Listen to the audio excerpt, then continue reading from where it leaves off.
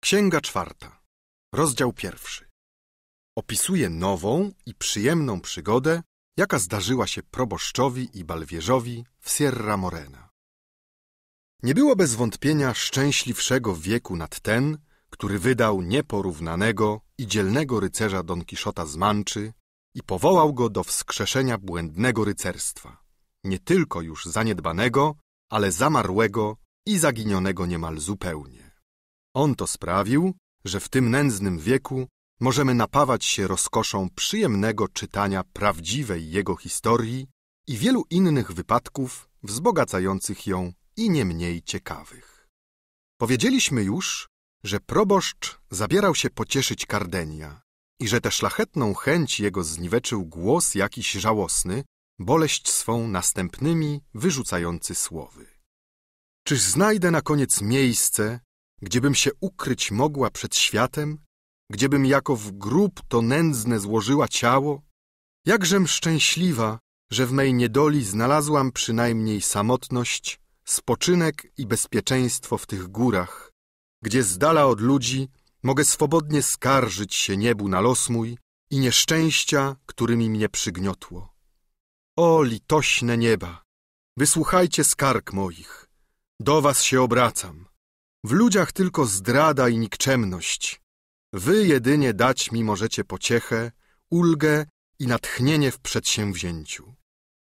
Proboszcz i jego towarzysze, usłyszawszy w bliskości takie skargi, poszli zobaczyć, kto by mógł być takim smutkiem przejęty. Zaledwie dwadzieścia postąpili kroków, zobaczyli na załomie skały u stóp drzewa młodego człowieka w stroju wieśniaczym, którego twarzy zobaczyć nie mogli gdyż opuścił głowę ku nogom, myjąc je w strumieniu. Zbliżyli się tak cicho do niego, że nie dostrzegł ich obecności. I wtedy zobaczyli łydki jego prześliczne i tak białe jak z alabastru. Ta nadzwyczajna piękność ciała zdziwiła ich w człowieku tak licho ubranym i podwajając ciekawość, zniewoliła proboszcza postępującego naprzód, że dał znak swoim towarzyszom, by ukrywszy się za skałą, mogli pilnie mieć oko na młodego chłopca. Jakoż zobaczyli, że ubrany był w brunatną spódnicę, jakiś rodzaj szarfy z białego płótna i w ciemne trzewiki, głowę skrywał mu mały kapelusz ciemnego koloru. Umywszy nogi, dobył bieliznę do ich otarcia i podniósłszy głowę, ukazał twarz tak piękną, iż Cardenio upewniał proboszcza, że musi to być chyba nadziemska istota bo jedna tylko Luscinda na ziemi dorównać jej może w piękności. Młody chłopiec następnie zdjął kapelusz i wstrząsnął po dwakroć głową. A gęste sploty długich, pięknych włosów, spadających mu na piersi i ramiona, przekonały wreszcie księdza proboszcza i jego towarzyszów, że ten mniemany chłopiec był istotnie młodą i najpiękniejszą w świecie dziewicą. Cardenio zdumiony zapewniał, że oprócz Luscindy podobnie pięknej kobiety nie widział. Do uczesania pięknych włosów, którymi cała była okryta, użyła tylko palców, ukazując tym sposobem ramiona tak cudne i ręce tak białe, że proboszcz i jego towarzysze, zdjęci podziwieniem i ciekawością, zbliżyli się do niej, chcąc dowiedzieć się, kto by była. Usłyszawszy ich kroki, młoda dziewica podniosła głowę i odgarniając włosy z twarzy, spojrzała w tę stronę. Lecz spostrzegłszy trzech mężczyzn, bez względu na rozpuszczone włosy i na bose nogi, porwała małe zawiniątko i zaczęła uciekać ze wszystkich sił. Nie mogła Atoli biec daleko.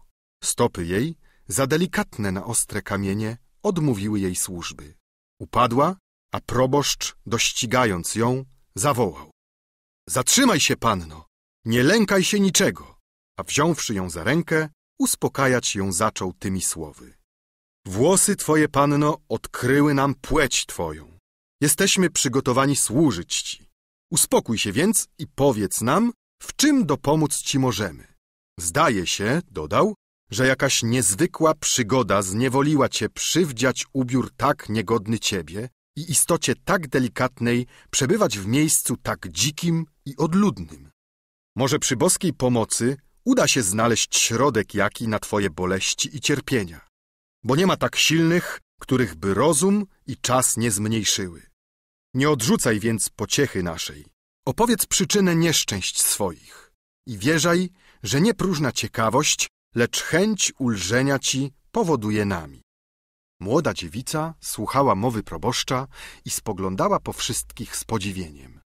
Wreszcie, ulegając ponownym prośbom, westchnęła głęboko i rzekła. Kiedy los tak zrządził, że samotność tych gór nie potrafiła mnie ukryć i włosy mnie zdradziły, do jakiej płci należę, niepodobna mi zaprzeczać temu, o czym przekonani jesteście. Ze względu na waszą grzeczność i uczciwe obejście się ze mną, dopełnię życzeń waszych i opowiem przygody swoje. Obawiam się wszakże, aby dotkliwość współczucia nie przewyższyła ciekawości waszej, bo nieszczęścia moje są bez ratunku i pociechy. Wyznaję, że z przykrością przychodzi mi zdzierać przed wami zasłonę z mojego życia, którego smutne dzieje na zawsze ukryć w grobie chciałam. Czuję jednak, że powinnam wam prawdę wyjawić, gdyż nieświadomi powodów, znalazłszy mnie w tym ustroniu samą i w męskim ubraniu, moglibyście powziąć krzywdzące mnie podejrzenie. Proboszcz ponowił prośby, jak również jego towarzysze, a młoda dziewica, poprawiwszy swój ubiór na stronie, zbliżyła się do nich. Usiadła na trawie i powstrzymując łzy, gwałtem cisnące się do jej oczu, tak rozpoczęła. Urodziłam się w pewnym mieście Andaluzji. Pewien książę nosi imię tego miasta i to mu daje tytuł Granda Hiszpanii. Mój ojciec był jednym z wasalów księcia i gdyby bogactwom jego wyrównywało urodzenie, nie byłabym dzisiaj tak nieszczęśliwa. Duma mego ojca stała się nieszczęść moich przyczyną. Nie pochodzę jednak z klasy tak niskiej, abym się wstydzić rodu swego miała. Przodkowie moi byli rolnikami. Kropla krwi obcej nie skaziła ich imienia, a odwieczna miłość rodzinnej siedziby, połączona z niemałym majątkiem i zacnością życia, stawia ich na równi z najpierwszymi. Jako jedynaczka byłam nadzwyczajnie kochana. Wszystko skinienia mego słuchało. Wszystkie rozkazy w domu ja wydawałam a zobopólna ufność i moje starania zapewniały nam słodki spokój. Po ukończeniu zatrudnień gospodarskich zajmowałam się rozrywkami właściwymi młodej dziewczynie i bardzo lubiłam grać na jakimś instrumencie, przekonawszy się, że muzyka ożywia umysł i głowę po uciążliwej pracy. Takie to życie wiodłam w domu swojego ojca. Nie dlatego opowiadam wam te szczegóły, ażebym chciała szukać chluby z bogactw swoich, lecz ażebyście łatwiej zrozumieć mogli, jak smutnym i okropnym jest stan mój obecny. Choć tak spokojne, jakby klasztorne prowadziłam życie, choć prócz domowników nie widywałam nikogo, bo nawet do kościoła tylko bardzo rano i to w towarzystwie matki chodziłam, odgłos jednak o mojej piękności rozszedł się szeroko i miłość zakłóciła samotność naszą. Młodszy syn księcia, o którym wspomniałam, nazwiskiem Don Fernand, zobaczył mnie pewnego razu. Zaledwie Cardenio usłyszał imię Fernanda, zmienił się na twarzy i zadrżał tak gwałtownie, że proboszcz i cyrulik zlękli się, żeby go nie napadł paroksyzm szaleństwa. Lecz uspokoił się powoli i przypatrywał bacznie rysom pięknej wieśniaczki, która na nic nie zważając, tak mówiła dalej. Zaledwie książę mnie zobaczył, jak mi to później sam mówił, rozbudziła się w nim gwałtowna namiętność, której następnie dał tyle dowodów. Ale nie będę was nudziła opowiadaniem szczegółów zbyt długich. Powiem tylko, że Don Fernand dokładał wszelkich starań, aby ująć serce moje. Rozdawał prezenty naszym służącym. Wyprawiał uczty nieustanne. W nocy kazał grać pod oknami mymi czarujące melodie. Pisywał do mnie tajemnie mnóstwo listów pełnych czułości, przysiąg i obietnic. Lecz kierowana radami ojca mniemałam, że starania Fernanda znieważają mnie tylko. A Lubo nie robiły mi wstrętu rozrywki i grzeczności, jakimi mnie otaczał. Pomnąc jednakże, jaka nas przestrzeń oddziela, Pewną byłam, że zbyt jawne nadskakiwania z jego strony tylko niesławę na mnie ściągnąć mogą. Ojciec, widząc niespokojność moją, radził mi dla uwolnienia się raz na zawsze od natręctwa Don Fernanda, zaślubić którego z młodzieży równego mi stanem i zapewniał, że ze swojej strony zrobi wszystko, co tylko los mój szczęśliwym uczynić może. Podziękowałam ojcu za jego dobroć. Oświadczyłam jednak, że obmyślę inny sposób pozbycia się Don Fernanda, nie zaprzedając wolności swojej. Jakoż dotąd unikałam starannie każdej sposobności widzenia Don Fernanda. To bardziej jeszcze podnieciło jego namiętność. Dowiedział się na koniec, że mój ojciec chce mnie za mąż wydać i natychmiast ułożył plan niweczący te zamiary.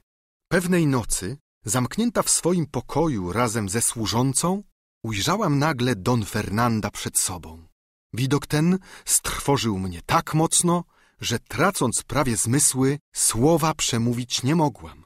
Don Fernand wtedy, korzystając z osłabienia mego, wziął mnie w swoje objęcia i mówił tak pięknie, tak czule, że nie śmiałam wołać o pomoc, chociaż już przyszłam do siebie. Westchnienia zdrajcy i łzy jego wzbudziły we mnie wiarę w jego słowa i prawe zamiary.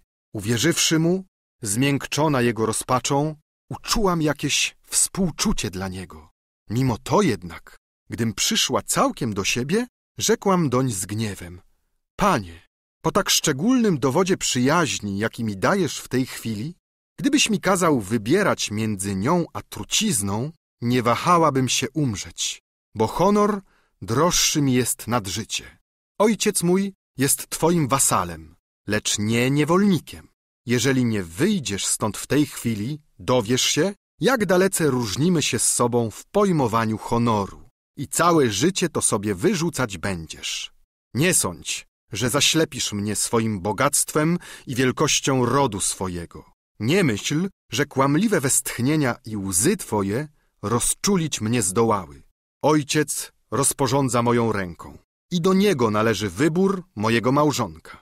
Tak więc, panie, jeżeli chcesz, ażebym uwierzyła w twoją przyjaźń, wyrzeknij się znieważających mnie zamiarów. A ponieważ nie możesz być moim mężem, nie żądaj ode mnie miłości, która by mnie niesławą okryć mogła. Jak to piękna Doroto, zawołał zdradziecki Don Fernand. Cóż mi stanąć może na przeszkodzie do zaślubienia ciebie?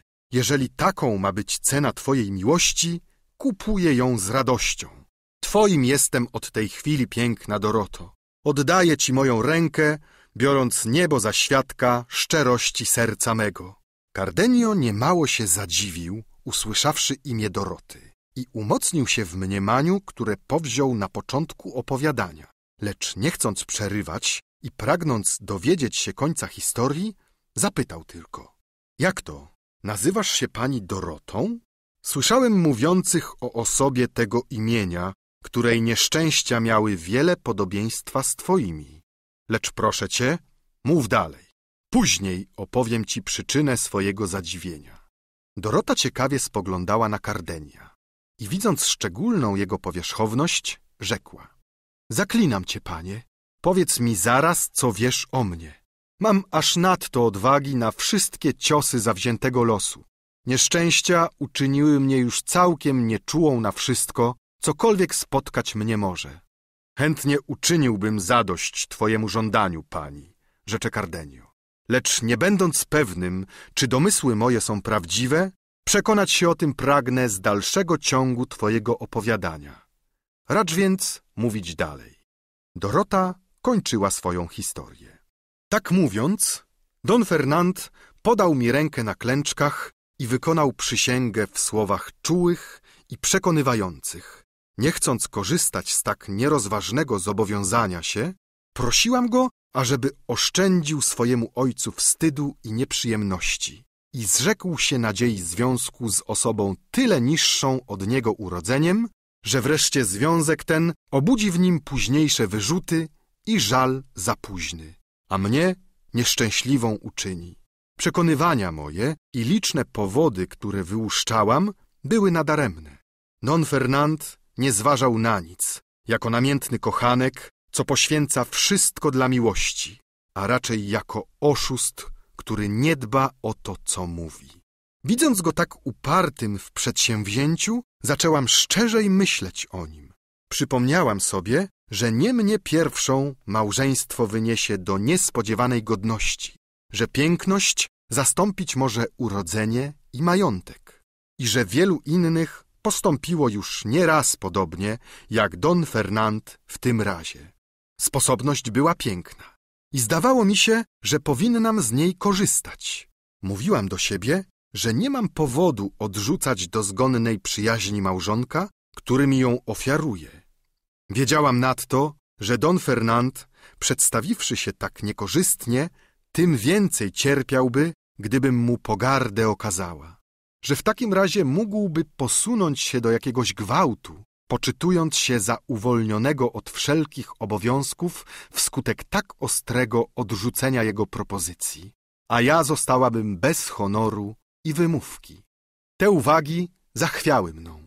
Łzy jego, przysięgi, westchnienia, nadto przytomność duchownego świadka, którego przyzywał, twarz pełna szczerości, miłość, którą upatrywałam w jego postępkach, dokonały mej zguby. Przywoływałam służebną dziewczynę, aby była świadkiem przysięgi i słów Don Fernanda. Powtórnie jeszcze wezwał niebo na świadectwo i sędziego zamiarów swoich. Rozczulił mnie nowymi zaklęciami i łzami. Świadkowie oddalili się, a on, korzystając z mojej słabości, dokonał zamierzonej hańby. Dzień zaledwie świtać zaczął po tej nocy nieszczęść, a już Don Fernand, pod pozorem oszczędzenia mojej reputacji, spieszył się wyjść ode mnie. Prosił, ale już obojętniej i ozięblej, żebym polegała na jego honorze i szczerości przysiąg, w zakład których zdjął bogaty pierścień z palca, na mój go włożył i poszedł. Taż sama służąca, która jak o tym dowiedziałam się później, ukryła go w moim pokoju, wypuściła go na ulicę. A ja pozostałam sama, nie wiedząc, czy cieszyć się, czy smucić z wypadku, który mnie spotkał.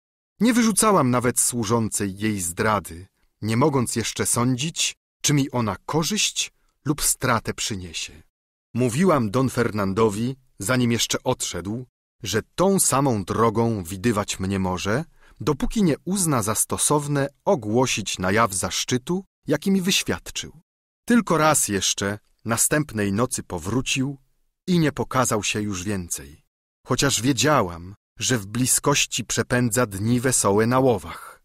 Niepodobna mi tego wysłowić, jak okropnie obeszła mnie pogarda Don Fernanda.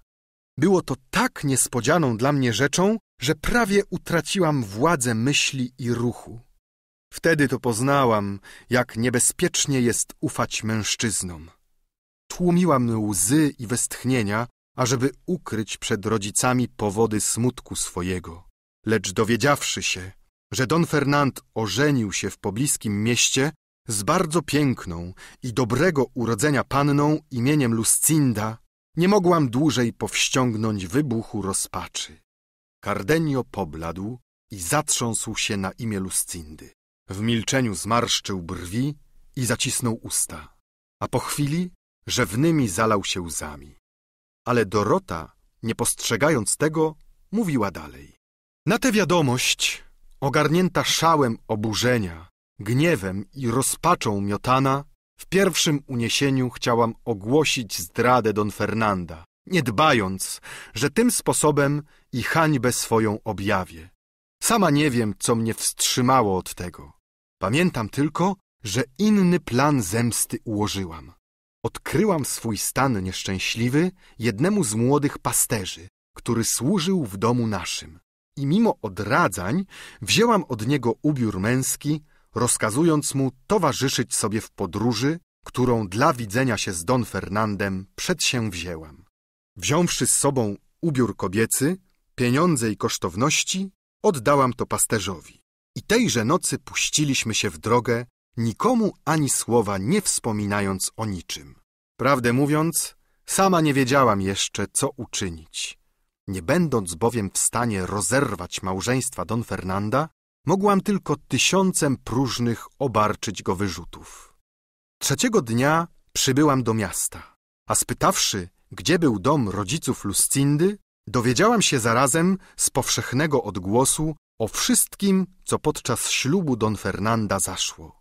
Jako Lucinda upadła zemdlona po wyrzeczeniu przysięgi. Jako Don Fernand przeczytał list znaleziony za jej suknią, napisany jej ręką i oświadczający, że kocha Kardenia, szlachcica nader zacnego, mieszkającego w tym samym mieście, że tylko obawiając się ojca, przystaje na związek z Don Fernandem.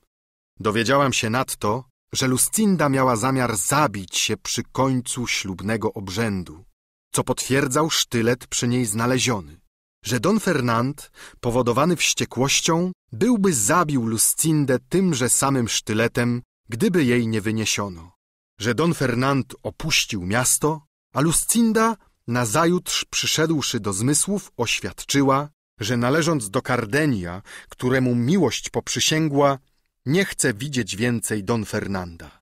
Dowiedziałam się również wtedy, że ów Cardenio znajdował się na ślubie. Następnie uciekł z miasta w rozpaczy, uwiadamiając listownie niewierną Lucindę, że oddala się na zawsze. Zdarzenie to było przedmiotem powszechnych rozmów w tym mieście, a wkrótce potem dowiedziano się o ucieczce Lucindy i o rozpaczy rodziców w niewiadomości o jej losie pozostawionych. Co do mnie, uczułam w sercu jakąś pociechę. Wyobrażałam sobie, że Don Fernand, rozjątrzony tym wypadkiem, powróci do uczuć honoru i obowiązku. Pochlebiałam sobie, że po stracie Lucindy zwróci się znów do mnie.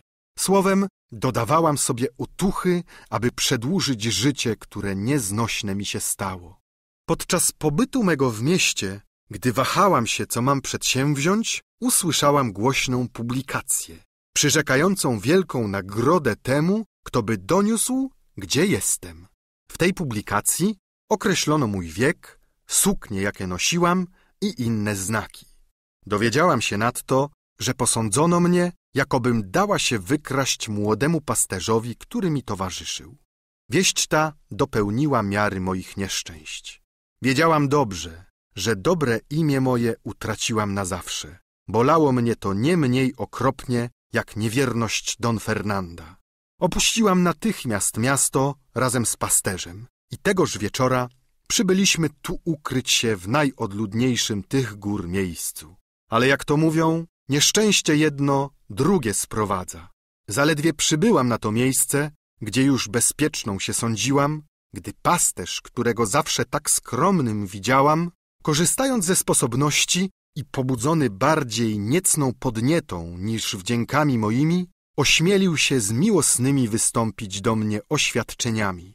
A widząc, że odpowiadam mu z gniewem i pogardą, nie tracąc czasu na nieużyteczne prośby, postanowił siłą dokonać swych sprośnych zamiarów. Ale niebo i rozum wspierały mnie w tym nieszczęściu. Namiętność zaślepiła go do tego stopnia, że nie uważał, iż staliśmy nad brzegiem przepaści. Ja, widząc to, a innego środka obrony nie mając, wtrąciłam go w nią jednym pchnięciem ręki i uciekając ze wszystkich sił, przybyłam w to ustronie, aby ukryć się przed pogonią mojego ojca. Nazajutrz spotkałam jakiegoś wieśniaka i prosiłam go, ażeby mnie do służby na pasterza przyjął. Jakoż zaprowadził mnie do swego domu wśród gór położonego. Przepędziłam z nim kilka miesięcy pasąc trzody i starannie ukrywając płeć swoją. Lecz odgadł moją tajemnicę. A widząc jego złe zamiary i nie mając środka uniknąć niebezpieczeństwa, dwa dni temu uciekłam z domu. I tu, w tym odludnym miejscu, przybyłam prosić nieba, ażeby zakończyło moje nędzne życie i pamięć nieszczęść moich zarazem. Rozdział drugi, w którym dowiedzieć się można o rzeczach bardzo przyjemnych. Oto jest, panowie, historia moich smutnych przygód. Osądźcie teraz, czy słuszne były moje narzekania. Nie masz dla mnie już żadnej pociechy. Proszę was tylko, ukażcie mi, w jakim miejscu ukryć bym mogła resztę swojego życia. Nie chcę już widzieć na oczy rodziców. Nie dlatego, żebym wątpiła o ich sercu, lecz nie mogąc otwarcie usprawiedliwić się przed nimi, ani zniszczyć niesławiących mnie pogłosek, nie byłabym w stanie patrzeć na ich smutek. Dorota umilkła, kończąc te słowa, a rumieniec występujący na twarz jej i spuszczone wilgotne powieki były dowodem uczuć miotających jej serce.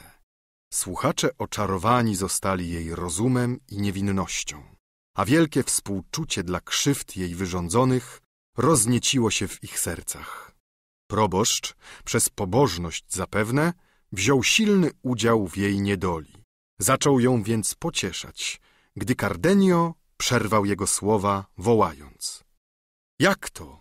Pani więc jesteś córką jedyną bogatego Klenarda? Dorota zdziwiła się, usłyszawszy imię swojego ojca i widząc tego, który je wyrzekł w tak dziwnym stanie. Któż jesteś, mój przyjacielu? rzecze do Kardenia.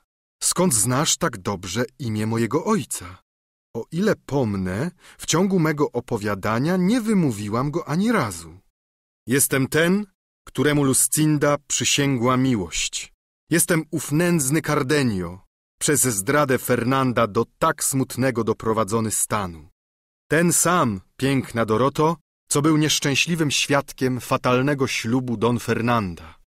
Uciekłszy z miasta, przybyłem tu zagrzebać swoje życie, lecz teraz postanawiam bronić Twojej i mojej sprawy.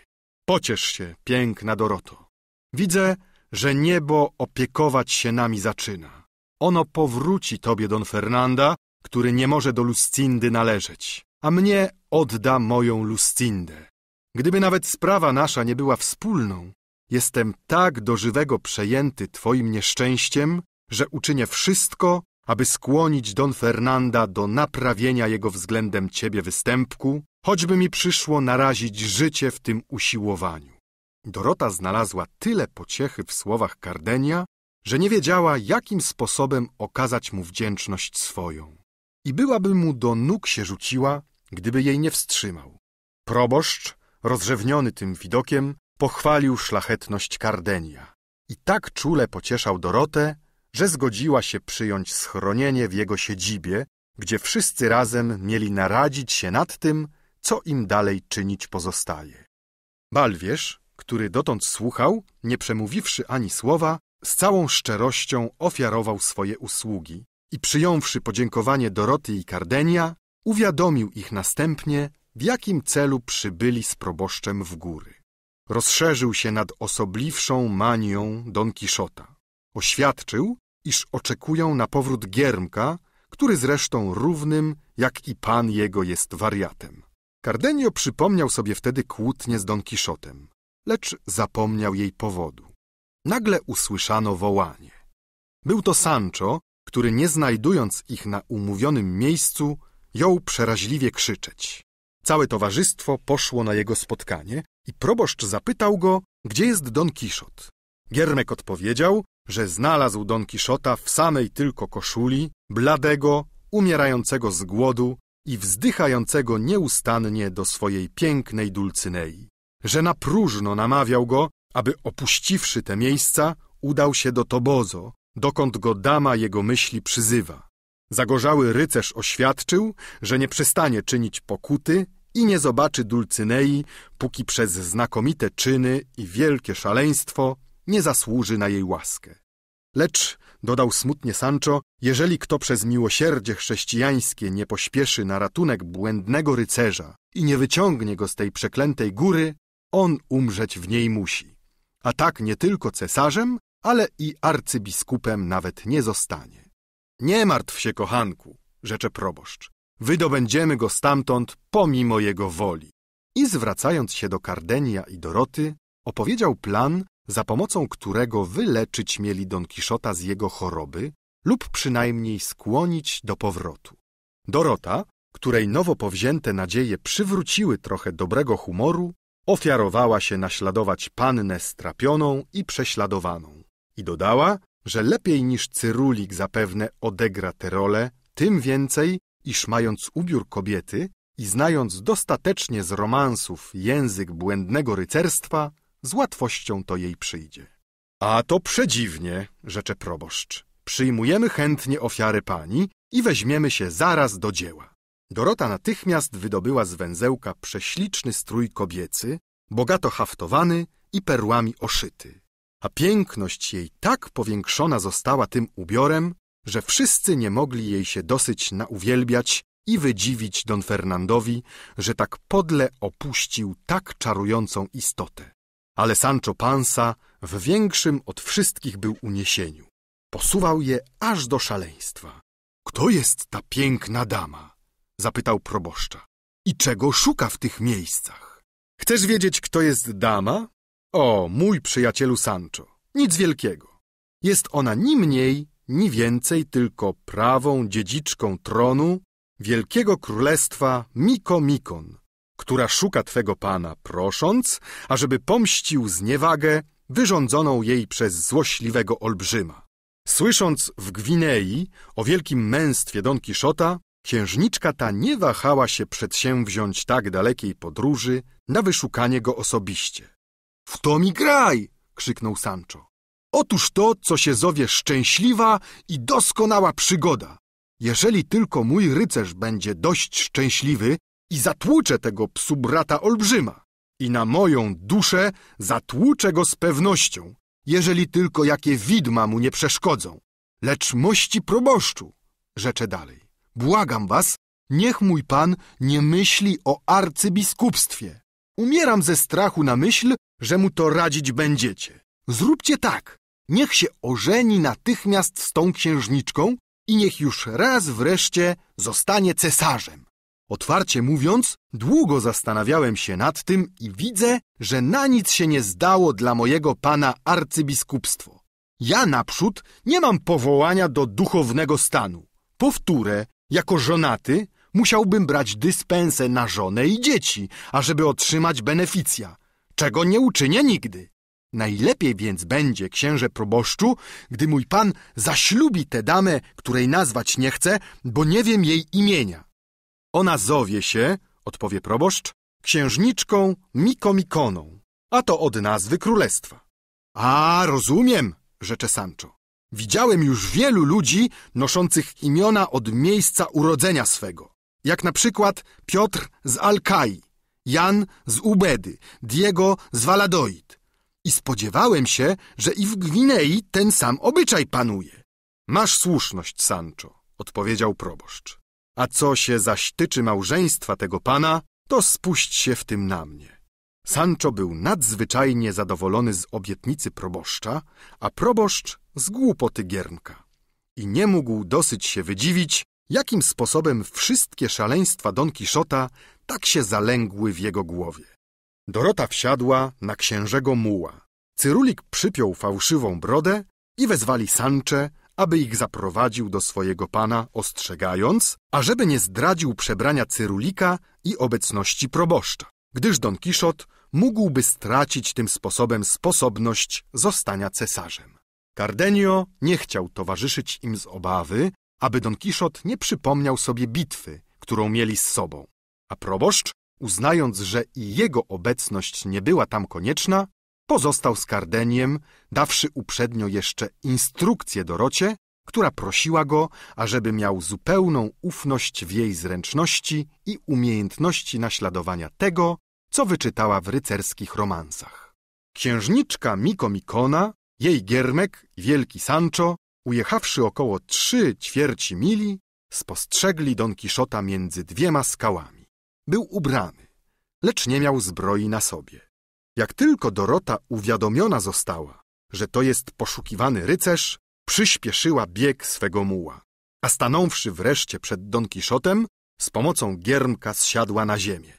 Uklękła przed rycerzem i ściskając go za nogi, pomimo usiłowań jego, aby ją podnieść, wyrzekła te słowa.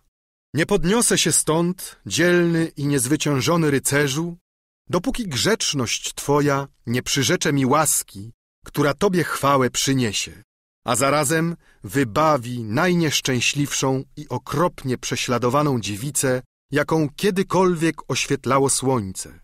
I jeżeli to prawda, że twoja waleczność i siła twojego ramienia odpowiada głośnej sławie, masz obowiązek w imię praw honoru i zakonu, do którego należysz, wspierać nieszczęśliwą, która na odgłos twoich wielkich czynów przybywa z drugiego końca ziemi, wzywać twojej pomocy. Postanowiłem, piękna damo, rzecze Don Kiszot, nie odpowiedzieć ci ani jednego słowa, dopóki nie raczysz podnieść się z ziemi. Ja zaś nie podniosę się, znakomity rycerzu, odpowie prześladowana księżniczka, póki nie zapewnisz mi łaski, o którą cię proszę. Dobrze więc, przyrzekam, rzecze Don Kiszot, z warunkiem, że nie będzie w tym nic przeciwnego memu królowi, ojczyźnie i interesowi tej, która włada moim sercem. Przysięgam ci, rzecze narzekająca dama, że nie ma w tym nic takiego. Sancho zbliżywszy się do Don Kiszota, rzekł mu do ucha. No, no, rycerzu, możecie śmiało dopełnić jej prośby. To drobnostka. Idzie tylko o to, ażeby zatłuc jednego łajdaka olbrzyma. A ta, która was o to prosi, jest to księżniczka Miko Mikona, pani Wielkiego Królestwa Miko Mikonu w Etiopii. Zrobi się, co można, odpowie Don Kiszot. Uczynię wszystko, co mi sumienie i ustawy rycerskiego zakonu wskażą. I zwracając się do panny, rzecze. Błagam cię, pani, powstań. Przyrzekam ci wszystko, czego tylko piękność twoja domaga się ode mnie. Żądam od ciebie, nieoceniony rycerzu, rzecze Dorota, aby twoja wielkoduszna osoba udała się tam, gdzie ją zaprowadzę. Żądam przyrzeczenia, że nie przed się weźmiesz żadnej innej sprawy, dopóki nie pomścisz się za mnie na zdrajcy, który przeciwko boskim i ludzkim prawom przywłaszczył sobie moje królestwo. Przyrzekam ci to, dostojna damo, odpowie Don Kiszot. Nabierz odwagi i rozpędź smutek, który cię uciska. Mam nadzieję, że z pomocą nieba i siłą mojego ramienia powrócę ci utracone państwo, mimo oporu podłych napastników. Lecz bierzmy się do dzieła. Dobre czyny nie powinny się odkładać, a opóźnienie rzadko pomaga sprawie. Bolejąca księżniczka chciała koniecznie ucałować ręce rycerza. Lecz pełen grzeczności i wytwornej galanterii Don Kiszot żadną miarą nie chciał zezwolić na to. Podniósł ją, uściskał z uszanowaniem i rozkazał Sanczy podać sobie zbroję. Giermek zdjął rynsztunki z drzew, które jakby jakie trofea wisiały, a Don Kiszot, uzbroiwszy się zupełnie, rzekł. Teraz śpieszmy na pomoc tej wielkiej księżniczce i użyjmy całej waleczności i siły, którymi nas obdarzyły nieba, ażeby zwyciężyć jej nieprzyjaciół. Balwierz, klęczący dotąd i pilnie baczący, aby nie roześmiać się lub nie upuścić przyprawionej brody, widząc Don Kiszota, podniósł się i podawszy rękę księżniczce, on z jednej, Don Kiszot z drugiej strony, wsadzili ją na muła. Rycerz dosiadł następnie pysznego rosynanta, cyrulik osła i ruszyli w marsz. Biedny Sancho zdążał za nimi piechotą, a trudy tak ciężkiej podróży wydobywały mu z piersi głębokie po straconym osiołku westchnienia. Nie było rady. Postanowił być cierpliwy, co mu tym łatwiej przyszło, że widział już wyraźnie swego pana na szerokim gościńcu, wiodącym wprost do cesarskiego tronu.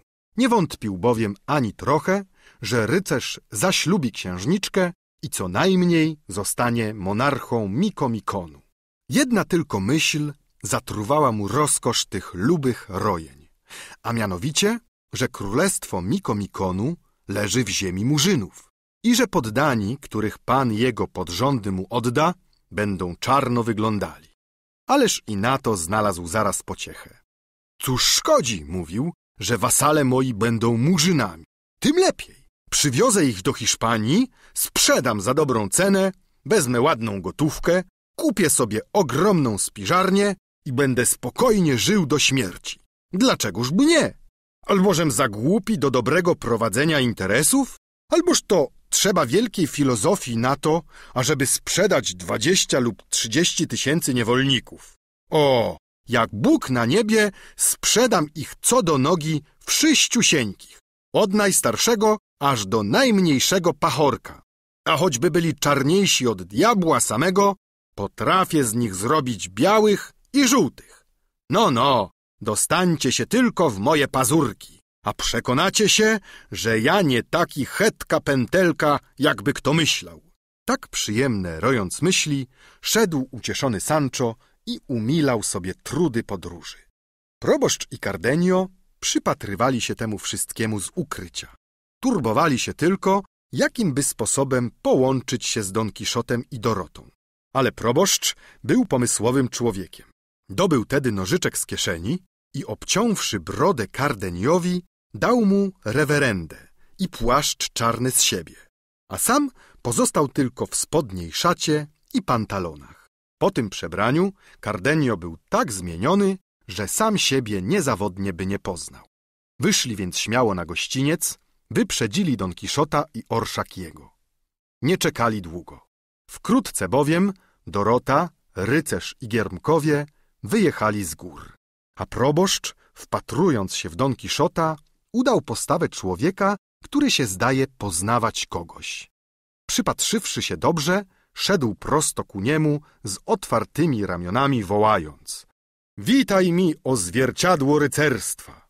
Drogi współziomku Don Kiszocie, rycerzu z Manczy, kwiecie i śmietano galanterii, przedmurze uciśnionych, kwiecie esencjo błędnego rycerstwa.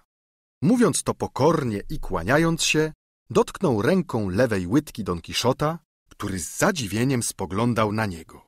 I poznawszy wreszcie, chciał zeskoczyć z konia, lecz proboszcz mu nie dał. Mości proboszczu, zawołał. Proszę cię, czyż to wypada, żebym jechał konno, gdy wasza rewerencja idziesz piechotą? Nie zgodzę się nigdy, żebyś zsiadł, odpowie proboszcz. Niech wasza dostojność zostanie na koniu, na którym tyle cudów dokazuje. Dla mnie dosyć będzie podzielić się mułem z którymś z tych panów, jeżeli się zgodzą na to. Będzie mi doskonale i wolę tak jechać, byleby w twoim towarzystwie, o przezacny rycerzu, niż dosiąść Pegaza albo dzianeta sławnego Maura Musarrachy, który do dziś dnia siedzi zaczarowany w kraju Zulemy przy wielkim Kompluto. Macie słuszność, księże proboszczu, rzecze Don Kiszot. I zgadzam się na to.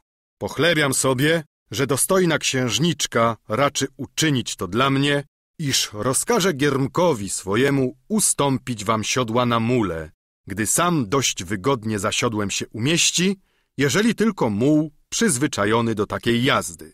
Nie ma wątpliwości, odpowie księżniczka. I mój koniuszy, nie czekając rozkazów, ofiaruje swe siodło jego rewerencji. Jest on nadto grzeczny, ażeby patrzył obojętnie na duchownego idącego pieszo, gdy temu zapobiec może. Nie inaczej, rzecze Balwierz, i zeskoczywszy z muła, podał strzemie proboszczowi, który wsiadł bez ceremonii. Na całe nieszczęście muł był najęty.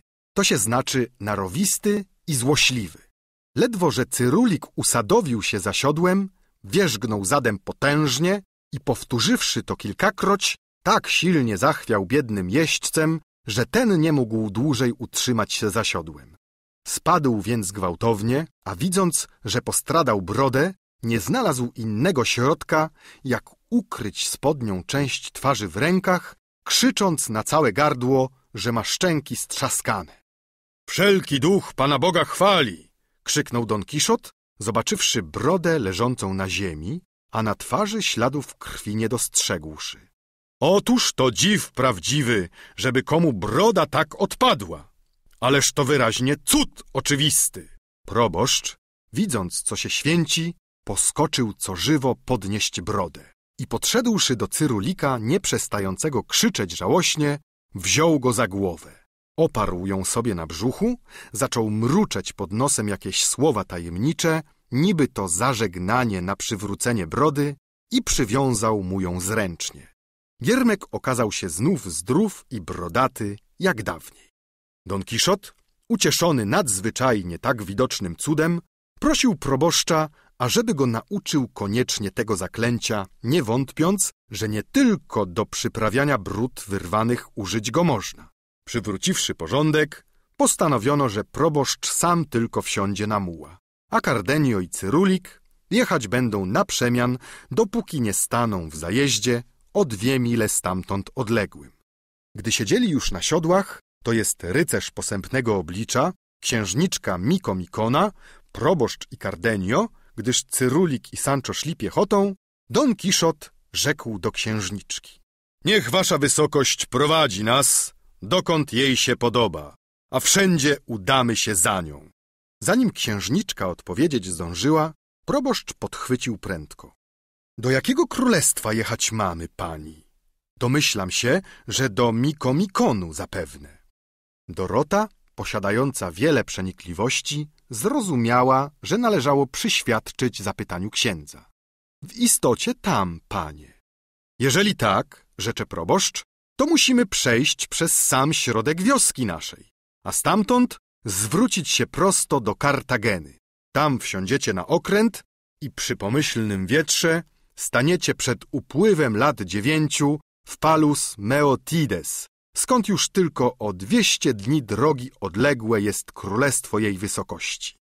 Zdaje mi się, że mylicie się, panie, rzekła księżniczka, bo nie ma jeszcze dwóch lat, jak stamtąd wyjechałam, a jakiś czas bawię się już w Hiszpanii. Zaraz po moim przyjeździe zewsząd uszu moich dochodziła głośna sława wielkiego Don Kiszota, którego szukać przybyłam. A tyle mi naopowiadano o znamienitości i nadzwyczajności czynów przezeń dokonanych, że chociażby nawet nie był tym, którego szukałam, oddałabym się pod jego opiekę i moją sprawę powierzyłabym waleczności jego niezwyciężonego ramienia. Ach, pani, dosyć tego, rzecze Don Kiszot. Błagam cię, przestań. Jestem śmiertelnym nieprzyjacielem pochlebstwa, jakkolwiek być może oddajecie mi tylko sprawiedliwość. Nie mogę jednak słuchać bez zarumienienia tak pochlebnego o sobie zdania. Tyle tylko wam mogę o sobie powiedzieć, księżniczko, że nie wchodząc w wartość swoją, ostatnią kroplę krwi swojej poświęcę, aby wam powrócić wydarte królestwa. Obecnie zaś błagam was o pozwolenie zapytania się księdza proboszcza, co go spowodowało, iż sam pieszo i tak lekko ubrany przybył w tak odległe miejsce. Wyznaję bowiem, że niezmiernie zadziwiony jestem, widząc go tu w tym stanie. W krótkich słowach opowiem rzecz całą, odrzekł proboszcz. Ja i majster Mikołaj, nasz zacny balwierz, wybraliśmy się do Sewilli po odebranie sześciu tysięcy franków, które jeden z naszych krewnych przysłał z Indii. W drodze napadło nas czterech złodziei. Ci zrabowali nas do szczętu i nawet brodę zabrawszy Cyrulikowi. Zmusili go, że krowi ogon do podbródka przyprawić sobie musiał. Zrabowali również tego młodzieńca, rzecze wskazując Kardenia. Dowiedzieliśmy się później, że te łotry byli galernikami, których dzielny jakiś rycerz wyzwolił z kajdan, mimo oporu komisarza i straży. Sądzić wypada, że rycerz ów musiał być szalonym, albo takim samym zbrodniarzem, jak ci, których uwolnił, kiedy miał sumienie puszczać na wolność wilki, ażeby owce pożerały. I z tego względu wreszcie uważać go należy za szaleńca, iż nie szanując praw zapomniał, co winien królowi i sprawiedliwości i zrobił się opiekunem wichrzycieli spokojności publicznej. Sancho opowiedział był proboszczowi cały wypadek z galernikami. Ten zaś obecnie pozwolił sobie zrobić z niego użytek, chcąc łatkę przypiąć naszemu rycerzowi i dowiedzieć się, co też on na to powie. Ale Don Kiszot to rumienił się tylko, to znów bladł za każdym słowem, a sam ani się przyznał, że był oswobodzicielem zbrodniarzy. Ci to złoczyńcy, mówił dalej proboszcz, w takim nas pozostawili stanie, niech im Bóg nie pamięta, jako i temu, co przeszkodził sprawiedliwości, wymierzyć karę za ich występki. Rozdział trzeci obejmujący dziwną historię księżniczki Miko Mikonu. Jeszcze proboszcz nie skończył mówić, gdy Sancho odezwał się. Na moją poczciwość, księże proboszczu, otwarcie mówiąc, to nie kto inny, jeno mój pan tak się pięknie sprawił, pomimo najusilniejszych z mej strony perswazji. Bo ja gadałem ciągle, że to wielki grzech przywracać wolność złym, których karzą za ich niegodziwości. Przemierzły zdrajco, krzyknął Don Kiszot. Cóż to ty sobie myślisz? Alboż to przystoi rycerzom błędnym pytać się uciśnionych, czy są słusznie karani, czy nie? Do nas należy wspierać cierpiących, nie pytając o czyny. Spotkałem gromadę nieszczęśliwych, nawleczonych na łańcuch jak ziarna różańca i uczyniłem ku ich pomocy to, co mi religia moja nakazywała i czego rycerski zakon wymagał. I cóż mieć można przeciw temu? Niech mi ktokolwiek zaprzeczy, a wyjąwszy księdza proboszcza, którego charakter poważam, pokażę mu, że nie zna obowiązków błędnego rycerza i że kłamie nikczemnie, a dowiodę tego z mieczem i włócznią, konno lub pieszo, jak się komu podoba.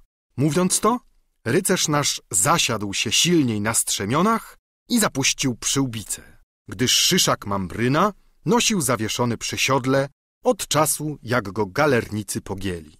Dorota, bardzo dowcipna i żartobliwa z natury, znając już chorobę Don Kiszota i widząc zresztą, że wszyscy z niego żartują, wyjąwszy Sancho Panse jednego, któremu nie mniej jak panu klepki w głowie brakowało, zapragnęła wziąć udział w zabawie.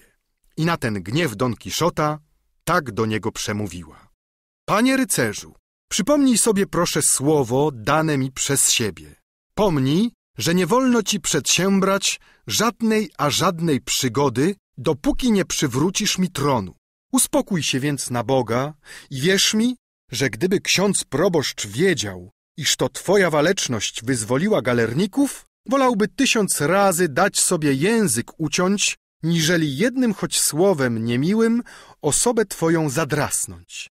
Zapewniam was o tym, rzecze proboszcz. Wolałbym nawet, aby ci złoczyńcy wyrwali mi wąsy włosek po włosku. Bądź pani spokojna, rzecze Don Kiszot. Nie powiem nic już więcej i nie wmieszam się do niczego, dopóki nie dopełnię swojej obietnicy. Lecz nawzajem błagam cię, piękna księżniczko, opowiedz mi historię swoich nieszczęść, jeżeli nie zależy ci na ukryciu ich. Jacy to ludzie, i wielu ich jest, na których użalasz się i zemsty mojej przyzywasz. Uczynię to z całego serca, odpowie Dorota. Lecz obawiam się bardzo znudzić was opowiadaniem rzeczy nieprzyjemnych. Nie, nie, pani, przeciwnie. Zobowiążesz nas jak najmocniej, księżniczko. Cardenio i Cyrulik przybliżyli się do księżniczki, ciekawi usłyszeć, co też na prędce wymyśli. A Sancho, nie ustępujący ani na jotę panu swemu, w zupełnym w tej mierze obłędzie poskoczył jeszcze prędzej, nadstawiając uszu. Dorota poprawiła się na mule jak mogła najlepiej, a kaszlnąwszy, splunąwszy i nos utarłszy, z najpoważniejszym wdziękiem, tak rozpoczęła opowiadać swoją żałosną historię. Przede wszystkim wiadomo panom, że się nazywam... Tu zatrzymała się na chwilę, gdyż jak na złość zapomniała imienia, jakie jej dał proboszcz. Szczęściem przezorny pleban przybył jej na pomoc w niespodzianym kłopocie. Nic dziwnego, pani, rzekł jej, że wasza wysokość mieszała się przy opowiadaniu swych nieszczęść. Jest to zwyczajny skutek wielkich cierpień, że niszczy pamięć i wyobraźnię. A wielka księżniczka Miko Mikona musiała dużo przenieść na sobie, kiedy tyle ziem i mórz przebyła szukając ratunku. Wyznaję, rzecze Dorota, że w tej chwili przedstawił się pamięci mojej tak straszliwy obraz przyszłości, iż nie wiedziałam, co mówię. Teraz jestem już spokojna i mam nadzieję, że się potrafię obejść bez pomocy. I to wiadomo panom, że jestem prawą dziedziczką wielkiego Mikomikonu Królestwa i że król mój, ojciec, który nazywał się Tina Krio, mądry był niezmiernie i głęboko uczony w magii. Zbadał on swoim rozumem, że matka moja, królowa Ksaramilla, ma umrzeć przed nim, że on sam wkrótce po niej życie utraci, a ja pozostanę sierotą. Wiadomość ta, jako z porządku natury wynikająca, nie zmartwiłaby go tak bardzo, gdyby zarazem przez nieomylną sztukę swoją nie przewidział, że pewien olbrzym ogromny, pan wielkiej wyspy, która leży na granicy mego królestwa, nazywany Panda Filando posępnooki, stąd, że zawsze patrzy z podełba i jakby zezem, owóż tedy, że ów olbrzym, dowiedziawszy się o moim sieroctwie, niespodzianie na czele wielkiej armii rycerstwa wkroczy do mego państwa i wyzuje mnie z niego zupełnie, nie zostawiając nawet najmniejszej nawet wioseczki na schronienie. Dalej przewidział ojciec mój, że potrafiłabym ujść klęski, zaślubiając go. Lecz na to zgadzać się nie będę. Miał słuszność, drogi ojciec. Za nic w świecie nie chciałam iść za owego olbrzyma i za żadnego innego nie pójdę, chociażby był dwa razy większy i straszliwszy. Powiedział mi jeszcze ojciec, żebym po jego śmierci, widząc panda Filanda wstępującego na moją ziemię, nie broniła się wcale, lecz ażebym, zostawiwszy mu królestwo, wybrała kilku najwierniejszych poddanych i z nimi udała się do Hiszpanii. Tam znajdę potężnego opiekuna w osobie rycerza błędnego, który będzie znany po całej ziemi z waleczności i siły swojej. Rycerz ten miał się zwać, o ile pamiętam, Don Chikot czy Don Shigot. Mówcie Don Kiszot, wielka księżniczko, przerwał Sancho. Albo rycerz posępnego oblicza. A tak, tak, prawda, rzecze Dorota. Drogi ojciec mówił mi także, że rycerz ten będzie wysoki, wychudły na twarzy, a poniżej lewego ramienia mieć będzie czarne znamie końskim porosłe włosem. Don Kiszot przywołał Sancze i rzekł. Słuchaj, moje dziecko, pomóż mi prędko rozebrać się. Niech dowiem się natychmiast, czy to o mnie mówił ten mądry król. Dlaczego chcesz się rozbierać, panie rycerzu? spyta Dorota. Chcę zobaczyć, czy mam znamie, o którym mówicie, odpowie Don Kiszot. Nie ma wcale potrzeby rozbierać się, rzecze na to Sancho. Widziałem dobrze, że pan masz takie znamie na czwartym pacierzu i to oznacza wielką siłę. To dosyć, rzecze Dorota. Między przyjaciółmi na co sprawdzać rzeczy. A to znów nic nie stanowi, czy znak z prawej, czy z lewej strony znajduje się. Byle tylko był na tym samym ciele. Teraz przyznaję, że drogi ojciec przewidział dobrze wszystko. A ja jeszcze lepiej zrobiłam, udając się do rycerza Don Kiszota, którego postać i twarz zgadzają się tak dokładnie z opisem przez ojca mi podanym, a którego sława brzmi nie tylko w Hiszpanii, ale i w całej Manczy, tak rozgłośnie i hucznie, gdyż zaledwie wylądowałam w Osunie, zaraz doszły mnie o nim cuda i dziwy. I odtąd serce mówiło mi, że to jest rycerz, którego mam szukać. Lecz jak to być może, pani, rzecze Don Kiszot, że wylądowałaś w Osunie, gdzie wcale morza i portu nie ma? Księżna pani, przerwie proboszcz, chciała powiedzieć zapewne, że wylądowawszy w Maladze, w Osunie dopiero o was usłyszała. To właśnie chciałam mówić, odpowiedziała Dorota. Niech wasza królewska mość raczy kończyć, jeżeli się jej podoba, dodał proboszcz. Już nie mam nic więcej do powiedzenia, rzecze Dorota. Chyba to tylko, że na koniec szczęśliwy los zdarzył mi spotkać rycerza Don Kiszota, który, jestem pewna, powróci mnie na tron mych przodków, zwyciężając zdrajcę panda Filanda posępnookiego. Zapomniałam wam dodać jeszcze, że król Tina Krio zostawił mi papier napisany po grecku czy też po arabsku, którego czytać nie umiem, a w którym rozkazuje mi wyraźnie, abym, jeśli rycerz, przywróciwszy mnie na tron, zażąda mojej ręki, bez żadnej wymówki zezwoliła na to natychmiast i ofiarowała mu państwo i osobę moją. I cóż ty na to, przyjacielu Sancho, he? Rzecze Don Kiszot. Słyszysz, co to się dzieje? A wiele ci to ja razy mówiłem? Widzisz sam teraz, Czy nie mamy królestwa na nasze rozkazy i królewien, co się nam w małżeństwo oddają?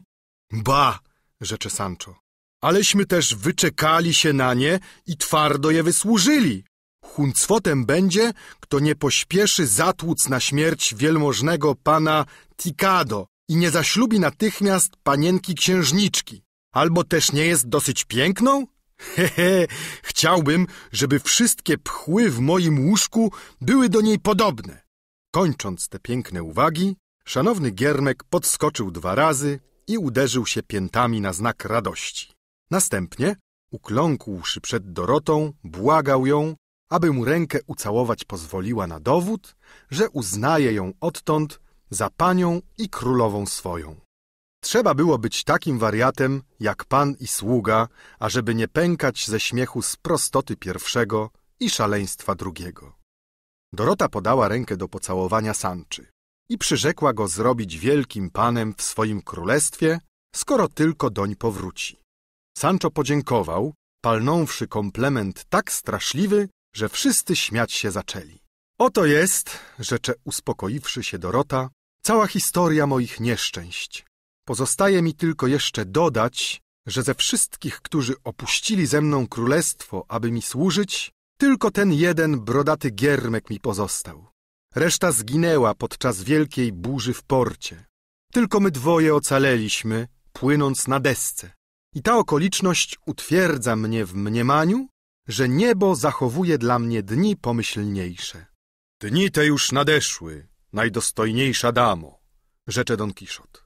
Potwierdzam dane wam przyrzeczenie i na nowo przysięgam iść za tobą choćby na koniec świata i nie opuścić cię, dopóki twemu okrutnemu nieprzyjacielowi przy pomocy niebios i dzielności mego ramienia dumna głowa z karku nie zleci.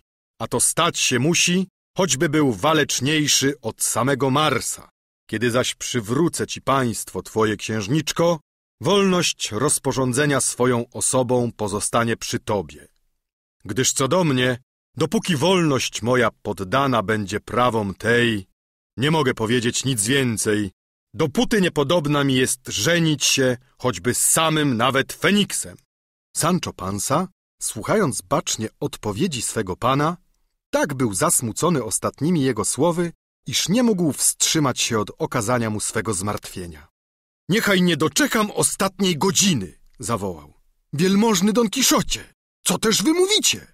Musieliście już zupełnie stracić rozum. Jak mi Bóg miły! Czyż podobna wahać się jeszcze w przyjęciu tej ręki wielkiej księżniczki? Cóż wam się dzieje? A toć to samo szczęście w ręce wam lezie. Kawał świata człek schodzi, nim mu się tak dogodzi. Bo to takie skarby, to nie przy lada krzaku na drodze napotkać podobna. Może ta wasza Dulcynea piękniejsza, co? Patrzcie ją, koczkodan, ani jej wodę nawet nosić za naszą piękną księżniczką. Jakże ja się wreszcie dochrapię owego hrabstwa, które mi po tylekroć przyrzekaliście. Drzeć łyko póki można. Pieczone gołąbki same idą do gąbki. Do wszystkich czartów. Co tu mi trężyć? Nie ma żartu. Żeń się, panie rycerzu, i basta. Łap królestwo, kiedy ci samo na nos spada.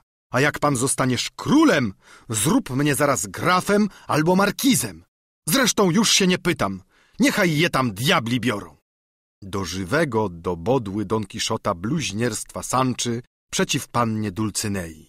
Uniesiony skrytym gniewem, podniósł dzidę w milczeniu i palnął nią tak silnie w głowę biednego giermka, że powalił go od razu na ziemię. I gdyby go Dorota nie wstrzymała, zabiłby pewnie Sancze, w tak straszną wpadł w wściekłość. Co ty sobie myślisz, nędzny chłopie? zawołał.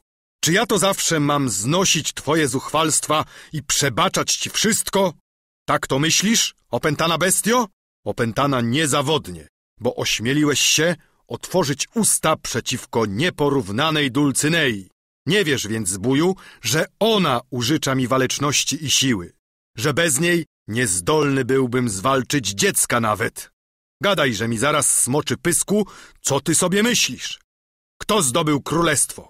Kto ściął łeb olbrzymowi i kto cię zrobił markizem? Bo ja to wszystko mam już zadokonane.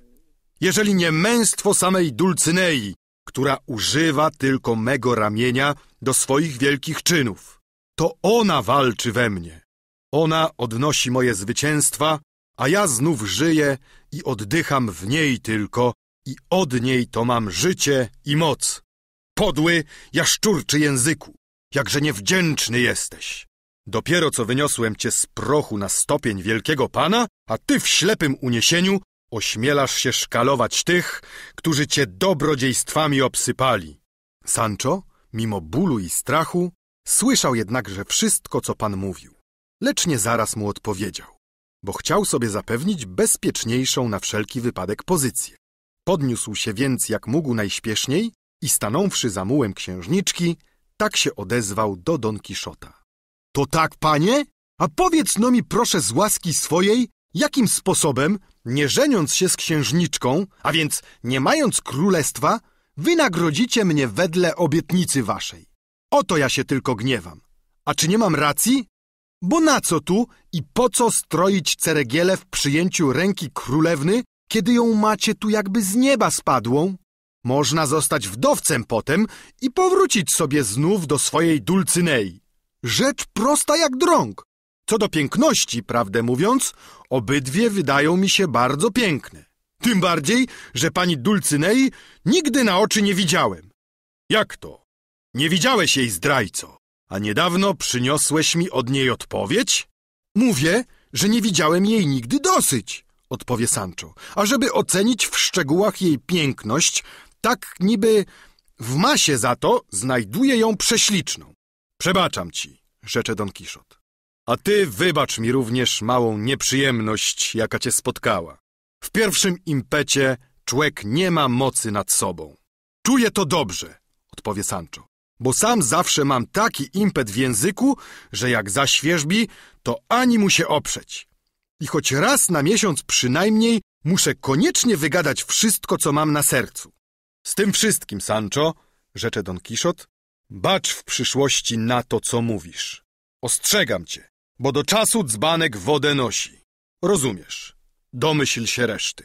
Więc dobrze, rzecze Sancho.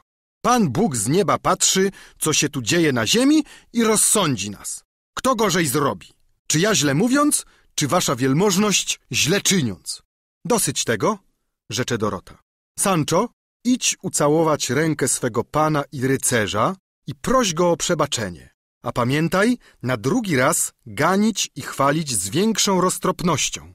Nade wszystko zaś nie mów nic złego o tej damie z której nie znam, ale którą kocham z całego serca, ponieważ sławny Don Kiszot ją uwielbia. Zresztą zaufaj mi, a nagroda cię nie ominie. Sancho zwiesiwszy pokornie głowę, prosił swego pana o podanie mu ręki, który uczynił to z wielką powagą.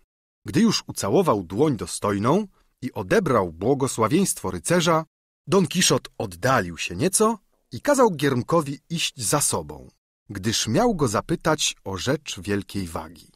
Wysunęli się więc naprzód i Don Kiszot, widząc, iż są dostatecznie od reszty towarzystwa oddaleni, rzekł. Przyjacielu Sancho, nie miałem dotąd czasu wypytać cię o szczegóły poselstwa. Teraz, gdy jesteśmy sami, opowiedz mi proszę wszystko z kolei, co zaszło i uwiadom mnie o wszystkim, o co cię pytać będę. Zapytujcie, o co chcecie, panie, a będziecie zadowoleni. Lecz błagam, nie bądźcie na drugi raz tak gwałtowni. Do czego zmierzasz, Sancho? zapytał Don Kiszot. Mówię to, odrzecze Sancho, ponieważ dwa uderzenia dzidy otrzymałem w kłótni, którą mieliśmy z galernikami. A nie za to, ażebym mówił co przeciw pani Dulcynei, którą czczę jakby relikwie, chociaż tego nie warta, lecz dlatego, że należy do pana. Sancho, rzecze Don Kiszot, raz na zawsze porzućmy takie rozmowy. Krótko mówiąc, one mnie martwią. Przebaczyłem ci tyle razy, a wiesz, co powiadają. Za nowy grzech, nowa pokuta. Gdy tak mówili, spostrzegli na drodze człowieka jadącego na ośle, którego wzięli za cygana. Sancho, który od chwili utraty osła nie mógł patrzeć na te zwierzęta bez żywego bicia serca, zaledwie zobaczył tego człowieka, poznał w nim natychmiast Ginesa z Pasamonte. Gines, przebrawszy się za cygana, Znał bowiem dobrze ten język, chciał tym sposobem ukryć kradzież i ułatwić sobie sprzedaż osła, którego przebrał także. Lecz Sancho, poznawszy równie dobrze osła jak jeźdźca, krzyknął z całego gardła. Ha, zbójco Ginesilli! Powróć mi moje dobro, mój spokój i życie moje! Oddaj mi mego osła, moją radość, moją pociechę! Uciekaj, zbóju! Zmykaj, psi synu, a puść mego osiołka! Nie potrzeba było tak długiej przemowy. Bo Gines, usłyszawszy Sancze, skoczył na ziemię i szybkim kłusem, bardzo zbliżonym do galopu, uciekał przed nieprzyjaciółmi, którzy ani myśleli go ścigać. Sancho zbliżył się do swego osiołka i uścisnąwszy go czule, a cóż, rzecze do niego, jak się miewasz, moje dziecko? Burku mój kochany, drogi towarzyszu, wieczny mój przyjacielu. I to mówiąc, całował i pieścił osła, jakby jaką najdroższą osobę w świecie. Osioł na to wszystko nie wiedział, co odpowiedzieć. Pozwolił się pieścić i całować, nie przemówiwszy ani pół słowa. Wkrótce całe towarzystwo połączyło się i każdy winszował Sanczy, że znalazł osła. A Don Kiszot ponowił mu obietnicę darowania trzech osłów. Gdy nasz rycerz z Giermkiem naradzali się, proboszcz rozmawiał z Dorotą, chwaląc jej dowcip i zręczność, jakich dała dowody. Dorota odpowiedziała, że czytając dużo rycerskich romansów, znała ich styl, lecz zupełna nieznajomość geografii zmusiła ją wylądować w Osunie. Następnie mówili o łatwowierności Don Kiszota, który wszystkiemu, co nadzwyczajne, natychmiast wierzy. A to tym dziwniejsze, że nasz rycerz w każdym innym przedmiocie posiadał wiele wykształcenia i wyrobionego smaku. Don Kiszot, oddaliwszy się znów od reszty podróżnych, rzecze do Sanczy. Przyjacielu, powiedz mi, jak zastałeś Dulcyneę? Co robiła? Co jej mówiłeś i jak ci odpowiadała? Z jakim usposobieniem przyjęła mój list i kto go przepisywał? Na koniec mów mi wszystko, ażebym wiedział, jak rzeczy stoją. Panie, odpowie Sancho, prawdę mówiąc, nikt nie przepisywał listu, gdyż go nie wziąłem wcale. Masz słuszność, rzecze na to Don Kiszot. We dwa dni po twym odjeździe znalazłem karteczki i sądziłem, że wrócisz po nie. Byłbym to uczynił, rzecze Sancho, gdybym listu nie umiał na pamięć. Podyktowałem go jakiemuś zakrystianowi, który przepisawszy go, niezmiernie się nad pięknością stylu unosił i przysięgał, iż w życiu swoim nic podobnego nie czytał, chociaż odebrał najmniej z tysiąc ogłoszeń o pogrzebach i różnych ekskomunikach. A pamiętasz go jeszcze? rzecze Don Kiszot. Nie, panie, odpowie Sancho. Jak tylko zobaczyłem, że już napisany, wziąłem i zapomniałem tamten zaraz. Pamiętam tylko o tej długiej podziemnej damie, a także i koniec. Twój do grobowej deski rycerz posępnego oblicza.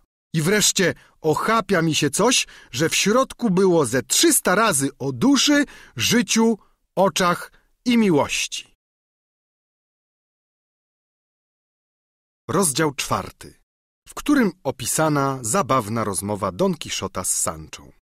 Dotąd wszystko dobrze, rzecze Don Kiszot. Mów dalej, Sancho. Gdzie przybyłeś? Co robiła królowa piękności? Zastałeś ją pewnie nawlekającą perły lub haftującą bogatą szarfę ze złota i atłasu dla swojego rycerza i niewolnika. Znalazłem ją, odpowie Sancho, jak zaczyniała mąkę na chleb na podwórku.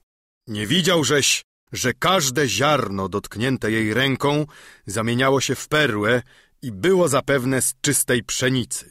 Ale gdzie tam? Była to mąka z owsem. Piękne jej ręce, rzecze Don Kiszot, zrobiły z niej najsmaczniejszy chleb zapewne. Ale to mniejsza. Kiedy oddałeś jej list, czy nie ucałowała go i nie włożyła go sobie na głowę w radości niezmiernej? Cóż uczyniła wreszcie? Dzieża była już pełna prawie, odpowie Sancho, gdy jej list podawałem. Tak się w niej babrała, że nie biorąc listu, rzekła mi, połóż Asan list na worku, nie mogę czytać, aż skończę. Jaka cudowna dyskrecja! Uczyniła to, ażeby przeczytać list w samotności, żeby nikt nie był świadkiem rozkoszy jej serca. A potem, czy rozmawiałeś z nią? Czy pytała o mnie? Nie ukrywaj nic. Niecierpliwość mnie pożera. Ona ci się o nic nie pytała wprawdzie, odpowiedział Sancho. Ale ja za to opowiedziałem jej wszystko. To jest, jak pan pokutowałeś dla jej miłości, goły od pięt do pasa, śpiąc na ziemi, jedząc trawę, nie czesząc nigdy brody, becząc jak ciele i przeklinając losy. Źle uczyniłeś, rzecze Don Kiszot, mówiąc, że przeklinam losy. Przeciwnie, błogosławię fortunę i błogosławić zawsze ją będę, że uczyniła mnie godnym kochania tak wielkiej damy, jak Dulcynea z.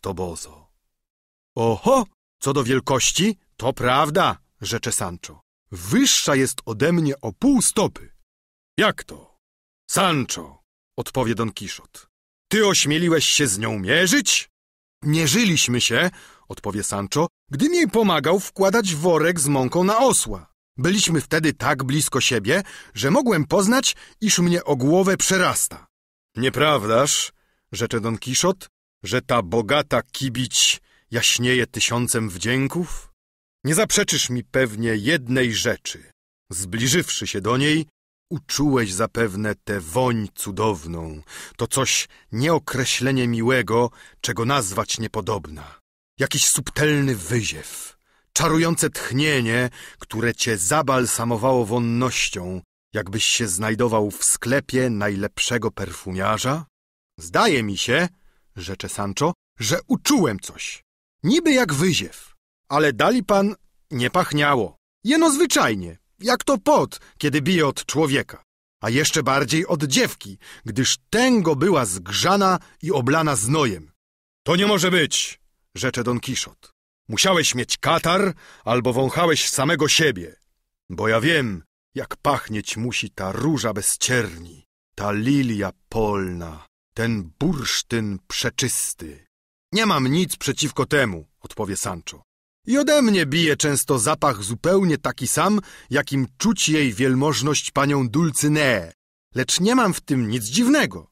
Jeden diabeł podobny do drugiego. A skoro ukończyła robotę, cóż uczyniła z moim listem? Nic, rzecze Sancho. Odpowiedziała, że ani pisać, ani czytać nie umie. Podarła go w kawałki, mówiąc, że nie chce, ażeby kto inny czytał jej sekreta że poprzestaje na tym, co słyszała ode mnie o miłości waszej i o pokucie, że całuje obie ręce waszej wielmożności, że więcej ma chęci widzieć was niż wasze pismo, że wreszcie prosi bardzo, abyście wrócili do Tobozo, jeżeli wam do tego nic nie przeszkadza. A myślałem, że pęknie ze śmiechu, kiedy jej powiedziałem, że nosicie przydomek rycerza posępnego oblicza. Pytałem, czy Biskajczyk był u niej. Odpowiedziała, że był, co zaś do galerników, z tych ani jednego nie widziała.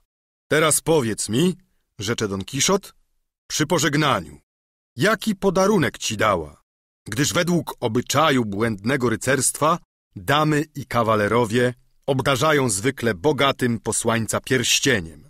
Tak być powinno, odpowiedział Sancho. I chwalę mocno ten obyczaj, ale to tylko praktykowało się za dawnych czasów. Widać teraz, dają kawałek chleba i sera. Tak przynajmniej pożegnała mnie pani Dulcynea, podawszy mi przez mur kawał starego sera. Ale co tam, byle brzuch napchać. O, ona jest bardzo wspaniała, rzecze Don Kiszot. A jeżeli nie dała ci teraz żadnego diamentu, to niezawodnie da ci później. Ale wiesz, co mnie dziwi, Sancho, to to, że podróż tę zrobiłeś jakby na skrzydłach, bo nie bawiąc trzech dni przeleciałeś trzydzieści dobrych mil tam i na powrót. I jestem przekonany, że mędrzec Megromam, który zajmuje się mymi interesami, wspierał cię pewnie w podróży, chociaż tego nie uważałeś, bo są tacy mądrzy, że biorą czasem rycerza uśpionego z łoża i przenoszą go o dwa lub trzy tysiące mil z miejsca na miejsce przez noc jedną. Inaczej błędne rycerstwo nie mogłoby się wspierać wzajemnie, jak to czyni. Zdarza się czasem, że jeden rycerz walczy w górach Armenii z Andriagiem lub innym potworem. I już ma ginąć, kiedy nagle spostrzega na chmurze lecącego w pomoc drugiego rycerza, który przybywa z Anglii ocalić mu życie. Dlatego nie dziwię się, przyjacielu Sancho, że powróciłeś z takim pośpiechem. Niezawodnie prowadzono cię w ten sposób. To bardzo być może, rzecze Sancho, bo uważałem, że Rosynant leciał jak cygański osioł. Zdawało się, że ma żywe srebro w uszach. Powróćmy teraz do naszych interesów, Sancho. Jak myślisz, czy mam wykonać rozkaz Dulcynei i udać się do niej? Lecz znów związałem się słowem względem księżniczki, a prawa rycerstwa nakazują mi dotrzymać obietnicy. Z jednej strony porywa mnie gorąca chęć zabawienia damy mojej, z drugiej znów chwała mnie przyzywa. Ale pogodzę to wszystko. Pójdę szybko, znajdę olbrzyma, utnę mu głowę i osadziwszy księżniczkę na tronie, natychmiast powrócę do świetnej gwiazdy mojego serca, przed którą wytłumaczę się, że dla większej chwały jej imienia opóźniłem powrót, gdyż cześć, jaką zdobyłem, zdobywam i zdobywać będę, pochodzi z łask, których mi ona użycza. Aj, aj, rzecze Sancho, wiecznie jedna śpiewka. Jakże u diabła chcesz pan taką podróż robić na próżno i stracić sposobność małżeństwa, które w posagu królestwo przynosi? A to królestwo, które jak słyszałem więcej niż dwadzieścia tysięcy mil ma obwodu, obfitujące we wszystko, większe samo jedno niż Kastylia i Portugalia razem. Na moją duszę, panie, słuchajcie mojej rady i rzęcie się w pierwszej lepszej wsi, gdzie spotkacie jakiego księdza. Jeśli nie, to nasz proboszcz odprawi ceremonię. Słuchajcie mnie i miejcie rozum. Musieliście słyszeć mówiących, że lepszy wróbel w ręku niż bażant w powietrzu. A kiedy dają, to brać. Bo to, panie, czas płaci, czas traci. Sancho, odpowie Don Kiszot. Radzisz mi żenić się dlatego, ażebym zostawszy królem, dał ci przyrzeczoną nagrodę. Nie bój się o to. Znalazłem ja sposób zadowolenia cię. Położę księżniczce warunek, że skoro tylko na tron powróci, odda mi część królestwa, którą dla ciebie przeznaczam. A to pięknie, odpowie Sancho. Tylko proszę waszej wielmożności wybrać mi prowincję nadmorską, ażebym mógł spławiać murzynów na targ. Nie ma teraz po co jeździć do pani Dulcynei. Ruszajmy co prędzej zagłuszyć tego psubrata olbrzyma i skończmy już raz ten interes. Upewniam cię, Sancho, rzecze Don Kiszot, że posłucham twojej rady. Nie mów tylko nic przed nikim, o czym rozmawialiśmy, gdyż Dulcynea jest tak skromna, że miałaby mi za złe, iż odkrywam tajemnice naszych uczuć. A po cóż posyłacie, panie, do niej ludzi, których zwyciężacie? Wszakże kazać iść komuś rzucać się jej do nóg, znaczy uwiadomić go jawnie, że ona jest waszą kochanką. Jakżeś ty głupi, krzyknął Don Kiszot. Nie pojmujesz, że to dla jej chwały czynię. Wiedz, że jedna dama może mieć wielu błędnych rycerzy, którzy jej służąc nie śmieją żądać żadnej nagrody, prócz tego, aby raczyła ich przyjąć na swoich rycerzy. Myślę, że chyba żartujecie sobie ze mnie, dostojny rycerzu, rzecze Sancho. Wprawdzie słyszałem ci ja na kazaniu, że trzeba kochać Pana Boga tylko dla Niego, nie myśląc ani o piekle, ani o niebie. Ja też kocham Go na wszelki przypadek, nie wiedząc, co tam później nastąpi. Czy wiesz, rzecze Don Kiszot, że jak na chłopa mówisz czasem rzeczy zadziwiające? Można by myśleć, że uczyłeś się kiedy. Nie umiem czytać, odpowie Sancho. Lecz muszę którego dnia wziąć się i nauczyć. Bo kto tam wie, może mi się to i przyda kiedy na co. W tej chwili usłyszeli głos Cyrulika, że księżniczka pragnie odpocząć przy źródle. Ucieszyło to bardzo Sancha, który bał się, żeby go rycerz na jakim kłamstwie nie złapał, bo jak wiemy, Dulcynei nigdy w życiu nie widział, a na złodzieju zawsze czapka gore. Cardenio przywdział suknie, które poprzednio miała na sobie Dorota. Wszyscy zasiedli przy źródle, posilając się dostarczoną przez proboszcza żywnością. Gdy jedli, przechodził koło nich młody chłopiec, a przypatrzywszy się wszystkim pilnie, przystąpił do Don Kiszota. Ucałował jego nogi, wołając z płaczem. Dobry panie, czyliż mnie nie poznajecie? Nie przypominacież sobie Andrzeja, którego uwolniliście od katowni niemiłosiernego gospodarza?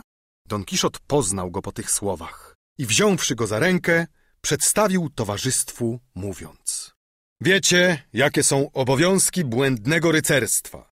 Niedawno, przejeżdżając przez las, usłyszałem krzyki i żałosne jęki. Pobiegłem natychmiast w tę stronę, aby zadowolić popęd wrodzony i znalazłem tego chłopca w dziwnym stanie. Był do drzewa przywiązany i w pół nagi, a jakiś silny, ogromny chłop chłostał go niemiłosiernie. Zapytałem go, dlaczego obchodzi się tak okrutnie z dzieckiem. Odpowiedział mi, że to jest jego sługa, którego karze za lenistwo i oszustwo. Panie, zawołał chłopiec, ćwiczy mnie za to, że upominam się o zasługi. Chłop chciał wytłumaczyć się, lecz rozkazałem mu rozwiązać malca i wykonać przysięgę, że zaprowadziwszy go do domu, wypłaci mu należność co do grosza. Nieprawdaż, Andrzeju?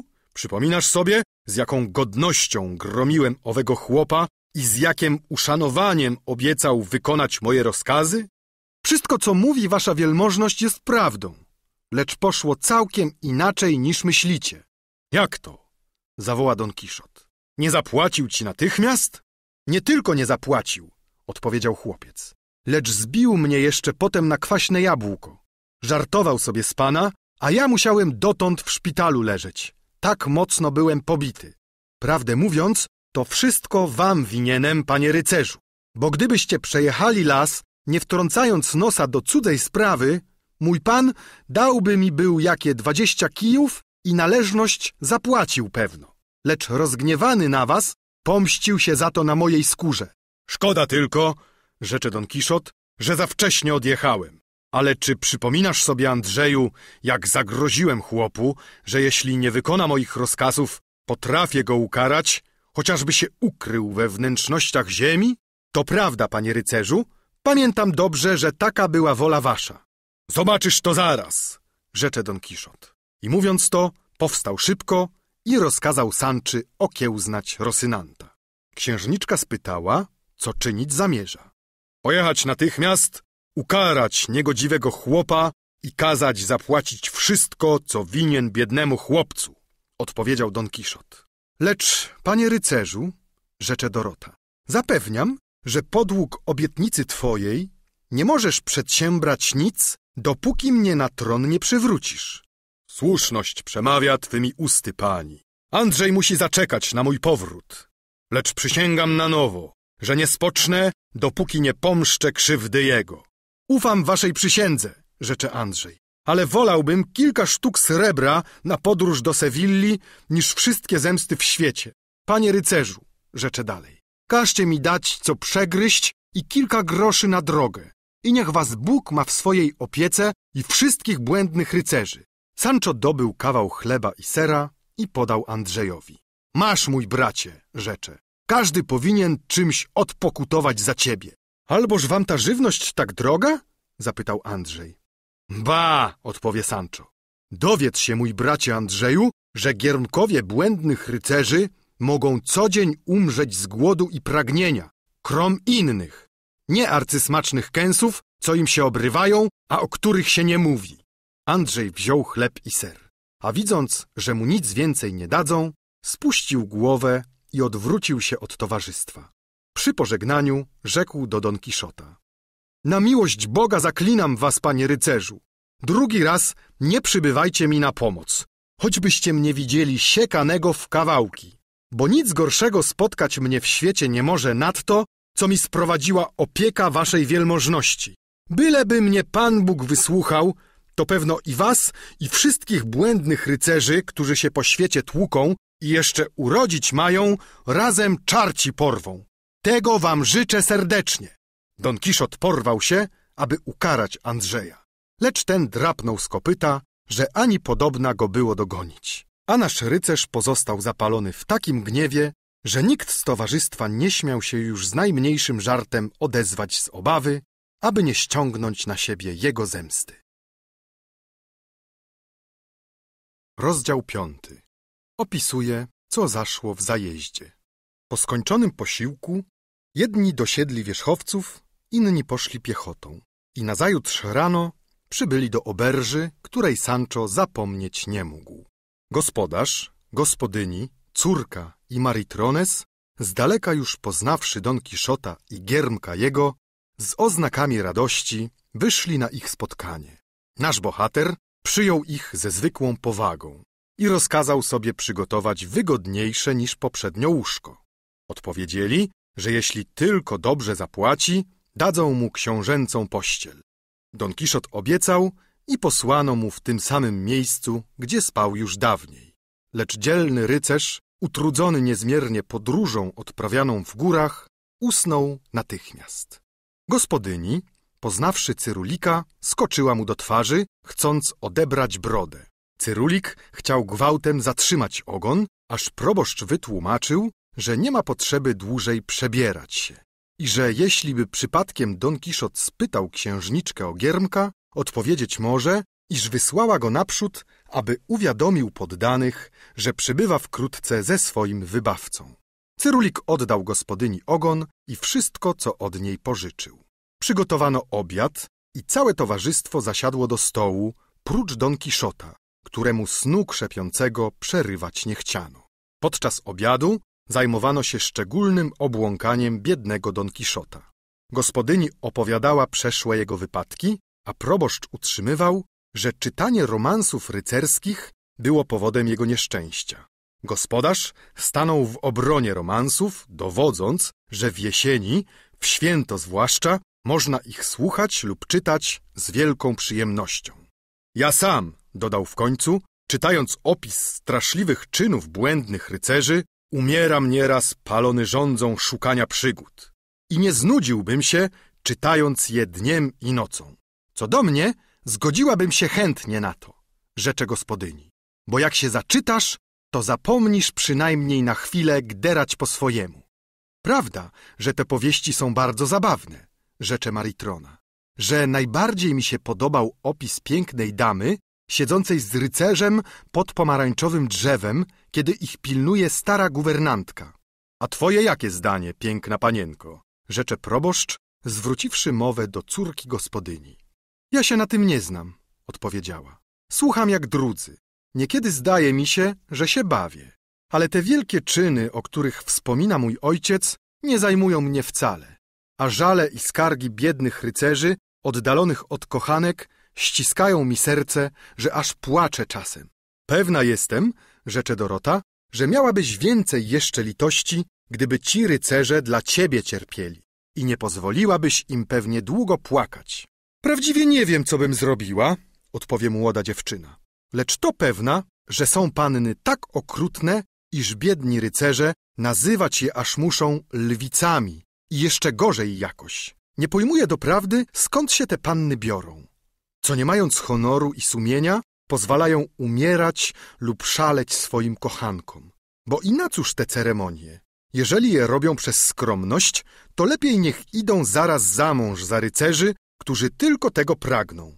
Milcz, mała, rzecze matka. Za mądra jesteś.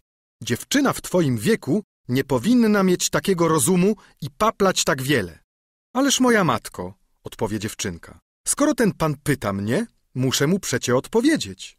Proboszcz, dowiedziawszy się od gospodarza, że posiada rycerskie romanse zachowane w skrzyni, chciał je zobaczyć, do czego uprzejmy gospodarz chętnie się przychylił i wkrótce powrócił, niosąc stary tłumok, z którego wyciągnął trzy wielkie księgi i kilka manuskryptów.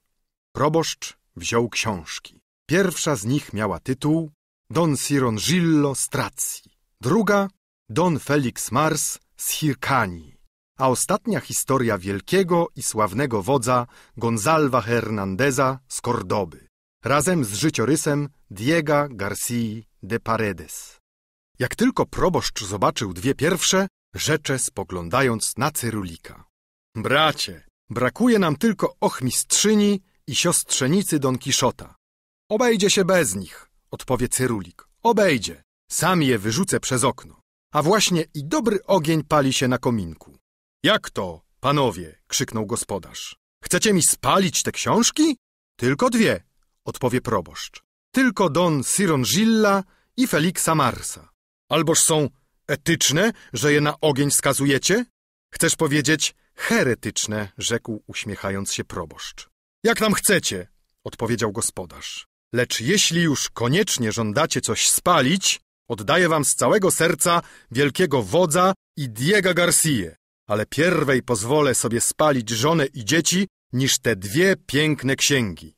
Ale kochanku, rzecze proboszcz, te dwie książki są zbiorem kłamstw i głupstw, do niczego niezdatnych. A ta znów jest prawdziwą historią czynów Gonzalwa Hernandeza z Kordoby, istotnie wielkiego wodza i cudownej siły Diego García de Paredes, który był znakomitym rycerzem z Estramadury w mieście Truxillo urodzonym. Powiadają o nim, że raz, stojąc na brzegu mostu i oburącz mieczem siekąc, wstrzymał pochód całej armii. Wykonał jeszcze mnóstwo innych czynów wielkich. Szkoda tylko, że je sam opisując, zbyteczną powodował się skromnością. Co to wszystko znaczy, przerwie karczmasz, w porównaniu z Feliksem Mars z Hirkanii? Ten, panie dobrodzieju, jednym zamachem rozpłatał na połowę pięciu olbrzymów, jakby pięć szparagów, a napadłszy sam jeden na wielką armię, wyciął w pień szesnaście tysięcy od stóp do głów uzbrojonych żołnierzy.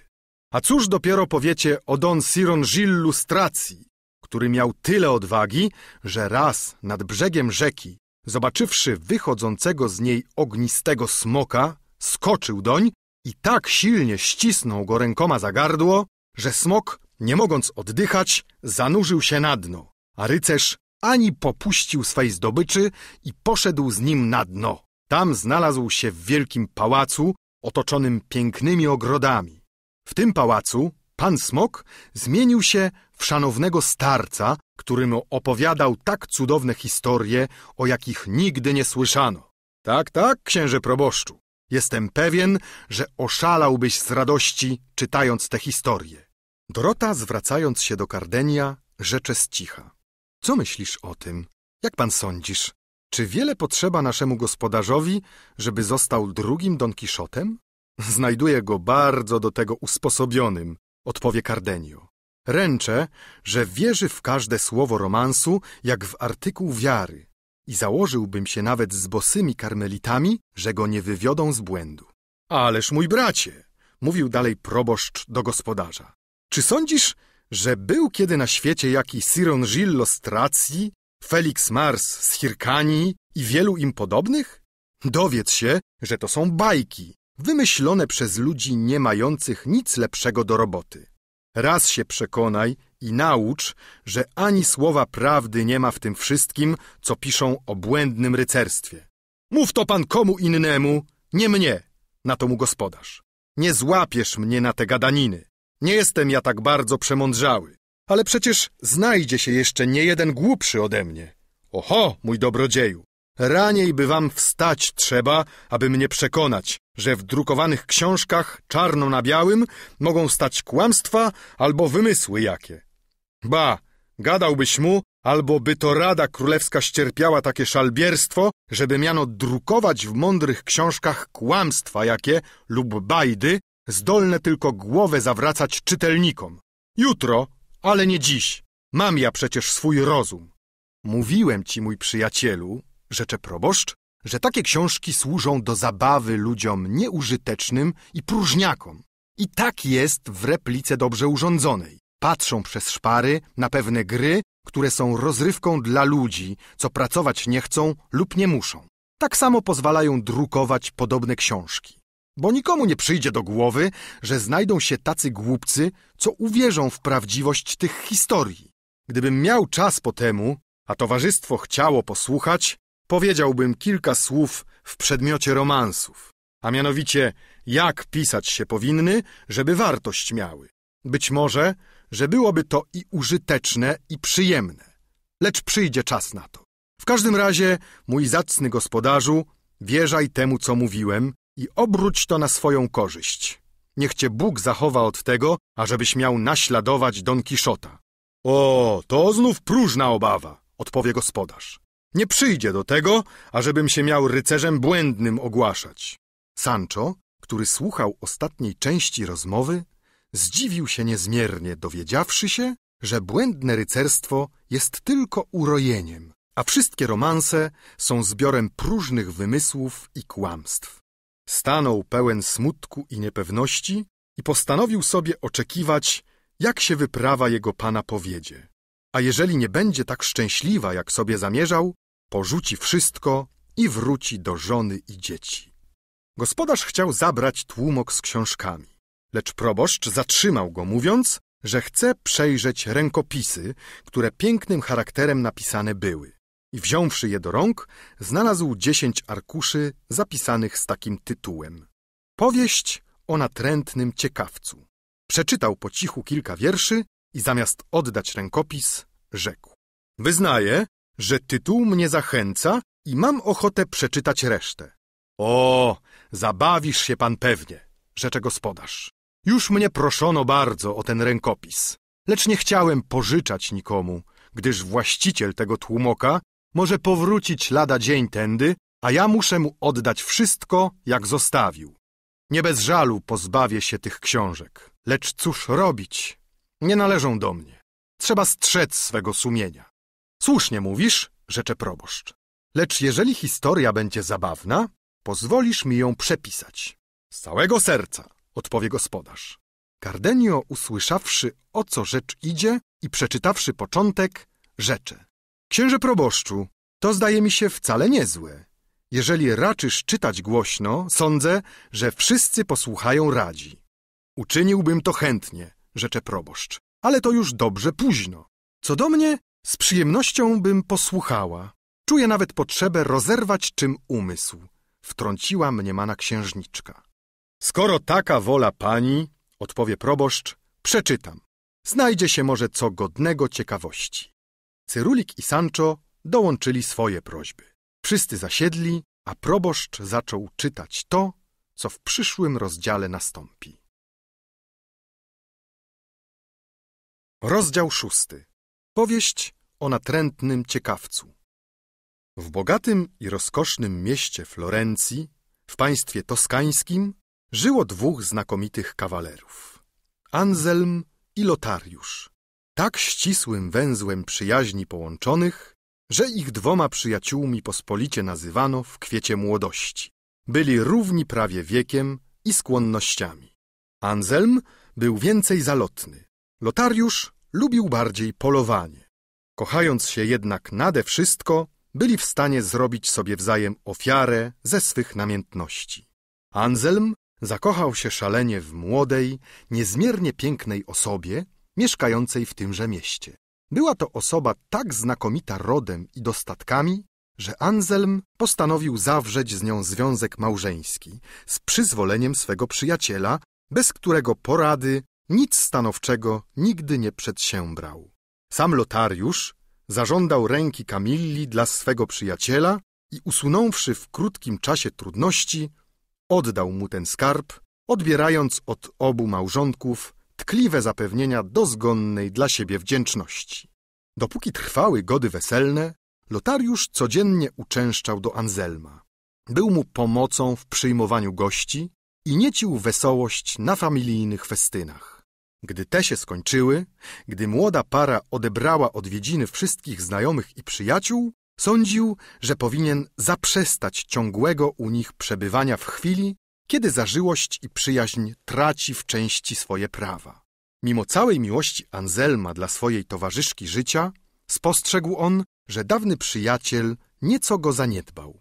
Zarzucił go wymówkami z tego powodu i oświadczył, że nie ożeniłby się nigdy, gdyby był przewidział tę jego odmianę, że żona, którą pojął, wchodząc jako trzecia do dawnego związku, nie powinna osłabiać jego trwałości, że przezorność niestosowna nie powinna ich pozbawiać zarobionego i miłego im przydomku dwóch nierozłącznych przyjaciół, że Kamilla także jest zmartwiona jego oziębłością i zawsze z największym uradowaniem ogląda tego, co związek ich skojarzył.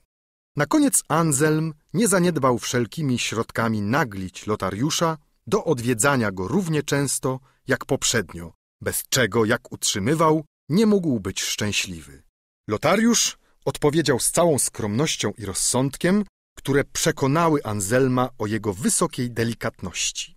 I godząc przyjaźń z przyzwoitością, postanowili, że Lotariusz trzy lub cztery razy na tydzień będzie siadał do stołu Anselma.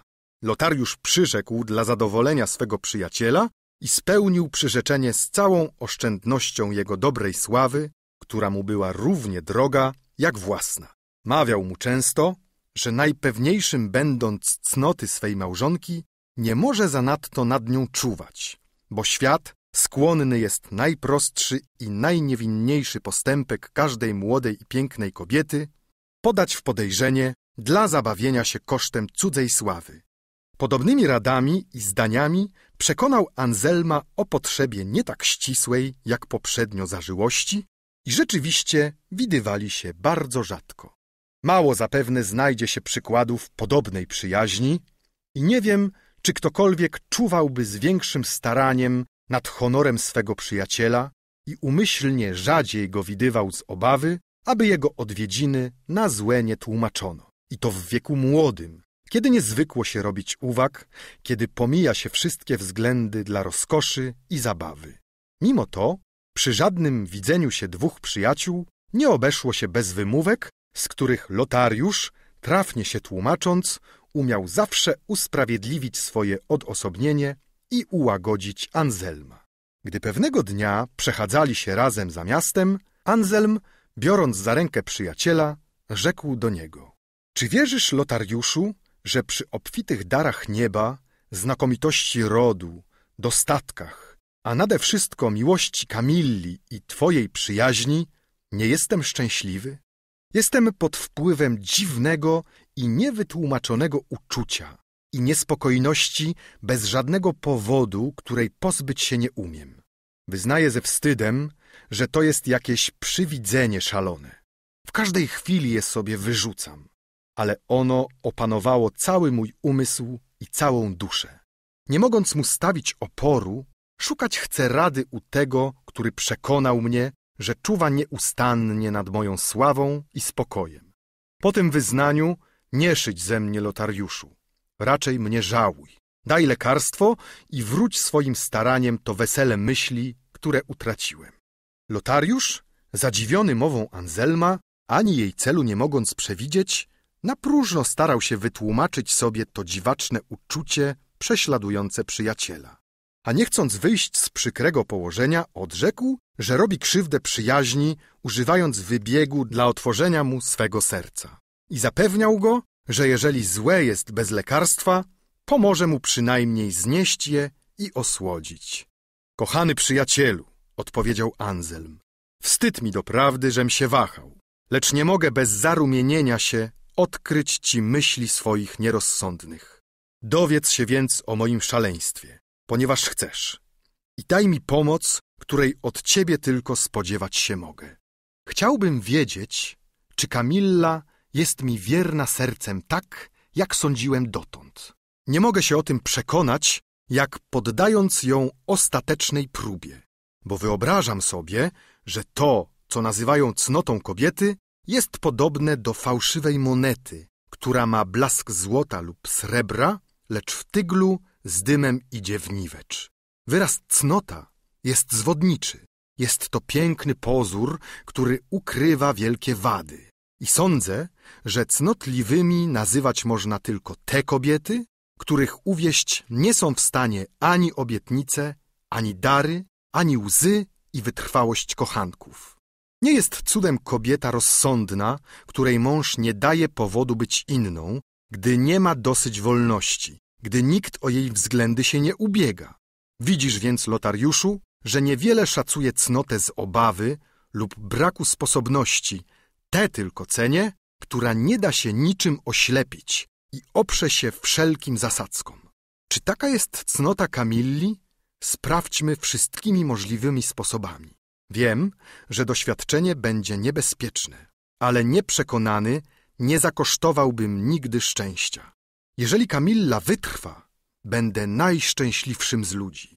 Jeżeli upadnie, odniosę przynajmniej tę smutną korzyść, że nie będę igraszką dotychczasowego mniemania i ufności w kobietę, jak wielu innych.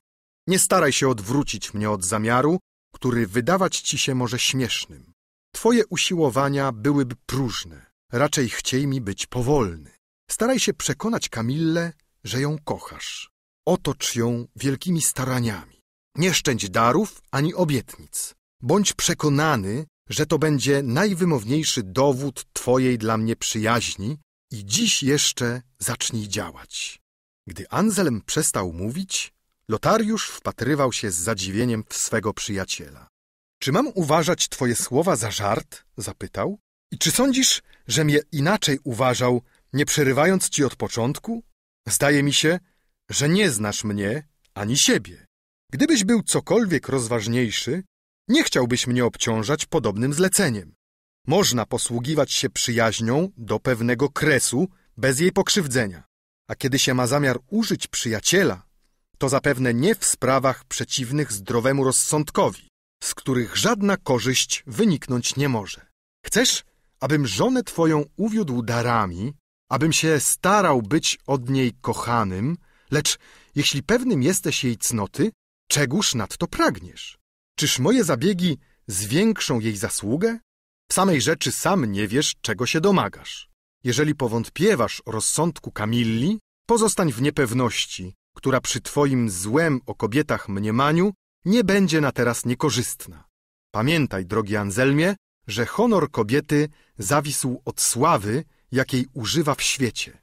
Poprzestań w tym razie na zdaniu innych, a znając ułomność kobiet, nie stawiaj im zasadzek przez próżną ciekawość i chęć doświadczenia, czy ich uniknąć potrafią. Bo kobieta jest to lśniące zwierciadło, które oddech kazi, kwiat, który więdnie za dotknięciem. Przypominam sobie z tej okoliczności kilka wierszy z komedii, które chętnie powtórzę. Dobry starzec, radząc ojcu pilnować córkę i nie polegać na nikim, między innymi powiada. Kobieta jak szkło jest krucha, więc próbować chowaj Boże, bo rzucona stłuc się może za przyczyną złego ducha. Więc tylko szał może sprawić, by rzecz, która raz stłuczona, nie może już być spojona, na niepewną próbę stawić. To zdanie nabawia dreszczu, a jednak słuszne jest przecie, bo choć są Danae w świecie, nie brak i złotego deszczu. Mówiliśmy dotąd w Twoim interesie, rzecze dalej Lotariusz. Pozwolisz, że powiem kilka słów o swoim. Uważasz mnie jako dobrego przyjaciela, a przecież chcesz pozbawić mnie honoru i chcesz, abym ci odmówił szacunku, jaki miałem dotąd dla ciebie. Jeżeli zrobię wyznanie miłości Kamilli, sprawiedliwie uważać mnie będzie jako zdrajcę, który nie lękał się zdeptać świętych praw przyjaźni i który poświęcił występnej namiętności dobrą sławę przyjaciela. Czymże usprawiedliwie śmiałość, do której mnie nie upoważniła cieniem występku? Gdyby się okazała uległą Anselmie, mamże ją zdradzić? Gdy tego nie uczynię, uznam sprawiedliwą jej nienawiść i zemstę dla człowieka, który wydarł jej dobre imię i zyskane wyznania miłości zaprawił wzgardą, a łatwowierność okrył śmiesznością? Jeżeli postępek mój usprawiedliwić zechce twoją namową, cóż pomyśli o tym, który podjął się tak nikczemnej roli, o tym, który ją zlecił? Przez niewczesną uczynność, wyniósłszy niepokój w łono familii, cóż powiem ludziom, którzy mi słusznie wyrzucać będą mój haniebny postępek? Nie staniemyż się obaj pośmiewiskiem świata, mając dotąd jego szacunek? Wierzaj mi, Anselmie, i pozostań w mniemaniu, które ci zapewnia pokój. Rozważ, że w swoim szalonym zamiarze stawiasz na kartę wszystko przeciw niczemu, bo wreszcie gdyby nawet próba dowiodła niewinności twojej żony, byłbyś nadto boleśnie zranionym i skazałbyś się sam na wleczenie uciążliwego życia, a przyjaciela na mękę tego smutnego widoku. Jednym słowem, zrzecz się wszelkiej nadziei odwiedzenia mnie. Odmawiam żądaniu, które mnie obraziło najmocniej. Po tysiąc razy odmawiam, chociażby to odmówienie kosztowało mnie twoją przyjaźń, której utratę uczułbym mocno. Mowa Lotariusza przeraziła jego przyjaciela, który po pewnym czasie, przyszedłszy do siebie, mówił Mój dobry Lotariuszu, słuchałem cię z uwagą i pociechą. W odmówieniu twoim widzę dowód rozsądku i przyjaźni. Wyznaję, że żądanie moje było niesprawiedliwe, że jego spełnienie może mieć najgorsze skutki, że spełniając zamiar powzięty z zaślepieniem, rzucam się w przepaść. Ale wyznać ci muszę, że jestem dotknięty chorobą, zastraszająco rosnącą i domagającą się śpiesznego ratunku. Następstwa mojego szalonego przedsięwzięcia tak dobrze zabić mnie mogą, jak uzdrowić, ale bez próby, bezwarunkowo umieram. Ukrywałem długo cierpienia swoje w nadziei, że je zwalczę. Walki nie wytrzymałem i dlatego o ratunek cię wzywam. Nie opuszczaj człowieka, który utracił rozum. Uważaj mnie jak chorego, który nie wie, czego żąda. Doświadcz Kamili łagodnymi i umiejętnymi sposobami. Ona nie jest tak słaba, aby ci się oddała za pierwszym natarciem. A wtedy po części zwyciężonego już zdrowymi twoimi radami, ten dowód przekona i uzdrowi. Inaczej, Lotariuszu, zmusisz mnie do zwrócenia się do kogo innego, który może zdradzi moje zaufanie, kiedy ty tak mało potrzebujesz uczynić, aby mi wrócić szczęście, aby zapewnić trojgu spokój na zawsze. Na koniec zaufaj mojej zręczności. Jeżeli wyznać przyjdzie Kamilli nasz podstęp, osłonię go pozorem niewinnego żartu, który nie może jej obrazić. Lotariusz, widząc upór przyjaciela i niebezpieczeństwo odmówienia, przyjął zobowiązanie, przyrzekając sobie prowadzić rzecz tak zręcznie, aby bez urażenia żony zadowolić męża. Nie masz potrzeby zwierzać się nikomu, rzecze Lotariusz. Przyjaźń każe mi nie odmawiać dziwacznej posługi, której żądasz. Anselm uściskał przyjaciela, jak gdyby mu powrócił życie i po tysiącu podziękowań skłonił do niezwłocznego działania, obiecując ułatwić sam na sam z Kamillą. Przepędził noc na rozmyślaniu, a nazajutrz poszedł na obiad do Anselma. Kamilla przyjęła go jak zwykle z uradowanym obliczem, z chęci zadowolenia małżonka. Wreszcie z własnego usposobienia. Po obiedzie oświadczył, że dla załatwienia pewnej ważnej sprawy przymuszony jest wydalić się na kilka godzin, że po powrocie będzie miał do pomówienia z Lotariuszem. Dlatego prosi go, aby chciał przez ten czas pozostać z Kamillą, która dorzuciła kilka słów zobowiązujących, aby go zatrzymać. Lotariusz, znajdując się w najniebezpieczniejszym położeniu, udał znużenie, potrzebę naglącą snu, czym się tłumacząc, usiadł w krześle i zasnął, a przynajmniej udawał śpiącego. Anselm, powróciwszy, zastał Kamillę w tym samym pokoju i śpiącego Lotariusza. Czekał jego przebudzenia się, aby powziąć wiadomość o tym, co zaszło. Lotariusz oświadczył, że nagłym wyznaniem miłości, bojąc się rozgniewać Kamillę, ograniczył się na pierwszy raz pochwałą jej wdzięków i oświadczeniem, że głos powszechny zazdrości i pochwala wzór Anselma, przez co zdaje mu się, że usposobił Kamillę do łatwiejszego przyjęcia wyznań, które ma jej zrobić później. To zaczęcie zadowoliło Anselma, który obiecał przyjacielowi ułatwić codzienne sam na sam z Kamillą, nie uciekając się, jak dzisiaj, do potrzeby wydalania się z domu, co mogłoby obudzić podejrzenie małżonki. Tak minęło dni kilka. Lotariusz nic nie powiedział Kamilli, upewniając jej męża, że mówił i że nie ma żadnej nadziei być wysłuchanym łaskawie, że przeciwnie, zagroziła mu oskarżeniem przed mężem i zerwaniem wszelkich stosunków, gdyby się poważył wznowić te niebezpieczne mowy. Anselm nie poprzestał na tym. Zresztą przeznaczenie jego nie pozwalało mu poprzestać. Kamilla, rzecze, oparła się słowom. Zobaczymy, Lotariuszu, czy będzie miała moc oprzeć się czynom. Wręczę ci jutro dwa tysiące czerwonych złotych i drugie tyle na zakupienie klejnotów. Kobiety nade wszystko przekładają strój. Najrozsądniejsze ulegają tej nierozważnej ponęcie. Jeżeli Kamilla wyjdzie zwycięsko z tej próby, nie będę cię więcej trudził. Dokończę dzieło rozpoczęte, rzekł Lotariusz. Ale uprzedzić cię mogę, że usiłowania będą bezskuteczne. Nazajutrz punktualny Anselm wręczył Lotariuszowi cztery tysiące dukatów, pogarszając przy tym przykre jego położenie. Lotariusz odważył się raz jeszcze powiedzieć, że Kamilla była niezwyciężoną, że dary nie zrobiły więcej niż słowo i że dalsze usiłowania ściągną jej nienawiść jako całą korzyść przedsięwzięcia. To upewnienie wystarczyłoby zupełnie dla kogo innego, ale Anselm nie był już panem obłąkanego umysłu, nie dającego się ukoić. Pewnego dnia, zostawiwszy sam na sam Kamillę i Lotariusza, ukrył się w przyległym pokoju. Lotariusz przez całą godzinę nie otworzył ust, co go przekonało, że cała powieść Lotariusza o wymówkach Kamilli była zmyśleniem. Aby się lepiej upewnić, wszedł do pokoju i wziąwszy na bok przyjaciela, zapytał, w jakim dziś jest usposobieniu Kamilla. W najgorszym, odpowiedział Lotariusz.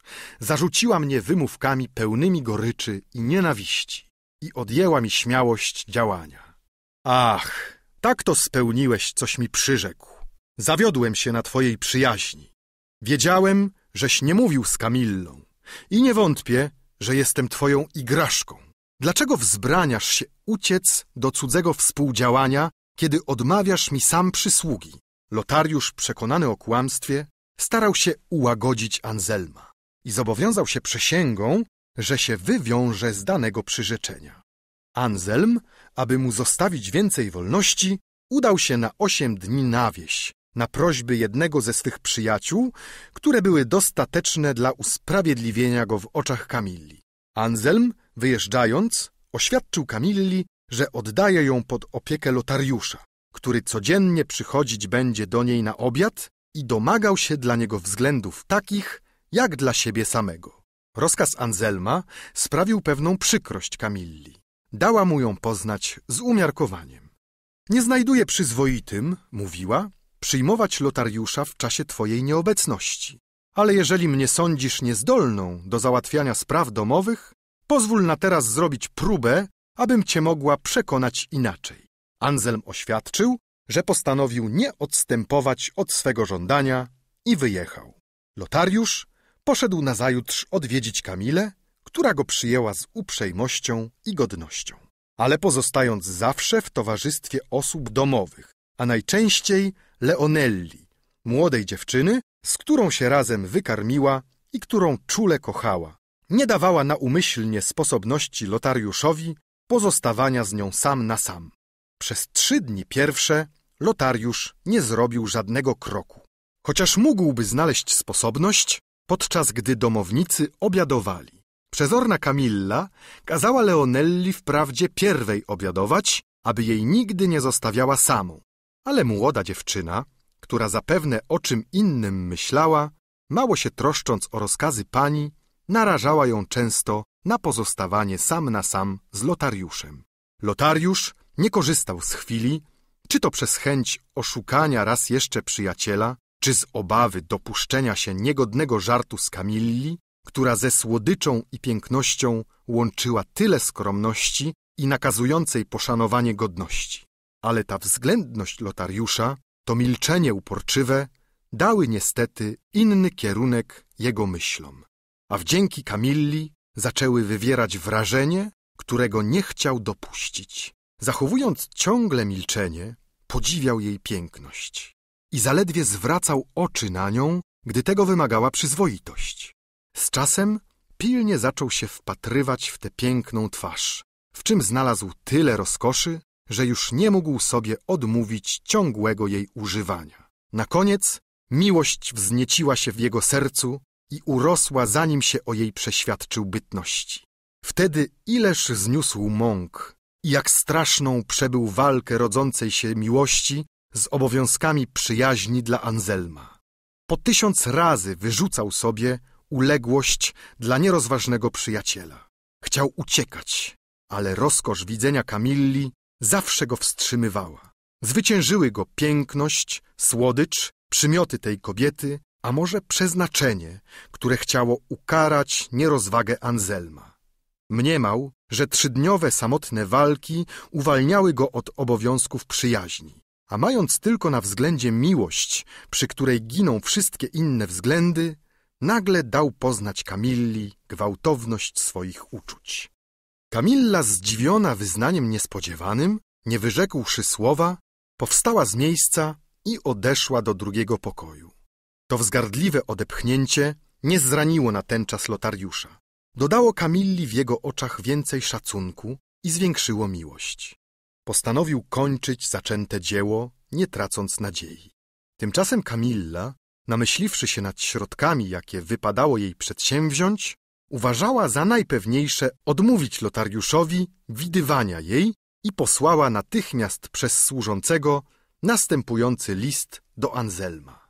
Dałeś mi dowód wysokiego zaufania, zostawiając mnie samą. Jestem ci za to wdzięczną, ale zdaje mi się, że przez to naraziłeś mnie na przykrość, nie będąc zazdrosnym o mnie, która mam twój szacunek. Kochając cię czule, nie mogę dłużej znieść twojej nieobecności, która mnie stawia w położeniu tak przykrym i delikatnym, że zmuszona będę uciec się do mego ojca, jeżeli nie przybędziesz natychmiast. Zdaje mi się, że ten, któremu zleciłeś opiekę domu, ma więcej swoje niż twoje sprawy na widoku. Jesteś przezorny i roztropny. Nic ci więcej nie powiem. Rozdział siódmy Dalszy ciąg powieści o ciekawym, nierozważnym. List ten przekonał Anselma, że jego przyjaciel dotrzymał słowa i że Kamilla spełniła swój obowiązek. A zachwycony tym obrotem sprawy, kazał powiedzieć żonie, ażeby domu nie opuszczała i że niedługo sam powróci. Kamilla, zdziwiona tą odpowiedzią, ujrzała się jeszcze w przykrzejszym położeniu. Nie wiedziała, czy zostać w domu i wystawić swoją dobrą sławę na niebezpieczeństwo ze strony lotariusza, czy opuścić mieszkanie i tym sposobem stać się nieposłuszną mężowi. Na nieszczęście wybrała pierwsze.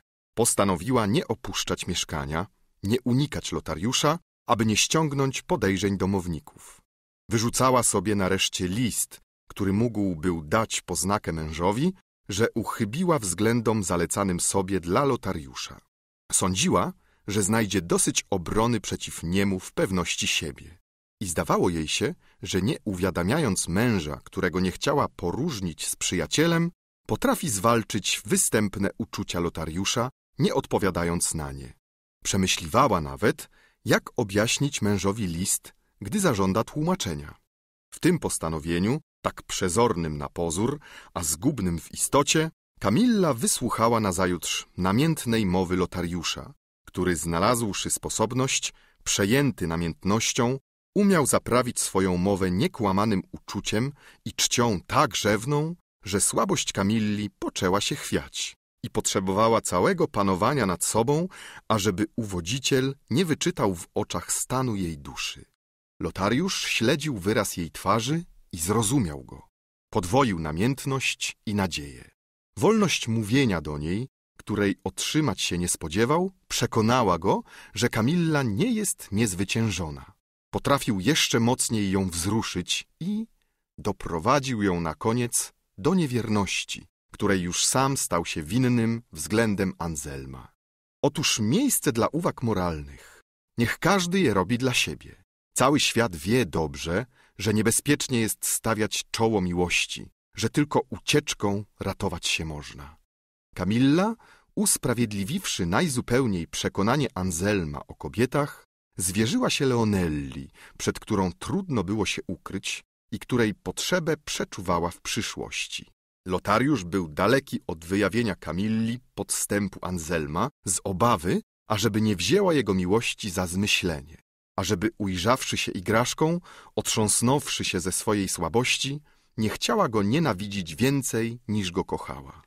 Anselm, ucieszony, że Lotariusz dotrzymał mu słowa, powrócił i niecierpliwy poszedł zapytać go, jak daleko postąpił w rozpoczętym dziele. Anselmie, powiedział Lotariusz, możesz być pysznym sprawiedliwie ze swojej nieporównanej małżonki, którą za ozdobę płci i wzór postępowania wszyscy uważać powinni. Moje piękne słowa były próżne. Szydziła z łez, odrzuciła z oburzeniem dary. Spotkałem niepokonany rozsądek, niewzruszoną cnotę. I jednym słowem, Kamilla jest więcej cnotliwa niż piękna, a ty jesteś najszczęśliwszym ze śmiertelnych. Zwracam ci pieniądze, któreś mi powierzył. Kamilla stoi za wysoko, aby tak niskie środki mogły ją przejednać.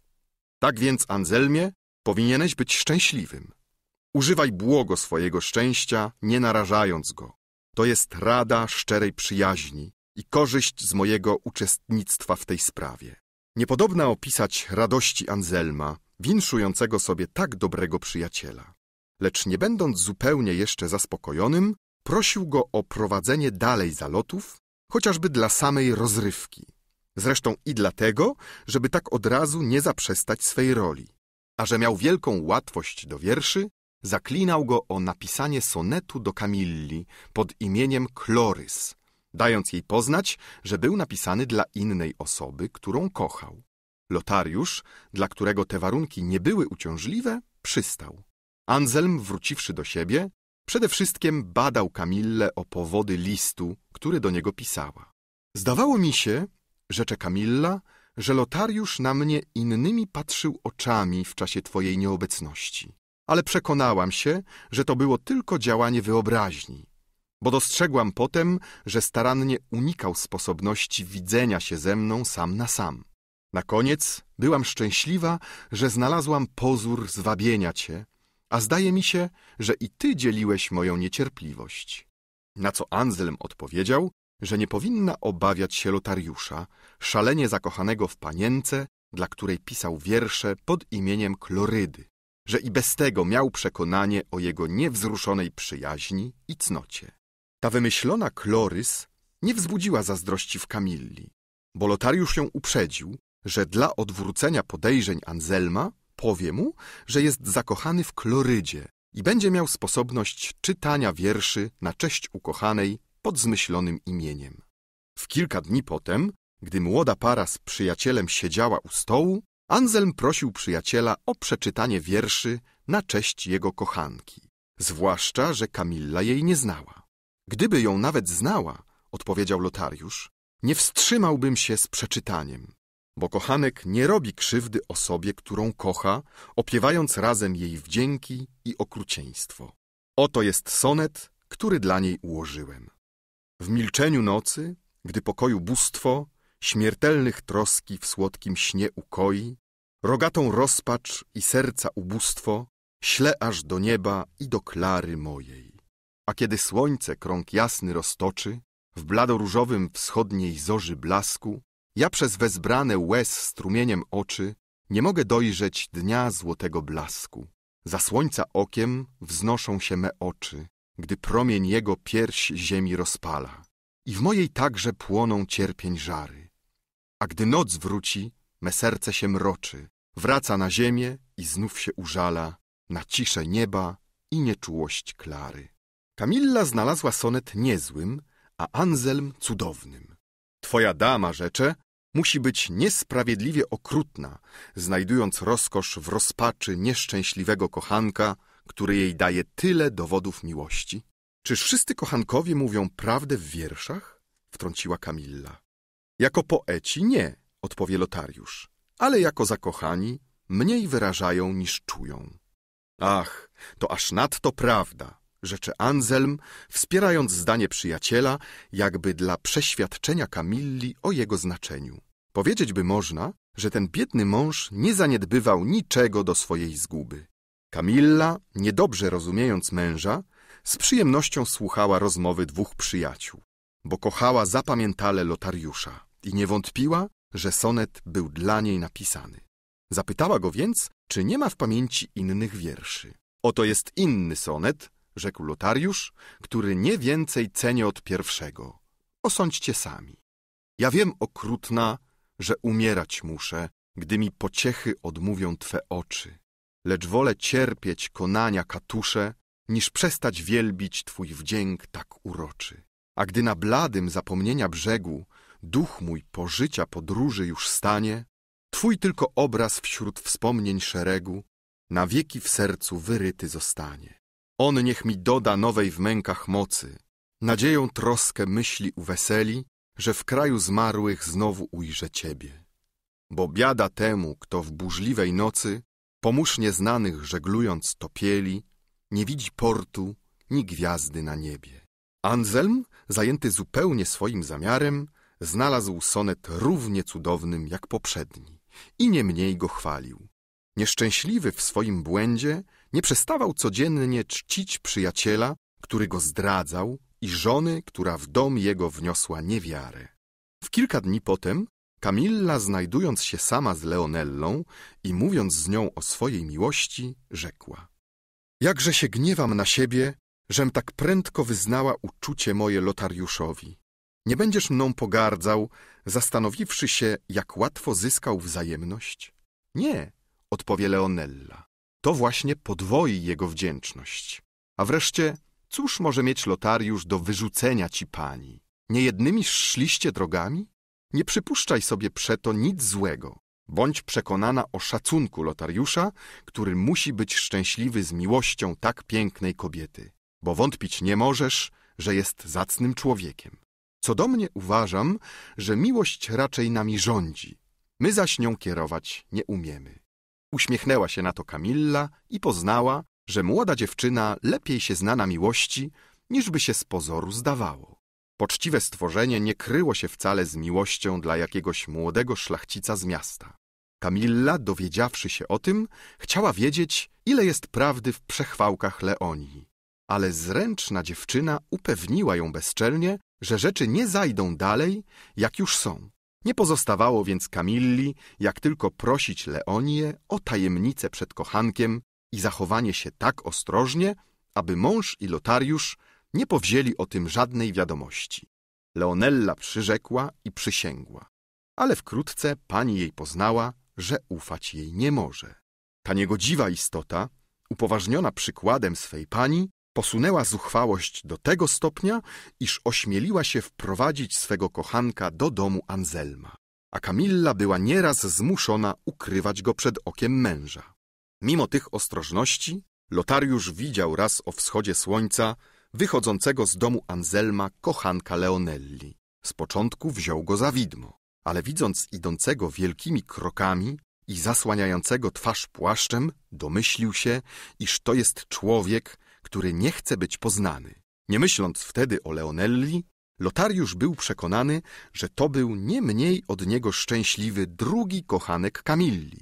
Uniesiony oburzeniem i zazdrością, marzył już tylko o zemście, a nie będąc panem siebie, wpadł gwałtownie do pokoju Anselma i w te do niego słowa przemówił. Od kilku dni waham się, czy ci udzielić, czy nie wiadomości, która cię blisko obchodzi ale przyjaźń powinna przeważyć wszystkie inne względy. Wiedz przeto, że Kamilla już nie jest tak okrutna, uległa, zwyciężona. Nie spieszyłem zawiadomić cię prędzej, bo nie byłem dosyć pewien, czy to, co brałem za ułomność kobiecą, nie jest tylko podstępem. Czekałem więc, czy nie przyjdziesz uwiadomić mnie, że twoja żona uprzedziła cię o wszystkim. Lecz kiedy ci nic o tym nie mówiła, nie wątpię już o szczerej ochocie dotrzymania mi słowa i udzielenia mi sam na sam przy pierwszej sposobności, jak tylko wyjedziesz na wieś. Ale, Anselmie, jest to tajemnica. Wysłuchaj ją bez uniesień, bo Kamilla jeszcze cię nie obraziła. Może się jeszcze otrząsnąć ze słabości tak właściwej kobietom. Dotąd dobry robiłeś użytek z rad moich, posłuchaj jeszcze jednej. Upewnij Kamillę, że wyjeżdżasz na dwa lub trzy dni. Ukryj się w pokoju, a potem osądzisz, co ci przedsięwziąć wypadnie. Łatwo domyśleć się, co uczuł Anselm na tę wiadomość. Utracił prawie przytomność i martwy, ze spuszczonymi oczyma, długo pozostawał w milczeniu. Na koniec, patrząc ze smutkiem na przyjaciela, rzekł: Lotariuszu, spełniłeś, co przyjaźń spełnić ci nakazywała. Ufając tobie, ślepo iść będę za twoją radą.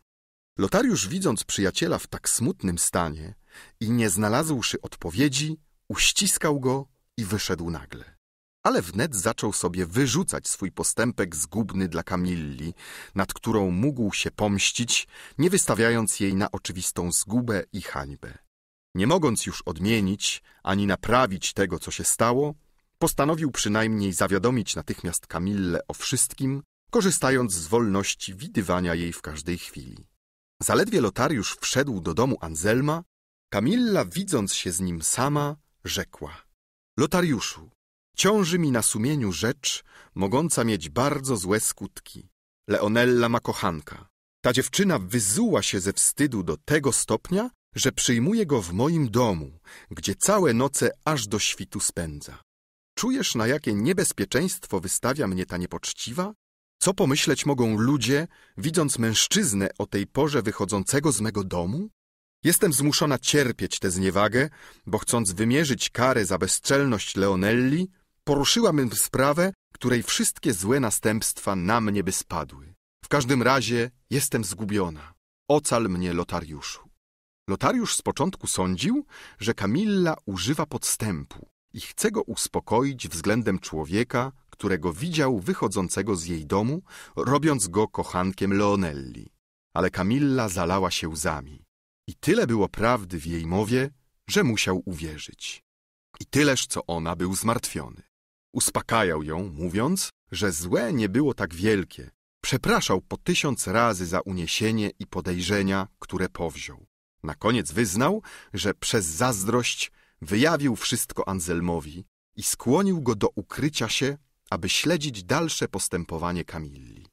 Kamilla o mało śmiercią nie przypłaciła tego okropnego ciosu, ale czerpiąc moc w swojej wściekłości, wyzionęła tysiąc obelg na lotariusza. Wyrzucała sobie słabość i robiła postanowienia tak dziwaczne i szalone, że pomieszany lotariusz rzucił się jej do nóg, nie mając co odpowiedzieć i nie śmiejąc patrzeć na nią. Jego łzy i milczenie przezwyciężyły Kamillę, która znalazłszy w umyśle sposób naprawienia złego, nie sądziła już tak surowo winnego i przebaczyła mu winę, której by zapewne nie popełnił, gdyby ją mniej kochał. Namówiła go, aby skłonił Anselma do ukrycia się w jej pokoju i zapewniła go, że doprowadziwszy do skutku teraz powzięty zamiar, zyskają jeszcze większą swobodę na przyszłość. Nie chciała wyjawić Lotariuszowi, jaki jej zamiar, z obawy, aby go nie zganił. Na koniec oznajmiła mu, aby przybył na pierwsze wezwanie i odpowiadał na wszystkie jej zapytania, jak gdyby nie domyślał się obecności Anselma. Nazajutrz Anselm, pod pozorem odwiedzin jednego z przyjaciół, wyjechał konno, ale wnet wrócił i ukrył się w pokoju żony, gdzie mu aż nadto czasu do umieszczenia się dały przezorne Camilla i Leonella. Te dwie zacne osoby, skracając nareszcie męki straszliwej niepewności człowieka, który oczekuje wyroku pozbawiającego lub wracającego mu honor, weszły do pokoju. Camilla z przeciągłym westchnieniem odzywa się do Leonelli. Ach, nie wiesz, droga przyjaciółko, w jakim zamiarze wzięłam sztylet od męża. Może zamiast przyprowadzić go do skutku, lepiej zrobiłabym przeszywając serce w tej chwili. Lecz przede wszystkim chcę wiedzieć, czy moja słabość i ułomność upoważniła Lotariusza do zuchwałej obrazy i krzywdy nad wyraz, którą wyrządził mnie i najlepszemu z przyjaciół. Wyjrzyj, czy nie przechodzi ulicą. Sądzi zapewne, że to jest chwila przyjazna dla jego niecnej namiętności, ale zawiedzie się podły. Przekona się, jak jego zamiary są różne od jego nikczemnych zamysłów. Pani, rzecze podstępna Leonella, co chcesz uczynić na Boga z tym sztyletem? Chcesz, że zabić się, czy zabić Lotariusza? Nie biegniesz, że zawsze do zguby? Lepiej jest ukryć zniewagę i nie dozwalać mu przybywać w chwili, kiedy jesteśmy same. On jest zaślepiony namiętnością, a my kobiety słabe. Nim zdołasz się zemścić, czyż możesz przeszkodzić nowej zniewadze, której trzeba się więcej lękać niż utraty życia? Jeżeli go zabijesz, cóż uczynimy? Bo wiem, że taki jest twój zamiar. Niech Anselm czyni co chce, odpowiedziała Kamilla. Do mnie należy zemsta. Zdaje mi się, że ta zwłoka czyni mnie współwinną. Przyspieszę ją dla ocalenia swego honoru i sławy męża. Tysiące myśli snuło się po głowie ukrytemu Anselmowi. Już był gotów wyskoczyć z ukrycia i ocalić życie przyjacielowi. Ciekawy jednak, jak daleko Kamilla posunie swoją zawziętość, postanowił zapobiec nieszczęściu dopiero w ostatniej chwili. Tymczasem Kamilla upadła na łóżko pod wpływem gwałtownego wzruszenia, a Leonella jęczała z rozpaczy, jak przy łożu konającej. Tak to wszystko doskonale i wymownie było kłamane, iż rzekłbyś, że ta jest najnieszczęśliwsza, a jej pani najniewinniejsza z kobiet. Kamilla, przychodząc wreszcie do siebie z udanego omdlenia, rzekła. Dlaczegoż, Leonello, nie idziesz zawołać tego zdrajcy? Niech przybywa w ten moment, aby druga siła nie pozbawiła mnie siły do zemszczenia się. Niechaj to gwałtowne pragnienie nie rozprasza się w bezskutecznych słowach. Biegnę, rzecze Leonella, ocierając łzy. Ale oddaj mi ten sztylet. Idź, idź, Leonello, mówiła Kamilla. Nie obawiaj się. Poprzysięgłam zemstę. Umrę, ale pierwej pocieknie krew Lotariusza na zagładę krzywdy mojej. Leonella wahała się, nie chcąc opuścić pani. Wyszła dopiero zwyciężona ustawicznym naleganiem. Kamilla, zostawszy sama, w bezprzytomnym uniesieniu, zaczęła wielkimi krokami chodzić po pokoju. Upadła na łóżko pod brzemieniem cierpień i głośno wyrażała straszną walkę wewnętrzną. Nie, nie, wołała. Wahać się nie będę. Zginie. Moje łzy gorące zapłaci życiem. Nie będzie się bezkarnie pysznił, że chciał znieważyć Kamillę. Mówiła to, biegając po pokoju. Sztylet błyszczał w jej ręku, a łzy w oku. Mowę swoją zaprawiła takim wyrazem rozpaczy, że cały świat uwierzyłby jej kłamstwu. Anselm, świadek tej sceny, już się zrzekł wątpliwości, jaką doniesienie Lotariusza zrodziło w jego umyśle, drżąc o niebezpieczeństwo przyjaciela i żony. Chciał już wyjść z ukrycia, gdy weszła Leonella, trzymając za rękę Lotariusza. Zaledwie Kamilla go ujrzała, krzyknęła. Stój, Lotariuszu! Nie postępuj dalej kroku, bo tym sztyletem przeszyję sobie łono. Znasz, że mnie dosyć. Znasz dość Anselma? Odpowiedz szczerze. Lotariusz, domyślając się zamiaru Kamilli, nie zdziwił się takim obejściem i przychodząc w pomoc zamysłom swej kochanki, odpowiedział. Nie dlatego zapewne mnie przywołałaś, piękna Kamillo, aby mówić do mnie w podobny sposób. Sądziłem się szczęśliwym, a jeżeli nie chciałaś dotrzymać danego mi słowa, należało raczej uprzedzić mnie, niż stawiać zasadzkę, robiąc krzywdę i Twojej dobrej wierze i szlachetności uczuć moich. Odpowiem Ci jednak, że znam od dziecinnych lat Anselma. Nie będę Ci mówił o przyjaźni naszej. Trzeba było gwałtownej miłości, aby podeptała jej prawa, miłości mocniejszej nad wszystko. Gdybym Ciebie zaś nie znał, droga Camillo, byłbym spokojny i bez winy.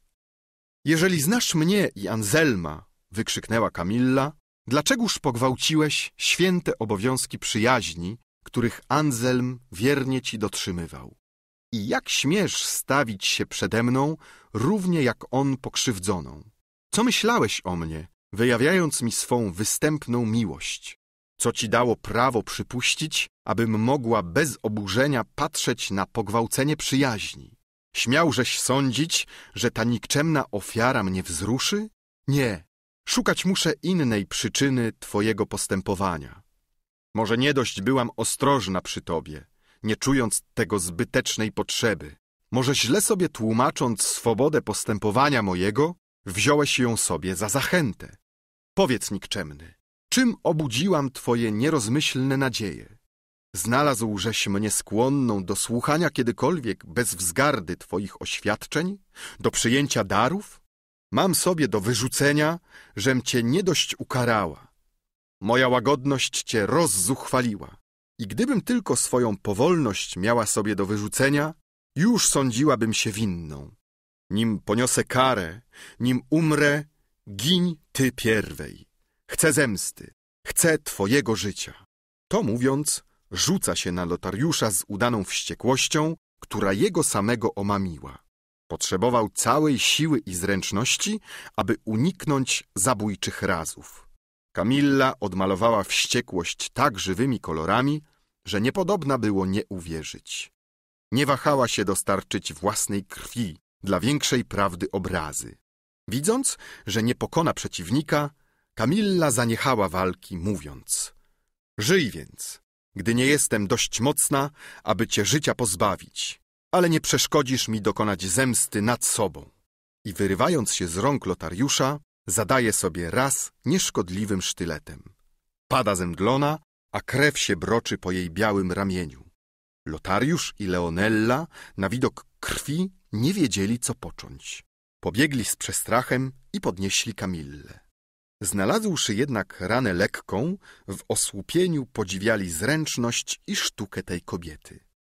Dla dopełnienia tego obrazu i nadania mu większej jeszcze prawdy, Lotariusz w rozpaczy złorzeczył losowi.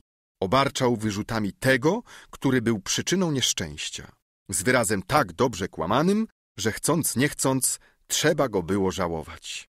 Leonella przeniosła swą panią na łóżko i błagała Lotariusza, aby przyprowadził felczera, radząc się zarazem, co wypada powiedzieć Anselmowi, gdyby zastał żonę cierpiącą. Zrób, co ci się zdawać będzie. W moim obłąkanym umyśle nie znajduję teraz rady dla siebie, tym mniej dla innych. Zatamuj krew przynajmniej, żeby nie uszła. Ja chciałbym się skryć pod ziemię. To mówiąc, wyszedł wzruszony. Leonella z łatwością zatamowała krew. Rana była nieznaczna.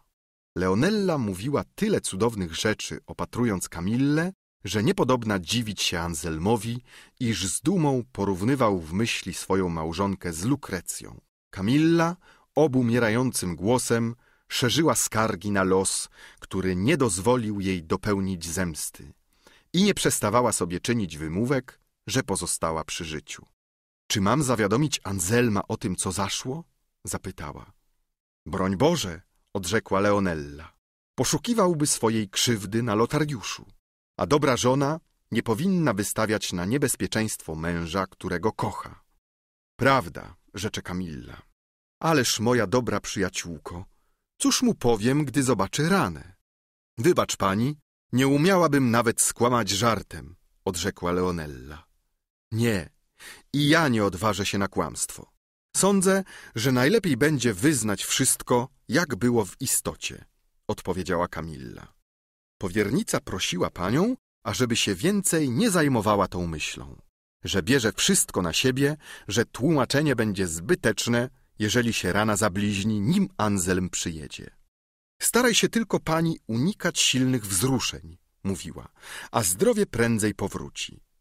Jeżeli Anselm przybędzie pierwej, nie skłamiesz, mówiąc, że jesteś cierpiąca i potrzebujesz spoczynku. Gdy obłudnice naigrywały się w ten sposób z łatwowierności Anselma, on, biedak, nie straciwszy ani jednego słowa z ich rozmowy, miał prawo uważać się za najszczęśliwszego z ludzi i oczekiwał z upragnieniem zmroku, aby podzielić radość z przyjacielem, któremu szczęście zawdzięczał. Kamilla i Leonella dały zręcznie Anselmowi tę upragnioną wolność. Anselm udał się niezwłocznie do lotariusza, który, wyznać trzeba, spodziewał się jego odwiedzin. Rzucił się w objęcia przyjaciela. Gubił się w podziękowaniach dla niego i pochwałach dla Kamilli, o której mówił z uniesieniem. Lotariusz pomieszany nie znalazł odpowiedzi ani śmiałości do podzielania szczęścia. Anselm, spostrzegłszy oziębłość przyjaciela, sądził, że rana i cierpienia Kamilli, których Lotariusz był sprawcą, sprowadziły chmury na jego czoło. Zaczął go więc pocieszać, wnosząc, że rana musi być nieznacząca, skoro Kamilla ma nadzieję ją ukryć. Na koniec powiedział mu, że nie martwić się, ale cieszyć się powinien, iż wpłynął tak stanowczo na związek jego z najpiękniejszą osobą we Florencji i na ustalenie ich szczęścia. Że chodziło tylko o zrobienie wierszy dla uwiecznienia cnót Kamilli. Lotariusz uznał słuszność tego żądania i obiecał nimi się zająć. Otóż to tak wyszedł Anselm na próbie żony, tak dobrze przez siebie obmyślanej. Oddał się w ręce człowiekowi, który go znieważył i domagał się dla niego więcej względności u Kamilli. Korzystali jeszcze z tak dobrze ukartowanej matni, dopóki los, odgrywając swoją rolę, nie odkrył ich światu, dopóki nierozważna ciekawość Anselma, odebrawszy mu honor, nie odebrała później i życia.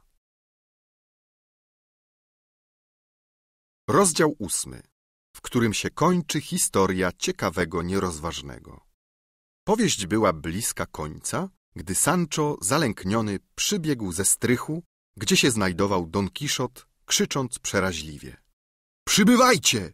Przybywajcie na ratunek mojemu panu, który w tej chwili stacza bitwę tak straszną, że nie widziałem równej w życiu moim. Niech się z tego miejsca nie ruszę, jeżeli waleczny pan mój nie strącił od jednego cięcia głowy z karku nieprzyjaciela księżniczki Mikomikon. Co mówisz, Sancho? Rzekł pleban. Nie jesteś przy zdrowych zmysłach. Ten olbrzym jest o dwa tysiące mil stąd. Nie sądzę, żeby razy twojego pana tak daleko sięgały. Wtem usłyszano krzyki z poddasza. Stój, łotrze! Stój, złoczyńco! Ach, mam cię na koniec! Ani siła, ani miecz twój na nic się tu zdadzą. Przy tym słychać było szczęk pałasza, którego razy gęsto spadały na ściany poddasza. Na miłość boską, panowie, czemuż nie biegniecie rozbroić walczących?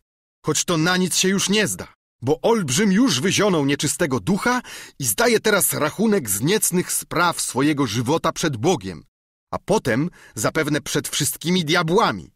Krew się toczyła jak wezbrana rzeka, a łeb na niej pływał jak bania, na honor, wielki jak słoń, a przynajmniej jak beczka. Na Boga!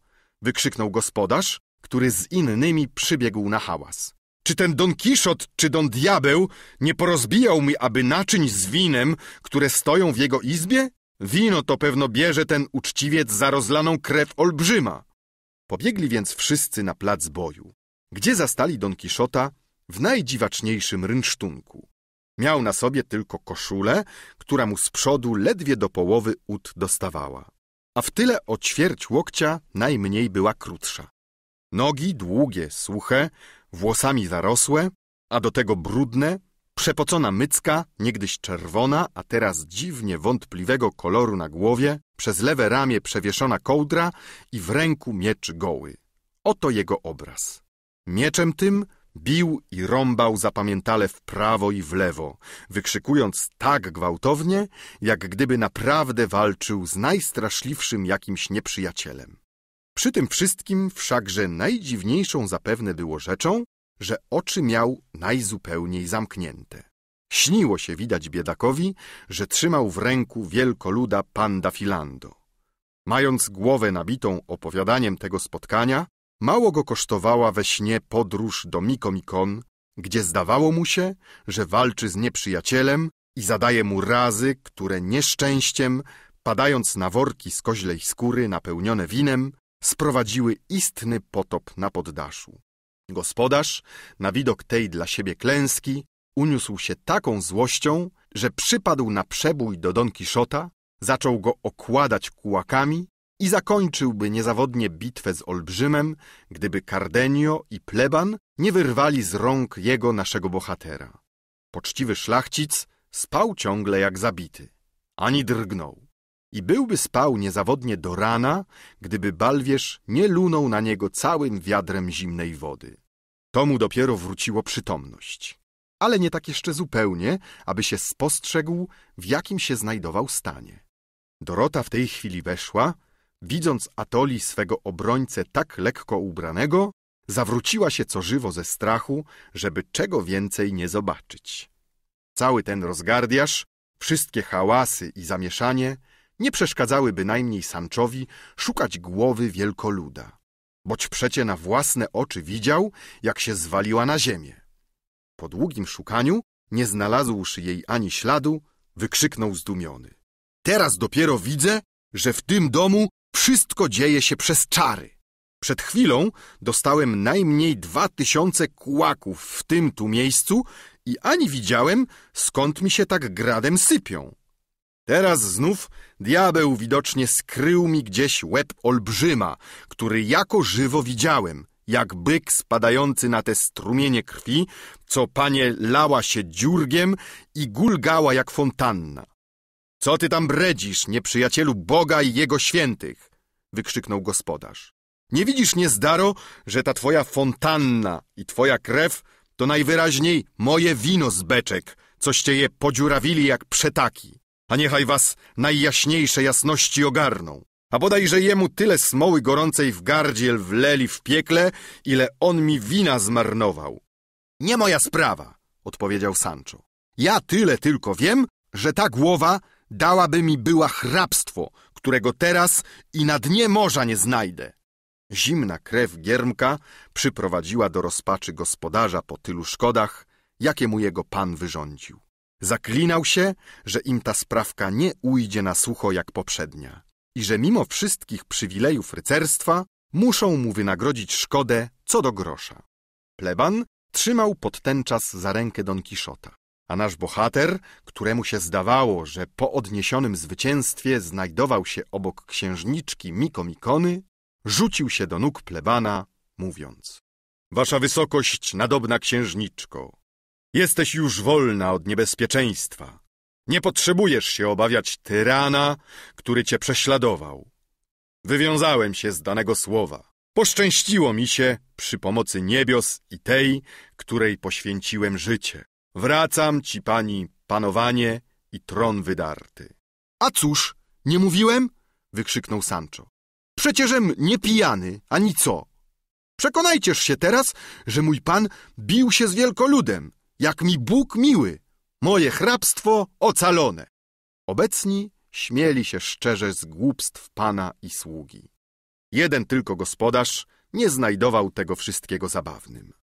Na koniec pleban, Cardenio i Balwierz zmusili Don Kiszota położyć się do łóżka. Więcej daleko mieli kłopotu z niepocieszonym po stracie gospodarzem. Gospodyni przeraźliwie wrzeszczała, wyrywając sobie włosy z głowy pełnymi garściami. To na nasze nieszczęście ten błędny diabeł przybłąkał się do naszego domostwa. On poprzysiągł sobie naszą zgubę.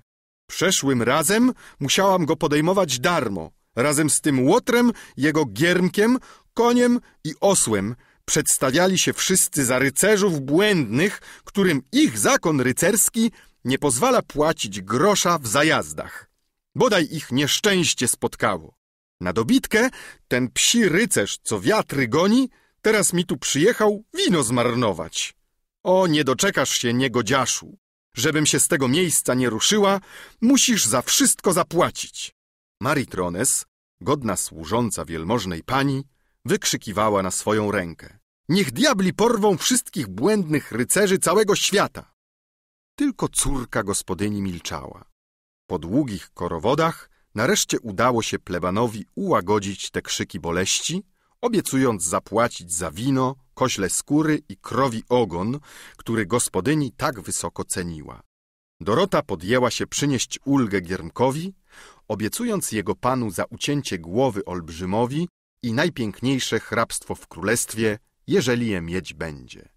Uradowany obietnicą Sancho przysięgał, że widział walącą się głowy olbrzyma z długą brodą po pas sięgającą, że jeżeli jej nie znalazł, winne temu czary, których nie pierwszy raz przychodzi mu doświadczać w tym zajeździe. Dorota zapewniła, że wierzy wszystkiemu, że sprawa weźmie obrót niespodziewanie dobry. Gdy wszystko się uspokoiło, pleban uproszony przez towarzystwo tak kończył opowieść o ciekawym, nierozważnym. Anselm, upewniony o cnocie żony, był najszczęśliwszym z ludzi. Kamilla niechętna dla Lotariusza, Lotariusz wstrzymujący się od odwiedzania Anselma z powodu zerwania z Kamillą, utrzymywali zręcznie Anselma w błędzie. Dopóki ten, osądziwszy, że mu dla szczęścia potrzeba powrócić pomiędzy nimi zgodę, nie doprowadził jej do skutku, pomagając do łatwiejszego siebie oszukania. Tymczasem Leonella, uniesiona namiętnością, ośmielona postępowaniem pani, posunęła zuchwalstwo do najwyższego stopnia. A korzystając z przyjaznych okoliczności, pozwalała kochankowi przepędzać u siebie całe dnie i noce. Zdarzyło się raz, że Anselm usłyszał szmer w nocy w izbie Leonelli, lecz zastał drzwi zaparte z wewnątrz. Ten opór podwoił jego ciekawość. Przezwyciężył zaporę i wchodząc, dostrzegł mężczyznę spuszczającego się z okna na ulicę. Chciał dognać nieznajomego, a przynajmniej poznać, ale przeszkodziła temu Leonella, klęknąwszy u nóg pana, błagając, aby nie robił hałasu i zapewniając, że uciekający był jej mężem. Anselm nie wierzył tym zapewnieniom. Groźbami i sztyletem dociągał się wyznania prawdy. Przestraszona Leonella błagała u nóg pana, aby darował jej życie, obiecując mu wyjawić wszystko, cokolwiek wiedziała o rzeczach większej jeszcze wagi. Powiedz natychmiast, bo cię zabiję, wykrzyknął Anselm. Byłoby dla mnie niepodobieństwem w tej chwili mówić. Jestem zbyt wzruszona. Ale racz, panie, na miłość Boga, do jutra zaczekać, a wszystko ci powiem. Tymczasem poprzestań na moim uroczystym zapewnieniu, że człowiek, którego widziałeś wychodzącego oknem, obiecał zaślubić mnie. Przekonany szczerością słów tych Leonelli, Anselm udzielił jej żądanej zwłoki, oznajmiając, że trzymać ją będzie zamkniętą, dopóki nie uczyni obiecanego wyznania. Zamknąwszy drzwi na klucz, udał się do Kamilli. Uwiadomił ją o wszystkim, co zaszło i o tajemnicy, którą Leonella wyjawić mu obiecała. Kamilla, przerażona, nie wątpiła, że ta ważna tajemnica jej dotyczy. Nie czekając przeto smutnych następstw, zabrała klejnoty i pieniądze i pobiegła błagać Lotariusza, aby ją ukrył lub razem z nią uciekł przed gniewem Anselma. Nie można się było wahać. Lotariusz oddał Kamillę pod opiekę siostry swojej, która była ksienią w klasztorze, a sam tajemnie uszedł z miasta. O świcie niecierpliwy Anselm, nie zauważywszy nieobecności żony, wszedł do izby Leonelli. Zastał ją pustą. Tylko powiązane prześcieradła u okna zdradzały jej ucieczkę. Poszedł do żony z tą wiadomością, ale jej ani w łóżku, ani w całym domu znaleźć nie mógł, a żaden z domowników nie widział jej wychodzącej. Otwarta i wypróżniona z klejnotów szkatuła i wyznanie Leonelli nasunęły mu okropne podejrzenia, z którymi biegł zwierzyć się Lotariuszowi. Lecz jakież było zdziwienie, gdy się dowiedział, że przyjaciel jego, zabrawszy pieniądze, w nocy z domu wyjechał. Cóż mógł w tym przypadku sądzić człowiek, uznający się przed godziną za najszczęśliwszego, pozbawiony naraz żony, przyjaciela, a prawdopodobnie i honoru? W niepewności dosiadł konia i wyjechał za miasto z zamiarem odwiedzenia jednego z przyjaciół. Ale zaledwie pół drogi odbył, ulegając pod brzemieniem czarnych myśli i strasznych podejrzeń, uczuł się tak osłabiony, że był przymuszony zsiąść z konia i usiadł na pniu drzewa przy drodze. Zmierzchało się, gdy przejeżdżał drogą z miasta jakiś młody człowiek. Anselm zapytał go o nowiny. Dość zajmujące, odpowiedział zapytany. W całym mieście mówią, że Lotariusz przeszłej nocy uszedł z żoną Anselma, który także bez śladu zaginął. Dowiedziano się o tym od służącej Kamilli, którą straż ujęła w chwili, gdy się spuszczała z okna na ulicę.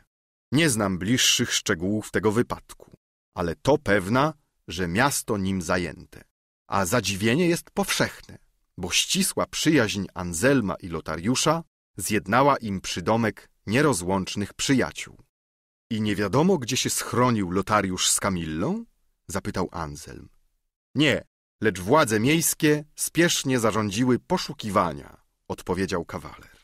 Te smutne wiadomości obłąkały do reszty umysł Anselma. Podniósł się i z trudnością dosiadłszy konia, pojechał do jednego z przyjaciół, który o zdarzonym nieszczęściu jeszcze nic nie wiedział, ale domyślił się po zmienionej powierzchowności Anselma. Ten wszedłszy, prosił go o posłanie, atrament i pióro.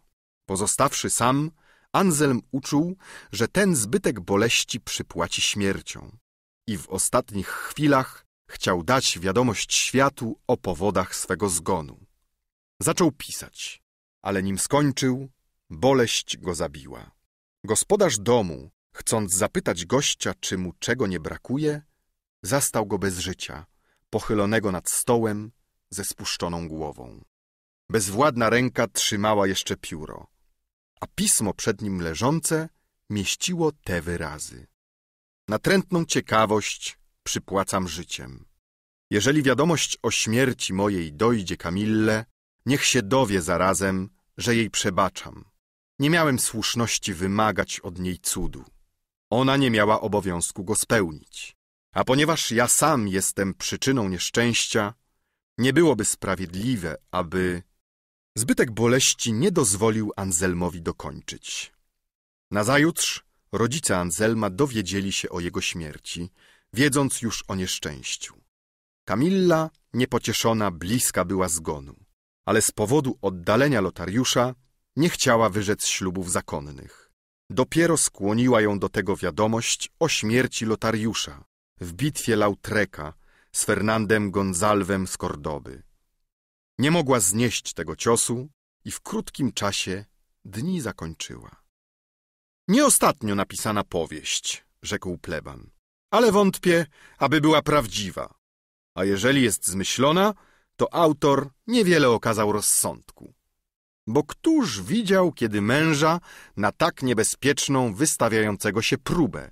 Przypuścić by można to szaleństwo w kochanku, ale nigdy w mężu. Rozdział dziewiąty. O dziwnych przygodach w zajeździe. Gdy pleban skończył opowiadanie, gospodarz w progu karczmy stojąc zawołał. Chwała Bogu! Zbliża się ku nam znaczna kompania jezdnych. Jeżeli się tu zatrzymają, napędzą trochę grosza. Co to są za ludzie? zapytał Cardenio. Są to czterej rycerze w maskach, zbrojni w włócznie i tarcze, a z nimi zamaskowana dama biało ubrana, a przy jej rumaku dwóch służących pieszych. Dorota włożyła natychmiast maskę, a Cardenio poszedł uzupełnić ubiór do izby Don Kiszota. Zaraz też nadjechali jezdni. Zeskoczyli z koni, pomogli zsiąść damie, którą jeden z kawalerów, wziąwszy w ramiona, posadził na krześle stojącym w drzwiach pokoju, do którego wszedł Cardenio. Nikt z towarzystwa nie zdjął maski, ani przerwał milczenia. Dama tylko głęboko westchnęła. Była podobna do umierającej. Tajemniczość orszaku zaostrzyła ciekawość plebana. Nie widząc innego sposobu, udał się do stajni wybadać służących. Doprawdy my sami niewiele wiemy, odpowiedzieli oni. Zdaje się jednak, że są to znakomite osoby, zwłaszcza ten, który zsadził damę z konia, wnosząc po uszanowaniu, z jakim jest dla niego reszta towarzystwa. A któż jest ta dama? zapytał pleban. Nie więcej o niej umiemy powiedzieć. Przez całą drogę nie widzieliśmy jej twarzy, ale za to ciągle wzdychała i narzekała. Nic dziwnego, że więcej powiedzieć nie umiemy gdyż przed dwoma dniami dopiero spotkaliśmy na drodze ten orszak, któremu towarzyszymy od Andaluzji w nadziei dobrej zapłaty. Nie słyszeliście nazwiska żadnego z jeźdźców? Nie, odrzekł jeden z masztalerzy. Podróżują jak kartuzy, nie mówiąc ani słowa. Słyszeliśmy tylko ciągłe westchnienia i skargi młodej damy, którą ci panowie, zdaje się, gwałtem uprowadzają. Wnosząc z jej ubioru, jest zakonnicą albo ma nią zostać. Może nie czując w sobie dosyć powołania, biedna ta rozpacza. To być bardzo może, rzekł pleban, idąc szukać Doroty, która, wzruszona westchnieniami zamaskowanej damy, ofiarowała jej usługi, jakie kobieta od kobiety tylko przyjmuje.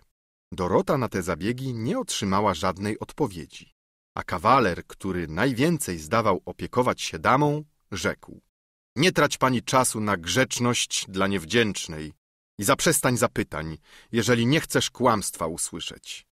Nigdym kłamstwa się nie dopuściła, rzekła z dumą dama. I może dlatego, że byłam zbyt szczera, znajduję się teraz w tak nieszczęśliwym położeniu. Nie potrzebuję powoływać się na innego świadka, bo sam, panie, jesteś przekonany, że obstawanie przy prawdzie sprowadziło na mnie twoje okrutne prześladowanie. Ach, Boże, czyjże to głos słyszę? Zawołał Cardenio w przyległym pokoju. Na te słowa młoda dama podniosła głowę i chciała wejść do izby, w której znajdował się Cardenio. Ale przeszkodził jej w tym zamiarze rycerz, zatrzymując ją przemocą. W tym pomieszczeniu spadła zasłona z twarzy nieznajomej i odkryła twarz bladą, nieporównanej piękności. Kawaler, trzymając ją w ramionach, nie miał czasu podnieść maski, która mu także spadła z twarzy podczas szamotania się z damą. A Dorota, podniósłszy oczy, poznała w nim Don Fernanda. Krzyknęła przeraźliwie i padła zemdlona. Pleban pośpieszył na jej ratunek, a gdy dla łatwiejszego oddychania zdjął jej maskę, Don Fernand z zadziwieniem poznał Dorotę. Zmieszany tym wypadkiem, nie wypuścił jednak z rąk Luscindy, która, poznawszy zaraz głos Cardenia, usiłowała się gwałtem wyrwać. Cardenio zaś, w mniemaniu, że krzyk Doroty był krzykiem Luscindy, wypadł przelękniony z izby i spostrzegł Luscindę w ramionach Don Fernanda, który nie mniej był zdziwiony, poznając Cardenia. Cztery osoby w najwyższym zdziwieniu patrzyły na siebie, nie przerywając milczenia. Luscinda pierwsza tak się odezwała. Don Fernandzie, zaprzestań niesprawiedliwości i gwałtu, które zawsze pozostaną bezskuteczne. Żadne ofiary, żadne groźby mnie ku tobie nie skłonią. I bądź pewny, że prędzej doczekasz się zgonu, niż przyzwolenia mojego.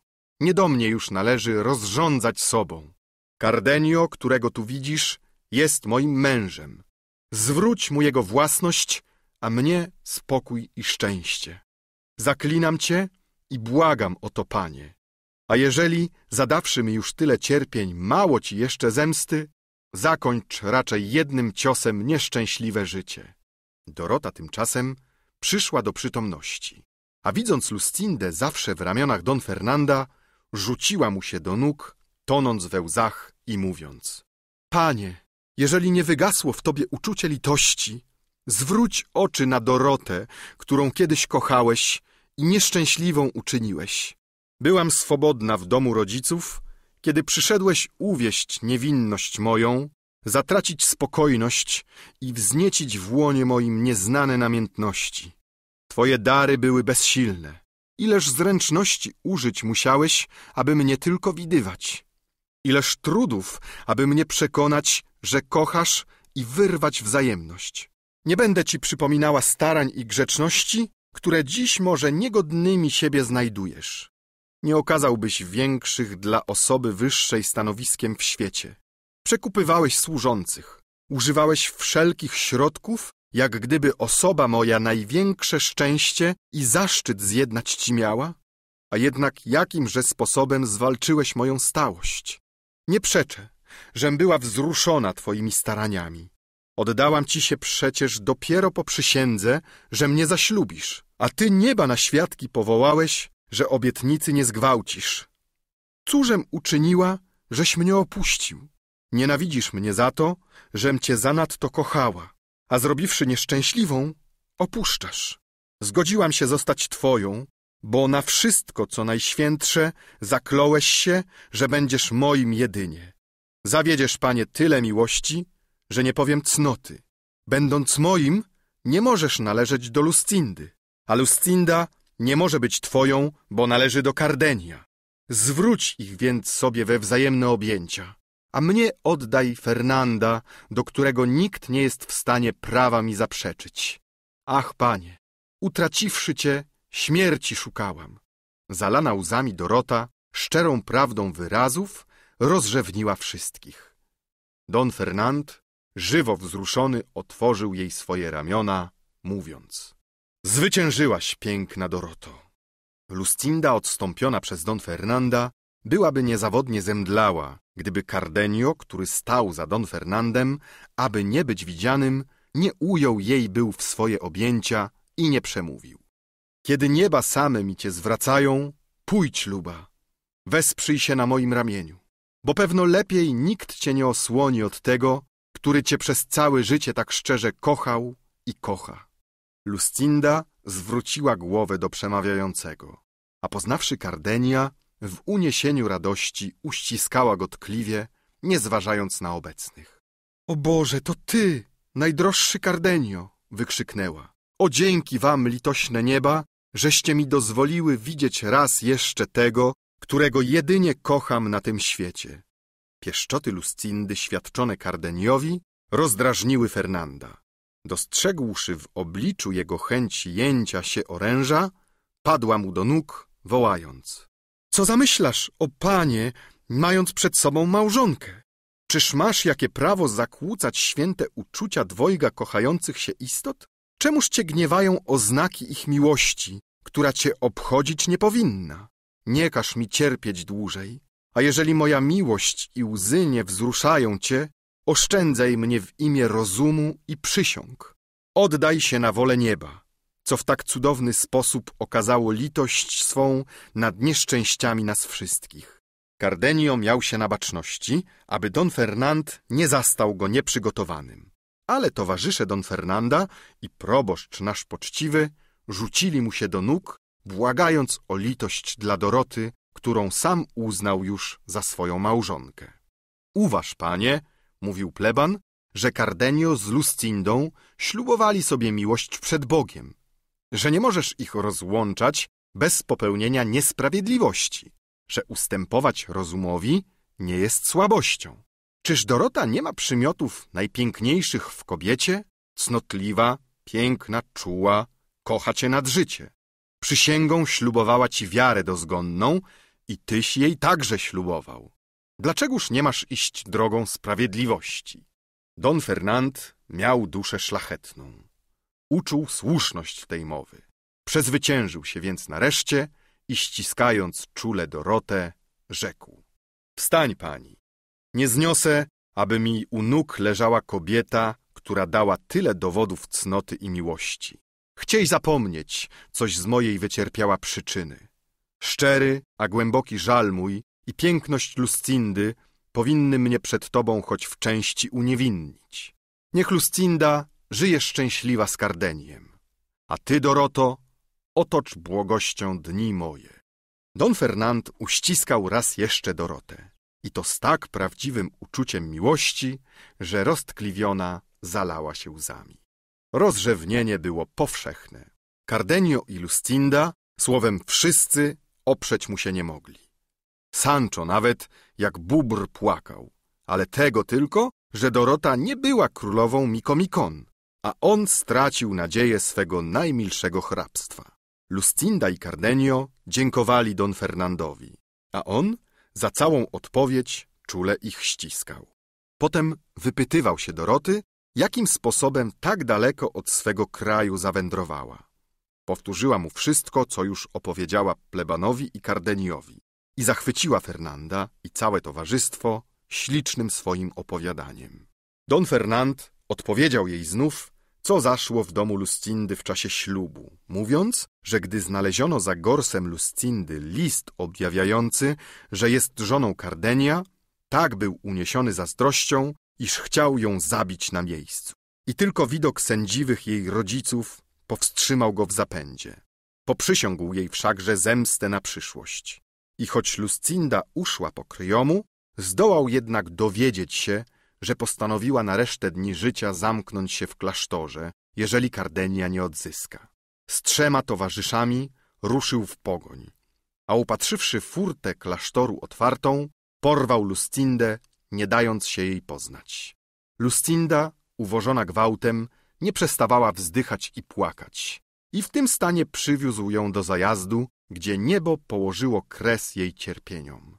Skończywszy mówić, Don Fernand uprzejmie zwrócił się do Lucindy i przepraszając ją po tysiąc razy za wyrządzone przykrości, solennie ją zapewnił, że ramię jego gotowe zawsze na jej usługi, że nie mniej dzielnym i silnym okazać się pragnie, niż się w prześladowaniu jej okazał. Rozdział dziesiąty. Dalszy ciąg przygód infantki Mikomikon. Sancho Panza pilnie przysłuchiwał się wszystkiemu. Jego nadzieje poszły z dymem od czasu, jak księżniczka Mikomikon przemieniła się w Dorotę, a wielkolud panda Filando w Don Fernanda. Don Kiszot spoczywał snem błogosławionych, wcale się o nic nie troszcząc. Dorota nie była jeszcze pewna, czy to, co zaszło, było we śnie czy na jawie.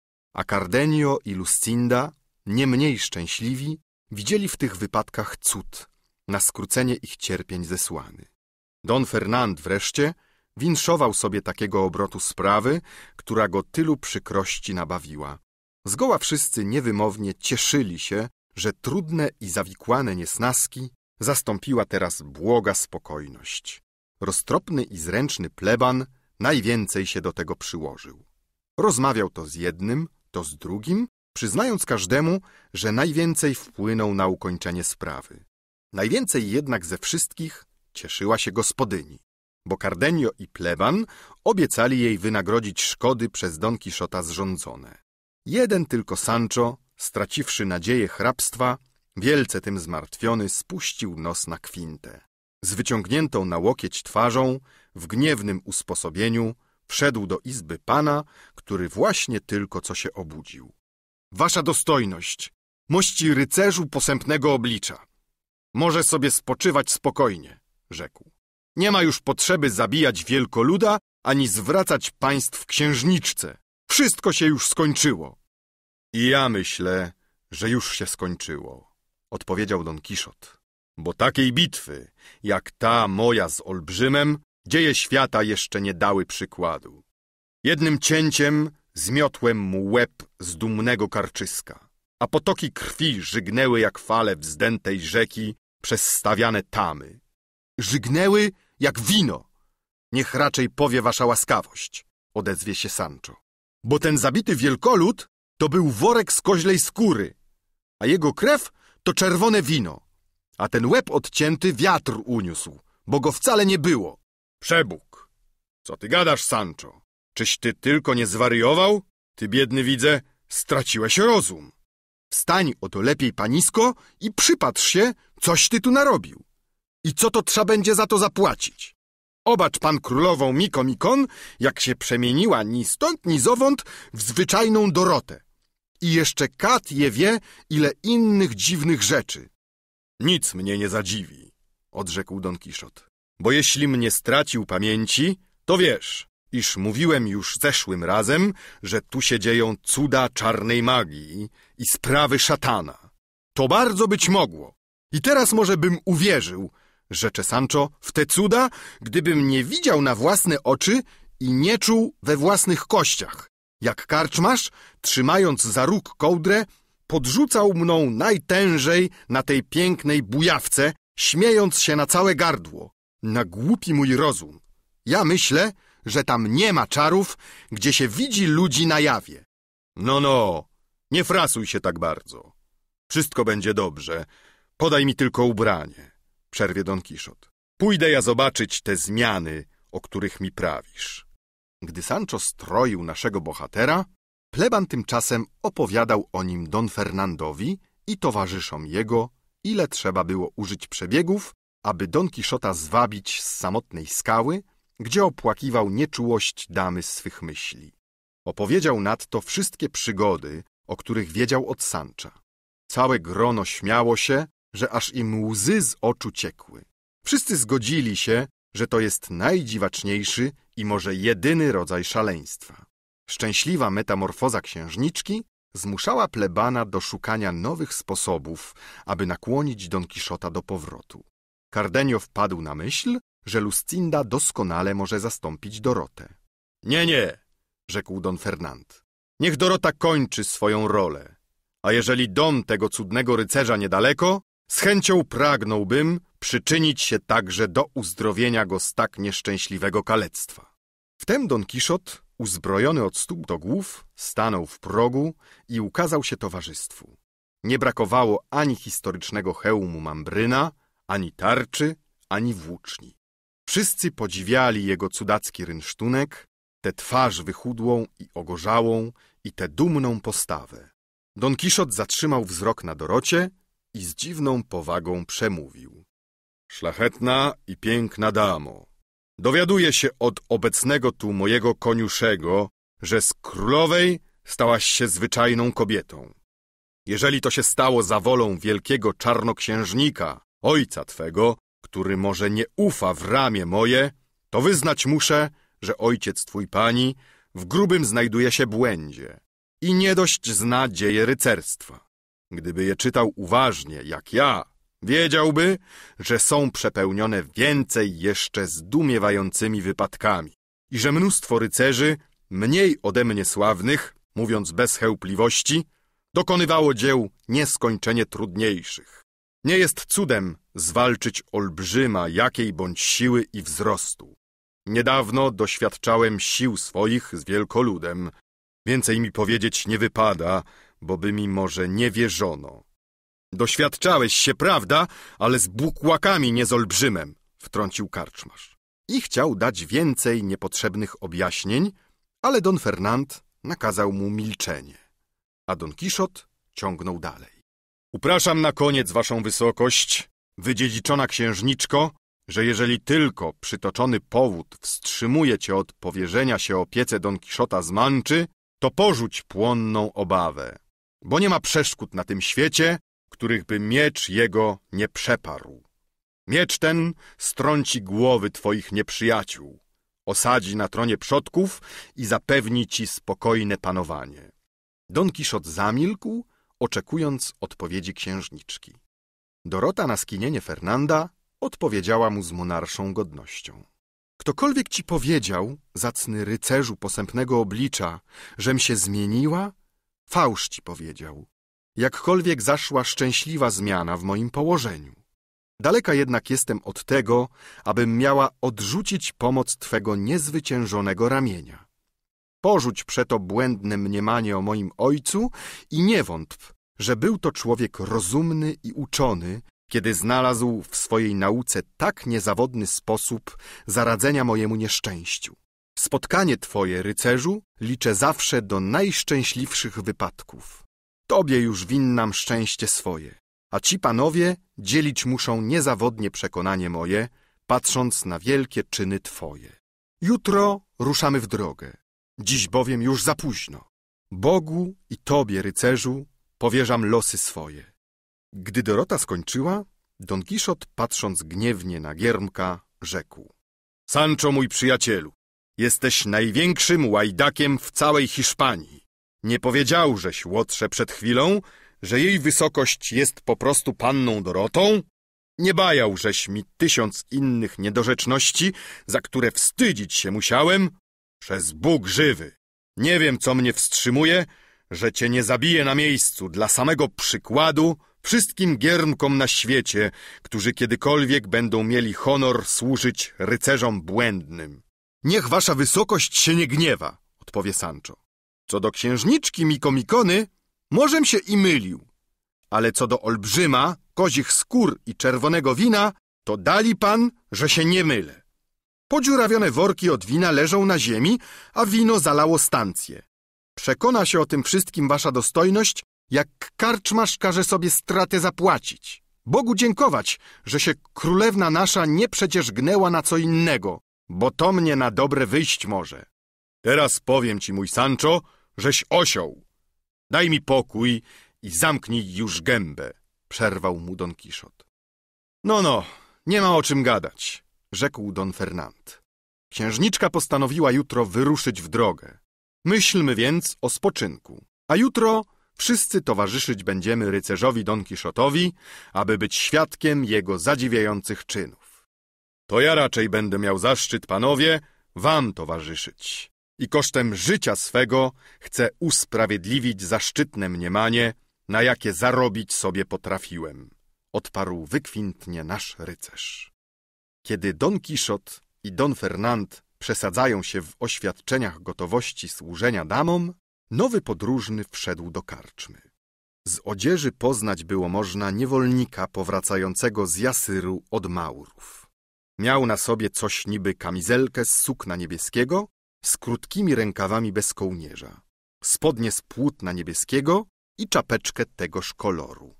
Na nogach sandały, jakich zwykle Maurowie używali i pałasz zawieszony u pasa przewiązującego biodra. Za nim jechała kobieta, po mauretańsku ubrana, z zasłoną na twarzy, w złotem przetykanej czapeczce i w długiej sukni do stóp sięgającej. Niewolnik, mężczyzna piękny, miał lat około czterdziestu. Wąs zdobił twarz jego nieco śniadą, a cała postawa raczej człowieka wyższego stanu niż niewolnika znamionowała. Zażądał osobnej izby i mocno się zafrasował, gdy karczmarz powiedział mu, że nie ma ani jednej próżnej w całym zajeździe. Dorota, Lucinda i wszystkie kobiety z karczmy spoglądały z ciekawością na dziwny ubiór Mauretanki. Dorota, widząc ją zakłopotaną tym, że nie było stacji próżnej, zbliżyła się do cudzoziemki i uprzejmie przemówiła. Niech się pani nie dziwi tym brakiem wygody. U nas wszystkie karczmy tak są niegodziwe. Jeżeli pani zechcesz, z chęcią podzielimy się z panią naszym mieszkaniem. A przekonasz się pani, żeś szczęśliwie trafiła i że nigdzie przyjaźniejszego nie mogłabyś mieć przyjęcia.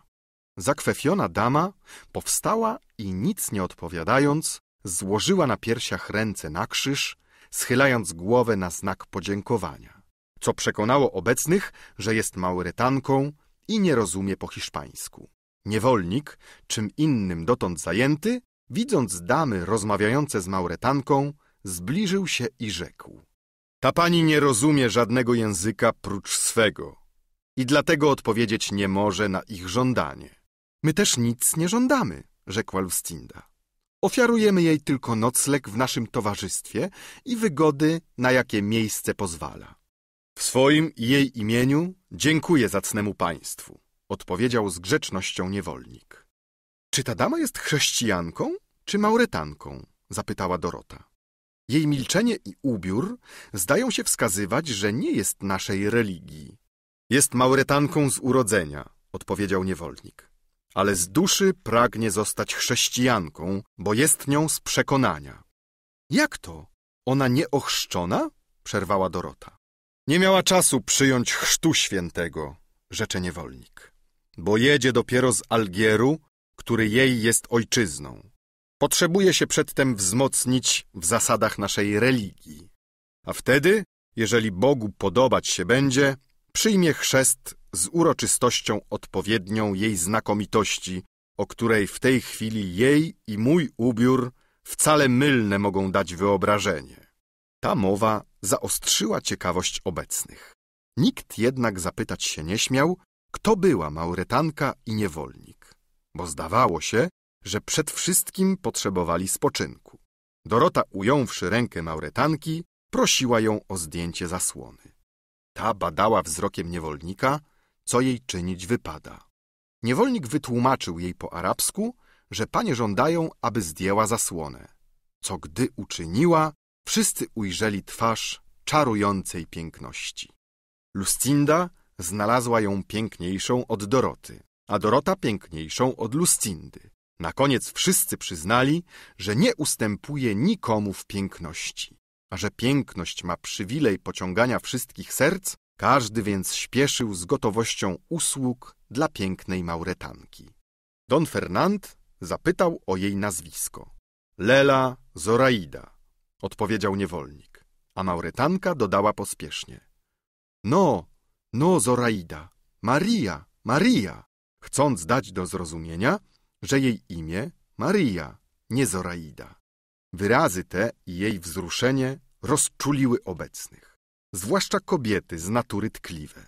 Lucinda uściskała nieznajomą, mówiąc Tak, tak, Maria, Maria, a niewolnik rzekł z czułością Tak, tak, Maria, Zoraida, Masangę, co ma znaczyć nie Zoraida.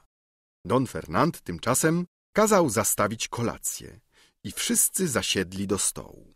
A Don Kiszot zmuszony do zajęcia pierwszego miejsca obstawał przy tym, aby księżniczka Miko Mikon, jako pod jego zostająca opieką, obok niego zasiadła. Lucinda i Zoraida umieściły się przy Dorocie. Don Fernand i Cardenio naprzeciw. Pleban i Balwierz obok dam. Nareszcie niewolnik i towarzysze Fernanda znaleźli także miejsce u stołu. Najlepszy humor ożywił biesiadę. Zwłaszcza, że Don Kiszot, natchniony tym samym duchem, pod którego wpływem miał ową nieśmiertelną mowę do koziarzy, przemówił z uniesieniem. Zaprawdę, panowie, my błędni rycerze przyzwyczajeni jesteśmy do rzeczy nadzwyczajnych. Powiedzieć chciejcie, czy ktokolwiek, widząc nas teraz, odgadłby, kto jesteśmy. Któż by w damie obok siedzącej poznał królową, a we mnie rycerza posępnego oblicza, którego głośna sława stanowi w historii epokę. Wątpić nie można, że nie ma szczytniejszego stanu nad powołanie rycerskie. Tym godniejsze czci, że wystawione ciągle na największe niebezpieczeństwa. Niech mi nie wspominają o wyższości pióra od oręża. Krótko widzi, kto śmie tak twierdzić. Utrzymują, że prace umysłu wyższe są od dzieł męstwa wspartego we władaniu mieczem, tak jakby nie było różnicy między rycerzem a rzemieślnikiem, jakby nie było potrzeby umiejętnie używać siły i odwagi. Wódz, dowodzący armią, broniący twierdzy, potrzebuje tyle głowy, ile ramienia. Odwagą nie można przewidzieć podstępów nieprzyjaciela, ani uprzedzić go w zamysłach. Gdy więc niezaprzeczenie rozum potrzebny tak dobrze rycerzowi jak uczonemu, ten stan przeto jest wyższy, którego cel szlachetniejszy. Nie mówiąc o mędrcach, których umiejętność dąży do zbawienia siebie i bliźnich. Nauka zakłada sobie triumf praw ludzkich i dobrego rządu. Cel to zapewne pożyteczny i chwalebny. Ale się nie da ani porównać z wojną, która dąży do pokoju, najwyższego dobra na świecie, które daje opiekę społecznościom, handlowi i zapewnia szczęście ludów, wyższa więc jest celem od nauk. Zobaczmy, jaka jest różnica między pracą uczonego a pracą rycerza. Wszyscy, co prawda, byli przekonani, że Don Kiszot ma źle w głowie, ale że mężczyźni po większej części należeli do rycerskiego stanu, słuchali więc z przyjemnością długiej jego przemowy, a on ją tak dalej ciągnął. Ubóstwo, mówiąc w ogólności, chodzi w parze z nauką, a kto goły, niewesoły, bo cierpi głód, pragnienie, zimno i wszystkie niewygody. Taką to koleją dosyć przykrą dochodzą uczeni do celu. I widzieliśmy wielu z nich wysoko wyniesionych przez ten sam los kapryśny, co im niegdyś nie szczędził chłosty i co sobie czasem takich cudów pozwala, kiedy jest w dobrym humorze, że z nędzy od razu wynosi do wielkości. Rozdział jedenasty. Dalszy ciąg mowy o naukach i wojnie. Widzieliśmy, mówił dalej Don Kiszot, uczonego z całą jego biedą. Zobaczmy, czy żołnierz jest bogatszy. Doprawdy, nie ma biedniejszego stworzenia na świecie. Musi nieborak poprzestać na żołdzie, który często później przychodzi i nie zawsze cały. A jeżeli odważy się innym sposobem co sobie przyswoić, robi to przeciw sumieniu i naraża życie na niebezpieczeństwo. Nieraz przepędza zimę w najniedostateczniejszym odzieniu. Ileż razy, nie mogąc opuścić stanowiska, znosi skwar, zimno lub słote. A w nocy, jakże szczęśliwy, gdy złapie garsteczkę słomy, aby się zabezpieczyć od wilgoci ziemi, na której często spać mu wypadnie. Dzień wraca i on wraca do przykrych obowiązków, niedobrze wypocząwszy. W bitwie Pierwszy strzał muszkietu druzgocze mu głowę, ramię lub nogę. Ale przypuśćmy, że go nie spotyka takie nieszczęście. Czyż stał się bogatszy? Czy odniósł jaką korzyść? Gdzie tam? W lada jakiej sprawie musi jeszcze nieborak dawać poręczycieli, którzy ledwie cudem się zdarzają. Zastanowiliście się kiedy, panowie, ilu ludzi robi los w wojsku? Gdy tylu ich ginie, Zaledwie tysiączna część dochodzi do czegoś. Zupełnie inaczej dzieje się z uczonymi. Nigdy nie są w tak dotkliwym niedostatku, ani nie narażają życia na niebezpieczeństwo. Mimo to nagroda żołnierza jest rzadko wyższą, a zawsze prawie niższą. Prawda, że łatwiej jest wynagrodzić szczupłą liczbę uczonych, aniżeli tłumy wojowników. Tamtym powierzają urzędy, których ci nie są w stanie sprawować. Uwaga ta jednak nie osłabia, lecz utwierdza bardziej moje założenie. Na tym się ograniczę, ażeby nie uczynić rozprawy zbyt długą i raz jeszcze wracam do wyższości oręża nad piórem, którą spodziewam się okazać tymiż dowodami, jakich na korzyść obu stanów użyłem. Jeżeli mówią na korzyść nauk, że wojna jest umiejętnością, że jej prawa napisali uczeni, ja przemawiam na korzyść wojny. Oręż utrzymuje prawo, broni Rzeczypospolitej, zasłania trony, drogi i miasta ubezpiecza, morza z korsarzy oczyszcza. Słowem, stanowi bezpieczeństwo publiczne. Aby zostać uczonym, potrzeba trochę czasu, starań, czuwania, pracy, trochę nie dojeść, trochę nie dopić, ale ażeby zostać dobrym wojownikiem, wszystko to znieść trzeba. A przy tym co chwila narażać życie. Cóż cierpi uczony w porównaniu z żołnierzem w mieście oblężonym? Widzicie go w szańcu odbywającego wartę. Nieprzyjaciel podkopał się minami. Wśród groźnego niebezpieczeństwa ledwo mu wolno ostrzec dowódcę, aby przeciwnymi zabezpieczył się minami. Nie mogąc odstąpić, czeka, póki go wybuch nie zagrzebie pod gruzami budynków lub nie wysadzi w powietrze. Widzicie dwa okręty. Jak się zahaczają w bitwie morskiej, żołnierz ma dwie stopy pokładu pod nogami. Wokoło nieprzyjacielskie muszkiety i oręże.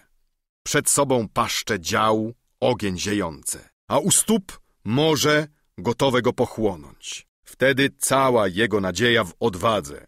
Musi pogardzić niebezpieczeństwem, przedrzeć się przez ogień muszkietów i las włóczni, aby się dostać na drugi okręt w tłum nieprzyjaciela. Zabójcza kula wpadła w ścieśniony szereg. Nie ma jednego z walecznych. Już go zastąpił inny bohater, ale nie dostał długo. Już poszedł na dno morza za dawnym towarzyszem. Morze się za nim zamknęło, a nowy bohater zapełnił po nim lukę. A potem jeszcze jeden i jeszcze jeden. Och, przeminęłyście szczęśliwe wieki, w których dowcip ludzki nie silił się na budowanie machin wojennych. Wieki błogiej niewiadomości, kiedy nie znano prochu, tego wynalazku piekieł, co dał nikczemny sposób pokonania mężnych. Szlachetny rycerz uniknąć nie może zdradzieckiego strzału, który przecina pasmo wspaniałych czynów i poświęceń bohaterskich. Ta myśl każe mi prawie żałować, żem w tym wieku niegodziwości obrał zawód błędnego rycerza. Bo chociaż mnie żadne nie zastraszy niebezpieczeństwo, przykro przecież myśleć, że trochę prochu i kawałek ołowiu zmiecie jak pył zarazem z życiem męstwo moje i nie da poznać od bieguna do bieguna siły mojego ramienia.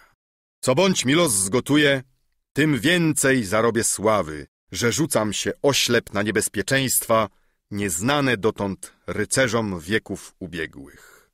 Gdy nasz bohater perorował tak zaciekle, zapominając o jedzeniu, Sancho od czasu do czasu pozwalał sobie zwracać uwagę swojego pana, że najadłszy się, równie dobrze będzie mógł przemawiać, a obecni dziwili się, że człowiek tak rozsądnie i pięknie mówiący w innych materiach traci zupełnie zdrowe pojęcie, gdy tylko dotknie sztuki rycerskiej.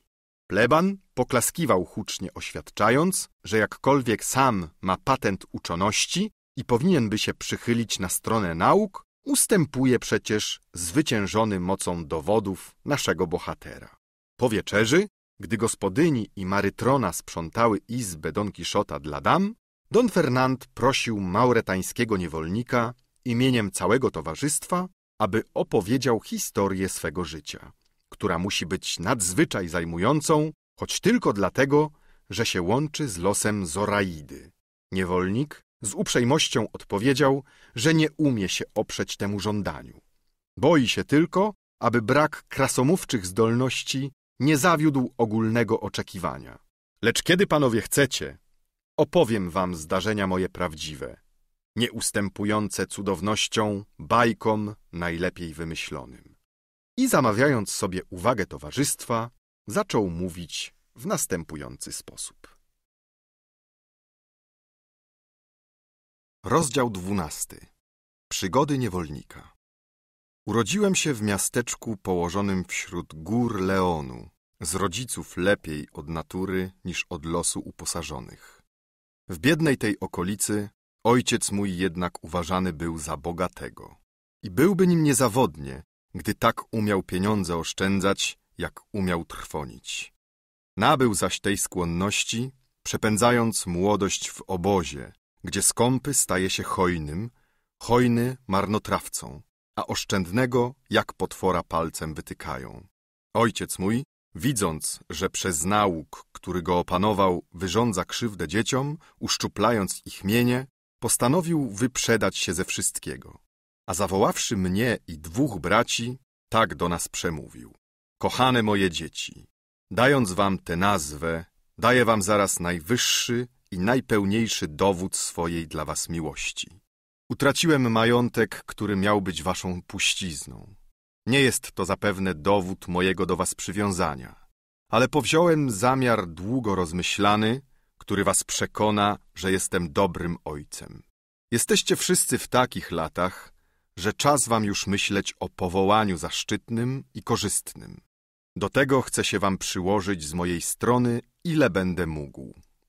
Podzielę cały majątek na cztery równe części, z których jedną dla siebie zatrzymam, a trzy wam oddam. Życzyłbym sobie tylko, aby każdy z was, wziąwszy część swoją, poszedł drogą, jaką mu wskaże. Mamy hiszpańskie przysłowie, w moim przekonaniu bardzo prawdziwe, jak wszystkie oparte na długim i rozumnym doświadczeniu. Kościół, morze i dwór dla człowieka wrota. Co ma znaczyć, że kto chce dobić się znaczenia lub bogactw, powinien wstąpić do stanu duchownego, handlować na morzu lub dostać się na dwór królewski. Chciałbym przeto, aby jeden z was oddał się naukom, drugi handlowi, a trzeci wstąpił do wojska. Bo dostać się na dwór króla dziś jest bardzo trudno. A chociaż wojna nie bogaci, daje przynajmniej sławę i znaczenie. W ośmiu dniach odbierzecie w gotowych pieniądzach, co się wam należy. To miałem wam przedłożyć. Powiedzcie teraz, czy macie chęć iść za moją radą. Tu ojciec zamilkł i kazał mi odpowiedzieć naprzód, jako najstarszemu. Prosiłem ojca, aby majątku się nie pozbywał, aby nim rozrządzał według swoich widoków, nie zważając na nas, bo my mamy dość czasu przed sobą do nabycia dostatków. W końcu objawiłem chęć do wojska. Drugi brat chciał udać się do Indii, a najmłodszy, podobno najrozsądniejszy, do Salamanki dla dokończenia wyższych nauk i wstąpienia do stanu duchownego.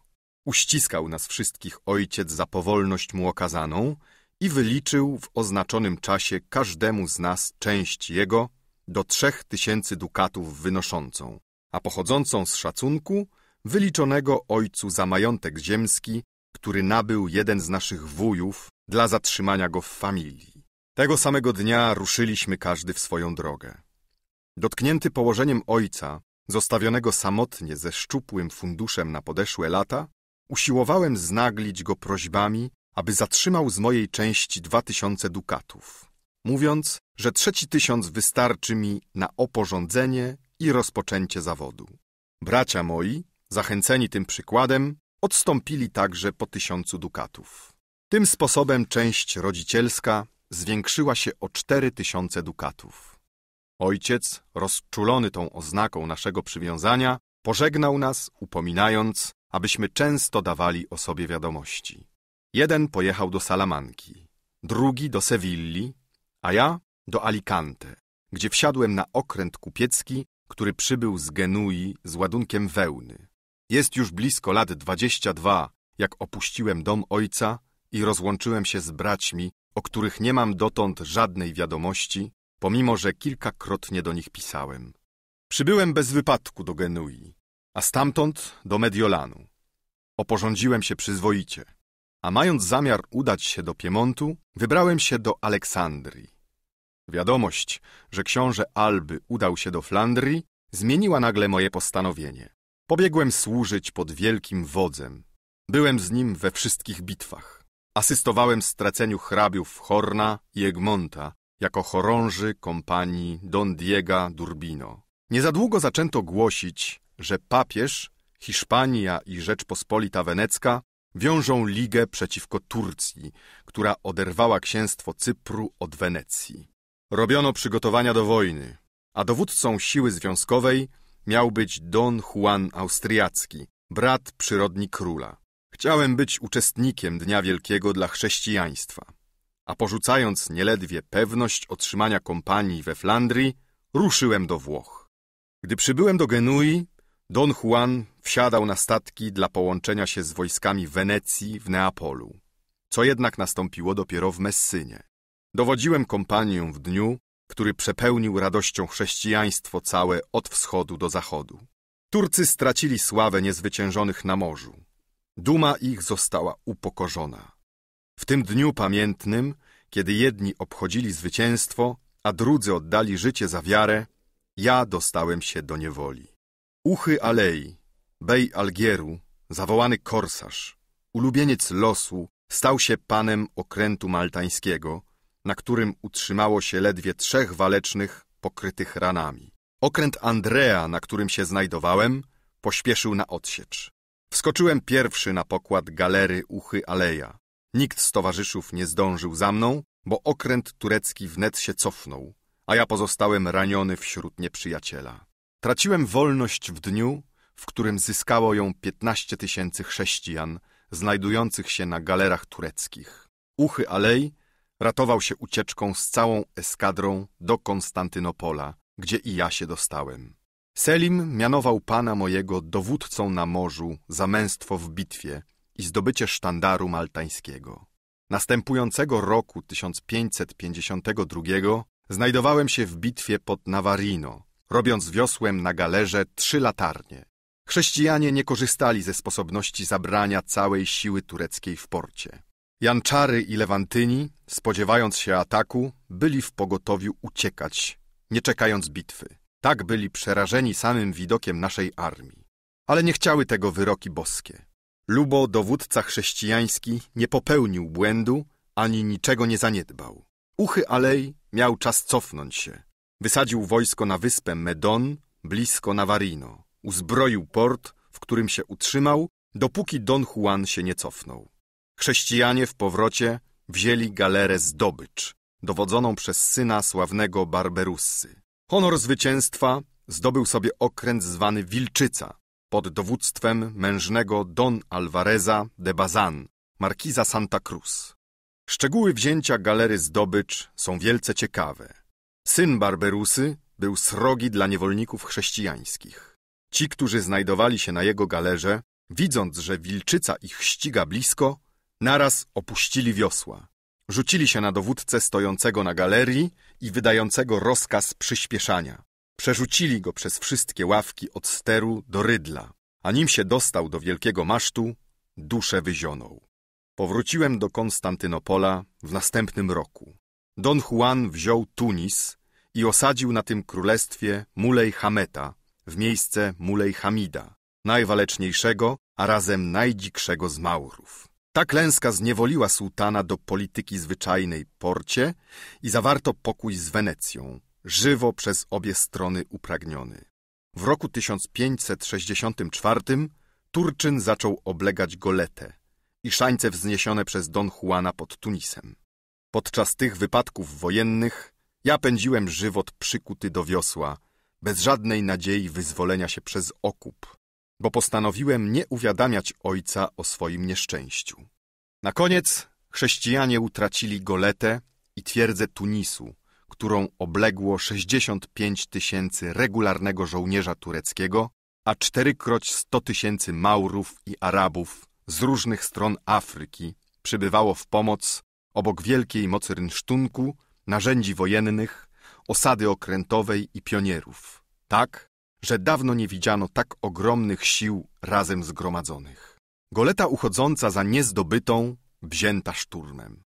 Turcy, znalazłszy mieliznę z jednej strony, wznieśli wał z worów z piaskiem, wyższy od murów twierdzy i rozpoczęli ogień z góry. Wtedy obrona była niepodobna. Ci, którzy utrzymują, że nasi popełnili błąd, broniąc się w szańcach, zamiast zrobić wycieczkę w gołe pole, dowodzą, że albo tam nie byli, albo mają mało doświadczenia wojennego. Bo jakże siedem tysięcy ludzi stawić mogło czoło tłumom i obronić dwa miejsca odosobnione? Jakaż twierdza najobronniejsza ostać się może fanatycznym tłumom walczącym na swojej ziemi? Ja uważałem stratę Golety za szczególną łaskę Boga wyświadczoną Hiszpanii. Byłby to przytułek dla złoczyńców, który nie potrafiłby zapłacić kosztów zachowania i obrony, chyba świadectwem obrony Karola V, tak jakby ten monarcha potrzebował tej kupy gruzów do utrwalenia. Twierdzę wzięto, ale zwycięstwo kosztowało Turków 25 tysięcy żołnierza w 22 szturmach.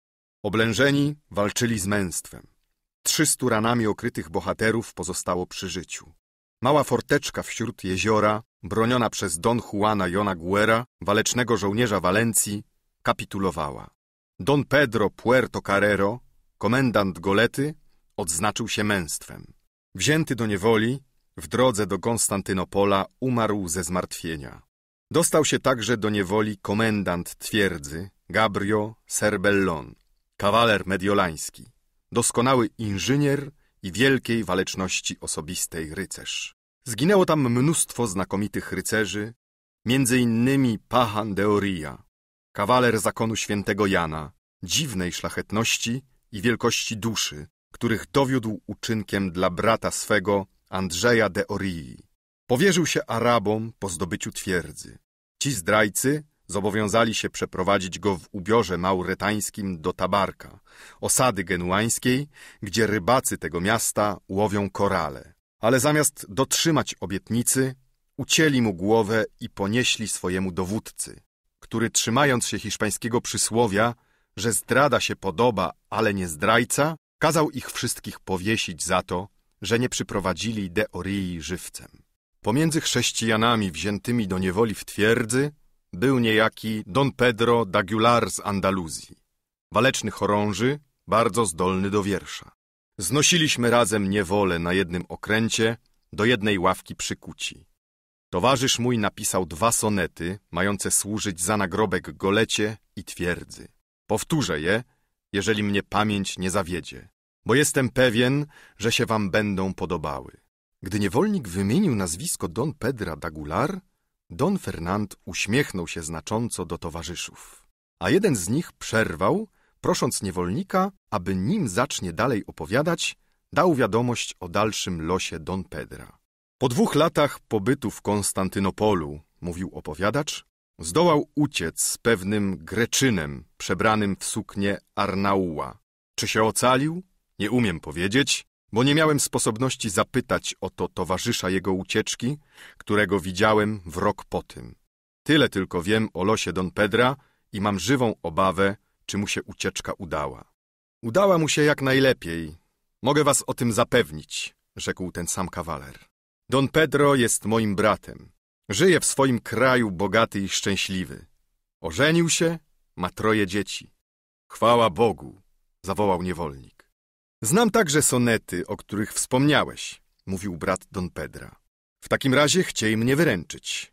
Lepiej je powiesz zapewne ode mnie. Kawaler zaczął dla ulżenia niewolnikowi sonet o golecie. Duchy szczęśliwe, wyśmiertelne szaty, przez wielkie czyny z swych ramion zrzucacie.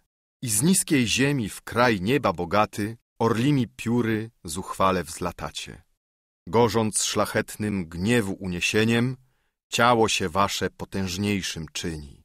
Krwi z was i przez was wylanej strumieniem płonią się morza i piaski pustyni. Choć śmierć was z życia wymazała księgi, ramiona wasze nie ostygły w grobie, bo w klęskach nawet triumfuje męstwo, bo w tym upadku śmiertelnej potęgi na ziemi sławę zyskaliście sobie, a w niebie ducha szlachetne zwycięstwo. Tak, to jest ten sam, przerwał niewolnik. A brat Don Pedra rozpoczął drugi o szańcu tunetańskim. Z gruzu, co z baszty rozstrzelonej leży, z ziemi, co jakby poryta w zagony, dusz trzy tysiące z walecznych rycerzy w czystego nieba uleciało strony. Na próżno męstwem krzepkiego ramienia w koło śmiertelne roznosili ślady, walczące ramię słabło z wysilenia i u stóp wroga trup upadał blady. Ziemia, na której polegli rycerze, długo łzy krwawe będzie sączyć złona. Kwiat na niej zrosły, smutne liście schyli, lecz za to w laury okryje się świeże, bo z dzielnych mężów walecznego grona nigdy dzielniejsi tutaj nie walczyli. Rozdział trzynasty. Dalszy ciąg przygód niewolnika. Sonety podobały się powszechnie, a niewolnik tak ciągnął swoje opowiadanie.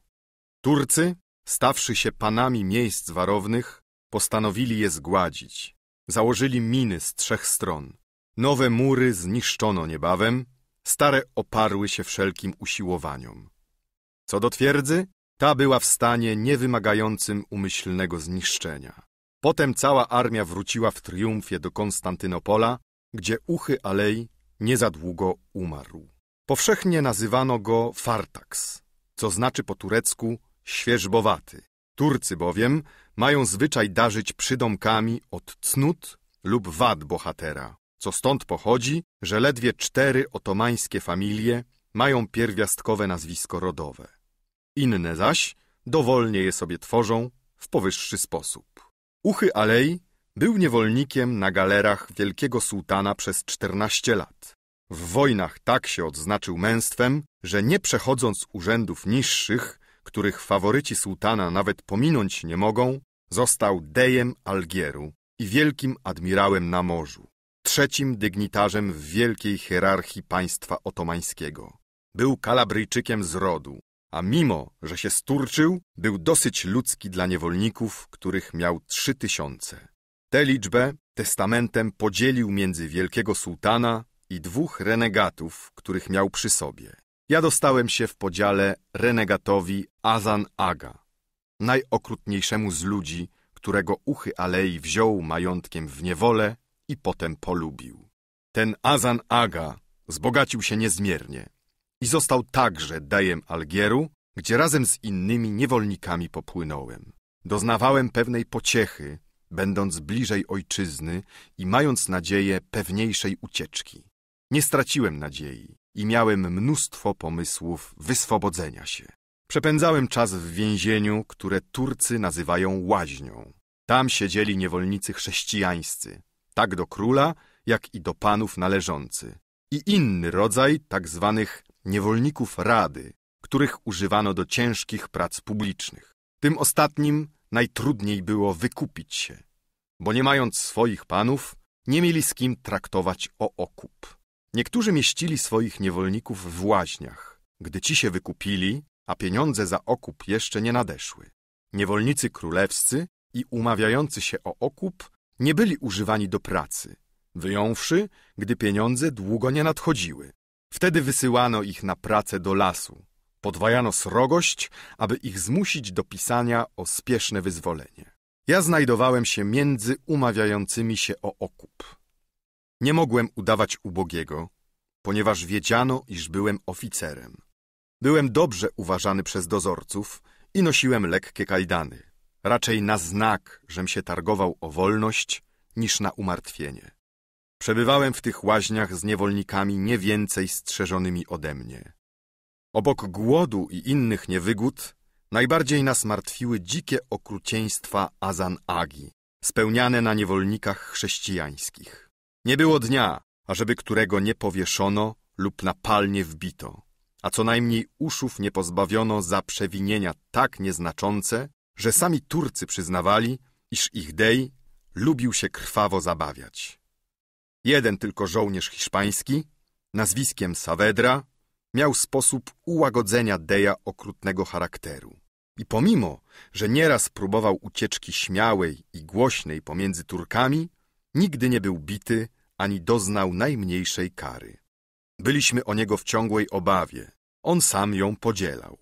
Gdybym nie obawiał się was znudzić, opowiedziałbym kilka zręcznych i śmiałych sprawek Sawedry. Ale czas wrócić do własnych przygód. Pewien znakomity i bogaty Maur miał dom, którego maleńkie według miejscowego zwyczaju okienka, zasłonięte gęstą żaluzją, wychodziły na podwórze naszego więzienia. Jednego dnia, gdym się na tarasie zabawiał z trzema towarzyszami, rzuciwszy okiem przypadkowo, ujrzałem w oknie chustkę przywiązaną na trzcinie.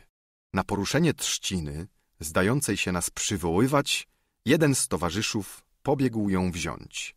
Ale laska cofnęła się, naśladując ruch głowy, dającej znak przeczenia.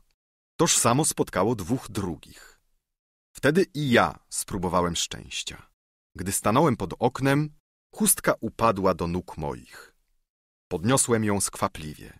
Zawierała kilka sztuk drobnej monety, wartej około dziesięciu naszych realów. Pojmujecie zapewne radość za ten dar w pośród najdotkliwszej nędzy, mnie wyłącznie przeznaczony. Powróciłem na taras i ujrzałem w tym samym oknie rękę śnieżnej białości, należącą niezawodnie do kobiety. Podziękowaliśmy jej wszyscy głębokim ukłonem na sposób turecki, schylając się z rękami na piersiach skrzyżowanymi. Niezadługo ujrzeliśmy w tym samym miejscu mały krzyż z trzciny, który wnet cofnięto. Nie wątpiliśmy przeto, że dobroczynna niewiasta była niewolnicą chrześcijańską. Białość jej ramienia i bogactwo bransolety zdobiącej rękę nasuwało wniosek, że to mogła być chrześcijanka, która przeszła na wiarę muzułmańską. Maurowie bowiem najwięcej ubiegają się za takimi kobietami i dają im pierwszeństwo nad krajowymi. Domniemania jednak nasze nie były prawdziwe, jak się to później okaże. Od tej chwili rozmawialiśmy codziennie o dobroczynnej osobie, mając zawsze oczy wlepione w okno, z którego spadła niespodziewana pomoc. Przez piętnaście dni okno się nie otwierało, a pomimo naszych badań nie dowiedzieliśmy się nic więcej nadto, że dom należał do Agimorata, znakomitego Maura, który piastował urząd wysoki gubernatora La Plata. Lecz gdyśmy się tego najmniej spodziewali, bawiąc się na tarasie we czterech, raptem pokazała się chustka na trzcinie. Moi towarzysze doznali zawodu, jak pierwszym razem. Chustka mnie się dostała. Teraz obejmowała czterdzieści dukatów hiszpańskich i list pisany po arabsku ze znakiem krzyża u dołu pisma. Wróciliśmy na taras złożyć podziękowania. Dałem znak głową, że przeczytam. Wtedy ręka znikła i zamknięto z pośpiechem okno. To niezwykłe szczęście wśród przykrego położenia barbarzyńskiego kraju nabawiło nas wielkiej radości i większych jeszcze nadziei. Lecz gdy żaden z nas nie umiał po arabsku, nie wiedzieliśmy, do kogo się udać o przeczytanie listu, bośmy się bali wystawić na niebezpieczeństwo i nas samych, i dobroczynnej damy. Ciekawość jednak przemogła. Zwierzyłem się pewnemu renegatowi z Murcji, który okazywał mi wiele przyjaźni. Prosiłem go o przeczytanie listu, który miał mnie objaśnić prawdopodobnie, dlaczego nieznajoma mnie wybrała spośród towarzyszów. Przedsięwziąłem wszystkie środki ostrożności, aby go zobowiązać do tajemnicy. Udzieliłem mu świadectwo piśmiennie, że był dobrym człowiekiem, niósł pomoc chrześcijanom i miał zamiar ucieczki przy pierwszej sposobności. Jest to zapewnienie, którego znów żąda renegat, gdy wspomaga ucieczkę chrześcijanina. Niektórzy używają tego na dobre, inni robią to przez zręczność i przezorność, bo gdy staną się korsarzami, jeżeli wpadną wypadkiem w ręce chrześcijan, zasłaniają się takim świadectwem, które daje przekonanie, że wypadało im złączyć się z Turkami, aby zyskać łatwość dostania się między niewolników chrześcijan. Tym sposobem unikają niewątpliwej śmierci, przyrzekając przejść na łono Kościoła. Dalecy od spełnienia tej obietnicy, żyją spokojnie bez prześladowania, a przy wydarzonej sposobności wracają do Berberii. Renegat, do którego zwróciłem się z prośbą, dostał od nas wszystkich takie świadectwa. Gdyby był przez Maurów złapanym, co najmniej spalono by go żywcem. Ponieważ posiadał język arabski, prosiłem go, aby przeczytał szpargał przypadkiem znaleziony w kącie izby. Przejrzał go razy kilka i powiedział, że jeżeli mu dostarczę papieru i atramentu, przepiszę go dosłownie w tłumaczeniu. A teraz ust nie rzekł, daję ci dokładny przekład listu. Uprzedzam cię tylko, że Lella Marian znaczy Najświętsza Panna, zaś Allah Bóg. Treść listu, którego w życiu nie zapomnę, była następująca. Gdy byłam jeszcze dziecięciem w domu rodziców, niewolnica nauczyła mnie chrześcijańskiej modlitwy w moim języku i mówiła o Lella Marian. Ta niewolnica umarła i wiem, że nie poszła na ogień wieczny, ale poszła do Allaha, bom ją od owego czasu widziała dwa razy i powiedziała mi, ażebym się udała do krajów chrześcijańskich, do Lelli Marian, która mnie kocha bardzo. Nie wiem, jak się do tych krajów dostać. Z okna mojego widziałam wielu chrześcijan, ale nie pochlebiając ci, ty, jeden z nich wszystkich, zbudziłeś we mnie najwięcej zaufania jako szlachetny i zacny kawaler. Jestem młoda, dość piękna i wielkie pieniądze zabrać z sobą mogę. Pomyśl, czy byś się nie podjął mnie wziąć z sobą i uprowadzić. Jeżeli zechcesz, pojmiesz mnie za żonę, a jeżeli nie zechcesz, to mniejsza o to, bo Lella Marian da mi męża. List ten pisze własną ręką. Bądź więc ostrożny, jeżeli go komu pokazywać będziesz. Ostrzegam cię. Nie wiesz Maurom, bo to wszystko dusze zdradzieckie. Wyznaję ci, iż lękam się bardzo, abyś nie zawierzył jakiemu zdrajcy. Gdyby bowiem ojciec mój o tym się dowiedział, zrzuciłby mnie w studnie i kamieniami przywalił. Kładę nitkę w środek trzciny. Przywiąż do niej odpowiedź swoją. A jeżeli nie masz nikogo, co by po arabsku pisać umiał, to mi ją daj na migi. Lella Marian sprawi dobrotliwie, iż ją zrozumiem. Niechajże ona i Allah mają cię w swojej opiece, jako i krzyż ten, który całuje często, stosownie do zalecenia niewolnicy. Nie potrzebuję wam mówić, jakim podziwem i radością list ten nas przejął. Renegat nie mógł uwierzyć, abyśmy mogli znaleźć go wypadkiem i sądził, że do którego z nas był pisany. I błagał nas, ażebyśmy mu prawdę powiedzieli i zaufali mu zupełnie, gdyż gotów jest życie własne dla naszej wolności narazić. Mówiąc to, wydobył z zanadrza mały krzyżyk metalowy i rzewnymi zalewając się łzami przysięgał nam na Boga, który wyobrażenie krzyżyk ten przedstawia, a w którego mimo grzesznego odstępstwa wierzył zawsze gorąco, że dochowa nam święcie tajemnicy, jaką tylko mu powierzymy. Zaręczał, iż przeczuwa to niezawodnie i wie na pewno, że ta, co pisała list do nas, wszystkim nam wolność powróci, a jemu da to, czego żąda najserdeczniej. To jest przyłączy go na powrót do Kościoła Świętego, od którego odpadł nieszczęśliwy.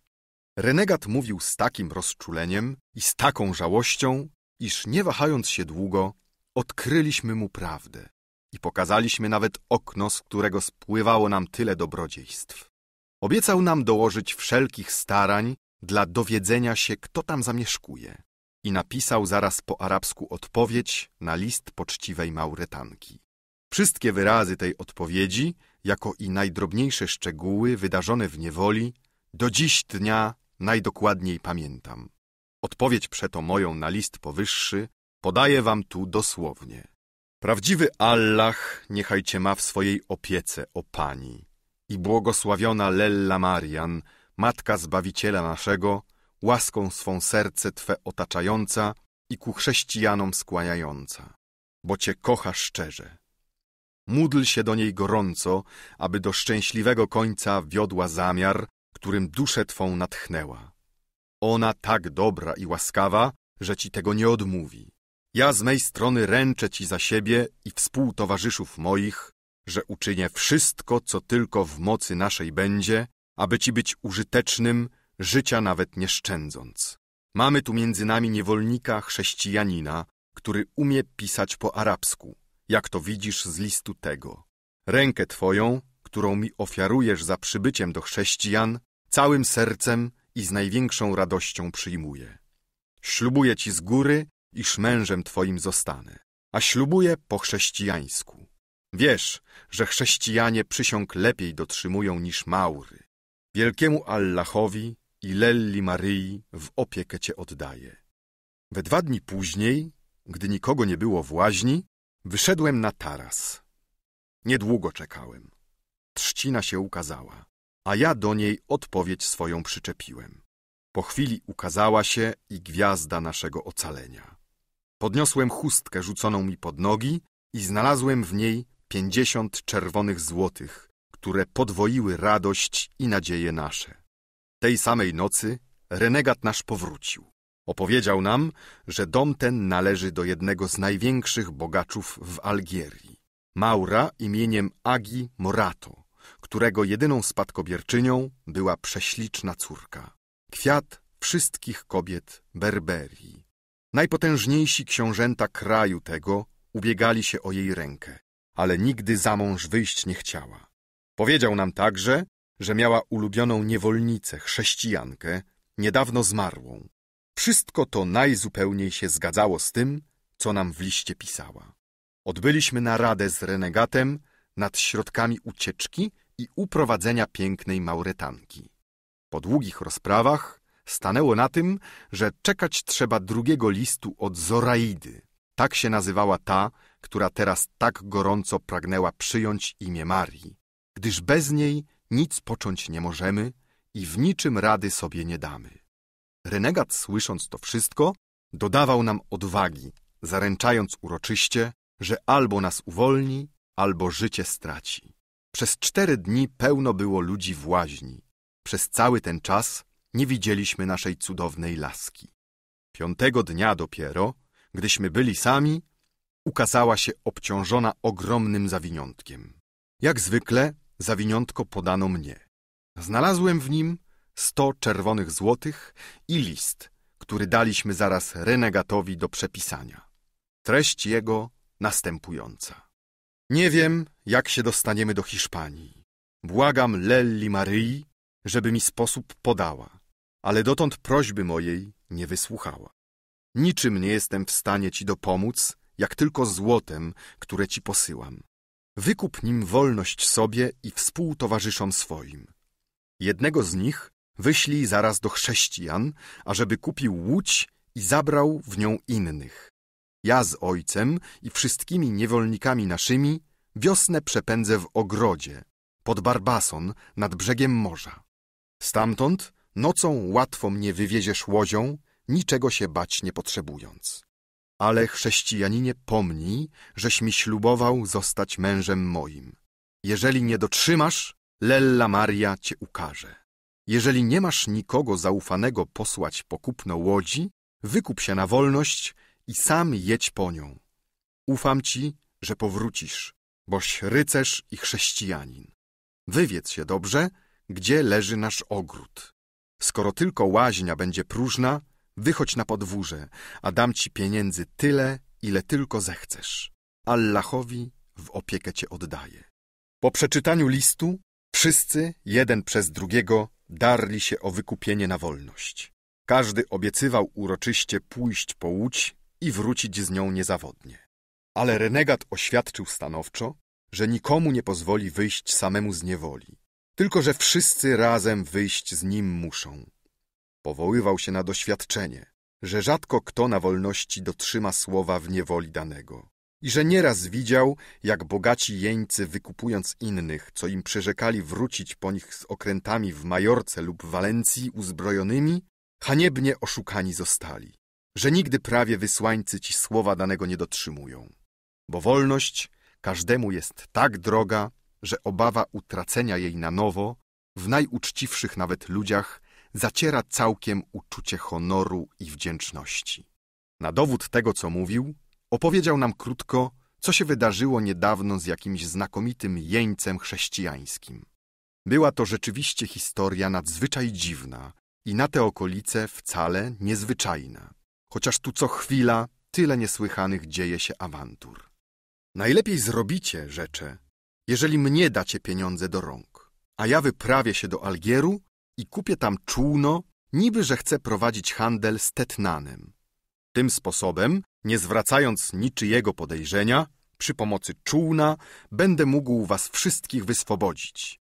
A przyjdzie to tym łatwiej, jeżeli piękna Mauretanka dotrzyma słowa i da wam tyle pieniędzy, ile obiecała. W takim bowiem razie będziecie mogli wykupić się z niewoli i o białym dniu wyruszyć. W tym tylko bieda, że przezorni Maurowie nie pozwalają renegatom kupować czółen, tylko większe statki, bo się domyślają, że czółna Hiszpanom też mianowicie nie na co innego potrzebne, jak tylko ażeby chrześcijańskich jeńców wywozić. Ale i na to znajdzie się rada. Wiem, co zrobię.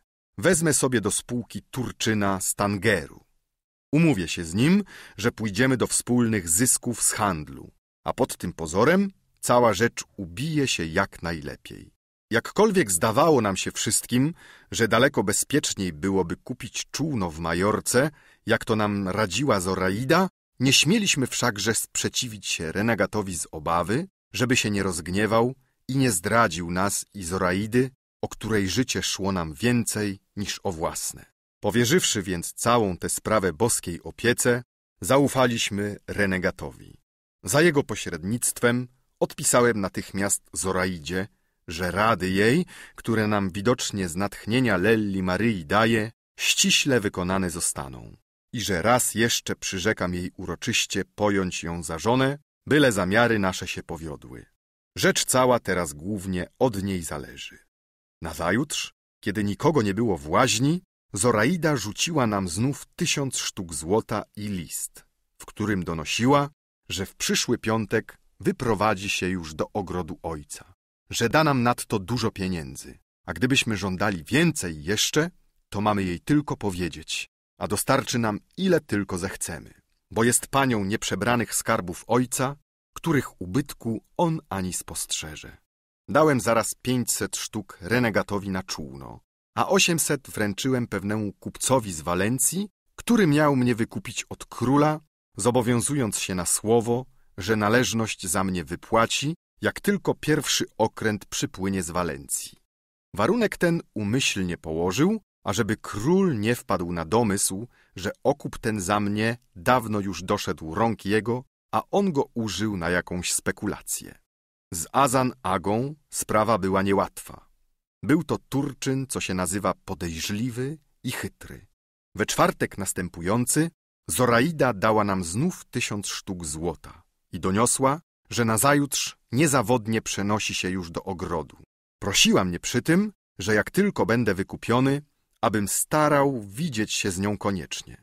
Odpowiedziałem jej, że uczynię to niezawodnie i prosiłem, ażeby tymczasem modliła się za nas do Lelli Maryi, jak ją nauczyła niewolnica chrześcijanka.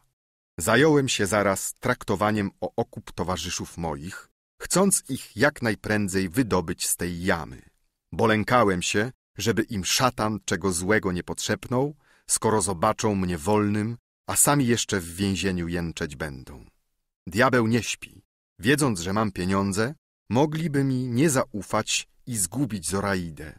Chociaż stan i urodzenie ich powinno mi służyć za rękojmie ich postępowania, nie chciałem wszakże puszczać rzeczy na hazard. Dałem więc zaraz temu samemu kupcowi pieniądze na wykupienie ich, ażeby mógł interes ten jednocześnie z moim prowadzić. Tajemnicy naszej nie odkryłem mu wszakże nigdy. Byłoby to niebezpieczne. Rozdział czternasty. Dalszy ciąg tejże samej historii. W dwa tygodnie niespełna renegat już miał kupione czółno, w które trzydzieści osób wygodnie pomieścić się mogło.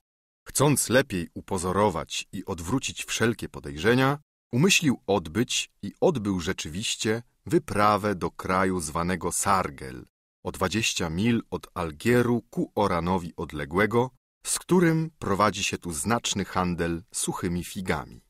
Jeździł sam umyślnie coś ze cztery razy z Tagarynem, którego przypuścił do spółki.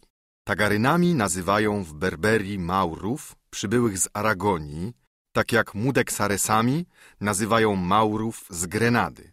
W państwie Tezu Mudaksaresów tych zowią El-Hasami. Ich to król używa głównie do służby wojskowej. W wycieczkach tych renegat wstępował zwykle do małej zatoki, tuż pod ogrodem Agimorato. Wysiadał z majtkami na ląd, odbywał z nimi nabożeństwo i inne obrzędy, wschodnim żeglarzom właściwe. A to wszystko dlatego, ażeby sobie wykonanie zamiaru na przyszłość ułatwić. Zachodził do ogrodu Zoraidy, prosząc o owoce. Agamorato, chociaż go nie znał, dawał mu je chętnie. Chciał koniecznie widzieć się z Zoraidą sam na sam i powiedzieć jej, że jest wybranym przeze mnie do uwiezienia jej i że może całkiem mu zaufać. Ale mimo wszelkich usiłowań nie mógł tego dokazać, bo kobiety mauretańskie nie dają się nigdy widzieć ani Maurom, ani Turkom. Chyba na wyraźny rozkaz ojca lub męża. Co się tyczy niewolników chrześcijańskich, to z tymi żadnych sobie nie robią ceremonii i podobno aż za bardzo poufale z nimi sobie postępują. Ja bym także nie bardzo był rad, żeby on mówił z Zoraidą, bo pewnie by się przestraszyła, że los jej powierzyłem w ręce renegata, któremu oni mniej jeszcze niż Maurowi wierzą. Ale Bóg to sam odwrócił. Widząc renegat, że mu tak łatwo idzie, że może przybijać do lądu, gdzie mu się tylko podoba, że wspólnik jego Tagaryn zupełnie mu ufa i że nareszcie ja już wykupiony jestem, oświadczył mi, że teraz trzeba postarać się tylko o wioślarzy i tych, których mam zabrać z sobą, uprzedzić, ażeby na piątek do odjazdu byli gotowi. Dzień ten zastanowczy termin oznaczając. Nie tracąc czasu, nająłem zaraz dwunastu Hiszpanów, dzielnych na morze, którym najłatwiej było wydalić się z miasta. Szczęśliwym trafem dało się ich tylu zebrać, bo właśnie tylko co wyruszyło dwadzieścia galer z portu, zabrawszy z miasta wszystkich prawie wioślarzy. Szczęściem dla nas, pan tych ludzi nie wysyłał ich tego roku na morze, bo miał na warsztacie dopiero nową galerę. Hiszpanom moim poleciłem tedy, żeby w piątek wieczorem wyszli z miasta pojedynczo i czekali na mnie pod ogrodem Agi Murata. Każdemu z osobna powtórzyłem to polecenie, przestrzegając o ostrożności. Przykazałem, ażeby na wypadek, jeżeli spotkają tam jakich chrześcijan, nie mówili im nic więcej, tylko że ja ich tam przysłałem. Teraz pozostała mi rzecz najgłówniejsza do załatwienia, a mianowicie uwiadomić Zoraidę, ażeby się miała na pogotowiu i nie przeraziła się nagłym przybyciem moim. Postanowiłem przeto dostać się do ogrodu i koniecznie się z nią rozmówić. Na dwa dni przed odjazdem zakradłem się istotnie pod pozorem zbierania ziół, ale zaraz przy wejściu spotkałem się oko w oko z jej ojcem. Przemówił do mnie językiem, którym w całej Berberii, a nawet w Konstantynopolu mówią Turcy i chrześcijanie, a który nie jest ani tureckim, ani hiszpańskim, ani żadnym na świecie znanym, tylko pstrą mieszaniną wszystkich razem. Tym tedy językiem zapytał mnie Aga Murat, co robię w jego ogrodzie i czyj jestem. Odpowiedziałem mu, że jestem niewolnikiem Arnaty Mami, bo nie wiedziałem, że to jego przyjaciel i że przyszedłem tu nazbierać ziół dla mojego pana. Wypytywał mnie się także, czy myślę wykupić się z niewoli i wiele mój pan żąda ode mnie. W czasie tej rozmowy Zoraida, która mnie zaraz spostrzegła i poznała, wyszła do ogrodu i bez żadnej ceremonii, bo z chrześcijanami nie robią ich, jakem to już powiedział, zbliżyła się do ojca, który ją nawet sam przywołał. Nie jestem w stanie wypowiedzieć, co się w sercu moim działo, gdym z bliska ujrzał piękną Zoraidę. Wydała mi się tak cudownej urody, iż do zapamiętania olśniony byłem doskonałością jej wdzięków i okazałością stroju. Powiem tylko, że na szyi, przy uszach i w splotach włosów Perę miała więcej niż samych włosów na głowie. Na nogach na pół bosych, zwyczajem krajowym, miała sandały ze złotymi spinkami, sadzonymi w diamenty, które ojciec jej, jak mi później powiedziała, cenił wyżej dziesięciu tysięcy dublonów. Manele na ręku drugie tyle warte były. Perły nie mniej były kosztowne. Stanowią one bowiem najwyższą ozdobę mauretanek i we wszystkich krajach razem zapewne tyle ich nie znajdzie, co między nimi. Ojciec Zoraidy słynął z tego, że posiadał najpiękniejsze perły w całym Algierze, a przy tych klejnotach dwakroć sto tysięcy czerwonych złotych hiszpańskich oddawał całkiem do jej rozporządzenia. Wyobraźcie sobie, jak musiała być piękna w tym wspaniałym stroju, przy wspanialszych wdziękach, którymi natura ją uposażyła a których ani utrapienia, ani niewczasy nie uszkodziły. Dla mnie wspaniałość jej stroju niczym nie była przy tej urodzie. Z sercem przejętym wdzięcznością za tyle doznanych od niej dobrodziejstw, patrzyłem na nią jak na zesłankę niebios, niosącą mi pomoc i szczęście życia całego. Jak tylko zbliżyła się do ojca, powiedział jej w swoim języku, że jestem niewolnikiem przyjaciela jego Arnauty i że przyszedłem tu zebrać sałatę dla pana swojego. Ona odwróciła się ku mnie i zapytała mnie językiem Franków uprzejmie, czy jestem szlachcicem i czemu się dotąd nie wykupiłem. Odpowiedziałem jej, że już się wykupiłem i że pan mój przywiązywał do mnie cenę dość znaczną, kiedy za wolność moją żądał tysiąc pięćset sułtanów. Doprawdy, rzekł Zoraida, gdybyś był niewolnikiem mojego ojca, za dwa razy tyle nie dozwoliłabym ci się wykupić. Bo wy, chrześcijanie, zawsze kłamiecie i udajecie ubogich, ażeby oszukać Maurów. Może inni tak postępują, seniora, odpowiedziałem. Ale ja uczciwie wyszedłem z moim panem i z każdym zawsze uczciwie wychodzę. I kiedyż wyjeżdżasz? Podobno jutro, odpowiedziałem, bo okręt francuski ma jutro z portu wyruszyć, a ja chciałbym z tej sposobności korzystać. Czyby nie lepiej, rzecze Zoraida, zaczekać ci na okręt hiszpański, niż jechać z Francuzami, którzy nie są przyjaciółmi twojego narodu? Nie, seniora, odpowiedziałem.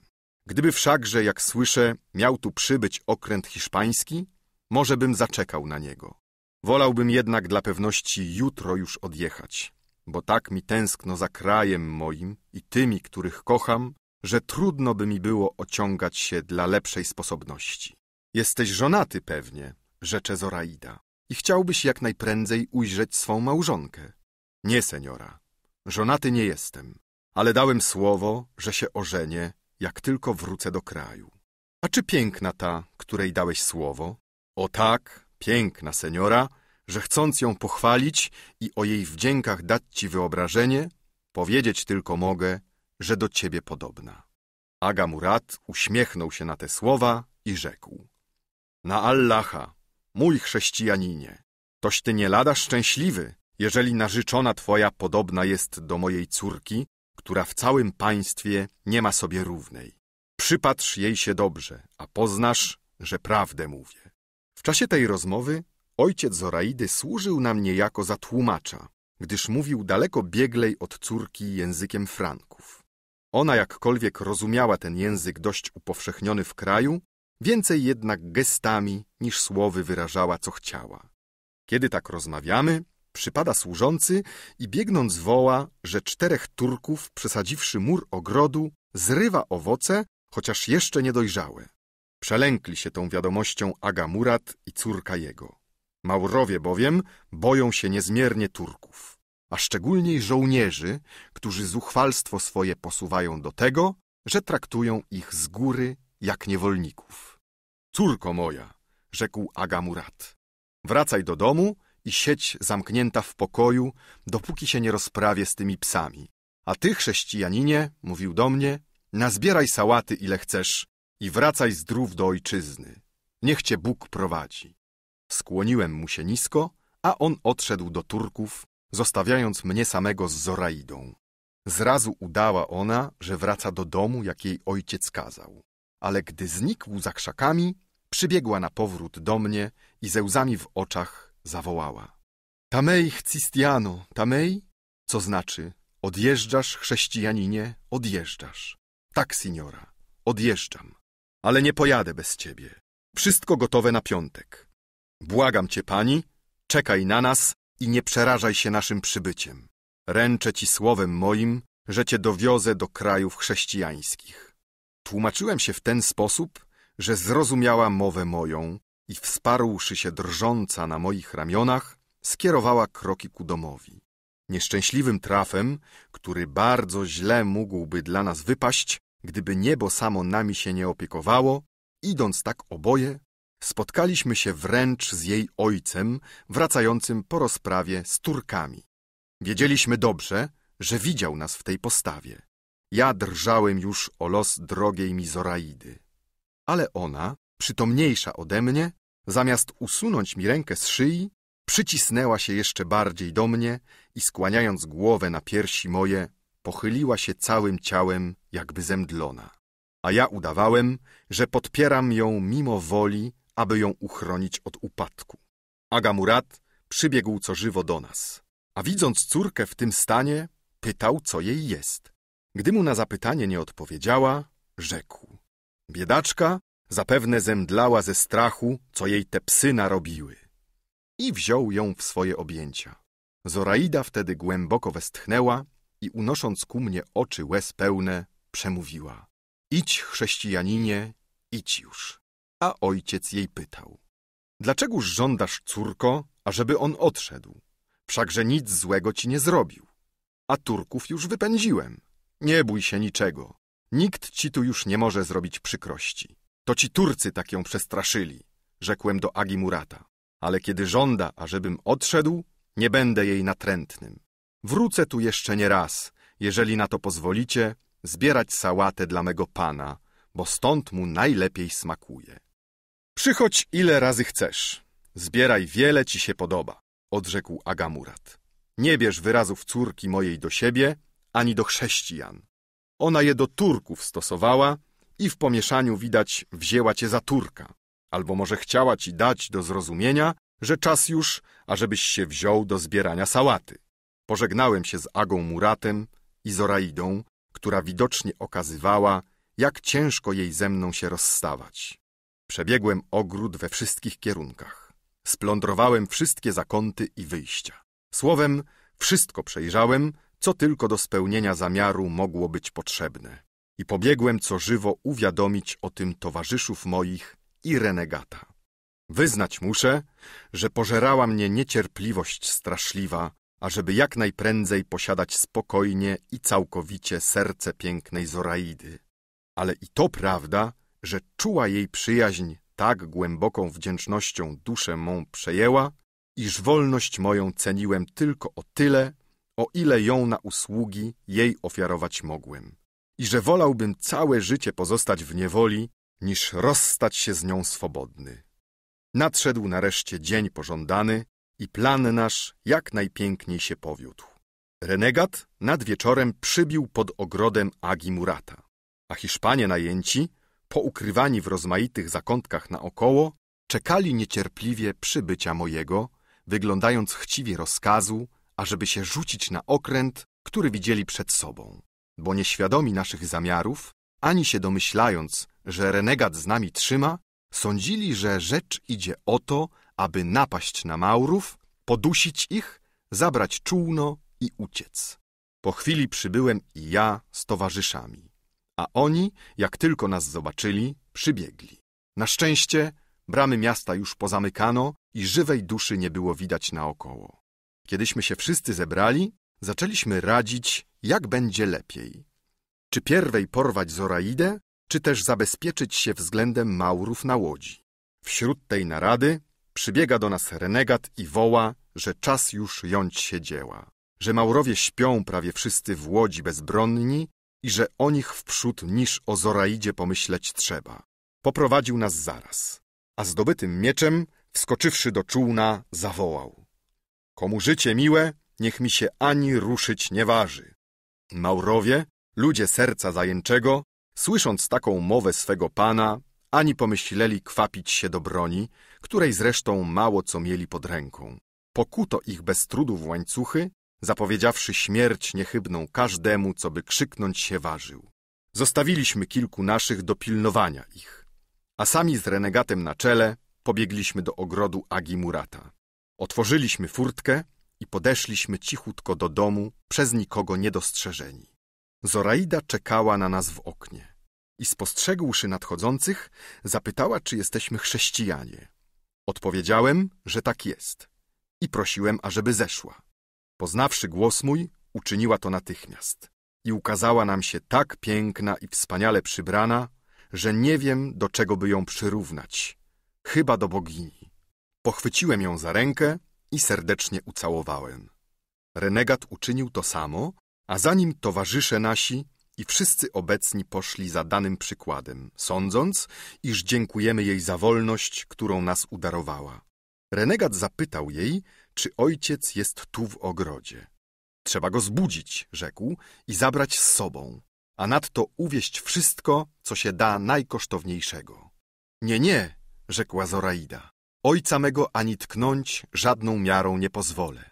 Sama zabiorę, co tylko jest najlepszego w domu, a tego będzie aż nadto, ażeby was wszystkich wzbogacić.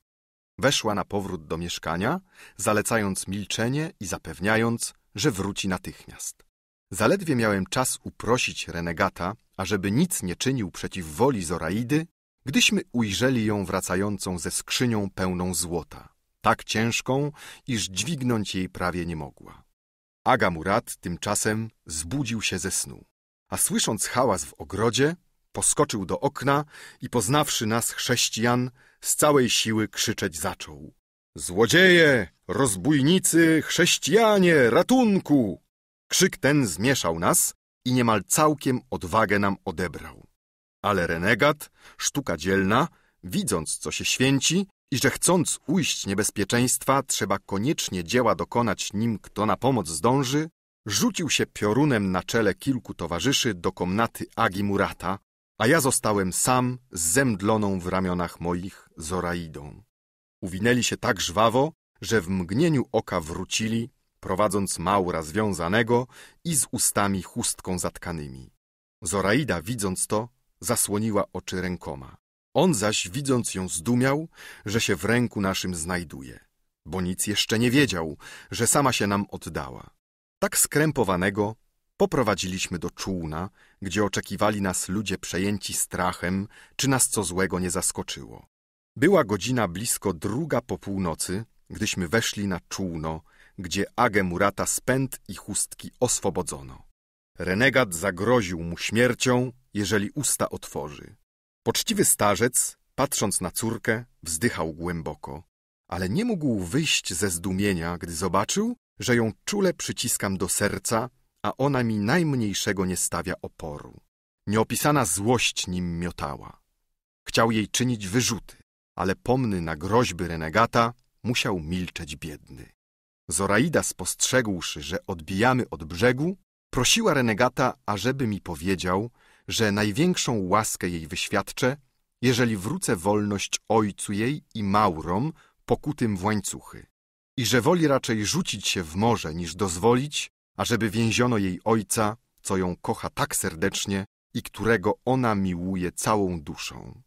Ja zgodziłem się bez namysłu na wszystkie żądania, ale renegat wystawił mi, że niepodobna uwalniać ludzi, którzy natychmiast po wypuszczeniu przyzywaliby pomoc i wysłaliby w pogoń za nami kilka lekkich fregat z miasta, a te niechybnie by nas dościgły. Zgodziliśmy się przeto wszyscy i Zoraida z nami, gdym jej wystawił te następstwa, że Maurów uwolnić nie można, aż dopiero za przybyciem do krajów chrześcijańskich. Tak tedy, poleciwszy się Bogu, płynęliśmy wesoło przy pomocy dzielnych naszych wioślarzy, sterując ku wyspie Majorce, najbliższej chrześcijan osadzie. Ale los nam nie sprzyjał. Zerwał się gwałtowny wiatr północny. Morze się wzburzyło i nie byliśmy w stanie utrzymać kierunku naszego. Musieliśmy radzi nie radzi trzymać się tuż przy wybrzeżach Oranu, wśród najdolegliwszej obawy, ażeby nas kto nie dojrzał z miasta Sargiel, o sześćdziesiąt mil z tej strony od Algieru oddalonego, lub żeby nie spotkać się z jaką galiotą ładowną z Tetuanu wracającą.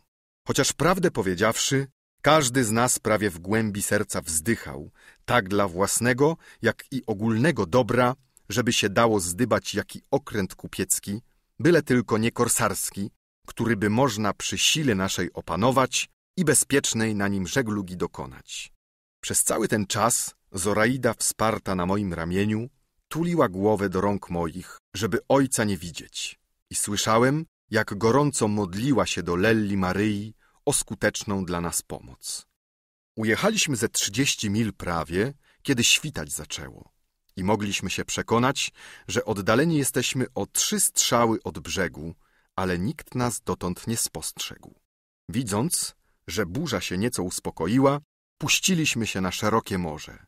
A odpłynąwszy ze dwie mile od lądu, kazaliśmy Hiszpanom zwolnić ruch wioseł, żeby się można posilić.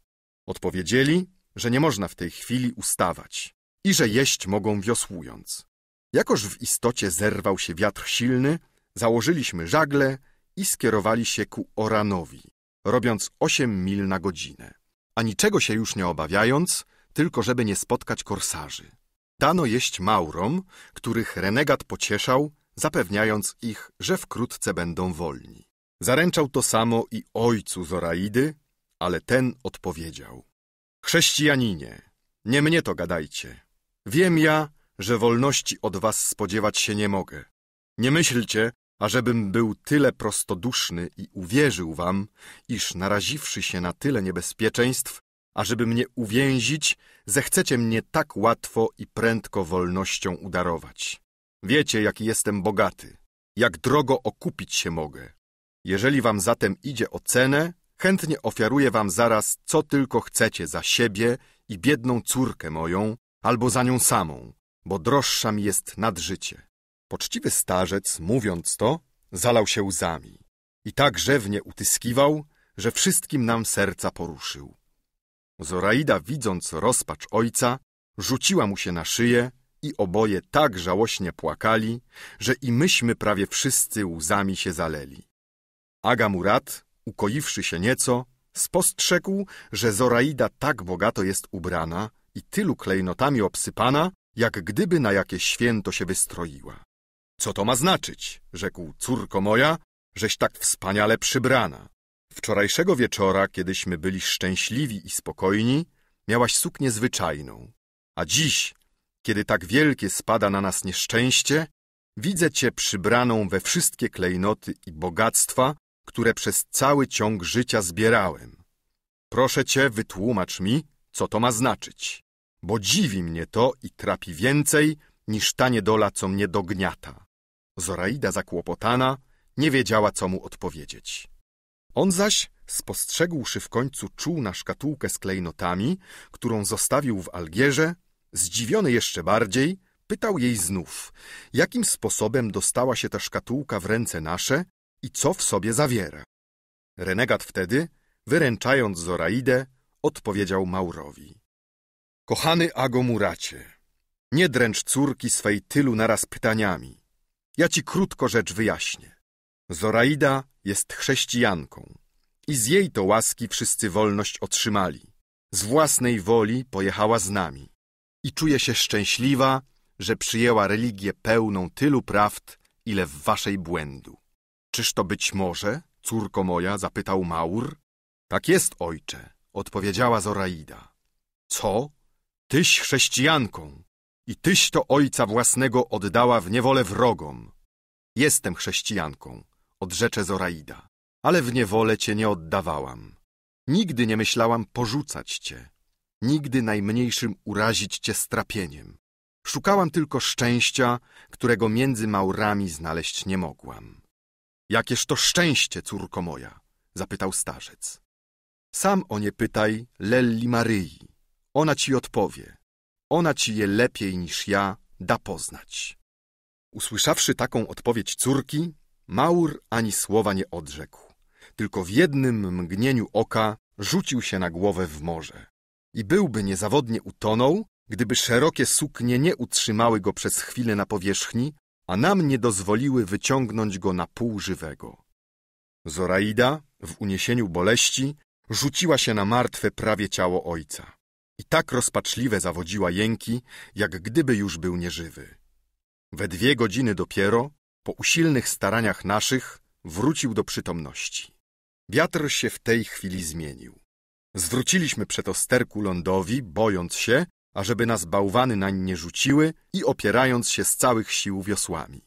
Szczęście wszakże nad wszelkie spodziewanie sprzyjało i dało nam przybić w zatoce obok małego przylądka, który Maurowie nazywają kawarumia, co znaczy zła kobieta chrześcijańska. Podanie ich bowiem niesie, że córka hrabiego Juliana, która zgubiła Hiszpanię, tam jest pochowana. Utrzymuje się między nimi przesąd, że miejsce to jest złowrogie i że nieszczęście czeka każdego, kto się tam zatrzyma. Nie stają tu więc nigdy, chyba konieczną potrzebą zmuszeni. Dla nas Kawa Rumia stała się portem ocalenia, chroniąc nas przed grożącą burzą. Rozstawiliśmy natychmiast czaty na lądzie i nie wypuszczając z rąk wioseł, wzięliśmy się do posiłku, a Boga błagaliśmy gorąco, żeby tak pomyślnie rozpoczętego dzieła ocalenia szczęśliwie dał nam dokonać. Serce Zoraidy bolało niezmiernie nad losem ojca i ziomków, których w okowach przed sobą widziała. Usilnie błagała nas, ażebyśmy ich na ląd wysadzili. Przyrzekliśmy jej, że uczynimy to przed odjazdem. Wiedzieliśmy bowiem, że w miejscu tak pustym bać się czego nie było. Bóg wysłuchał modłów naszych. Wiatr się zmienił i morze uspokoiło. Rozkuliśmy Maurów nad ich spodziewanie i puściliśmy ich na ląd wolnych. Gdy chcieliśmy wysadzić ojca Zoraidy, całkiem już zdrowego, rzekł nam. Czy myślicie, chrześcijanie, że ta odrodna istota pragnie szczerze widzieć mnie wolnym? Nie sądźcie, ażeby z miłości lub miłosierdzia tego żądała. Nie, nie, wstyd jej tylko, ażebym ja był świadkiem niecnych jej czynów. Nie myślcie, że zmieniła religię z przekonania, że wasza jest lepsza od naszej. Nie, zmieniła ją, bo wie, że u was kobiety więcej mają wolności niż u Maurów. Niegodna, mówił zwracając się do Zoraidy, gdyśmy go we dwóch trzymali, bojąc się jakiego gwałtu. Córko wyrodna i przeklęta, czego szukasz? Gdzie dążysz? Zaślepiona czyż nie widzisz, że rzucasz się w ręce najzaciętszych wrogów naszych? Idź nędzna. O przeklęta niech będzie godzina, w której ci życie dałem. Przeklęte starania, które około ciebie podejmowałem. Widząc, że Maur nie przestaje złorzeczyć i coraz bardziej się unosi, kazałem go jak najprędzej na ląd wysadzić. A on stamtąd jeszcze miotał przekleństwa z tą samą zapalczywością, wzywając Mahometa, aby wyjednał u Boga śmierć dla nas w przepaściach morskich. Kiedy już widział, że słowa jego uszu naszych nie dochodzą, bo czółno kawał od brzegu już odpłynęło, rwał sobie włosy z brody i głowy tarzał się po ziemi i tak strasznej rozpaczy dawał oznaki, żeśmy wszyscy się lękali, aby życia sobie nie odebrał. Miłość rodzicielska wszakże wzięła górę i ukoiwszy nieco umysł jego zbłąkany, wszelkich środków próbować mu kazała. Wołać więc zaczął z całych sił. Wróć do mnie, córko droga, wróć, dziecię najukochańsze, wszystko ci przebaczam, Zostaw tym złoczyńcom wszystkie bogactwa, które nam wydarli, a wróć pocieszać starego ojca, który cię tak kocha i umrze na tej pustyni, jeśli go odstąpisz. Zoraida słyszała te wołania. Serce jej się krajało, we łzach tonęła, a słowa wymówić nie była w stanie. Przemogła się nareszcie i na te słów kilka zdobyła. Ojcze Lelli Maryi, co mnie na chrześcijankę powołała, błagać będę o zesłanie ci pociechy. Allah mi świadkiem, że nie mogłam się oprzeć temu, com uczyniła. Chrześcijanie nie zmuszali wcale. Lella Maria tylko skłoniła mnie dokonać tego, com rozpoczęła. Przysięgam ci, ojcze najdroższy, żem dobrze zrobiła i żeś postępku mego żałować nie powinien. Gdy Zoraida wyrazy te mówiła, ojca już widać nie było. Bezpieczni teraz Żeglowaliśmy swobodnie z pomyślnym wiatrem, ciesząc się, że ze wschodem słońca u brzegów Hiszpanii staniemy. Ale radość nasza nie trwała długo. Może przekleństwa Maura złowrogi skutek wywarły. Około godziny trzeciej w nocy, kiedy w najlepsze pędzimy silnym popychani wiatrem, tuż obok zjawia się nagle okręt, całą siłą żagli na przełaj ku nam gnający. Musieliśmy się zwinąć, żeby w nas nie uderzył i przy świetle księżyca widzieliśmy, jak na okręcie całą mocą ster przyparto, żeby pęd wstrzymać. Zapytano się nas zaraz, kto jesteśmy, skąd i dokąd płyniemy. Pytania te czyniono po francusku. Renegat przeto zakazał na nie odpowiadać, zapewniając, że to są korsarze francuscy, którzy zarówno swoich, jak i nie swoich obdzierają. Przelecieliśmy mimo okrętu, ani się odezwawszy. pozostał w tyle. Ale ku wielkiemu strachowi naszemu wypalono do nas dwa razy z armat nabitych, jak się zdaje, łańcuchami. Za pierwszym razem strzał ściął nam w połowie maszt wielki i z żaglem w morze wrzucił. Drugi strzał ugodził w czółno po boku i na wskroś je przeszył, nikogo wszakże nie raniwszy. Czuliśmy, że idziemy do dna. Nie było rady. Trzeba było wołać o pomoc do okrętu i prosić, żeby nas zabrali, bo śmierć niechybna nam groziła. Spuścili zaraz bat z okrętu i przypłynęło do nas dwunastu Francuzów z muszkietami i lątem zapalonym, widząc, że łódź nasza tonie, zabrali nas z sobą i wymawiali nam, że sami na siebie biedę ściągnęliśmy, nie odpowiadając na pytania. Jak tylko weszliśmy na okręt, korsarze, wypytawszy o wszystko, co wiedzieć chcieli, złupili nas do szczętu, jakby najzawziętszych wrogów. Zabrali nam wszystko, wyjąwszy jednej szkatułki z klejnotami, którą renegat wrzucił w morze tak, że nikt nie widział. Zoraidę obdarli z drogich kamieni i złota, które na sobie miała. I przyznam się szczerze, że strach mnie brał nie żartem, ażeby się przypadkiem do gorszych jeszcze gwałtów nie posunęli. Szczęściem Atoli gawieć ta, jakkolwiek całkiem zezwierzęcona, głównie dba tylko o łupy i tak ich jest chciwa, że byliby nam i odzienie nasze niewolnicze zabrali, gdyby im się tylko na co przydać mogło. Najgorszy strach był o to, że się już naradzać zaczęli, czy nas zawinąć w starą żaglownię i wrzucić w morze, czy nie. Mieli bowiem zamiar prowadzić handel w portach hiszpańskich pod banderą angielską i lękali się, ażebyśmy ich nie zdradzili i kary na nich nie ściągnęli. Większa część rozbójników była za tym, ażeby nas potopić. Ale kapitan okrętu, któremu dostały się w podziale klejnoty drogiej mojej Zoraidy, oświadczył, że zadowolony jest swoim kęskiem i że idzie mu tylko o to, żeby nocą przemknąć się przez cieśninę gibraltarską i dostać się jak najprędzej do Roszela, skąd wypłynął. Wszyscy się na to zgodzili i nazajutrz dano nam szalupę zaopatrzoną w nieco żywności. Wybrzeża Hiszpanii były już niedaleko. Widok ich taką nas przejął radością, żeśmy o wszystkich biedach naszych zapomnieli. Południe już było prawie, kiedy nas wsadzili na szalupę, dawszy dwie baryłki wody i kilkanaście sucharów. Kapitan okrętu, tknięty jakimś dziwnym współczuciem dla Zoraidy, dał jej na drogę czterdzieści sztuk złota i zabronił żołdactwu zdzierać z niej suknie, które też dotąd ma na sobie. Pożegnaliśmy się z nimi, dziękując, że nas żywo puścili. Oni skierowali się ku cieśninie, a my co sił dążyli do lądu, który przy zachodzie słońca widzieliśmy tak blisko, że przed nocą moglibyśmy stanąć na rodzinnej ziemi. Ale że księżyc nie świecił, niebo było mocno zachmurzone i nikt z nas nie znał tych okolic. Nie śmieliśmy przeto docierać do brzegu. Chociaż większa część była tego zdania, i słusznie, że lepiej wpaść gdzie na skałę, niż narażać się znów na spotkanie z korsarzami tetuańskimi, nocą zawsze tu plądrującymi. Z dwóch tych zdań przeciwnych utworzyło się trzecie i stanęło na tym, żeśmy po trochu ku lądowi zmierzali i wysiąść postanowili, jak tylko sposobność się zdarzy i może pozwoli. Wiosłując krzepko, przybyliśmy na wprost góry i wysiedliśmy na piasek.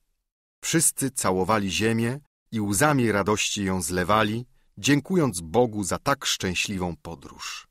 Potem wyładowaliśmy żywność z szalupy i nie wierząc jeszcze sobie, żebyśmy byli na ziemi chrześcijańskiej i bezpiecznej, podążyliśmy na górę, ile mógł kto zdążyć. Skoro dzień nadszedł, przebraliśmy się na sam szczyt skały, chcąc dopatrzyć wsi albo jakiej rybackiej chaty. Nie dojrzawszy wszakże ani domu, ani drogi, ani drożyny najmniejszej, jak okiem zasięgnąć, ruszyliśmy dalej w głąb kraju, ufni, iż przecież spotkamy kogoś, co nam powie, gdzie jesteśmy. Najbardziej bolało mnie to, że najukochańsza moja Zoraida iść musiała pieszo po tak przykrej drodze, bo choć ją brałem czasami na ręce, nie pozwalała się nieść długo, nie chcąc mnie trudzić i wolała iść pieszo, wsparta na moim ramieniu. Uszedłszy z ćwierć mili drogi, usłyszeliśmy odgłos klekotek, oznajmiający nam, że gdzieś w bliskości trzoda bydła się znajduje.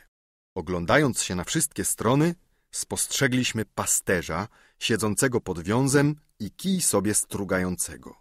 Zawołaliśmy na niego. Powstał zaraz i obróciwszy głowę, jak tylko spostrzegł, o czym później dowiedzieliśmy się, renegata i Zoraidę, po mauretańsku ubranych, drapnął natychmiast, co tylko mógł wyskoczyć do lasu. A myśląc, że cała potęga berberyjska wali na niego, wrzeszczał jak opętany. Do broni, do broni, maury idą, maury! Zakłopotało to nas trochę. Ale zważywszy, że całą okolicę poburzy niebawem hasło pasterza i że jazda graniczna wystąpi, renegatowi kazaliśmy zrzucić długą suknię, a przybrawszy go w kaftan jednego z niewolników, który został w koszuli i poleciwszy się Bogu, szliśmy w ślad za pasterzem, gotowi na wystąpienie jazdy. Nie minęło dwie godziny, a wszystko się stało, jakeśmy powiedzieli. Tylko co wyszliśmy z zarośli na pole, ujrzeliśmy zaraz kilkudziesięciu konnych żołnierzy, kłusem ku nam zmierzających. Czekaliśmy na nich, nie ruszając się z miejsca. Zdziwili się niemało, kiedy przybywszy, poznali w nas zamiast Maurów garstkę obdartych i zbiedzonych chrześcijan. Pytali nas, czy to my narobiliśmy tego rozruchu. Odpowiedziałem, że my. I chciałem mówić więcej, kiedy jeden z towarzyszów przerwał mi nagle wołając. Ach, Bogu Najwyższemu niechaj będą dzięki, że nas tu w łasce swojej raczył obrócić. Bo jeżeli się nie mylę, znajdujemy się w prowincji Veles de Malaga. A ty, panie jezdny, jeżeli niewola pamięci mi nie odebrała, jesteś Piotr de Bustamante. Słysząc to jeździec, zeskoczył natychmiast z konia i czule uściskał młodzieńca. A, tak jest, tak, synowcze mój drogi, mój jedyny, mówił, jać to sam jestem. O jakże myśmy ciebie już to opłakali z matką twoją i rodziną. Myśleliśmy, że już nie żyjesz. Co to będzie za radość? Dowiedzieliśmy się nareszcie, że jesteśmy w Algierze. A teraz z ubioru twego i twoich towarzyszów domyślam się, że umknęliście jakimś cudownym sposobem. Nie inaczej, odpowiedział młodzieniec. Da Bóg, to ci to opowiem. Jak tylko dowiedzieli się żołnierze, że jesteśmy chrześcijanami, ofiarowali nam zaraz konie swoje, a sami piechotą doprowadzili nas do Valles de Malaga, odległego stąd o półtorej mili. Inni wzięli czółno na barki, niektórzy znów posadzili na koniach za sobą, a kapitan Bustamante wziął Zoraidę z sobą na siodło. Tym porządkiem odbyliśmy wjazd do miasta, którego mieszkańcy, dowiedziawszy się o wszystkim, wyszli naprzeciw nas i witali z radością. Nie dziwili się wcale, widząc niewolników wolnymi, a Maurów niewolnikami, bo tu każdy przywykł do podobnych rzeczy.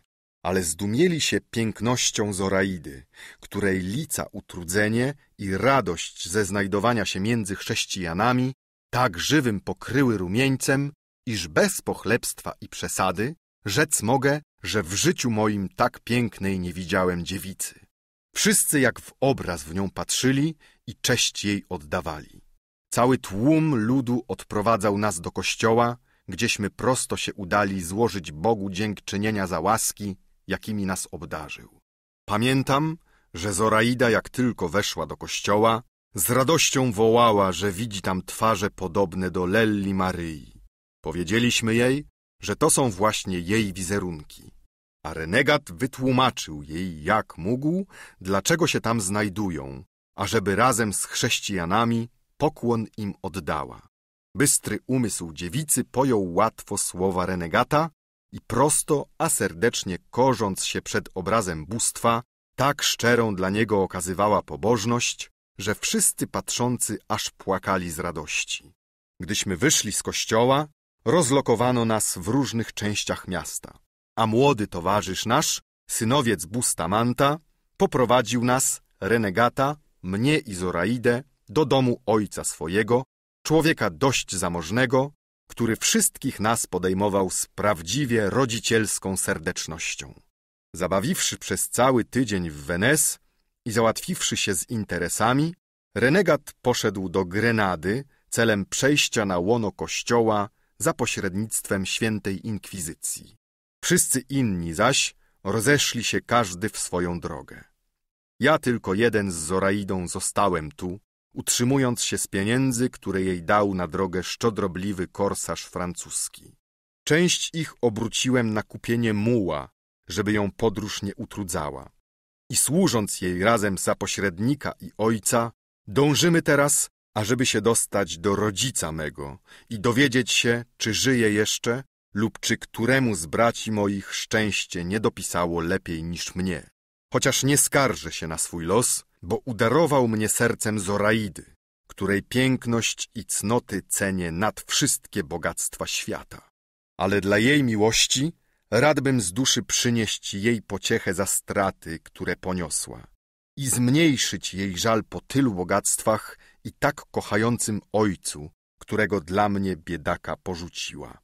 O, bo godną prawdziwie jest uwielbienia za tyle cierpliwości w znoszeniu trudów i przygód naszych. A nade wszystko godną jest uwielbienia za to gorące pragnienie, by zostać już chrześcijanką. To też chociażbym jej nie zawdzięczał tylu dobrodziejstw, czciłbym ją i uwielbiał za jej cnoty wspaniałe i całe życie służyć bym jej pragnął. Mimo tej radości wszakże, że serce jej do mnie należy, trapię się niepewnością, czy znajdę dla niej w ojczyźnie mojej kątek spokojny, gdziebym ją osadził. Bo ojciec mój zapewne już umarł, a bracia moi, rozproszeni gdzieś daleko od miejsca rodzinnego, może nie lepszej ode mnie używają doli. Oto, panowie, cała historia moja. Z serca chciałbym ją był opowiedzieć wam tak dokładnie i zajmująco, jak pełna jest dziwnych wydarzeń. Ale nie mam daru do tego i długi czas przebywając w kraju obcym, gdzie cudzej mowy uczyć się musiałem, własnego prawie zapomniałem języka. Boję się, czym was nie zanudził za długim opowiadaniem. Nie byłem w stanie skrócić go więcej, chociaż wiele okoliczności zupełnie pominąłem. Rozdział 15 O tym, co się wydarzyło w gospodzie i o wielu innych rzeczach godnych wspomnienia. Doprawdy, mości kapitanie, rzekł Fernand do niewolnika. Opowiadanie twoje było równie miłe i zajmujące, jak sama historia. Co do mnie, tyle w tym opisie przygód twoich, tak nowych i zadziwiających znalazłem przyjemności, że chętnie słuchałbym go, a słuchał ciągle.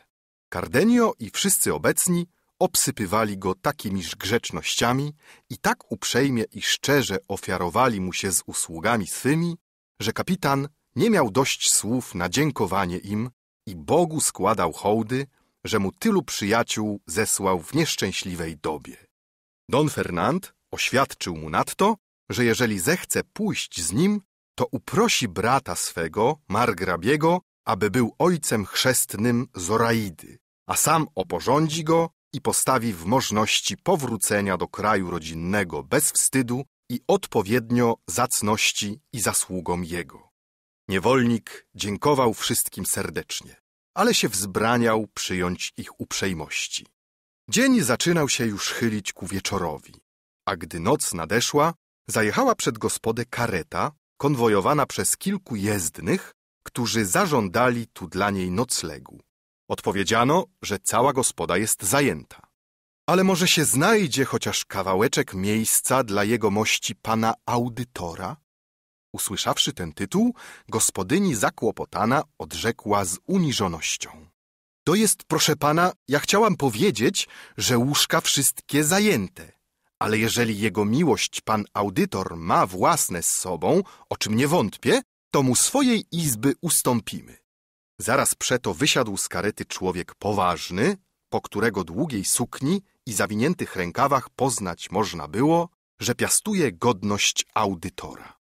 Prowadził za rękę młodą panienkę między piętnastoma a szesnastoma laty, po podróżnemu ubraną, ale tak zgrabną, tak ładną i miluchną, że wszyscy w gospodzie aż zdumieli i jednogłośnie okrzyknęli, że piękność jej w niczym nie ustępuje piękności Doroty, Luscindy i Zoraidy. Don Kiszot, Jak tylko ujrzał wysiadającego audytora, zaraz doń przemówił. Mości panie, możesz śmiało wejść do tego zamku i przebywać, jak ci się długo spodoba. Jest on może przyciasny i nie dość w żywność zaopatrzony, ale niewygody są niczym dla rycerzów i ludzi uczonych. Mianowicie, gdy im, jak tobie, mości panie, towarzyszy piękna dziewica, dla której nie tylko zamków bramy stają otworem, ale skały nawet się rozstępują i nikną, a góry uniżają się, by im drogę torować. Wnić przeto, mości panie, do raju tego, gdzie znajdziesz gwiazdy godne słońca, które z sobą wiedziesz. Zastaniesz męstwo i rycerskość w całym ich blasku i piękność w najwyższym szczycie doskonałości. Audytor, zdumiony przemową Don Kiszota, zaczął mu się pilnie przypatrywać. Podziwiał postawę jego i ruchy i miał już na nowo zwrócić nań swoje obserwacje, kiedy Luscinda, Dorota i Zoraida, uprzedzone przez gospodynię o przybyciu cudnie pięknej dziewicy, wyszły na jej spotkanie i obsypały ją tysiącem uprzejmych grzeczności. Don Fernand, Cardenio i Pleban składali jej również wytworne hołdy i audytora tak grzecznościami obładowali, że sam już nie wiedział, jak na świecie stoi. Ogłuszony, zmieszany, zafrasowany tylu naraz komplementami, wszedł do gospody, kłaniając się ciągle na prawo i na lewo i nie wiedząc, co ma odpowiedzieć. Miarkował jednak, że muszą to być ludzie dobrego urodzenia. Ale twarz, postępowanie, ubiór i wzięcie się Don Kiszota tak go z tropu zbiły, że w głowę biedak zachodził. Po wielu, a wielu grzecznościach obustronnych uradzono nareszcie wzajemnie, że damy wszystkie razem spać będą w jednej izbie, a mężczyźni, jako ich opiekunowie i obrońcy, nocować będą na dworze. Audytor zgodził się chętnie, aby córka jego, młoda panienka była jego córką, poszła z tymi damami. Ona też na to z całego serca przystała. Z kawałka gospodarskiego tapczana i połowy łóżka audytora panie urządziły sobie posłanie, jak było można. Niewolnik nasz od pierwszej zaraz chwili, jak spojrzał na audytora, uczuł w sercu jakieś szeptanie, że to musi być brat jego. Podszedł więc do jednego z jezdnych, co mu towarzyszyli, a wdawszy się z nim w rozmowę, rozpytywał o nazwisko i miejsce urodzenia dygnitarza. Służbowiec odpowiedział, że się pan jego nazywa Juan Perez de Wiedma. Jest licencjatem i pochodzi, jak słyszał, z miasta jakiegoś w górach Leonu. Słysząc to, niewolnik nasz utwierdził się jeszcze mocniej w przekonaniu, że audytor musi być bratem jego, którego ojciec na drogę naukową przeznaczył. Uradowany takim zdarzeniem, wziął na bok Don Fernanda, Cardenia i plebana i opowiedział im wszystko, zaręczając, że audytor jest jego bratem. Służbowiec powiedział mu nadto, że jedzie do Meksyku na wysoki urząd, że panienka towarzysząca mu jest jego córką, a matka jej umarła, wydając ją na świat i zostawiła mężowi wielki majątek, którego jedyną dziedziczką jest córka.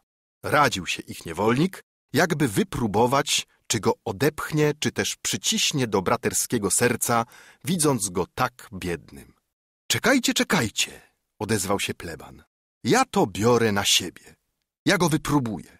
Mam jakoś nadzieję i po minie pana audytora widzę, że to człowiek nienadęty i niegardzący biednymi. Z tym wszystkim, odrzeknie niewolnik, nie chciałbym mu dać poznać od razu i tak wprost. Wolałbym to jakoś zręczniej zrobić. No, no, raz jeszcze ci powtarzam, kapitanie, rzecze pleban. Zostaw tę rzecz mojej głowie, a obaczysz, że wszystko ślicznie ułożę. W tej chwili podano wieczerze. Wszyscy zasiedli do stołu, nie było tylko kapitana, bo nie chciał przyjść, i dam, które wieczerzały w swoim pokoju. W czasie wieczerzy pleban, zwracając się do audytora, tak mówić zaczął. Mości audytorze, jakem był w Konstantynopolu, gdzie parę lat w ciężkiej przesiedziałem niewoli, miałem tam towarzysza tego samego nazwiska, co wasza dostojność. Był to dzielny żołnierz, jeden z najtęższych oficerów hiszpańskich. ale ile dzielny i szlachetny, tyle też był nieszczęśliwy. A jakże się nazywał ten oficer? zapytał audytor. Nazywał się Rui Perez de Wiedma, a pochodził z jakiegoś miasta w górach Leonu. Opowiadał mi dziwne rzeczy, co mu się wydarzyły z ojcem i braćmi. Tak dziwne, że gdyby mi to kto inny mówił, to bym tę historię policzył do bajek, które baby plotą przy kądzieli. Mówił mi, że ojciec jego, bojąc się, żeby nie roztrwonił fortuny, bo był człowiekiem bardzo szczodrego serca, rozdzielił ją między trzech jego braci i niego, dając im rady godne Katona. Towarzysz mój obrał sobie zawód wojskowy i w krótkim czasie tak się w nim odznaczył, że własną zasługą i męstwem jedynie doszedł do stopnia kapitana piechoty, a pierwszy wakans na regimentarstwo patrzył już na niego. Ale w tej właśnie stanowczej dla siebie chwili, kiedy najwięcej sobie szczęścia rokował, ono najstraszniej odwróciło się od niego. Krótko mówiąc, stracił całą karierę razem z wolnością w pamiętny dzień bitwy pod Lepanto, gdzie tylu niewolników wolność odzyskało. Ja zostałem jeńcem pod Golet i potem po różnych kolejach znaleźliśmy się razem u jednego pana w Konstantynopolu. Stamtąd on poszedł do Algieru, gdzie przechodził przygody tak zadziwiające i tak niesłychane, że doprawdy cudownymi można by je nazwać. Tu pleban opowiedział pokrótce historię kapitana i Zoraidy. Całemu temu opowiadaniu audytor przysłuchiwał się z taką pilnością, że nigdy w życiu lepszym nie był audytorem. Historię tę wszakże urwał pleban w punkcie, kiedy korsarze francuscy złupili co do nitki biednego kapitana i biedną Mauretankę. Co się potem z nimi stało, powiedział, że nie słyszał i że nie wie, czy się dostali do Hiszpanii, czy też korsarze zabrali ich z sobą do Francji. Kapitan, ukryty tuż obok, słyszał każde słowo plebana i śledził pilnie wrażenia, jakie sprawiało na jego bracie. Ten zaś, widząc, że ksiądz skończył opowiadanie, westchnął głęboko i ze łzami w oczach zawołał. O panie, gdybyś ty wiedział, jak ważna dla mnie jest wiadomość, którą mi udzieliłeś i jak ona blisko serca mego dotyka. Za najlepszy dowód niech ci służą te łzy, które mi z oczu wyciska. Mnie, com tak z powołania zahartowany do powagi i roztropnej obojętności.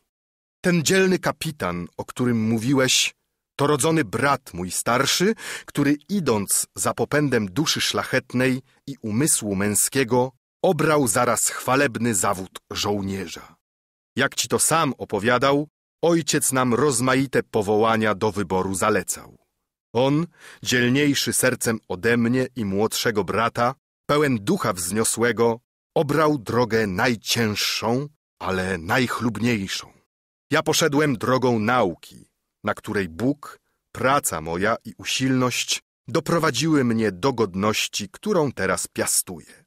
Młodszy brat osiadł w Peru i tak się tam wzbogacił, że nie tylko zwrócił ojcu i mnie udział, który wziął z majątku, ale przysłał nam tyle pieniędzy, że ojciec miał ich aż nadto do zadowolenia wrodzonej sobie szczodroty. A ja z łatwością przy ich pomocy odbyłem nauki i bez trudu zyskałem sobie pozycję, którą dziś posiadam. Poczciwy ojciec nasz żyje jeszcze dotąd i modli się bezustannie do Boga, ażeby mu dozwolił raz jeszcze przed śmiercią widzieć ukochanego syna starszego. I dziwna rzecz doprawdy, że człowiek tak rozumny i dzielny, jak brat mój starszy, od chwili jak wyszedł z wojskiem, nic a nic dotąd o swoim losie nam nie doniósł i o los rodziny ani się zapytał.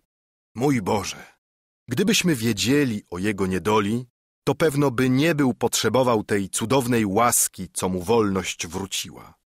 Ale jakże się lękam, czy jej znów nie utracił przez tych niegodziwych korsarzy. Kto wie, może podli ci ludzie zgładzili go, żeby sobie łup zapewnić i na zasłużoną karę się nie narazić. O, myśl ta wszelką radość zabija w mym sercu na zawsze. O drogi bracie, gdybym się tylko mógł dowiedzieć, gdzie ty jesteś. Nie szczędziłbym niczego, ażeby ci iść w pomoc w nieszczęściu. O któż powie staremu ojcu naszemu, że ty jeszcze żyjesz, a choćbyś jęczał w najgłębszych lochach w Berberii, jego bogactwa razem z mymi i brata młodszego musiałyby cię stamtąd wydobyć. A ty, piękna i szlachetna Zoraido, czemuż nie mogę ci się wywdzięczyć za dobrodziejstwa bratu memu świadczone? Czemuż nie mogę być świadkiem świętego duszy Twej odrodzenia? O jakże byłbym szczęśliwy, gdybym Cię mógł do ślubnego poprowadzić ołtarza i oddać w małżeństwo temu, któremu, jak i nam, tyle szczęścia zgotowałaś. Audytor wymówił te wyrazy z tak przejmującym uczuciem boleści i rozrzewnienia, że wszyscy obecni do żywego nimi wzruszeni zostali. Pleban, widząc, że mu się tak powiodło, nie chciał dłużej wytrzymywać audytora. Wstał od stołu, poszedł po Zoraidę i wziąwszy ją za rękę, a za nią poszły zaraz Dorota, Luscinda i córka audytora, poprowadził ją do kapitana. I tego zabrawszy z sobą, z obojgiem zbliżył się do audytora. Otrzyj łzy swoje, zacny panie, rzekł. Oto przyprowadzam ci twego brata ukochanego i tę bratową, którą widzieć tak pragnąłeś. Oto kapitan Wiedma, a to piękna Mauretanka, której tyle zawdzięcza. Widzisz, do jak smutnego stanu doprowadzili ich rozbójnicy francuscy. Ale Bóg to dopuścił, aby otworzyć pole twojej szlachetności. Kapitan rzucił się natychmiast w objęcia brata. A ten, popatrzywszy nań chwilę i poznawszy w nim brata, objął go za szyję i ściskali się tak serdecznie, tak obfite łzy radości leli, że całe towarzystwo wstrzymać się od płaczu nie mogło. Niepodobna powtórzyć, co do siebie dwaj bracia mówili. Trzeba sobie wyobrazić, co ludzie uczciwi, a kochający się szczerze mogą czuć w podobnej chwili. Opowiadali sobie na przemian i prędko rozmaite koleje i przygody życia, a za każdym słowem powtarzali sobie zapewnienia przyjaźni i uczuć braterskich. Audytor porzucał brata, a zwracał się do Zoraidy. Całował ją w uniesieniu, oddawał jej cały majątek, prowadził do córki i jej całować ją kazał. To znów piękna dziewica chrześcijańska i nadobna Mauretanka nie mogły się wyrwać z objęć wzajemnych. I widokiem nieopisanego rozrzewnienia łzy znów całemu towarzystwu wyciskały. Don Kiszot ze swej strony patrzył na wszystko uważnie, ani słowa nie wyrzekł. I wszystkie te wypadki przypisywał chimerom błędnej rycerskości swojej. Dwaj bracia, wyściskawszy się i wycałowawszy do woli, przepraszali towarzystwo, które znów ze współczuciem swoim się oświadczało. Po skończonych grzecznościach stron obu, audytor z kapitanem uradzili, że pierwszy odprowadzi ostatniego do Sewilli, a tymczasem dadzą znać ojcu o jego powrocie, ażeby jak najprędzej zjechał na chrzest i ślub Zoraidy. Audytor bowiem musiał się spieszyć, żeby się zabrać z flotą wyjeżdżającą do Indii. Wszyscy podzielali niewysłowioną radość kapitana ze szczęśliwego spotkania brata. I słów im nie stawało, żeby mu to wypowiedzieć. Ale że już było późno, rozeszli się nareszcie wszyscy, chcąc użyć spoczynku przez resztę nocy. Don Kiszot ofiarował się, że będzie strzegł zamku, żeby go nie napadł jaki olbrzym lub inny tego kalibru rozbójnik, wiedziony rządzą posiadania wielkiego skarbu piękności, które się tam znajdowały.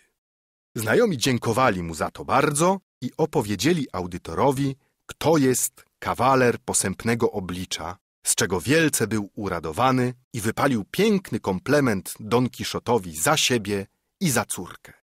Jeden tylko Sancho wśród powszechnej radości rozpaczał, że panowie tak długo spać się nie kładą. Gdy nareszcie dostał pozwolenie od pana na spanie, legł sobie wygodnie i lepiej od innych na kulbace osła swego, co też drogo przypłacił nie za długo, jak to wnet zobaczymy. Damy poszły do siebie. Mężczyźni rozkwaterowali się gdzie i jak kto mógł, a Don Kiszot wyszedł z gospody na stróżowanie koło zamku jak to przyobiecał. Głęboka cisza panowała wokoło, kiedy nad samym rankiem damy zbudzone zostały prześlicznym śpiewem. Wszystkie przysłuchiwały się w uniesieniu, ale szczególniej Dorota, która już czas jakiś nie spała, kiedy Klara Wiedma, córka audytora, w jednym z nią łóżku leżąca, spała jak najęta za dwie.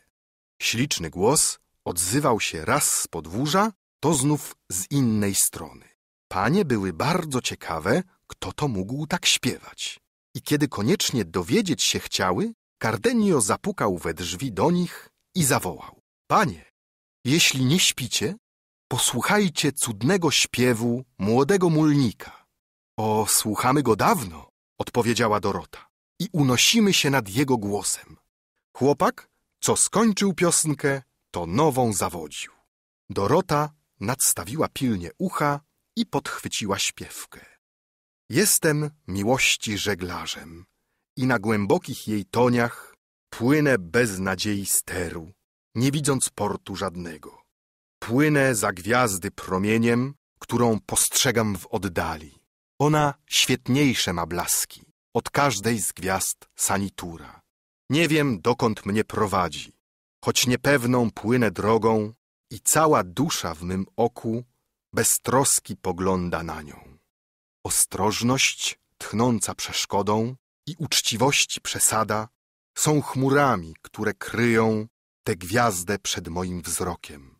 O Klaro, gwiazdo błyszcząca, choć mnie twój promień pożera, lecz gdy zagaśniesz na niebie, duch mój zagaśnie na ziemi. Dorota, która dotąd nie budziła pięknej Klary, w tym miejscu piosenki chciała z nią podzielić tę prawdziwą przyjemność. Trąciwszy więc z lekka parę razy i zbudziwszy ją, rzekła. Przebacz mi, moje miłe dziecię, że ci w śnie przeszkadzam, ale czynię to dlatego, żebyś miała przyjemność usłyszenia tak pięknego głosu, jakiego pewnie w swoim życiu nigdy nie słyszałaś. Klara jeszcze rozespana nie rozumiała słów Doroty i prosząc, żeby je powtórzyła, zaczęła słuchać. Lecz jak tylko głos doszedł jej uszu, doznała tak gwałtownego trzęsienia, jak gdyby ją opanował silny napad febry i tuląc się do Doroty, rzekła Ach, pani, dlaczegoż mnie obudziłaś? Daleko byłoby lepiej dla mnie, żebym nie była słyszała tego nieszczęśliwego śpiewaka. Jak to, moje życie? Czyż nie wiesz, że ten, co tak pięknie śpiewa, jest mulnikiem? Nie, nie, odrzekła Klara. Jest to człowiek wyższego stanu i urodzenia, który tu nie bez celu przybył. I wyznam ci, pani szczerze, że obecność jego nabawia mnie jakiejś niespokojności. Dorota, mocno zdziwiona podobną mową młodej panienki, rzekła. Nic nie rozumiem, co mówisz, moja śliczna. Wytłumacz się jaśniej i opowiedz mi, kto to jest ten śpiewak nieszczęśliwy, co cię tyle kłopotu nabawił. O, zaczyna znów. Warto go słuchać. Później mi opowiesz. Kiedy tylko ci się podoba, odpowiedziała Klara i uszy sobie zatkała obu rękami, żeby nie słyszeć piosenki śpiewaka. A on śpiewał dalej. O słodka nadziejo moja, ty zwalczasz na mej drodze niepodobieństw tamy. Niech promienna droga Twoja obejmie czucia moje w złote złudzeń ramy. Niech nie trwoży Twego oka przepaść jak grób otwarta i jak grób głęboka. Bo rzadko ludzie nie czuli, po szlachetnych podbojach triumfem się wieńczą i nigdy szczęścia nie czuli ci, którzy zamroziwszy sobie krew młodzieńczą, nie staczając walki z losem, chcą iść w życiu za słabym nieczynności głosem. Bo miłości upory zwyciężyć mogą nawet niepodobne trudy. Więc i ja doczekam pory, w której zwalczywszy szczęścia zwodnicze ułudy, z ziemskiego cierpień kraju, na szczyt czystych rozkoszy wedrę się do raju. Śpiewak nareszcie ucichł, a Klara znów żale rozwodzić zaczęła. Dorota, ciekawa do najwyższego stopnia, przypomniała jej, że przyrzekła opowiedzieć historię śpiewaka. Przycisnąwszy się bliziuchno do Doroty i ustami ucha jej dotykając, żeby Luscinda w drugim łóżku leżąca nic nie słyszała, Klara zaczęła opowiadanie. Śpiewak ten jest synem magnata aragońskiego, który mieszka w Madrycie naprzeciw domu mojego ojca. Nie wiem, gdzie młodzian ten, będąc jeszcze studentem, mógł mnie zobaczyć. Czy to w kościele, czy na przechadzce, czy gdzie indziej. Bo u nas okna zawsze były zamknięte i żaluzjami zasłonięte. Koniec końców zakochał się we mnie i dał mi to poznać i zrozumieć, jak mógł przez okno, z którego tak czułymi gestami do mnie przemawiał. I tyle łez wylewał, że aż mnie litość brała. Przywykłam do niego. Uwierzyłam mu i zaczęłam go nawet kochać, sama nie wiedząc, czego ode mnie żąda. Najczęściej mówiąc do mnie na migi, kładł rękę na serce, dając mi do zrozumienia, że chce się ze mną ożenić. Ja także bardzo bym tego chciała, ale nie mając matki, sama jedna, nie wiedziałam, jak sobie z tym wszystkim począć. Zostawiłam więc rzecz, jak była, sama najmniejszego kroku nie robiąc. Czasami tylko jak ojca nie było w domu, podnosiłam trochę firanki i żaluzje i pokazywałam mu się cała, a on tak był z tego uradowany, iż zdawało się, że zwariuje. Nadszedł nareszcie rozkaz wyjazdu ojca mego. Dowiedział się o tym, ale nie ode mnie, bo ja nigdy z nim mówić nie mogłam. Tak się widać zmartwił, że mocno zachorował i w dzień odjazdu nie mogłam go widzieć ani pożegnać oczyma. Drugiego dnia podróży, kiedyśmy wjeżdżali do gospody w pobliskiej stąd wiosce, spostrzegłam go przed bramą, przebranego za mulnika i tak dziwnie odmienionego, że nigdy bym go nie poznała, gdyby mi nie stał ciągle na myśli. Zdziwiłam się niezmiernie, widząc go, ale razem i ucieszyłam. On zawsze patrzy we mnie jak w tęczę. Przed ojcem tylko się kryje i udaje przy nim, że mnie wcale nie zna. Przyznam się pani, że wiedząc teraz, że za mną tak goni i że z miłości piechotą drogę odbywa i tyle cierpień ponosi, ja ledwo nie skonam ze zmartwienia. I gdzie on tylko się obróci, ścigam za nim oczyma. Nie wiem, co on ma w tym, żeby tak za mną gonić. I nie pojmuję, jak mógł wyrwać się od ojca, który go szalenie kocha, bo jest jego jedynym dzieckiem, a do tego niezmiernie miły, co sama, widząc go, osądzić będziesz mogła. Wreszcie wszystko to, co śpiewa, jest jego własnym utworem. O, bo on ma wiele dowcipu i słyszałam nawet, że układa wiersze. Ale pani, muszę ci powiedzieć, że ilekroć go widzę lub słyszę śpiewającego, zawsze jestem w okropnym kłopocie, żeby ojciec go nie poznał i nie wpadł na jakieś podejrzenie. Nigdy z tym biednym młodzieńcem nie mówiłam i dwóch słów. Przyznam się wszakże, że zdaje mi się, iż nie mogłabym żyć bez niego. Otóż, kochana pani, wszystko, co ci mogę o tym śpiewaku powiedzieć, którego głos tak cię zachwycił. Widzisz więc, że to nie jest mulnik, ale jakem ci już powiedziała, syn magnata hiszpańskiego. Dość tego, moje dziecko, odrzekła Dorota, całując ją stokrotnie. Dość tego i nie troszcz się więcej, bo spodziewam się, że wszystko pójdzie dobrze. I tak czyste uczucia muszą być koniecznie szczęśliwym uwieńczone skutkiem. Niestety, pani, odpowie piękna Klara.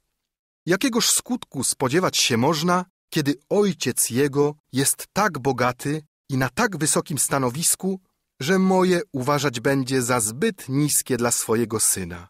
On nigdy nie zezwoli na ten związek, a bez jego wiedzy ja bym znów za nic w świecie na to nie przystała. Tego tylko pragnę, żeby powrócił do domu. Może nie widząc go więcej i oddalona tak wielką przestrzenią od niego, doznam ulgi w cierpieniu. Chociaż zdaje mi się, że i to lekarstwo nie będzie skuteczne. Nie wiem doprawdy, co się to w tę sprawę wmieszało i co nas popchnęło na tę drogę.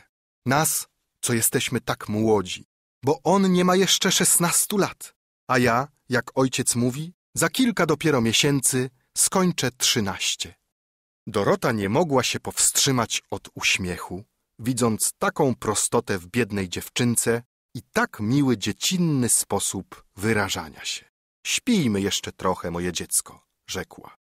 Dzień nie za długo zabłyśnie, a Bogu zostawmy o tym wszystkim staranie. Usnęły niebawem i wszystko znów pogrążyło się w milczeniu, oprócz córki gospodyni i Maritrony, które znając dziwactwo Don Kiszota, umyśliły mu wypłatać jaką sztuczkę, podczas gdy nasz rycerz, uzbrojony od stóp do głów i na koniu, zajęty był gorliwie strażą zamku. W całym domu nie było okna, które by wychodziło na zewnątrz, była tylko dziura w murze, którędy słomę do stajni wrzucano. Z tego to punktu córka gospodarza i Maritrona spostrzegły Don Kiszota na koniu, wspartego niedbale na swojej kopii i wydającego co chwila głębokie i bolesne westchnienia, jak gdyby był bliski wyzionięcia ducha. O Dulcyneo Stobozo, mówił tonem cierpienia i miłości. Królowo wdzięków, nieprzebrany zbiorze względności i rozumu, skarbie rozkoszy i powabów, święty składzie wszelkich cnót, przykładzie i prototypie wszystkiego, co jest piękne, użyteczne i przyjemne na świecie. Co byś też myślała o niewolniku swoich wdzięków, gdybyś go zobaczyła w tej chwili, z takim zapałem na tyle wystawiającego się niebezpieczeństw. O ty, luminarzu niestałości, bogini o trzech obliczach, daj mi wiadomość o damie moich myśli. Wystawiam sobie, że w tej może chwili spozierasz na nią z zawiścią, jak się przechadza w bogatych krużgankach jednego ze swych przepysznych pałaców, albo gdy oparta o złocisty ganek rozmyśla, jak powrócić spokój mojej utrapionej duszy, jak położyć kres moim cierpieniom i dać spocząć zbolałemu sercu. Nareszcie jakim sposobem wyrwać mnie śmierci, a otworzyć lube, błogie życie i nagrodzić moją miłość i zasługi. A ty, słońce, co przyspieszasz swój bieg nie dlatego, żeby dniem darzyć śmiertelnych, ale żeby prędzej widzieć to arcydzieło cudów. Zanieś jej ode mnie moje pozdrowienie, proszę cię, skoro ją tylko ujrzysz, ale strzeż się ukraść jej pocałunek, bo upewniam cię, że jest niewypowiedzianie skromna i nie mniej byś ją obraził, jak niegdyś, gdy doznałeś wzgardy od tej płochej i niewdzięcznej, za którą w pocie goniłeś po obszarach Tesalii, czy też na pobrzeżach penejskich. Doprawdy, że nie pamiętam, gdzie to było. Miał dalej ciągnąć Don Kiszot górną tą przemowę, gdy mu ją przerwała córka gospodyni, wołając nań z cicha i ręką kiwając. Pójdźcie no tu bliżej, mości rycerzu, mówiła. Proszę. Usłyszawszy głos ten, rozkochany rycerz zwrócił głowę a widząc przy księżycu, że ktoś woła na niego z dymnika na strychu, który wziął już co najmniej za okno złotą warowne kratą, a zwykle o zamkach wyobraźnie jego napełniających, wyobraził sobie natychmiast, że to być musi córka pana zamku, miłością ku niemu płonąca. I że oceniając tak wielkie zasługi, błaga go, żeby położył kres swemu męczeństwu. Opanowany tym urojeniem, a nie chcąc się wydać dzikim i niegrzecznym, podszedł do okna i widząc w nim dwie młodziuchne twarzyczki. O niestety, zawołał, jakże boleje, nadobna dziewico, żeś nieszczęśliwie skierowała uczucia sercem twoim władnące. Nie przypisuj w tym winy biednemu rycerzowi błędnemu, że nie jest już panem swojej woli i że miłość przykuła go na wieki od chwili, jak inna dziewica stała się wszechwładną panią jego duszy. Wybacz mi, błagam cię raz jeszcze o piękna, to, co nie z mojej winy pochodzi. Wróć proszę do swej komnaty i nie powiększaj niewdzięczności mojej łask swoich szczodrobliwością.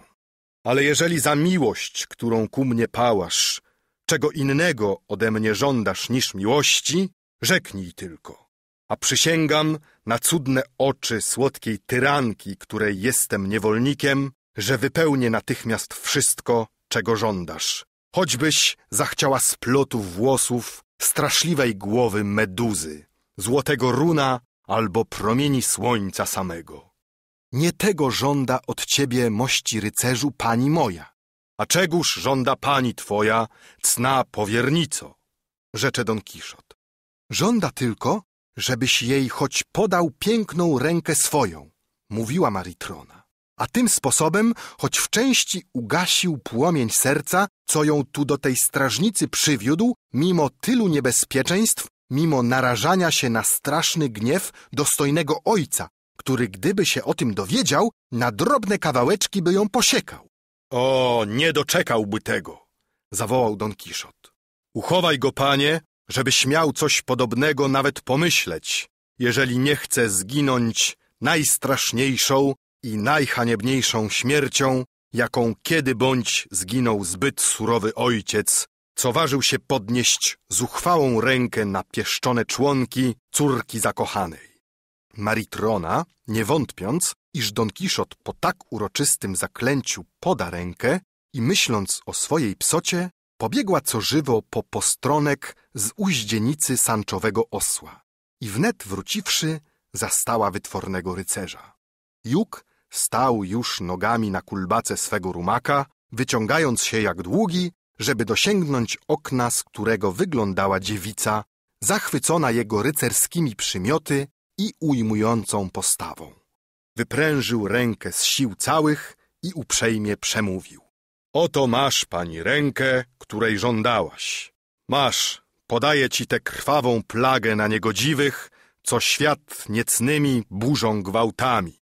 Podaję ci, powtarzam, tę rękę, której dotąd żadna niewiasta nie miała szczęścia dotknąć. Nawet ta, co samowładnie ciałem moim i duszą włada. Podaję ci ją nie dlatego, ażebyś ją ucałowała, ale dlatego, ażebyś przypatrzyła się jej nerwom, zawięzłości i krzepkości muskułów, potędze żył i ze składu tej dłoni wnieść mogła, jakie musi być ramię, do którego ona należy. Zobaczymy to zaraz, rzecze Maritrona i zadzierzgnąwszy jeden koniec powroza za rygiel u drzwi, drugi zarzuciła na rękę Don Kiszota. Kawaler nasz, uczuwszy szorstkość grubego powroza, który mu ścisnął dłoń jak w kleszczach, nie wiedział, co począć. Ale ułagodziwszy się natychmiast, zdaje mi się, piękna moja damo, miluchnym rzekł głosem, że masz raczej ochotę okaleczyć mi rękę, niżeli ją ściskać. Miej litość nad nią. Daruj jej, błagam cię uprzejmie. Ona w niczym nie przyczyniła się do ucisku, który serce twe przygniata. I nie godzi się, abyś zemstę swą wywierała na cząstce tak niewinnej. Jeżeli dusza twa tak udręczona, nie powinnaś zemsty ograniczać do jednego członka, a wywrzeć ją na całej mojej istocie, którą ci ryczałtem na ofiarę oddaję. Wisząc w powietrzu, Don Kiszot prawił na wiatr tę przesadną galanterię. Bo jak tylko Maritrona zobaczyła, że biedak tak dobrze się zadzierzgnął i się nie wymknie łatwo, obydwie dziewczyny uciekły zaraz z dymnika, boki zrywając od śmiechu. Rycerz nasz, nieboraczysko, stał na kulbace, wspierając się na palcach, z ręką na pół w dymnik wsuniętą, a za dłoń mocno skrępowany i drżał ze strachu, ażeby Rosynantowi nie zachciało się skręcić w którą stronę, bo gdyby się ruszył, zostawiłby go na męczeńskiej prawdziwie torturze. Sam więc ani drgnął. I tak cichutko się sprawował, że oddechu nawet nie śmiał dobrze wciągnąć, bojąc się jakim ruchem zniecierpliwić Rosynanta, którego znał dobrze. I wiedział, że sam z siebie, choćby sto lat, stać będzie nieporuszony. Widząc nareszcie, że dam już nie ma i że go zdradliwie uwiązano, poczciwy Don Kiszot uroił sobie zaraz, że to muszą być czary, jak i zeszłym razem, kiedy w tym zamku mauretański mulnik tak potężnie mu skórę wygarbował. Klął więc, na czym świat stoi swoją nierozwagę, że się dał znów złapać i powtórnie wszedł do tego zamku, gdzie los raz już tak mu nie dopisał. Boć to rzecz wiadoma między rycerzami błędnymi, że kiedy im się jedna próba nie powiedzie, to już znak niezawodny, że przygoda taka nie dla nich przeznaczona. Dlatego wolni są już od obowiązku powtórnego jej jeszcze próbowania. Ściągał jednak jak mógł rękę, próbując, czy się nie da z łapki wydobyć. Ale wszystkie usiłowania były daremne. Tym więcej, że bał się szarpnąć, ażeby Rosynant jakiego ruchu nie zrobił. Nie było rady.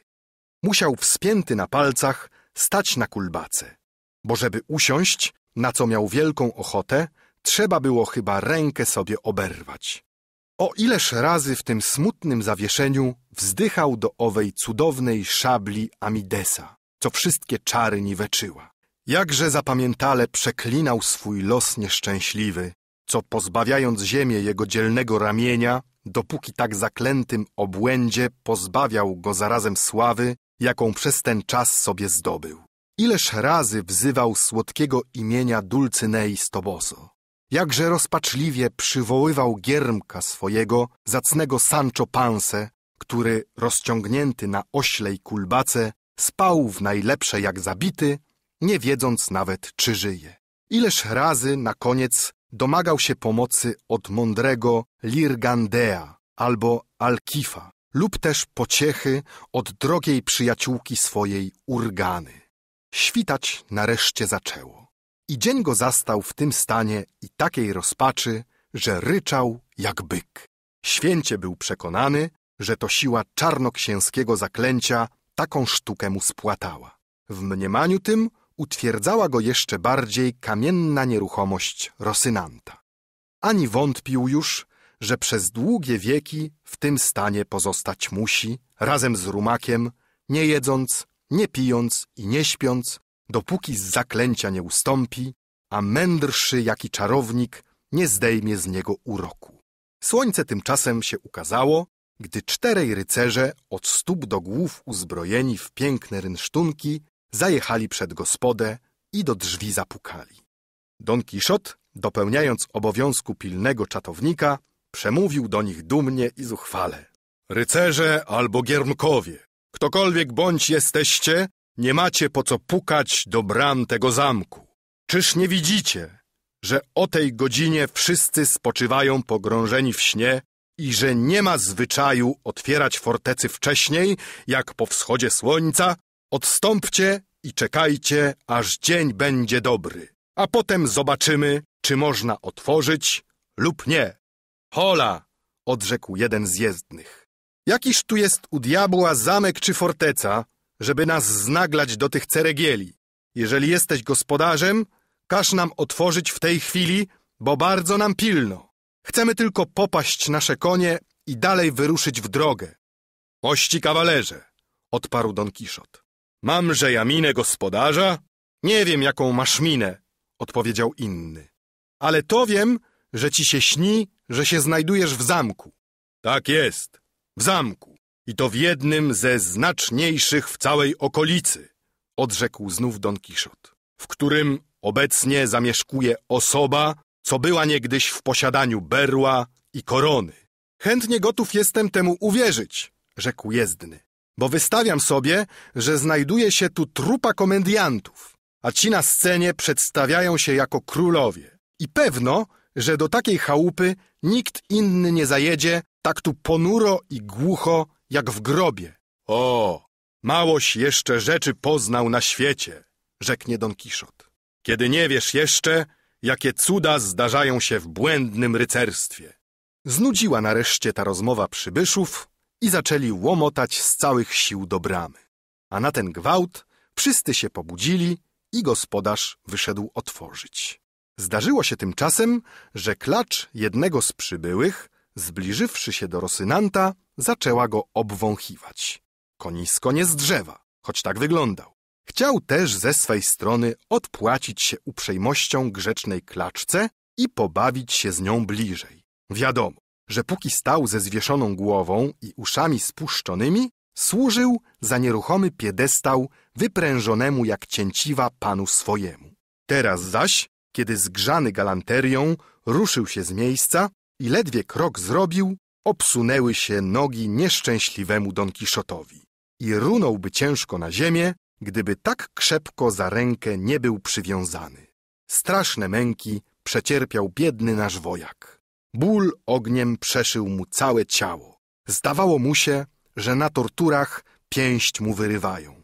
Gwałtowność upadku i ciężar ciała tak go wyciągnęły, że nogami prawie ziemi dostawał.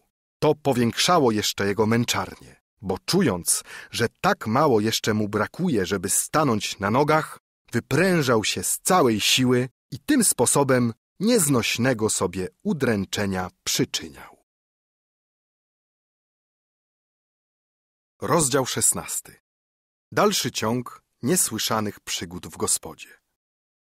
Usłyszawszy straszne jęki Don Kiszota, przerażony gospodarz co prędzej drzwi otworzył i razem z przybyszami, których tam zastał, pobiegł obaczyć, co się dzieje. Maritrona, zbudzona tymi krzykami i widząc, co się święci, skoczyła prędziutko na strych, a odczepiwszy powróz od rygla, oswobodziła zawieszonego rycerza. Gruchnął jak długi przed samym nosem przybyłych kawalerów i gospodarza. Oni go pytali, czego by tak wrzeszczał. A on, zerwawszy się co żywo, wskoczył na Rosynanta, tarczę nasadził, spisą się najeżył i sunąwszy kawał w pole, wrócił na powrót truchtem i zawołał. Ktokolwiek śmie twierdzić, że słusznemu uległem zaklęciu, kłamie bezczelnie i temu w oczy fałsz zadaje. A jeżeli dostojna księżniczka Miko Mikon zezwoli tylko, rzucam mu rękawice i wyzywam na rękę. Przybysze osłupieli ze zdumienia, słysząc tak prawiącego Don Kiszota.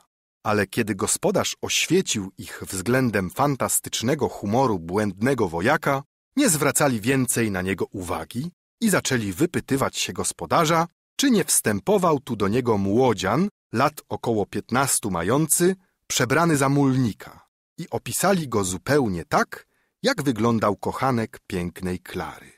Tyle ludzi rozmaitych jest w gospodzie, odpowiedział, że Bóg tam wie, czy między nimi znajduje się taki, jak mówicie. Kto by tam na to zważał? Ale jeden z przybyszów, poznawszy woźnicę pana audytora, zawołał zaraz. Oho, musi on tu być, bo to woźnica od tej karety, za którą on goni. Jeden niechaj tu zostanie przy drzwiach, a my pójdziemy szukać go po domu.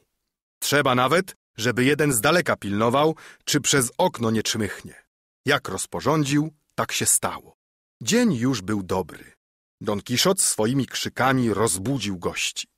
Wszyscy zabierali się do wstawania, a mianowicie Dorota i młodziuchna Klara, bo obydwu pilno było. Jednej, że tak blisko niej znajduje się kochanek, drugiej, że go widzieć koniecznie pragnęła. Don Kiszot tymczasem widząc, że przybysze nic sobie z niego nie robią i że ani spojrzeć nawet na niego nie raczą, wpadł w złość tak wielką, że gdyby nie honor kawalerski zmuszający go do dotrzymania słowa, którym się związał, byłby się niezawodnie rzucił na wszystkich czterech razem i zmusił ich do dotrzymania mu placu. Ale nie mogąc nic począć, dopóki nie powróci na tron księżniczki Mikomikon, rad nierad musiał się zdobyć na cierpliwość. Patrzył sobie spokojnie na obroty przybyłych zbrojnych, z których jeden znalazłszy szukanego młodziana, śpiącego obok jakiegoś mulnika, schwycił go za ramię i strofował tymi słowy.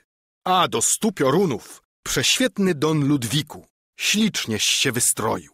Prawdziwie godne to ciebie ubranie, a łoże, na którym noc przebyłeś, w sam raz odpowiada wytwornemu twemu wychowaniu. Młodzian, dobrze jeszcze zaspany, przecierał sobie oczy, a przypatrzywszy się należycie ciągnącemu go drabowi, poznał w nim jednego ze sług ojcowskich. Tak się tym zmieszał i zdziwił, że długo ani słowa nie wymówił. Don Ludwiku, mówił dalej sługa, nie ma co robić. Musisz się nam poddać i wrócić z nami do ojca, jeżeli go do grobu wpędzić nie chcesz. Tak go utraktowałeś tą ucieczką, że mało mu już do tego brakowało. Jak to? odpowiedział Don Ludwik. A skądże ojciec się dowiedział, że poszedłem tą drogą i tak się przebrałem? Student, któremuś się zwierzył, widząc tak wielki smutek pana naszego, a ojca twego, wyjawił mu wszystko. Pan natychmiast wysłał w pogoń nas czterech, jak widzisz. I Bóg łaskaw, żeśmy cię szczęśliwie znaleźli i niebawem będziemy mogli wrócić ojcu, który cię tak kocha. O, nie tak bardzo, zuchwale odpowie Don Ludwik. Zrobię, co mi się podoba. A cóż tu panicza tak zatrzymywać może? Rzecze sługa, że wrócić nie chce, choć ojciec w takiej rozpaczy. Mulnik, który obok Don Ludwika spoczywał, wysłuchawszy całej tej rozmowy, doniósł o tym wypadku Don Fernandowi i innym, którzy byli już ubrani, mówiąc im, że służący tytułował młodego człowieka z uniżonością i że mimo jego woli chciał koniecznie zabrać go z sobą.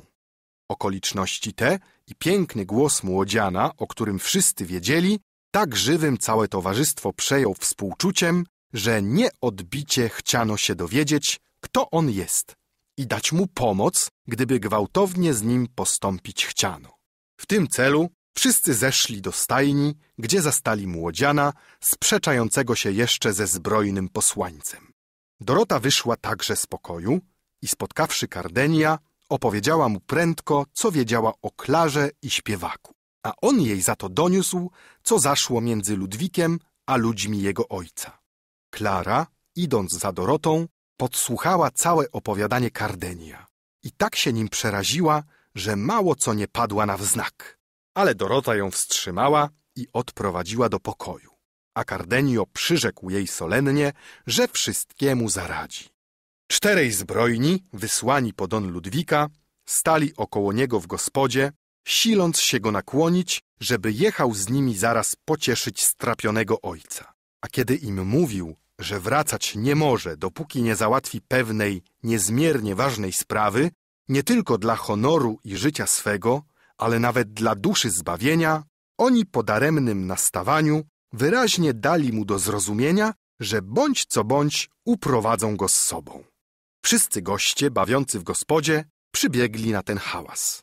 Przybiegł przed innymi Cardenio, Don Fernand z całą swoją służbą, audytor, pleban, balwierz i Don Kiszot także, uznając, że w tej porze zamek straży nie potrzebuje. Cardenio, znając cały interes, zapytał wysłańców od ojca Don Ludwika, jakie mają prawo chcieć go gwałtem z sobą zabierać i z jakiego powodu tak przy tym obstają, kiedy on żadnej z nimi jechać nie ma ochoty. Prawo mamy takie, odpowiedział jeden z nich, że idzie tu o przywrócenie życia panu naszemu, a ojcu tego panicza, który po jego ucieczce rozpacza. Nie o tym tu mowa, rzecze don Ludwik. To rzecz moja, a nie wasza. Wrócę, jak mi się spodoba, a żaden z was zmusić mnie do tego nie może. Rozum cię do tego zmusi, paniczu, odpowie sługa. A gdyby on nie wskórał nic na tobie, my dopełnimy swojej powinności. Trzeba by jednak rozpoznać należycie meritum tej sprawy, wtrącił audytor. Wtem jezdny, poznawszy go, nisko mu się skłonił i przemówił. Jak to wielmożny panie? Czyż nie poznajecie młodego panicza naszego, którego ojciec mieszkał tak długo naprzeciw waszego domu? Nawet nie ma się co dziwić. Któż by go poznał w tym ślicznym przebraniu? Audytor słysząc to, popatrzył nań chwilę, a poznawszy go istotnie, rzekł, ściskając go.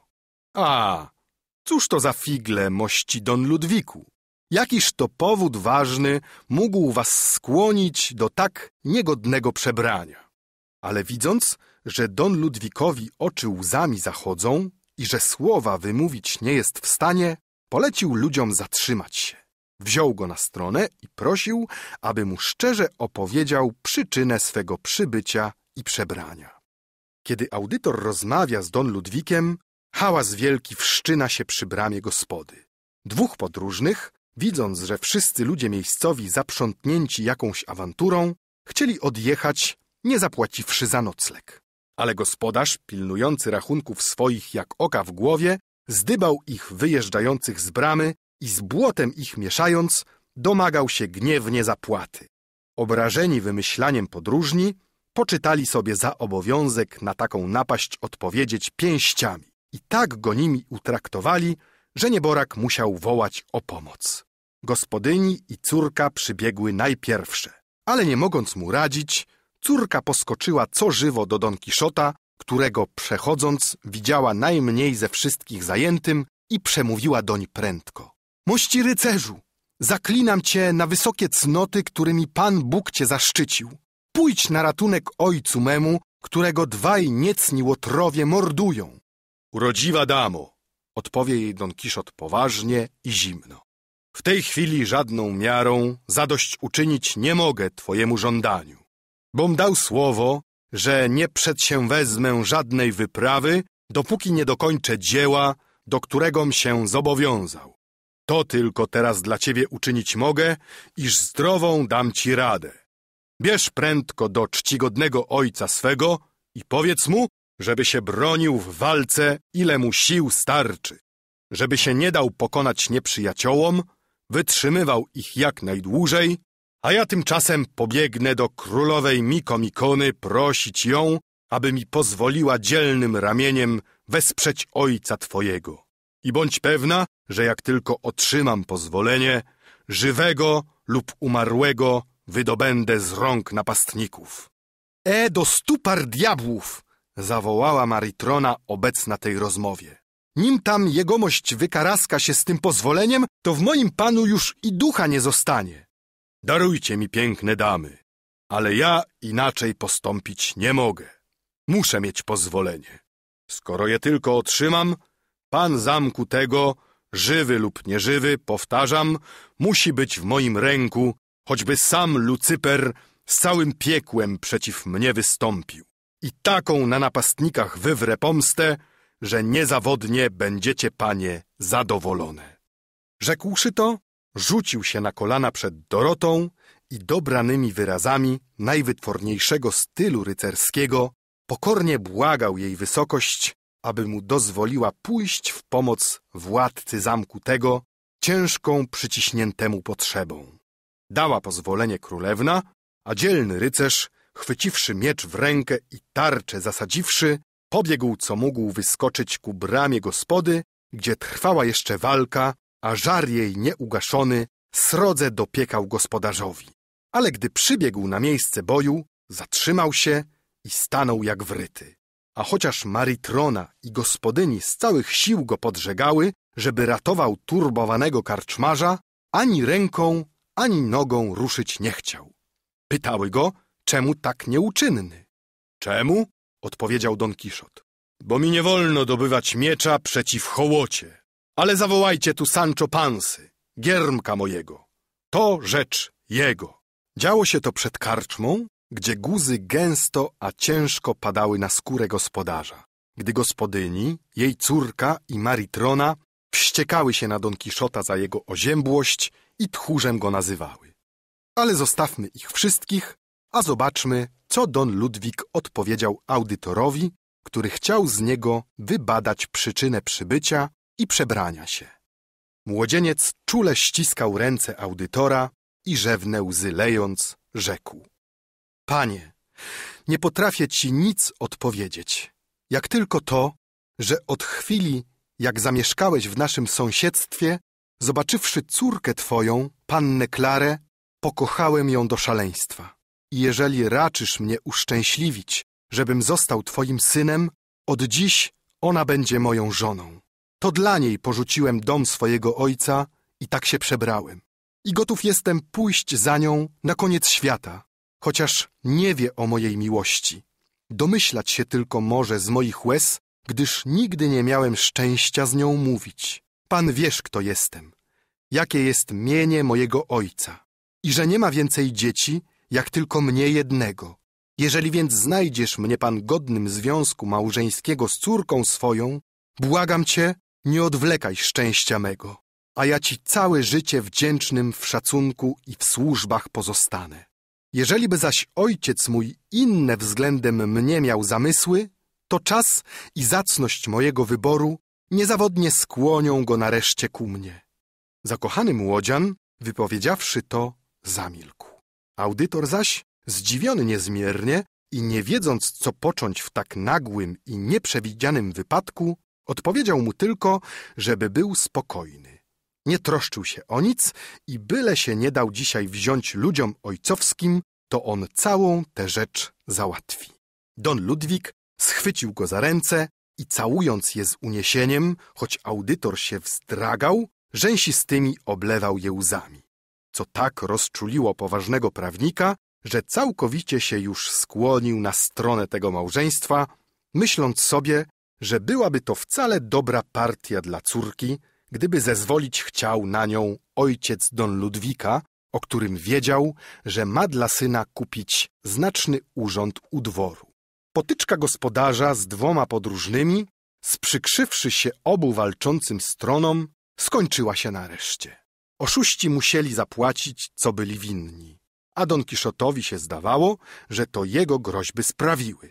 Służba Don Ludwika czekała, aż panicz skończy rozmawiać z audytorem i cichutko się zachowywała.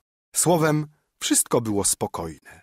Wszędzie panowała jakaś błoga cisza i byłaby pewnie długo trwała, gdyby diabli nie wnieśli, bo te czarty nigdy nie śpią, do gospody owego Cyrulika, któremu Don Kiszot wydarł miedniczkę zamiast hełmu mambryna, a Sancho Pansa burkę z osła mu porwał.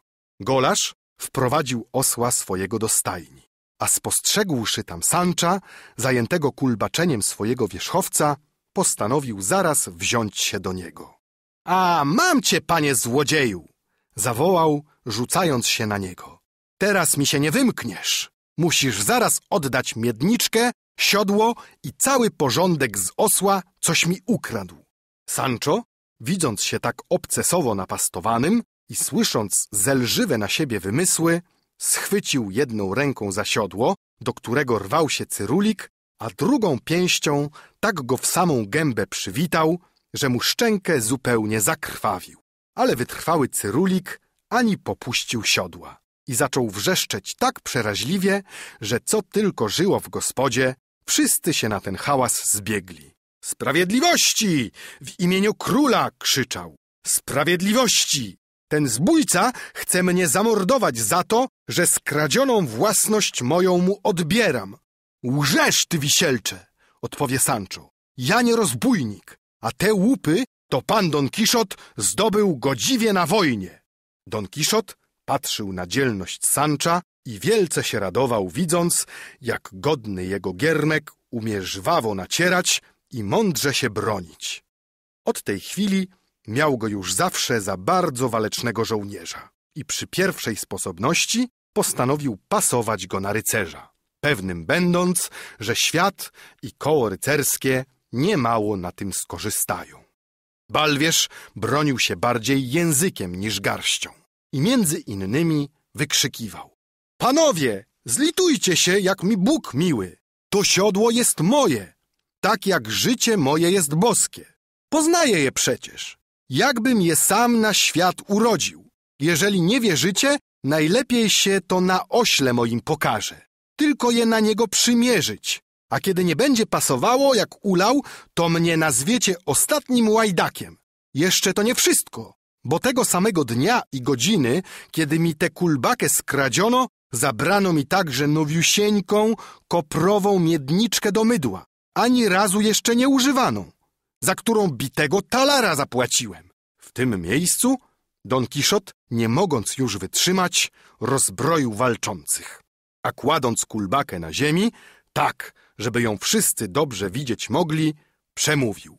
Mości panowie, Jawnie i wyraźnie przekonać się możecie, w jak grubym błędzie zostaje ten giermek, kiedy miedniczką do mydła nazywa to, co było, jest i będzie do skończenia świata nagłówkiem i hełmem Mambryna, który zdobyłem na nim w boju, uczciwie i należycie, i którego panem jestem niezaprzeczonym.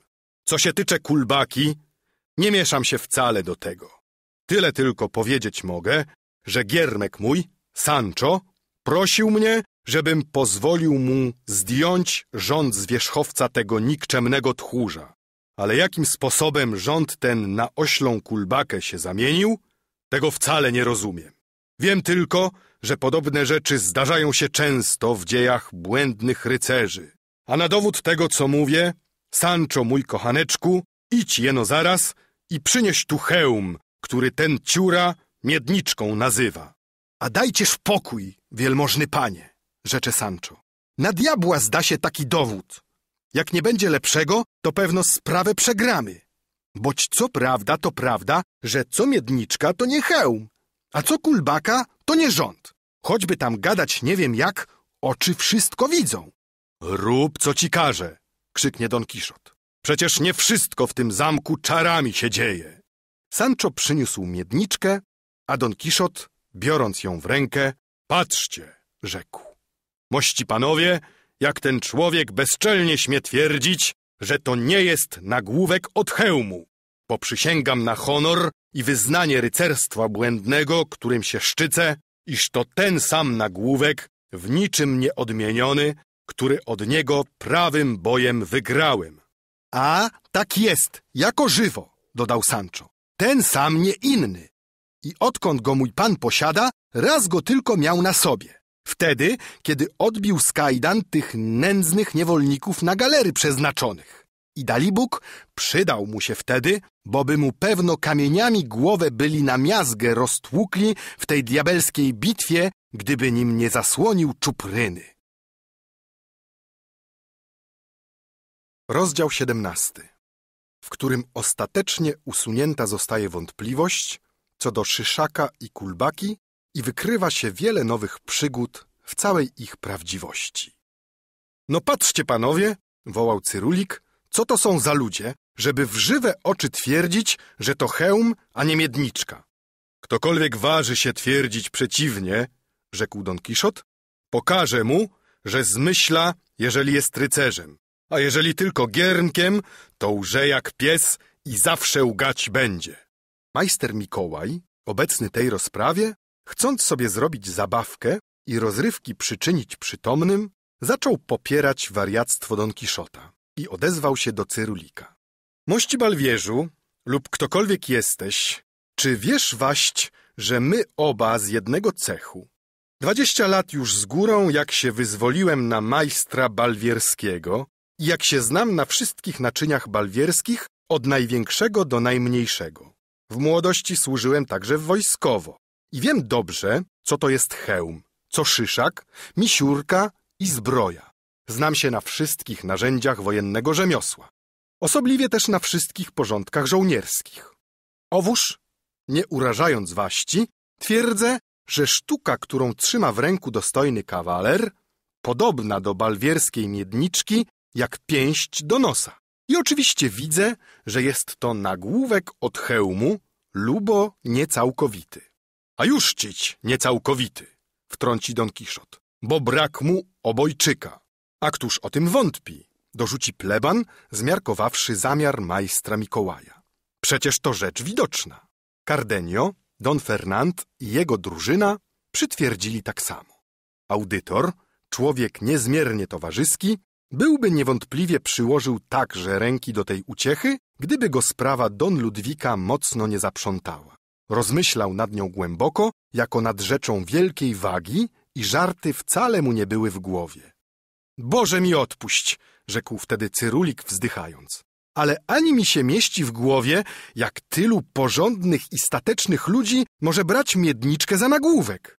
Dali pan nie wiem, czyby na to cała mądrość najpierwszego uniwersytetu starczyła. A kiedy moja miedniczka ma być nagłówkiem, to może i kulbaka w waszych oczach jest rzędem końskim, jak twierdzi jegomość pan rycerz. Co do mnie, rzecze Don Kiszot, mnie się zdaje, że to kulbaka. I raz już powiedziałem, że się do tego nie mieszam, czy rząd, czy kulbaka. To mnie nic nie obchodzi. Mości Don Kiszocie, odezwie się pleban. Do ciebie to koniecznie należy rozstrzygnięcie tej sprawy. W rzeczach bowiem rycerstwa dotyczących i ja, i ci wszyscy panowie ustępujemy ci kroku całkowicie i na sąd twój zupełnie się zdajemy. Zanadto czynicie mi honoru, odparł Don Kiszot. Ale w tym zamku tak dziwne przytrafiły mi się już rzeczy dwa razy w życiu, że o niczym, co tu widzę, nie śmiem wyrażać się twierdząco, gdyż pewien jestem, że tu wszystko dzieje się czarami. Kiedym tu był pierwszy raz, zostałem ciężko poturbowany przez jakiegoś maura zaklętego, a Sancho nie lepiej wyszedł z kilku tchórzami tego samego kalibru. Świeżo znów wczoraj wieczorem zawieszony zostałem za rękę i przeszło dwie godziny w tym stanie przebyłem, ani wiedząc, skąd mnie taka klęska spotyka. Byłoby zbytnią z mej strony zuchwałością brać się tu do rozstrzygania rzeczy tak zawiłej i trudnej. Objawiłem zdanie swoje co do nagłówka, ale co do kwestii kulbaki, rozeznawać się jej nie podejmuje. Wasza to rzecz, mości panowie.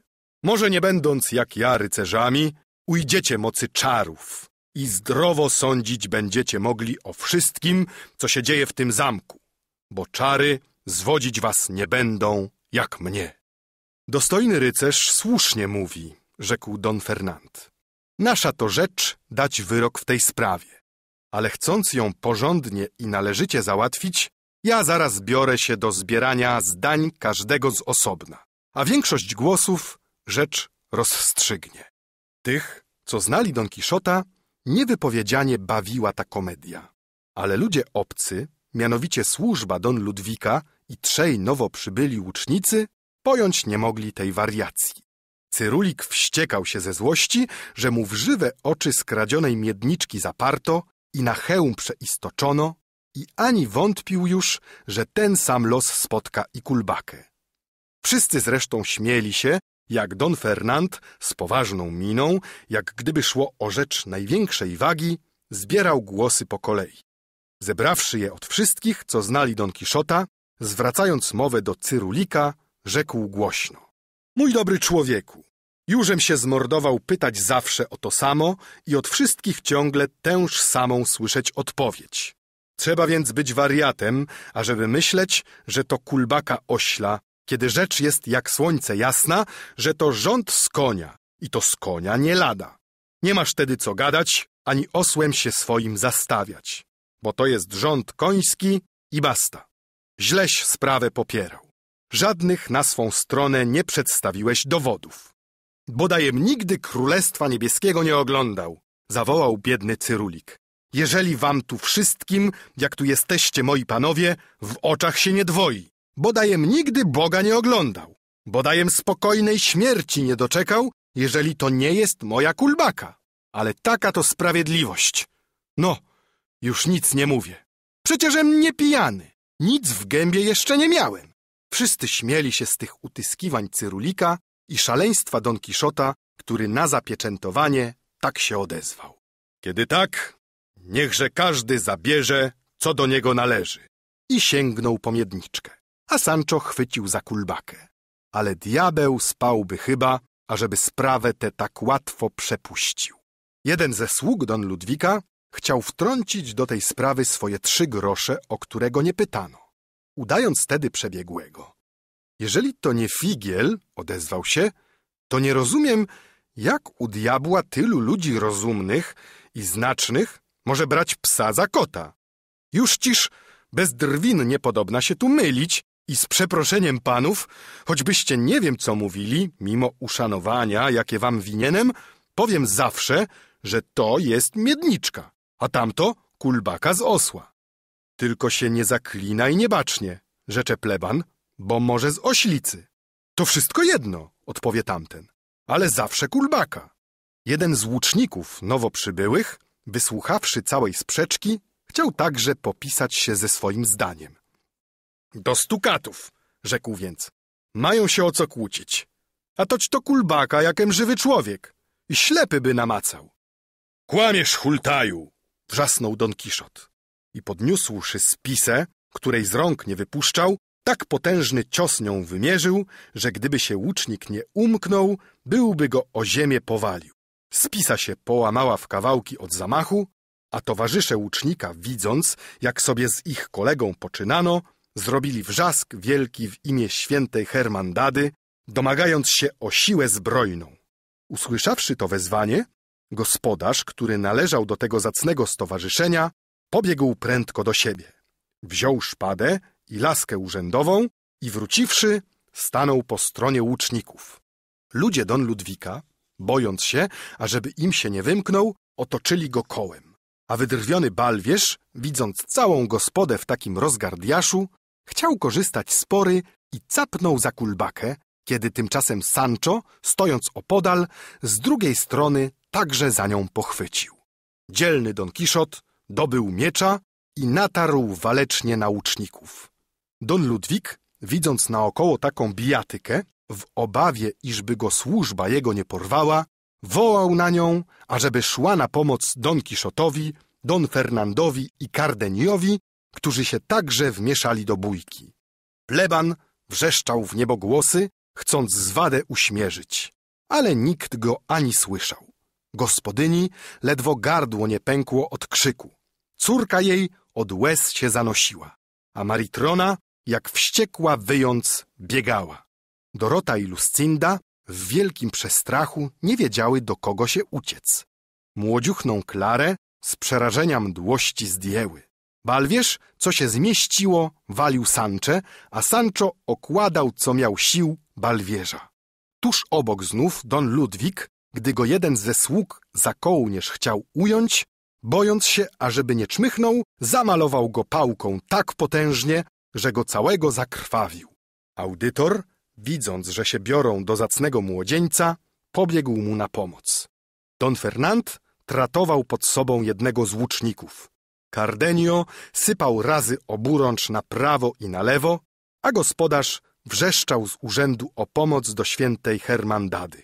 Słowem, cała karczma zawichrzyła się istnym piekłem, że nic słychać ani widać nie było. Jeno krzyki, wrzaski, płacze, jęki, klątwy, pięści, miecze, rozruch i popłoch ogólny.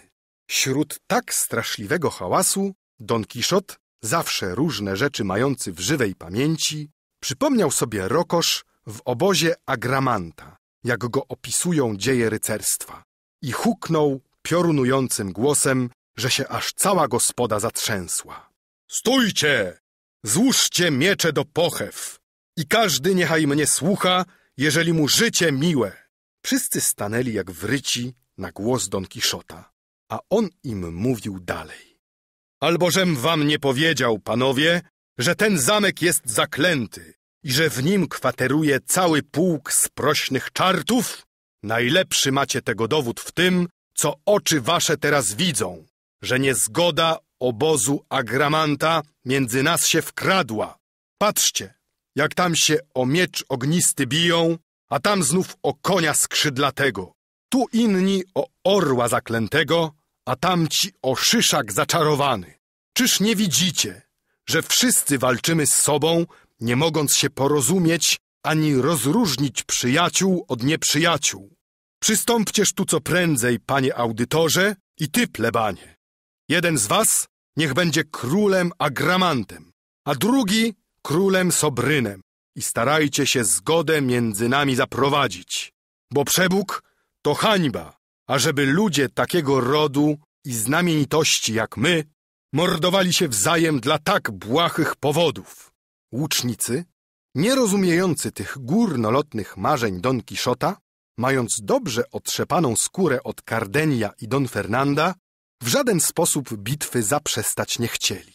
Nieborak Balwierz, usłyszawszy o zgodzie, był na to jak na lato, bo jego kulbaka poszła już w kawałki, a w brodzie ledwo parę włosów mu zostało. Sancho uciął bójkę, jak tylko głos pana go doszedł. Rad był wytchnąć sobie trochę i pot z twarzy ocierał. Służący Don Ludwika uciszyli się także, gdyż niewiele by z bitwy wskórali. Jeden tylko gospodarz nie mógł się w złości pohamować. Upierał się koniecznie, aby ukarać tego głupca, który co chwila w domu jego hałasy i burdy wszczynał. Nareszcie ukoiły się wszystkie zawziętości, a przynajmniej stanęło zawieszenie broni. Kulbaka pozostała rzędem, miedniczka nagłówkiem, a karczma uchodziła ciągle za zamek w gorącej wyobraźni Don Kiszota. Za staraniem audytora i plebana nastał pokój zupełny. A kiedy wszyscy przyjaźnie już się traktowali lub też przyjaźń udawali, słudzy Don Ludwika zaczęli znów usilnie się domagać, ażeby zaraz z nimi jechał do ojca. On się z nimi korowodził, pragnąc zbyć się zręcznie, gdy tymczasem audytor, wziąwszy na bok Don Fernanda, Cardenia i plebana, opowiedział im, jak się rzecz miała z Don Ludwikiem i prosił, ażeby mu radzili, jak tu począć należy. Wszyscy razem uchwalili, że Don Fernand da się poznać sługom Don Ludwika i powie, że go zabiera z sobą do Andaluzji, gdzie u brata jego, margrabiego, razem z należytym przyjęciem znajdzie dla siebie przyjaźń i szacunek. Don Ludwik bowiem oświadczył stanowczo, że nie pojedzie do ojca.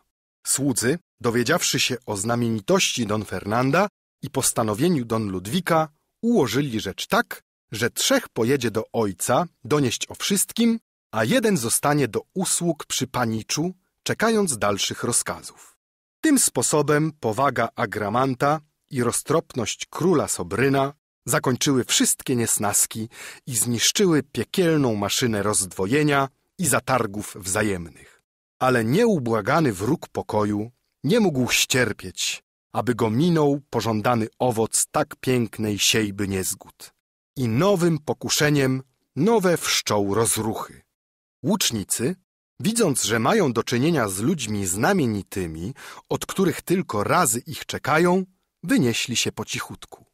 Ale jeden z nich, którego Don Fernand tak poturbował, przypomniawszy sobie, że między wyrokami sądowymi na chwytanie do aresztu przestępców, które miał przy sobie, znajduje się także wyrok na jakiegoś Don Kiszota, skazanego przez świętą Hermandadę za odbicie więźniów, chciał się przekonać, czy rysopis tego Don Kiszota zgadza się z tym, którego miał przed oczami. Wyciągnął więc pergamin z kieszeni i sylabizując go powoli, bo czytać umiał nietęgo, za każdą sylabą spoglądał spod oka na Don Kiszota i porównywał rysy jego twarzy z rysopisem. Przyjrzawszy się dobrze, przekonał się, że jest ten sam i że na niego dekret wydany. Skoro tylko nabrał tego przekonania, trzymając dekret w lewej ręce, rzucił się zaraz na Don Kiszota. Schwycił go za gardło tak silnie, że ledwie nie zadusił, a wołał zarazem. Pomocy, panowie! Pomocy dajcie dla świętej Hermandady! I żeby nikt nie wątpił, że odzywam się w imię prawa, oto jest dekret rozkazujący schwytać tego złoczyńcę i rozbójnika. Pleban wziął w rękę pergamin i przekonał się, że łucznik prawdę mówi. Ale rycerz, słysząc się mianowany rozbójnikiem przez człowieka tak podłego, wpadł w złość tak srogą, że aż mu kości w całym ciele zachrzęszczały. I choć go sługa rządowy tęgo ściskał, pochwycił go oburącz za gardło i byłby go niezawodnie udusił, gdyby mu towarzysze na pomoc nie przyszli. Gospodarz z urzędu przybiegł razem z innymi, a gospodyni, widząc męża do bójki wmieszanego, zaczęła na nowo wrzeszczeć jak opętana, w czym dopomagały jej z całego gardła Maritrona z córką, wzywając łaski niebios i pomocy wszystkich obecnych w gospodzie. Przez Boga żywego! krzyknął Sancho. Pan mój prawdę mówi, że ten zamek zaczarowany. Wszyscy diabli tu wojują, ani sposobów wyżyć godzinę spokojnie. Don Fernand rozerwał Don Kiszota z łucznikiem ku wielkiemu obu szczęściu, bo niezawodnie byliby się obydwaj podusili.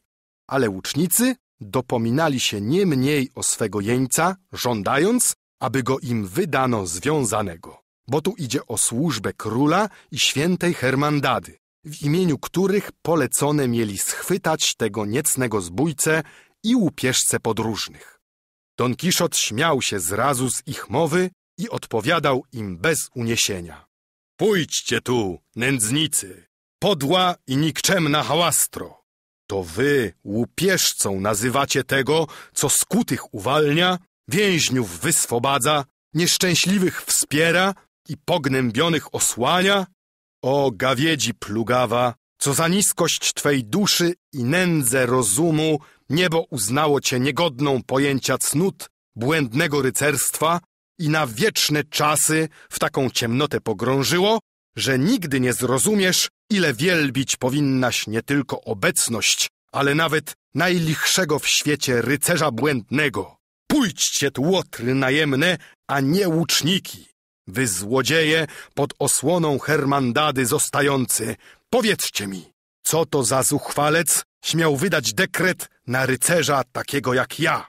Co to za gbur, co nie wie, że rycerze błędni to nie ptaszki do łowienia, że oni nie uznają nad sobą żadnych trybunałów ani sędziów, że nie mają innego prawa, jak tylko miecz swój i odwagę, i że własna ich wola zastępuje im wszelkie wyroki, ustawy i rozkazy. Co to za prostak nieokrzesany, który nie wie, że nie ma na świecie tytułów, co by tyle dawały prerogatyw, przywilejów i swobód, ile ich nabywa rycerz błędny z dniem pasowania. Jakiż krawiec żądał kiedy od nich zapłaty za suknię. Jakiż władca grodowy odmówił im kiedy wejścia do swego zamku lub kazał płacić za pobyt. Gdzież jest król jaki, co by ich u stołu swego nie przyjmował? Gdzie jest dama, ażeby się ich zaletami nie zachwycała i pod opiekę ich się nie oddała? Gdzież jest nareszcie rycerz błędny, we wszystkich wiekach upłynionych i tych, co przyjść jeszcze mają, który by nie miał dość siły i odwagi dać sam po pięćset batogów każdemu z pięciuset nikczemnych łuczników, co by dość głupi byli czekać na to. Rozdział osiemnasty O wielkim gniewie Don Kiszota i innych rzeczach przedziwnych. Podczas gdy Don Kiszot w ten sposób się rozwodził, pleban starał się wytłumaczyć łucznikom, że to jest człowiek, któremu piątej brakuje klepki, jak to mogli z jego ruchów i sposobu mówienia sami najlepiej zmiarkować, i że za niepotrzebne uważał wdawać się dłużej z nim w rozmowę, a gdyby go aresztowali i uprowadzili z sobą, natychmiast uwolniono by go jako wariata. Posiadacz dekretu odpowiedział, że nie do niego należy oceniać stan umysłowy Don Kiszota, tylko wykonać rozkazy, jakie mu dano. I że skoro dopełni swojego obowiązku i dostawi go raz, obojętne mu to będzie, jeżeli go pięćdziesiąt razy wypuszczą. Przecież na ten raz myślę, że tego nie dokażecie, bo zdaje mi się, że nie jest w humorze poddania się tak łacno. Jakoż pleban tak dobrze umiał rzecz wystawić, a Don Kiszot tyle dziwactw zaczął wyprawiać, że ucznicy stokroć byliby od niego głupsi, gdyby nie poznali w nim skończonego wariata. Dali się tedy radzi nie radzi ułagodzić i wdali się w pośrednictwo zajścia Cyrulika z Sanczą, którzy patrzyli jeszcze na się z ukosa i każdej chwili można się było spodziewać, że się wezmą za czuby. Jako członkowie władzy, wymierzającej sprawiedliwość, osądzili tę sprawę i to z zupełnym obu stron zadowoleniem. Bo przemienili na powrót kulbaki, pozostawiając wszakże popręgi i uzdeczki. Co się zaś tycze hełmu Mambryna, za ten pleban ze swojej kieszeni, lecz tak, ażeby Don Kiszot nie widział, zapłacił Cyrulikowi osiem realów i wymógł przyrzeczenie, że roszczeń swoich odtąd zupełnie zaprzestanie. Gdy już te dwa ważne zajścia załatwiono, nie pozostawało jak dać odprawę służącym Don Ludwika i zostawić jednego z nich do usług w jego czasie podróży, którą z Don Fernandem odbyć razem zamierzyli. Ale że fortuna zaczęła być łaskawą dla kochanków i walecznych, którzy się znajdowali w gospodzie, chciała więc dokonać swojego dzieła. Służalcy Don Ludwika przystali na wszystko, co żądał, a Klara, widząc go pozostającego przy niej, tak była uszczęśliwiona, że zdawało się, że szczęście to jeszcze bardziej wdzięki jej podniosło. Co zaś do Zoraidy, ta, nie rozumiejąc zupełnie, co się dzieje, stosowała swój śmiech lub smutek do innych, a szczególniej do swego Hiszpana, na którego zawsze zwrócone miała oczy. Gospodarz, dostrzegłszy hojność, jaką okazał pleban dla balwierza, chciał także przy tej sposobności co skorzystać i żeby pokazać, że jest rozgniewany, domagał się od Don Kiszota zapłaty za żywność i wino, klnąc się, że nie wypuści Rosynanta, ani Sancza, ani osła, jeżeli co do grosza zaspokojonym nie zostanie.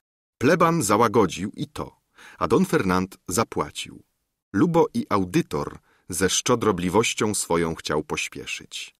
A tak po drugi już raz błogi nastąpił pokój i miasto niezgody obozu Agramanta doznawało, jak się wyraził Don Kiszot, spokoju i słodyczy panowania Augusta.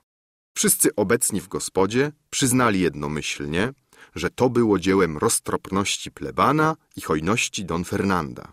Każdy im też za to zasłużone składał dzięki. Don Kiszot, widząc się wolnym i od wszelkich zwad tak własnych, jak i koniuszego swego oswobodzonym, poczytał teraz za stosowne zająć się dokonaniem wielkiego dzieła, do którego był powodowanym.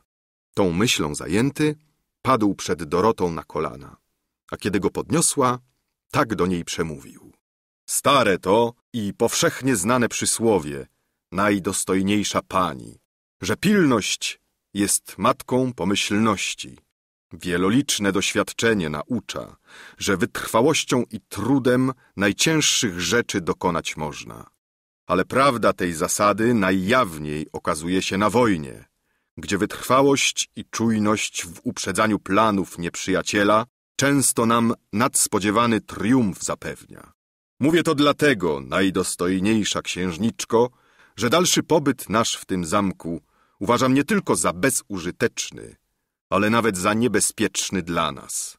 Kto wie, czy pan Dafilando nie wywiedział się przez tajnych szpiegów, że wybieram się na jego zagładę i czy korzystając z czasu, który my tu tracimy, nie obwarował się w jakim zamku, o którego zdobycie niepożyte ramię moje i cała usilność i biegłość moja nadaremnie by się kusiły. Uprzećmy więc, jak to mówiłem, zamiary jego naszą pilnością i racz pani zezwolić, abyśmy jak najprędzej stąd odjechali. Bo tylko mi się spotkać trzeba oko w oko z twoim wrogiem, pani, aby życzeniom twoim zadość się stało. Skończył mowę Don Kiszot i poważnie oczekiwał na odpowiedź królewny, a ta, stosując się do usposobienia kawalera, tak mu odpowiedziała. Mocną ci obowiązana, niezwyciężony rycerzu, za gorącą chęć niesienia mi pomocy w utrapieniu. Godna to rzecz prawdziwego rycerza, którego powołaniem jest wspierać sieroty i strapionych. Daj Boże, by życzenia nasze się spełniły i bym dowieść Ci mogła, że są na świecie kobiety wdzięcznymi być umiejące. Co do wyjazdu mojego, każdej chwili jestem gotowa na Twoje zawołanie. Rozrządzaj więc mną, jak Ci się podoba. Oddając w Twoje ręce osobę i sprawę swoją, jawnie okazałam światu, co trzymam o Twoim rozumie i jak nieskończoną ufność pokładam w Tobie. A więc idźmy w imię Boga, zawołał Don Kiszot. I kiedy tak dostojna księżniczka nie waha się uchylić czoła przede mną, spieszmy ją wynieść wysoko i na tron przywrócić. Idźmy natychmiast. Tak, pani. Odwłoka sprowadza często niebezpieczeństwa, a przy tym radbym jak najprędzej w usługach Twych dobić się sławy, która mnie czeka. Niebo dotąd nic nie stworzyło, ani piekło nie wydało takiego, czego bym ja się uląkł. Siodłaj więc Rosynanta, Sancho. Wyprowadzaj swego długo ucha i rumaka dla królewny. Żegnajmy władcę grodu tego i wszystkich jego rycerzy i ruszajmy co żywo. Ach, wielmożny panie! Odezwie się Sancho, trzęsąc głową. Nie tak to wszystko gładko idzie, jak się komu myśli, bez obrazy pańskiej. A o cóż ci tam znów chodzi, ladaco? Zapytał Don Kiszot. Cóż mnie iść może nie gładko, kiedy niczego się w świecie nie boję i wszystko około siebie zgładzam. A kiedy się wielmożny pan tak gniewa, to już gęby nie otworzę, odparł Sancho. I nic o tym nie powiem, co jak giermek i wierny sługa myślałem, żem powinien panu powiedzieć. Gadaj, że co ci się tylko podoba, krzyknął Don Kiszot. Byleś nie myślał, że mnie czym zastraszysz, bo że ty znasz strach, toś się powinien z niego wyleczyć. Ale ja znam strach tylko na twarzach swoich nieprzyjaciół. E, duka, duka, komu tam to w głowie? Tu nie o to idzie, rzekł Sancho. Ani się nawet do tego ochapiało. Ale w tym sęk, że ta pani, co to się udaje za królową wielkiego królestwa Miko Mikon, to ona, jak mi Bóg miły, taka królowa, jak moja nieboszczka babka. Bo żeby ona była królowa, to przecież nie latałaby raz wraz cmoktać się w kącie z jednym z obecnych tu panów. Dorota zaczerwieniła się po uszy na te wyrazy Sancza. Bo prawdą była, że często się z Fernandem ściskała, z góry mu wypłacając zadatki przyjaźni. Sancho ich podpatrzył i zmiarkował, że to jakoś nie patrzy na cnotliwą księżniczkę. Tak więc Dorota zmieszała się i sama nie wiedząc, co odpowiedzieć, siliła się tylko, żeby po sobie zakłopotania nie okazać. A on z zimną krwią ciągnął dalej. Ja to wam mówię, wielmożny panie.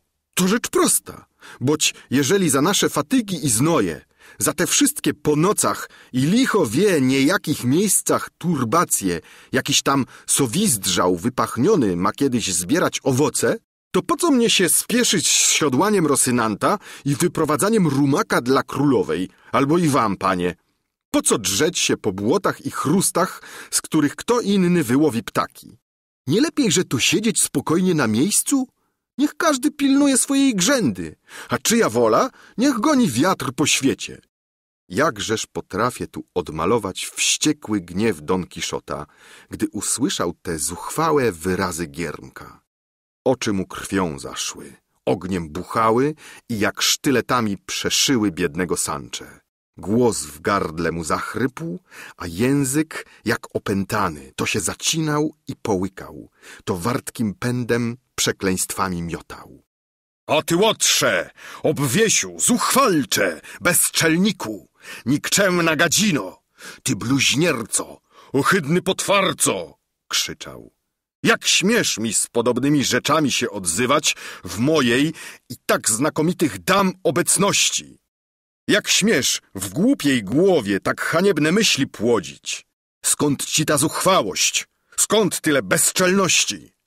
Idź mi precz z oczu przebrzydły potworze, kałużo kłamstwa, magazynie oszustwa, arsenale złości, furgonie wszeteczeństwa, zapowietrzony składzie sprośności, zdradziecki wrogu honoru i uszanowania należnego osobom krwi dostojnej. Precz mi z oczu i ani mi się pokazuj, bo cię ze złości...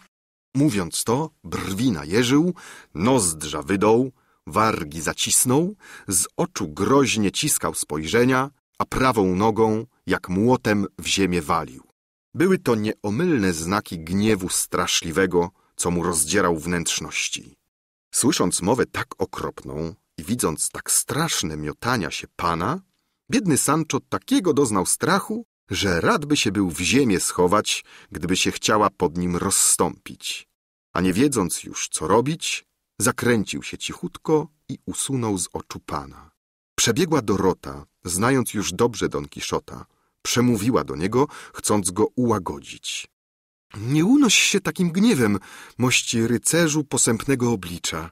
Głupie gadaniny prostaka Giermka nie warte tego. Może też w sumieniu swoim nie jest tyle winny, jak się zdaje, boć doświadczona jego poczciwość nie pozwala przypuszczać, żeby bez powodu i rozmyślnie składał świadectwa, cudzą dobrą sławę krzywdzące. Sam to powiedziałeś, że w tym zamku wszystko czarami się dzieje. Nie ma więc wątpliwości, że Sancho za diabelską sprawą widział te rzeczy honorowi memu ubliżające, o których wspomniał. Ach, wielki Boże, stworzycielu świata, panie! zawołał Don Kiszot. A toż dopiero wielką prawdę wyrzekłaś wasza dostojność. Jak kulą w płot, inaczej być nie mogło, szatańskie omamienie musiało zapruszyć oczy temu biedakowi. Czarnoksięska sztuka sprawić to tylko mogła, bo znam tego poczciwca i rzetelność jego i aż nadto wiem, że nigdy w życiu nie dałby fałszywego świadectwa. Ależ oczywiście, że inaczej być nie mogło, rzecze don Fernand. Racz przeto, zacny rycerzu, nie odmawiać mu przebaczenia swego i wróć mu łaskę swoją, którą posiadał, nim te czary głowę mu otumaniły. Przebaczam mu, rzekł Don Kiszot. Pleban natychmiast pobiegł po Sancze, a ten pokornie rzucił się do nóg panu i błagał go, ażeby mu dał rękę do ucałowania. Don Kiszot podał mu rękę i błogosławieństwa udzielił, mówiąc Nie będziesz już wątpił teraz, synu mój Sancho, com ci tylekroć powtarzał, że czary wszystkim tu rządzą. Nie wątpię już o tym, odpowiedział Sancho. gotowym przysiąc nawet na to, bo widzę już, że i językiem moim rządzą. O tym tylko nie wątpię, co było rzeczywiste i na jawie, że mnie wtedy jak piłkę w górę podrzucali, bo dobrze to w kościach czułem. I temu nie wiesz, jak i wszystkiemu, rzecze Don Kiszot, bo gdyby tak było, byłbym cię zaraz pomścił i teraz jeszcze mógłbym winnych ukarać. Ale ani wtedy, ani teraz nie mogę znaleźć nikogo, na kim bym pomstę wywarł. Całe towarzystwo chciało się koniecznie dowiedzieć, co to było za podrzucanie i gospodarz musiał im opowiedzieć co do Joty, jaką to zabawkę wyprawiono sobie z Sanczą. Ale Sancho pękał ze złości i byłby pękł pewno, gdyby pan mu nie zaręczył, że to wszystko czary. Dwa dni całe bawiła już w gospodzie ta miła kompania. Wszyscy uznali, że czas by się już rozjechać i obmyślali środki skłonienia Don Kiszota, by wrócił do domu, gdzie pleban z balwierzem mogliby skutecznie nad wyleczeniem go pracować, a Dorota z Don Fernandem uszliby podróży, ułożonej zrazu niby to dla przywrócenia na tron królewny Miko Mikony. Siląc się na rozmaite pomysły, Postanowiono nareszcie wejść w układy z wieśniakiem, który przypadkowo przejeżdżał tamtędy z wózkiem swoim, żeby go odwiózł do domu w sposób następujący. Zrobiono coś na kształt klatki kratkowanej, dość wielkiej na wygodne pomieszczenie człowieka.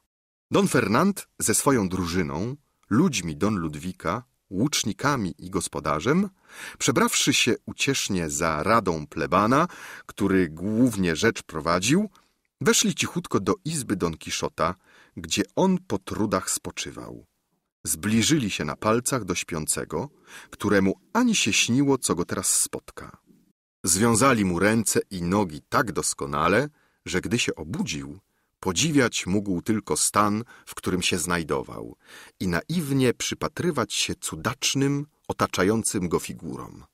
Jak zwykle wyobraził sobie natychmiast, że to są duchy, zaklęty zamek ten zamieszkujące i że sam zaklęty został, bo nie mógł ani się bronić, ani palcem ruszyć. Pomysł plebana udał się jak spłatka. Ze wszystkich obecnych sam jeden Sancho zachował zwyczajną postawę – i sam jeden może najwięcej miał zdrowego rozumu. Chociaż mało brakowało, żeby w głupocie wyrównał panu. Poznał przecież wszystkie te przebrane figury. Ale tak był odurzony, że nie śmiał gęby otworzyć i czekał tylko, jak się ten figiel z Don Kiszotem skończy. Pan jego, nic także nie mówiąc, czekał rad nierad, co się z nim dalej stanie. Przyniesiono klatkę. Wsadzono go w nią, a obiwszy mocno deskami, żeby niełatwo było rozerwać, przebrane poczwary wzięły ją na ramiona i kiedy miały wynosić już z izby, dał się słyszeć głos potężny, na który tylko majster Mikołaj mógł się zdobyć, w ten sposób przemawiając. O rycerzu posępnego oblicza, nie dziwuj się swojej niewoli, musiałeś w nią popaść, abyś dzieła, którego się w wielkości swojego męstwa podjąłeś, mógł prędzej dokonać. Dzieło to wielkie do końca doprowadzone zostanie, kiedy ogromny lew zmanczy i biała gołębica z tobozo poddadzą wspaniałe głowy pod słodkie jarzmo hymenu i złączą się związkiem szczęśliwym, z którego wynijdą na świat dzielne lwiątka, co pójdą w nienaśladowane tropy nienaśladowanego ojca. A to się stanie, nim jasny luminarz ścigający nimfę poranną, przed nim uchodzącą, po dwakroć obieży zwyczajnym pędem świetne znaki zodiaku.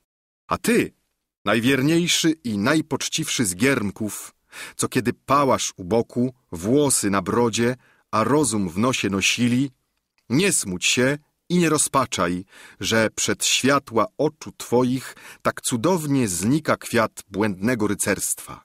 Bo nim kilka przejdzie księżyców, Ujrzysz się, jeżeli tylko wszechmocny architekt przyrody na to zezwoli, wyniesionym na tak wysoki stopień po drabinie szczęścia, że sam się nie poznasz i błogo używać będziesz szczęśliwych skutków nieomylnych przyrzeczeń swojego Pana.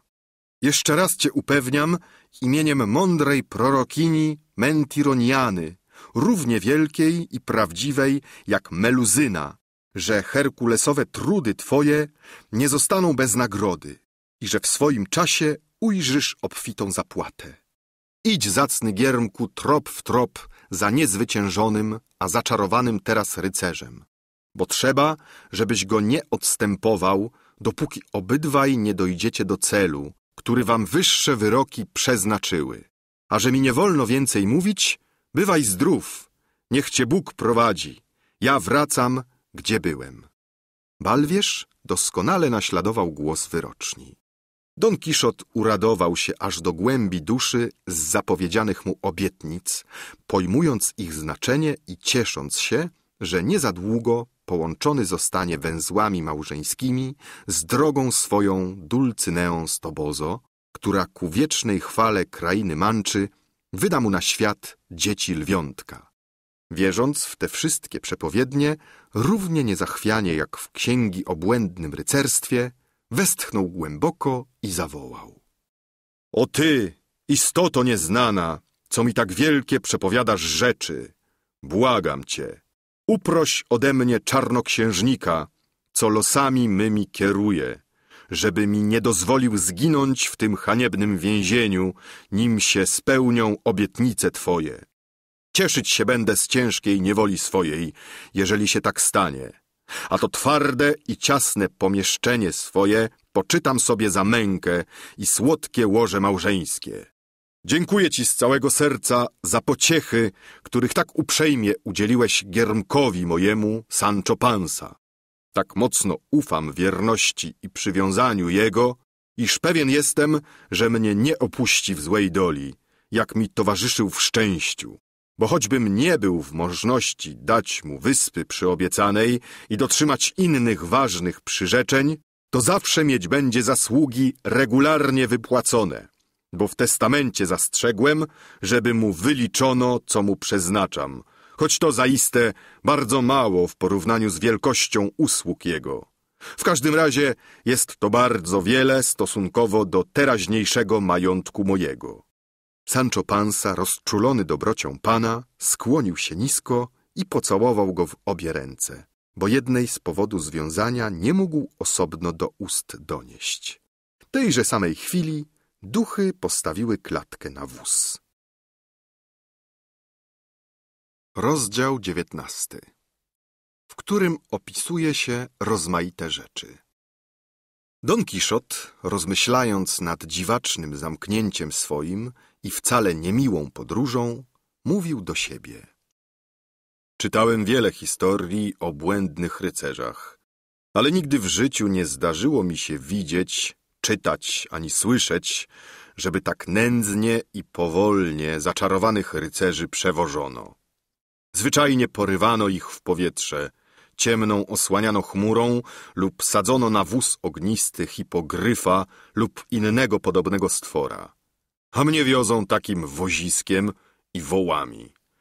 Ach, umieram ze wstydu. A może teraźniejsza rycerskość i dzisiejsze zaczarowania nie trzymają się prawd dawnych. Może dla mnie wynaleziono nowe sposoby czarów i przewożenia dlatego, że jestem teraz jedynym rycerzem błędnym na świecie i żem pierwszy wskrzesił zapomniany ten zakon. Jak tobie się też zdaje, mój przyjacielu Sancho? Mnie się nic nie zdaje, odpowiedział Sancho. Bo ja nie czytałem tyle, co wy, panie, tych pism błędnych. Ale mimo to przysiągłbym, że te wszystkie mary otaczające nas nie są bardzo katolickie. Miły Boże, cóż ty gadasz? odrzecze Don Kiszot. Jakże mają być takimi, kiedy to są przecie duchy, w fantastyczne ciała poprzedzierzgane, żeby mnie w ten smutny stan wprawić. A jeżeli się sam chcesz o tym przekonać, to tylko ich dotknij, Sancho. Złap je ręką, a obaczysz, że to są istoty powietrzne, żadnego ciała nie mające, a kształty ich są złudzeniem. Przyznam się, wielmożny panie, odpowiedział Sancho, żem ja już łapał je ręką i przekonałem się, że te diabły, co cię tak turbują, mają ciało jak się należy i wcale nie żywią się wiatrem, A co więcej, nie słychać ich ani siarką, ani innymi plugastwami, tylko pachną piżmem i wonnościami, że aż w nos bije. Sancho stosował to głównie do Don Fernanda, który będąc wielkim panem i wielkim elegantem, lubił się zapewne perfumować. Nie dziw się temu, przyjacielu Sancho, rzecze Don Kiszot. Diabły mędrsze niż ty myślisz. A chociażby mieli przy sobie wonności, nie mogą niczym pachnąć, bo zawsze czuć ich piekłem, którego nigdy pozbyć się nie mogą. Miłe wonie przyjemnymi są dla zmysłów, a one pozbawione są na wieki wszelkich przyjemności. Jeżeli zatem zdaje ci się, że te diabły pachniały piżmem i wonnościami, to albo masz katar, albo zostałeś przez nich omamiony, żeby ich nie poznać. Kiedy pan ze sługą tak rozmawiają, Don Fernand i Cardenio, bojąc się, żeby Don Kiszot nie poznał, że go oszukują, chcieli się zaraz usunąć. Kazali więc gospodarzowi osiodłać Rosynanta i okulbaczyć osła Sanczy, a pleban zgodził ławników, żeby do samego domu odprowadzili zaczarowanego rycerza. Cardenio zawiesił miedniczkę, rapier i spisę przy siodle Rosynanta i dał go prowadzić Sanczowi, który siedząc na ośle jechał przodem, kiedy dwaj łucznicy po bokach wozu straż trzymali. Nim woły z miejsca ruszyły, gospodyni, jej córka i Maritrona wyszły pożegnać się z Don Kiszotem, udając, że są bardzo zmartwione jego wypadkiem. Nie płaczcie, dostojne damy, rzekł do nich.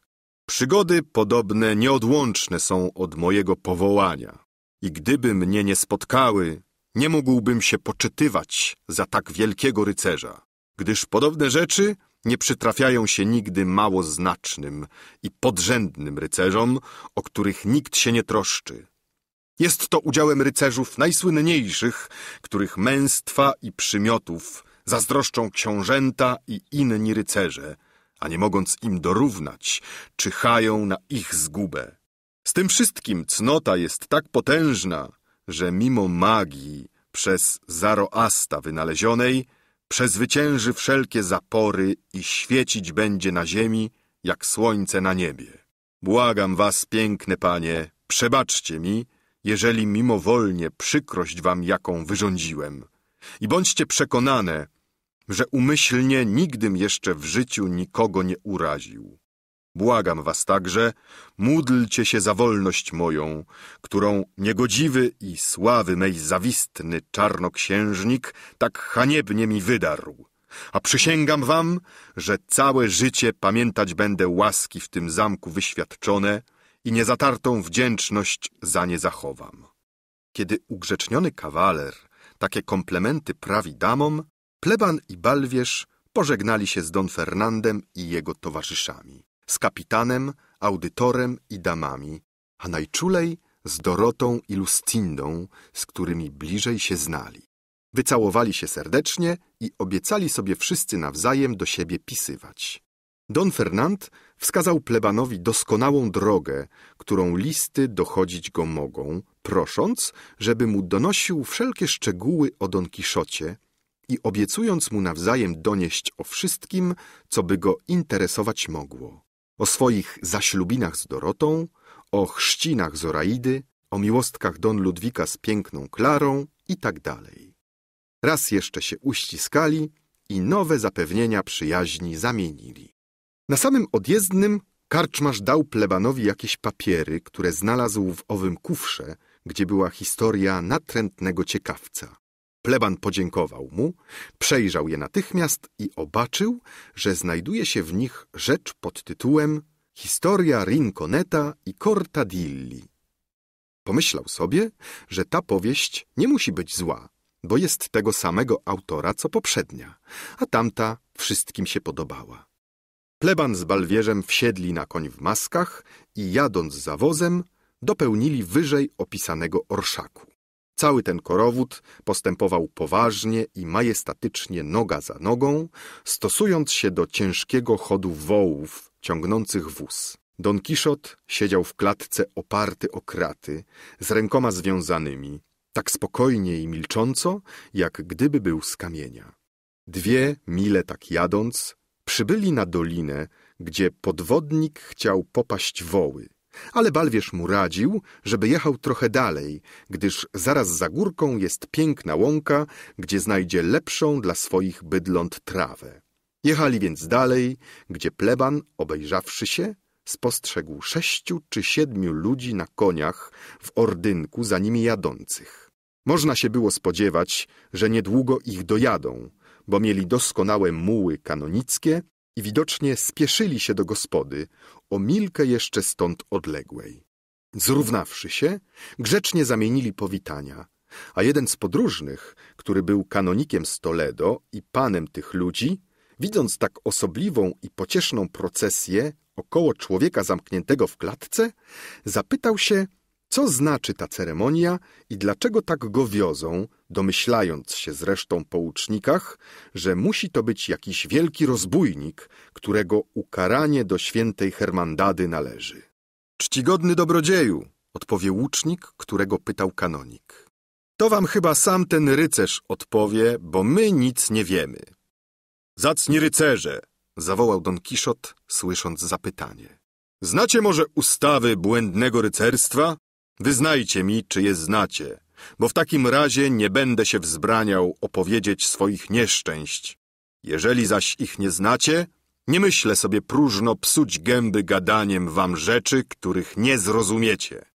Bogiem a prawdą, mój bracie, odpowie kanonik, czytałem ja więcej ksiąg rycerskich niż brewiarzów. I jeżeli ci jedynie idzie o to, możesz mi jak najotwarciej opowiedzieć, co tylko chcesz. Kiedy tak, to co innego, odrzecze Don Kiszot. Chętnie wam historię swoją opowiem, ale bardzo proszę nie tykać mnie bratem. Trzeba wam tedy wiedzieć, mości rycerzu, że złość i zazdrość przeklętych czarnoksiężników zaczarowała mnie w tej klatce, bo cnota doznaje zawsze więcej prześladowania od złych, aniżeli miłości od dobrych. Jestem błędnym rycerzem, nie należy do liczby tych, o których sława nie wie i o których ani śladu w wiekopomnej pamięci nie zostanie, ale do tych, co pomimo zawiści niechętnych i wbrew wszystkim magom perskim, wszystkim brahmanom indyjskim i gimnosofistom etiopskim, ryją swe imiona i dzieła na spiżu świątyni nieśmiertelności dla przykładu wiekom potomnym, dla wzoru i prawidła rycerzom błędnym, którzy zechcą dostąpić szczytu sławy wojennej. Dostojny rycerz Don Kiszot z Manczy dobrze mówi, odezwie się pleban, który zaraz z początku rozmowy kanonika z więźniem umyślnie razem z Balwierzem zbliżył się do nich. Został on zaczarowany na tym wozie nie ze swojej winy, ani za złe uczynki, ale przez podstęp i zdradziecki gwałt tych, którym jego męstwo i cnota były solą w oku. On to jest owym rycerzem posępnego oblicza, o którym zapewne już słyszeliście, którego czyny waleczne i dzieła niesłychane po wiek wieków jaśnieć będą na spiżu i marmurze, mimo zawiści i zawziętości nieprzyjaciół, co by radzi w niepamięć je zagrzebać. Kanonik i cały orszak jego niemało się zdumieli, słysząc, że człowiek wolny tak samo od rzeczy mówi, jak i uwięziony, i sami nie wiedzieli, co o tym mają sądzić. Ale Sancho Panza, zbliżywszy się do nich i widząc ten kłopot, chciał rzecz objaśnić. Dostojni panowie, rzecze więc, Posłuchajcie mnie i czy wierzyć będziecie, czy nie temu, co powiem, ja zawsze swoje wygadam, bo mi sumienie tak każe. Oto pan, Don Kiszot, tak jest zaczarowany jak ja albo osioł, na którym jadę. On całkiem zdrów i ma zmysły jak należy. Je, pije i wszystkie funkcje odbywa, jak inni ludzie, jak przedtem odbywał, nim go wsadzono w te kluby. Co to za gadanie, że on zaczarowany? Nie głupim, żebym temu wierzył. Alboż ja to nie wiem, że opętani nie jedzą, nie śpią, ani nie mogą gadać? A gardło dam, że jak pan mój zacznie rozprawiać, to go nie przegada stu patronów i tyleż przekupek, choćby mieli po sto języków w gębie. Mówiąc to, Sancho obrócił się do plebana. A, mości plebanie, mości plebanie, Czy to, dobrodziej, myślisz, żem ja go nie poznał i że nie miarkuje, co się święci w tych czarach? Próżno tam jegomość twarz sobie zakrywasz. Znam ja cię lepiej od mego osła. Na nic się nie przyda ta maskarada. Wiem dobrze, że to oszukanie. Ja się na to nie złapię, jak wróbel na plewy. A pamiętaj, dobrodzieju, że gdzie obłuda i zazdrość panuje, tam się cnota prześladuje. Niechaj diabli porwą te figle. Żeby nie wy, dobrodzieju, z tymi przeklętymi niby czarami, to pan mój byłby się już ożenił z królewną Miko Mikonu, a ja bym został co najmniej hrabią, co się to za wierność moją i usługi należy. Ale widzę ja, że to wielka prawda, co mówią, iż fortuna kołem się toczy i że ci, co wczoraj byli na wierzchu ozdobni, dziś na spodzie w błocie leżą, łazarzom podobni. Najbardziej mnie to gniewa, że wrócić muszę do żony i do dzieci lichym masztalerzem, kiedy oni spodziewają się powitać mnie królem albo władcą jakiej wyspy.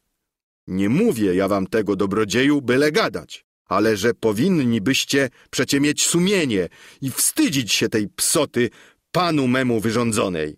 Bo pamiętajcie, że przed Bogiem ścisły zdacie rachunek, czy to na tym, czy na tamtym świecie, za to wszystko i za to, że mu nie dajecie spełniać dobrych uczynków, wspomagać wdów i sierot, wspierać nieszczęśliwych i karać niecnoty. Otóż to, mości Sancho, przerwał Balwierz. Jestem w domu i widzę, że waść także z tego zakonu, co i twój pan. Wielka mnie przeto bierze ochota zamknąć cię z nim do klatki i zarzeknąć jako członka błędnego rycerstwa. Czy czasem nie jesteś brzemienny wyspą, która ci tak ciąży na sercu? Gotów jestem przywołać akuszerki. Nie jestem wcale w ciąży, odparł z gniewem Sancho. I kwituję z tego, chociażby mi książęcia nawet w żywocie moim nosić proponowano. Jestem biedny, ale poczciwy, prawy chrześcijanin i w niczym nie krzywdzę sprawiedliwości. Jeżeli pragnę wyspy, to drudzy więcej jeszcze żądają boć na to góra grzebie, żeby ziarnko wygrzebała. A zresztą każdy człowiek może być papieżem. Dlaczegoż bym ja nie miał zostać władcą jakiej wyspy, kiedy ich pan mój tyle podbić może, że nie wiedziałby, co z nimi zrobić? Powiedz no, co mądrzejszego, mój mości cyruliku, jeśli możesz. Bo to jeszcze nie rozum umieć brody golić. Człowiek a człowiek to diabelna różnica. Znamy się, Bogu dzięki, bardzo dobrze. Wiesz, że niewiele ze mną wygrasz. Co się tycze zaczarowania mojego pana, Bóg to najlepiej wiedzieć raczy, ale nie naruszajmy smrodu, bo jeszcze bardziej śmierdzieć będzie. Balwierz nie chciał już odpowiadać Sanczowi, lękając się, ażeby nie wygadał więcej i całej tajemnicy nie odkrył. Pleban, który także się tego lękał, Wyjechał umyślnie z kanonikiem i jego ludźmi naprzód i opowiedział im rzecz całą.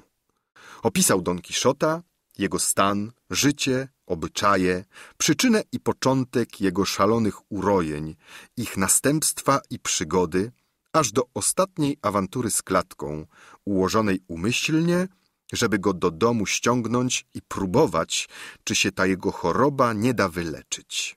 Kanonik i orszak jego z wielkim zadziwieniem przysłuchiwali się historii Don Kiszota. A gdy pleban skończył, kanonik w te słowa się odezwał. Przekonuje się coraz bardziej, że te księgi rycerskie nie tylko się na nic krajowi nie zdały, ale są mu nawet bardzo szkodliwe. Pozaczynałem czytać wszystkie, jakie tylko wyszły, ale żadnej dokończyć nie mogłem, bo mi brakło cierpliwości. Wszystko jedno w kółko prawią, a z żadnej najmniejszej nie wyciągniesz nauki. Pleban, wysłuchawszy pilnie kanonika i widząc jego rozsądek, odpowiedział mu, że podziela zupełnie jego zdanie, że taki ma wstręt do podobnych książek, iż ogromną bibliotekę Don Kiszota, z nich jedynie złożoną, spalić kazał niedawno. Opowiedział mu, jakie książki zostawił, wyłuszczając ku temu powody i co Don Kiszot myślał o stracie swojej biblioteki. Kanonik i orszak jego aż się za boki trzymali, tak się z tego opowiadania naśmieli. Z tym wszystkim, mój dobrodzieju, rzecze kanonik, choć ja na te książki powstaję, to jednak widzę w nich to dobre, że ludziom dowcipnym dają pole do popisu i sposób okazania dowcipu. Jest to pole rozległe i wielkie, po którym pióro biegać może jak chce i wybierać, co mu się podoba. Czy to opis burzy i rozbić, potyczek i bitew, czy też wizerunki wodzów wielkich ze wszystkich ich przymiotami, czujnością i zręcznością w uprzedzeniu nieprzyjaciela, wymową w ujmowaniu żołnierzy, doświadczeniem i przezornością w radzie, bystrością umysłu w kierowaniu wojną i dzielnością w wykonaniu. Może znów opisywać jakiś smutny lub przyjemny wypadek, kobietę piękną ze wszystkimi jej powabami, rycerza walecznego, zręcznego i szlachetnego, barbarzyńcę dumnego i zuchwałego, ojca narodu mądrego i umiarkowanego, który myśli jedynie o dobru swoich poddanych i pilnie przestrzega, aby wierność ich i zasługi należną otrzymywały nagrodę. Autor może się tu popisywać ze wszelką uczonością, może wybierać, jakie mu się podoba sztuki nauki, może malować w bohaterach swoich zręczność i wymowę Ulissesa, uczciwość Eneasza, waleczność Achillesa, przyjaźń Euriala, wspaniałość Aleksandra, rozum i męstwo Cezara, łagodność Augusta, dobroć Trojana, wierność Zopyra, mądrość Katona, słowem wszelkie owe przymioty dusz wielkich, które człowieka czynią znakomitym. Tym sposobem, mając styl łatwy i czysty, a przy tym talent i sztukę w wynalezieniu i zachowaniu prawdopodobieństwa wypadków, ułoży on z rozmaitych kawałków całość przyjemną, wystawi obraz wykończony, który każdemu podoba się i nauczyć go czegoś musi. A ten jest cel, który przed oczami każdy piszący mieć powinien. Rozdział dwudziesty. Dalszy ciąg tego, co kanonik mówił o powieściach rycerskich. Zaprawdę doskonale pan mówisz, rzecze pleban. Autorowie jednak książek tym podobnych jeszcze więcej zasługują na naganę, że nie zważają wcale na żadne przepisy sztuki, których zachowaniu dwaj najznakomitsi poeci starożytni sławę swą winni. Miałem ja kiedyś ochotę, odpowie kanonik, napisać powieść rycerską podług tych reguł i jużem był nawet nakreślił kilkadziesiąt arkuszy, a chcąc się przekonać, czy początek odpowiada mojemu życzeniu, pokazywałem ją ludziom wytrawnym i lubiącym podobne utwory, jako też i ludziom ciemnym, którzy się jedynie w głupstwach kochają. I jednym, i drugim podobała się moja powieść.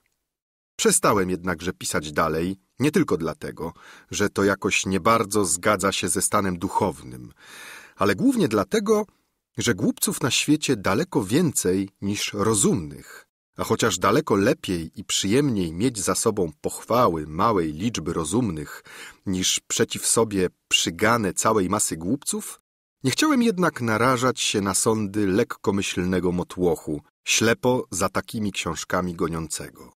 Najbardziej wszakże odstręczało mnie od pisania to, że wszystkie niemal komedie dzisiejsze, czy to historyczne, czy zmyślone, choć tak śmiesznie głupie, wszelkim regułom przeciwne, i przez wszystkich rozsądnych potępione, znajdują przecież mimo to najdoskonalsze u ludu przyjęcie. Widzę przy tym, że i autorowie ich, i aktorzy utrzymują, że inne być nie powinny dlatego, że publiczność nie chce innych i że sztuki prawdziwie piękne podobają się co najwięcej trzem lub czterem osobom ukształconym, a ogół brzydzi się nimi. Po cóż bym więc łamał sobie głowę i tracił czas na ułożenie powieści odpowiadającej przepisom sztuki, kiedy to wcale książce mojej nie zjedna pokupu.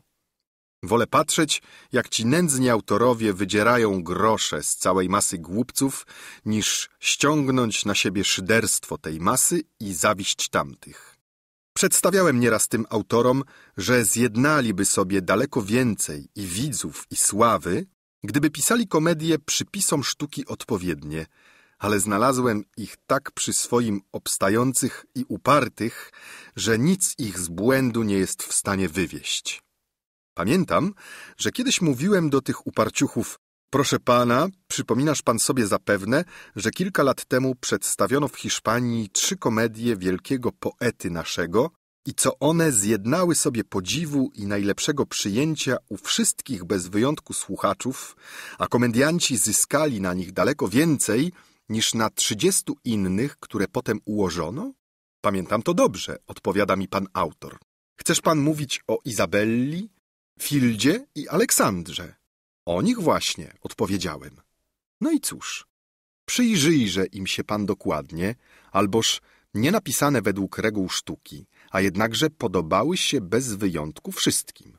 Nie należy zatem winy przypisywać publiczności, że ją same głupstwa bawią, ale temu, że brak autorów, którzy by coś lepszego napisać umieli. Nie ma żadnych głupstw w ukaranej niewdzięczności, w numancji, w kupcu zakochanym, a tym mniej w sprzyjającej nieprzyjaciółce, ani też w mnóstwie sztuk pięknych, które przyniosły sławę autorom i ogromne pieniądze aktorom. Wiele jeszcze mówiłem i zbiłem zupełnie pana autora, ale mimo to wszakże nie zmienił zdania ani trybu pisania. Mości kanoniku, rzecze pleban, dotknąłeś tu materii, która budzi w moim umyśle dawno już oburzenie przeciw modnym dziś komediom, którymi tak samo się brzydzę, jak i tymi powieściami rycerskimi.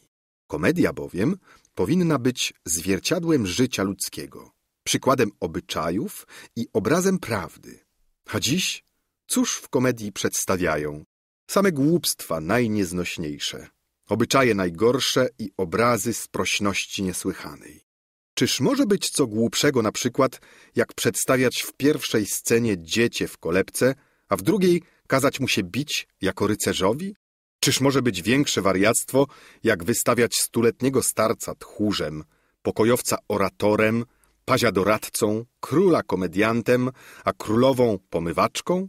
Ale najdoskonalsza rzecz, jak to się tam akcja toczy. Widziałem komedię, w której pierwszy akt odbywa się w Europie, drugi w Azji, a rzecz kończy się w Afryce. I gdyby sztuka miała więcej nad trzy akty, to pewno by i Amerykę do kontrybucji powołano.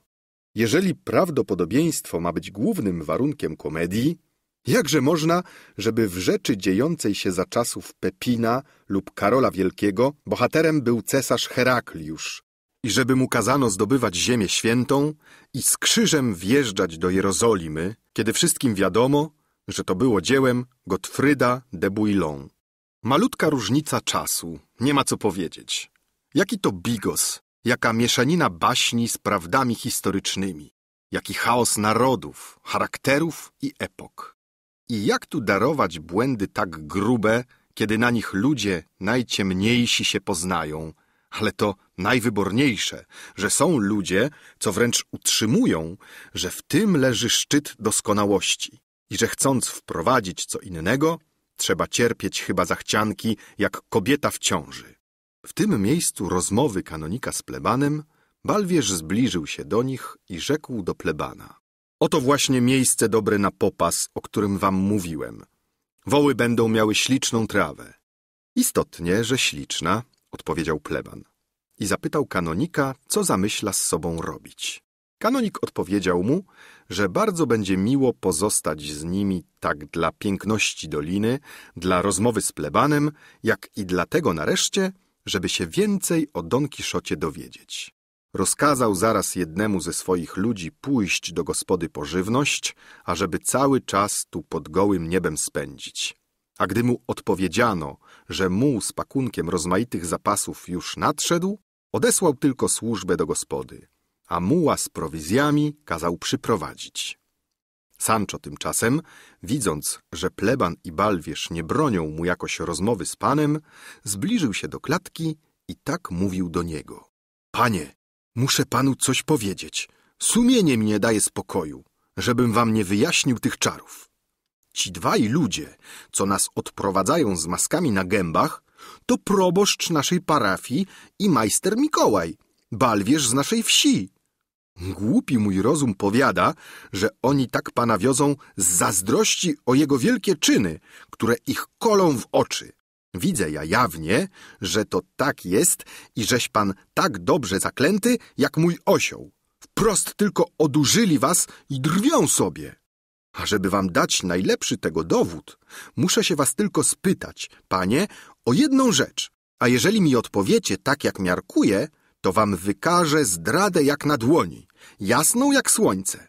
I sami wtedy wyznacie, że tu nie ma żadnego zaklęcia, tylko że się paniskowi w głowie pomieszało. Pytaj się, o co chcesz, mój synu, rzecze Don Kiszot. A ja ci na każde słówko odpowiem.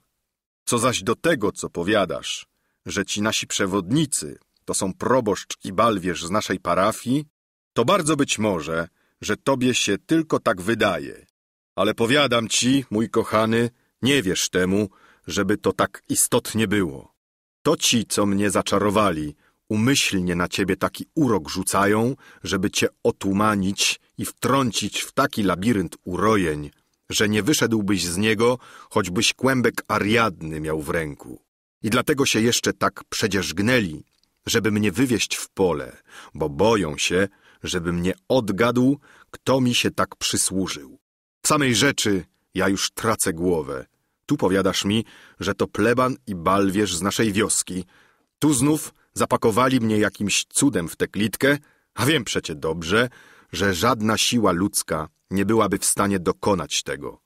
Nie mogę więc przypuszczać nic innego, jak tylko, że siła mojego zaklęcia jest większa i straszniejsza od wszystkich zaklęć, jakimi kiedy bądź w świecie ulegali rycerze błędni. Nie dusz się więc na próżno, mój kochany, żeby to był pleban i balwierz.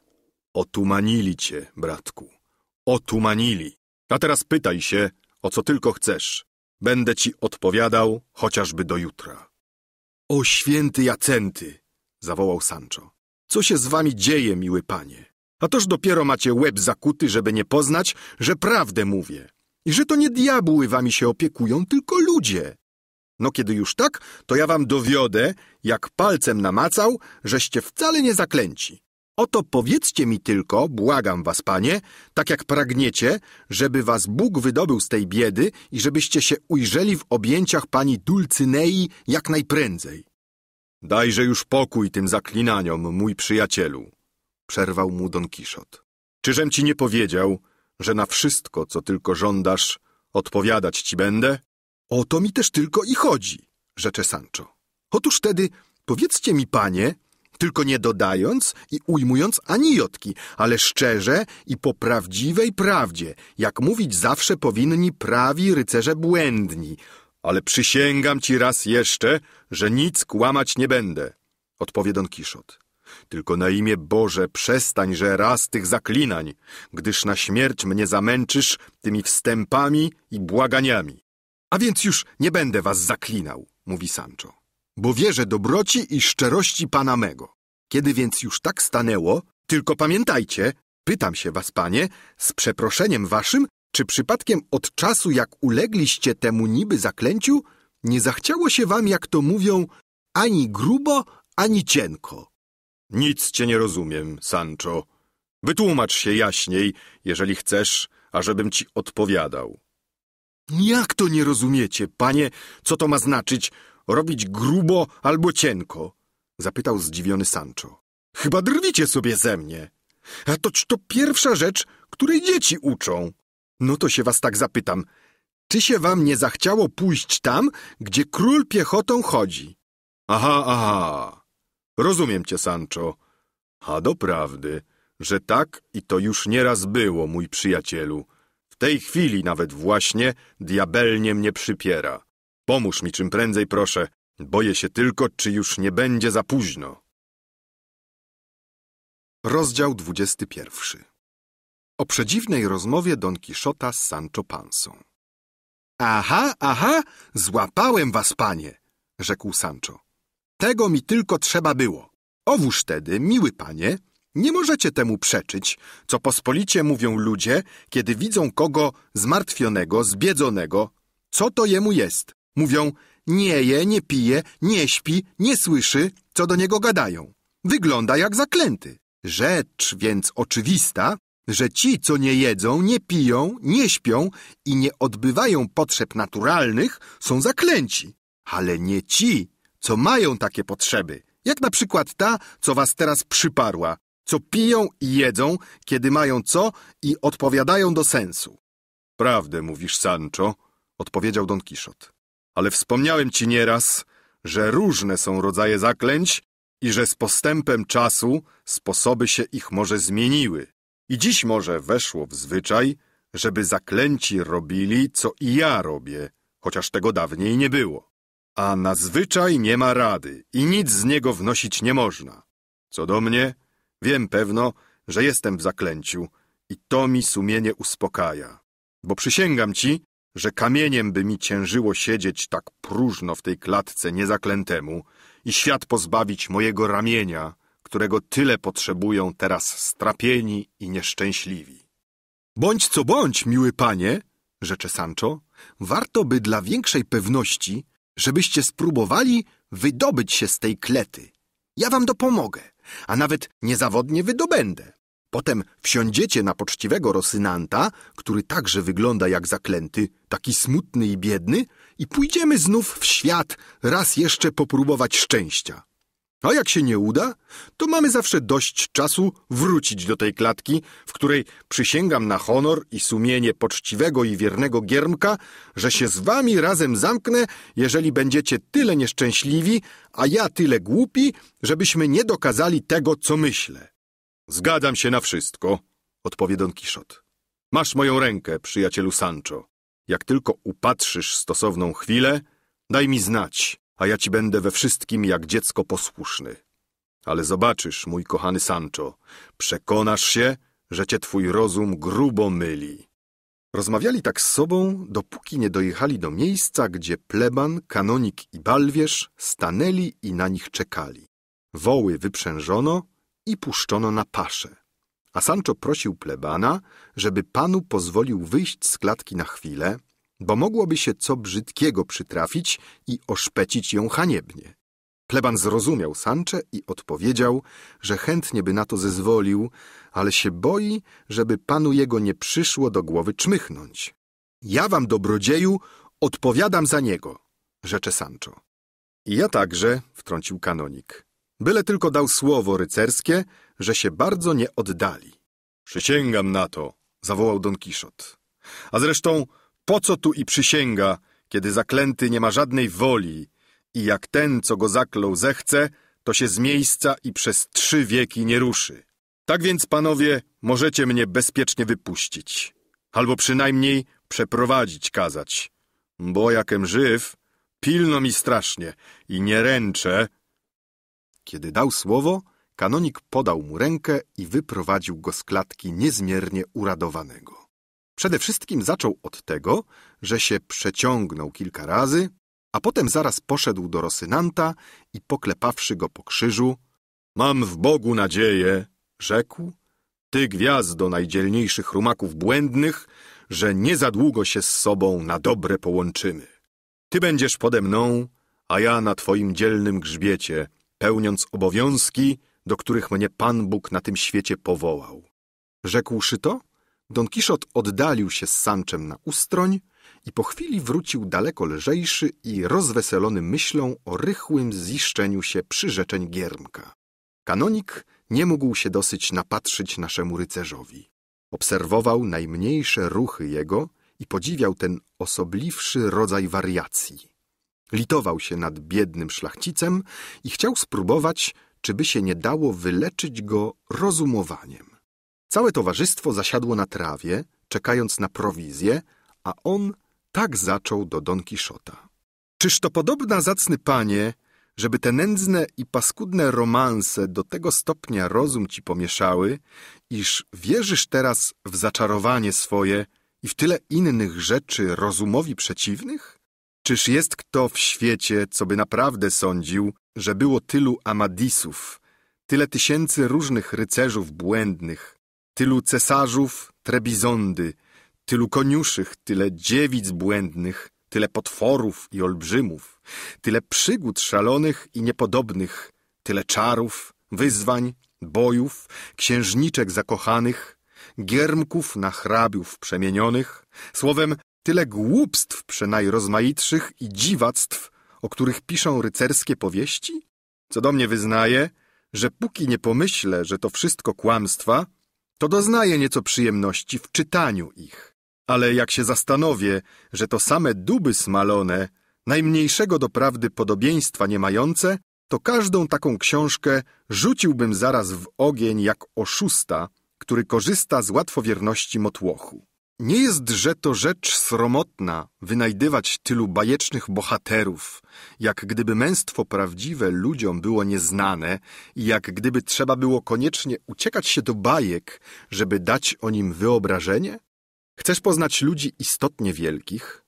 To masz w Grecji Aleksandra, w Rzymie Cezara, w Kartaginie Hannibala, w Portugalii Wiriata, masz w Kastylii Gonzalesa, w Walencji Cyda, w Andaluzji Hernandesa, w Estremadurze Paredesa, w Toledzie Vargasa i Garcillasa, w Sewilli Manuela de Leon, których dzieje przedstawiają obrazy cnót prawdziwie heroicznych, wzbudzających zarazem podziw i szlachetną emulację i dających najpiękniejsze przykłady do naśladowania.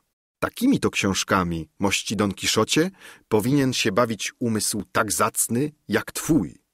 One cię nauczą dziejów świata, wyćwiczą w rzemiośle wojennym, pokażą, jakim być powinien wódz doskonały i przedstawią cuda waleczności nie nadprzyrodzone, ale prawdziwe i ludzi nad motłoch wynoszące. Don Kiszot przysłuchiwał się z niezmierną uwagą mowie kanonika, a zastanowiwszy się chwilę, tak mu odpowiedział.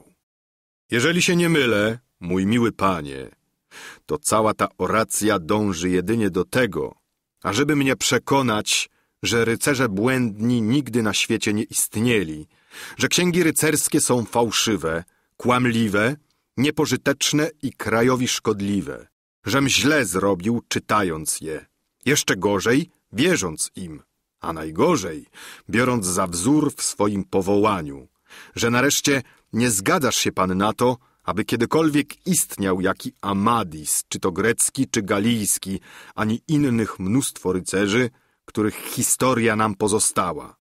A tak jest i to najświętsza prawda, odpowie kanonik. Mówiłeś pan jeszcze, dodał Don Kiszot, że te książki wielką krzywdę mi wyrządziły, gdyż mi rozum pomieszały i z ich przyczyny w tej klatce mnie zamknięto i że daleko lepiej bym zrobił, gdybym czytał książki poważne i rozumne, które razem przyjemność i naukę by mi dały. Tak jest. Wszystko to prawda, rzecze kanonik. A ja, mój panie, zawołał Don Kiszot, dobrze rzecz zgłębiwszy. Widzę jawnie, że to ty jesteś zaczarowany.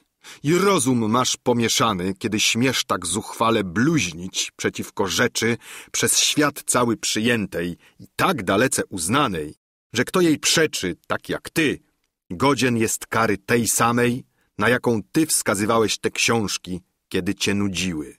Bo chcieć kogo przekonać, że nie było nigdy na świecie Amadisa, ani innych błędnych rycerzy, o których księgi wspominają, jest to takie same szaleństwo, jak chcieć dowieść, że słońce nie świeci, albo że ziemia się około osi nie obraca. Może mi kto powie także, że historia infantki Tloryppy i Guja z Burgundii nie jest prawdziwa. Albo że to kłamstwo, co Fierabras dokazywał na moście Mantilli za czasów Karola Wielkiego. Jeżeli to kłamstwa, to i nieprawda, że była wojna trojańska że było dwunastu parów Francji, że istniał Artur, król angielski, co dziś jeszcze żyje pod postacią kruka i którego co chwila wyglądają w jego królestwie. Może mi także powiecie, że historia Guarina Mesquina albo historia damy Saint-Rial są także fałszywe, że miłostki Don Tristana i królowej Izoldy albo romans pięknej Ginewry z Lancelotem wymyślone, a przecież żyją jeszcze na świecie ludzie, co pamiętają i widzieli damę Quintanone, co się lepiej znała na winach niż najpierwszy pijak Wielkiej Brytanii I ta historia jest tak prawdziwa, że ja sam, co mówię to do was, pamiętam dobrze, jak mi babka powtarzała, widząc te panie z wielkimi welonami na głowach. Patrz, mój wnuku, to idzie matrona podobna do damy kwintagonny. A z tego wnoszę bardzo naturalnie, że znać ją musiała, albo przynajmniej jej portret widziała. Tego by tylko jeszcze brakowało, ażebyście zaprzeczali historii Piotra z Prowansji z piękną Magieloną, kiedy do dziś dnia jeszcze widzieć można w skarbcu królewskim gwóźdź od podkowy konia drewnianego, na którym ten rycerz jeździł. Gwóźdź większy niż dyszel od wozu, a tak szanowany, że go położono obok siodła babijeki od słynnego rumaka cydowego. Znajduje się także w Roncevaux trąbka Rolanda, tak długa i gruba jak belka masztowa. A stąd dowód oczywisty, że istniało dwunastu parów, że istniał Piotr z Prowansji i Cyt i inni podobni rycerze, których awanturnikami nazywano. Może jeszcze powiecie, że Juan de Merlo, ten dzielny Portugalczyk, nie był rycerzem błędnym, że się nie potykał w Burgundii ze słynnym Piotrem, panem Harny, a potem w Bazylei z Henrykiem de Remezon i że z tych dwóch bitew nie odniósł sławy zwycięstwa. Tego by tylko nie dostawało, żeby za bajki uważać wyzwania i przygody Don Pedra Barby i Gotiera Kichalda, od którego w prostej linii po mieczu pochodzę, a którzy obydwaj wsławili się pobiciem synów hrabiego de Saint-Paul. Tego mi przecież nikt nie zaprze, że Don Fernand de Guevara jeździł szukać przygód do Niemiec, gdzie potykał się mężnie z baronem Jerzym, kawalerem znakomitym z dworu austriackiego. Niechajże mi ktoś śmie utrzymywać, że to są baśnie. Owe turnieje Suera de Quinon de Paz i Ludwika de Valses przeciwko Don Gonzalesowi Guman, kawalerowi kastylijskiemu i owych dzieł chwalebnych tysiące, których dokazywali kawalerowie chrześcijańscy ze wszystkich stron świata, a które są tak prawdziwe i autentyczne, iż śmiało powtarzam, że trzeba by rozum stracić, aby o nich na chwilę choć wątpić. Kanonikowi aż się w głowie zakręciło od tego wyliczania Don Kiszota. Zdumiał się nad chaosem tych cytacji historycznych i bajecznych i nadzwyczajną jego znajomością wszystkiego, co tylko o błędnym rycerstwie pisano. Nie przeczę ja mości Don Kiszocie, rzekł, żeby nie było coś prawdy w tym, co powiadasz, a szczególniej w tym, co dotyczy błędnych rycerzy hiszpańskich. Przyznaję, że istniało dwunastu parów Francji, ale nigdy w świecie nie uwierzę, żeby to było prawdą, co o nich pisał poczciwy arcybiskup Turpil. Co prawda to prawda, że byli to rycerze wybierani przez królów Francji, których nazywano parami dlatego, że równi byli stopniem znaczenia, jako też równi walecznością i urodzeniem, a przynajmniej powinni być równi, bo znów nie dałbym gardła za to, że nie tak ich skrupulatnie mierzono. Był to pewien rodzaj zakonu, tak, coś na kształt zakonu świętego Jakuba albo Kalatrawy w Hiszpanii, do którego powinni należeć sami waleczni i wysoko urodzeni. I tak, jak się dziś mówi, kawaler świętego Jana lub kawaler d'Alcantara, tak wtedy mówiono. To jeden z dwunastu parów, bo ich było tylko dwunastu. Co się zaś tycze Cyda, to wątpić nie można, że on istotnie był. Tak samo jak i Bernard de Carpio. Ale nie ma skrupułu nie wierzyć temu wszystkiemu, co o nich piszą.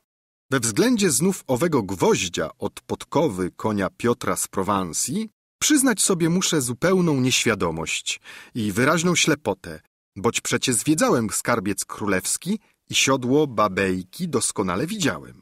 A tego gwoździa, choć tak wielki, ani oko. A on tam jest, odpowie Don Kiszot. Jest niezawodnie i tak go nawet strzegą, że go w pokrowiec skórzany włożyli dla lepszego zachowania. Może i to być, odrzekł kanonik. Ale ja sumieniem zaręczam, żem go ani widział, ani o nim słyszał. A zresztą, choćbym i przystał na to, że on się tam znajduje, to jeszcze nie idzie za tym, żebym wierzył historiom tych wszystkich Amadisów i całej chmary rycerzy błędnych. Dziwna to rzecz doprawdy, żeby też człowiek uczciwy, rozumny i dobry, jak wy, mógł tak ślepo wierzyć w te wszystkie cudackie wymysły głupich owych książek. Rozdział 22 O miłej sprzeczce Don Kiszota z kanonikiem A to dopiero rzecz doskonała, zawołał Don Kiszot. Żeby książki drukowane za przywilejem królewskim i pozwoleniem zwierzchności czytane i rozrywane chciwie przez wszystkich, wielkich i małych, uczonych i prostaków, słowem wszelkie stany i powołania.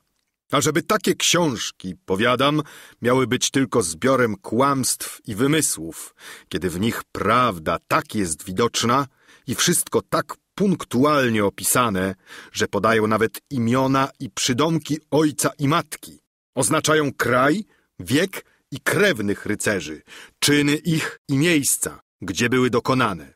A to wszystko z taką dokładnością dzień po dniu, godzina po godzinie, że aż miło. Na miłość boską, zamknij gębę na zawsze i nie wymawiaj bluźnierstw takich i wierz mi, że ci radzę jak prawdziwy przyjaciel. Zresztą czytaj sam te książki, a obaczysz, ile ci sprawią przyjemności. Przyznaj, bo proszę, Czyż zaprawdę może być co rozkoszniejszego, jak widzieć przed swymi oczyma, że tak powiem, niby wielkie jezioro wrzącej smoły, pełne wężów, żmij, jaszczurek, padalców i innych jadowitych i strasznych? Nagle z pośrodka tych wrzących i dymiących się przepaści wychodzi głos żałosny i mówi O mężny rycerzu, kto bądź jesteś, co patrzysz na tę otchłań straszliwą, jeżeli pragniesz posiąść skarby niezrównane, ukryte pod tymi czarnymi odmęty, pokaż wielkość swej odwagi i wskocz w te nurty gorejące. Jeżeli tego nie uczynisz, nie wart będziesz oglądać nieporównanych cudów siedmiu zamków do siedmiu wieszczek należących, które na dnie tych mętnych głębin stoją. I zaledwie głos ucichł, Rycerz, zagrzany męstwem, nie bacząc na śmiertelne niebezpieczeństwa, rzuca się natychmiast w płomieniste nurty, Bogu i swojej damie duszę poleciwszy. A kiedy ani wie, co się z nim dzieje i co się dalej stanie, wpływa nagle na przecudną łąkę kwiatami umajoną i tysiąckroć od pól elizejskich piękniejszą. Powietrze tu zdaje mu się czystsze i słońce jaśniejsze. Z jednej strony prześliczny lasek z milionem drzew najpiękniejszych oko mu zachwyca. Po gałązkach skaczą niezliczone roje ptasząt, milionem barw lśniących i słodkimi świergotami uszy mu czarują. A z drugiej znów strony kryształowy strumyk płynie wężykiem, sącząc srebrzyste fale po złocistym piasku. Dalej przepyszna fontanna z jaspisu różnokolorowego – cudnie zbudowana i mnóstwem posągów strojona.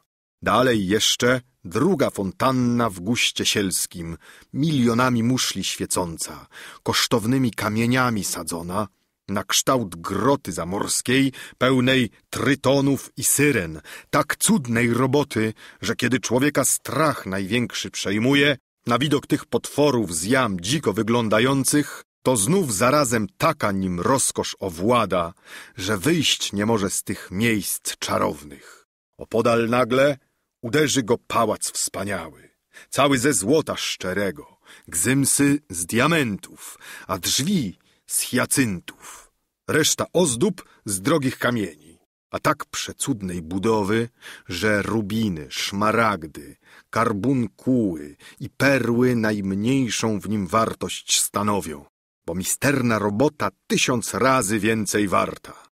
Z tego pałacu widzi wychodzących jednymi drzwiami mnóstwo dziewic, najcudniejszej urody, w tak pysznych i bogatych strojach, że w tej chwili, kiedy do pana mówię, blask od nich przyciemnia mi oczy. Nigdy bym nie skończył, gdybym wać panu chciał wszystko dokładnie opisać. W ten czas jedna z tych bogiń piękności, która się zdaje być panią wśród innych, Bierze za rękę śmiałego rycerza i słowa doń nie mówiąc, prowadzi go do złotego pałacu, gdzie dziewice z szat go rozdziewają i w wannę z wód pachnących wsadzają. Potem go namaszczają kosztownymi wonnościami, olejkami i balsamami. I gdy wyszedł z łaźni, wkładają nań koszulę z lnu, jak jedwab cienkiego, rozkosznymi wonności syconą. Kiedy tak już stoi, inna dziewica wkłada mu na ramiona płaszcz niezrównanej piękności. Przynajmniej dwa miasta i kilka wsi warty. Tu jeszcze nie koniec.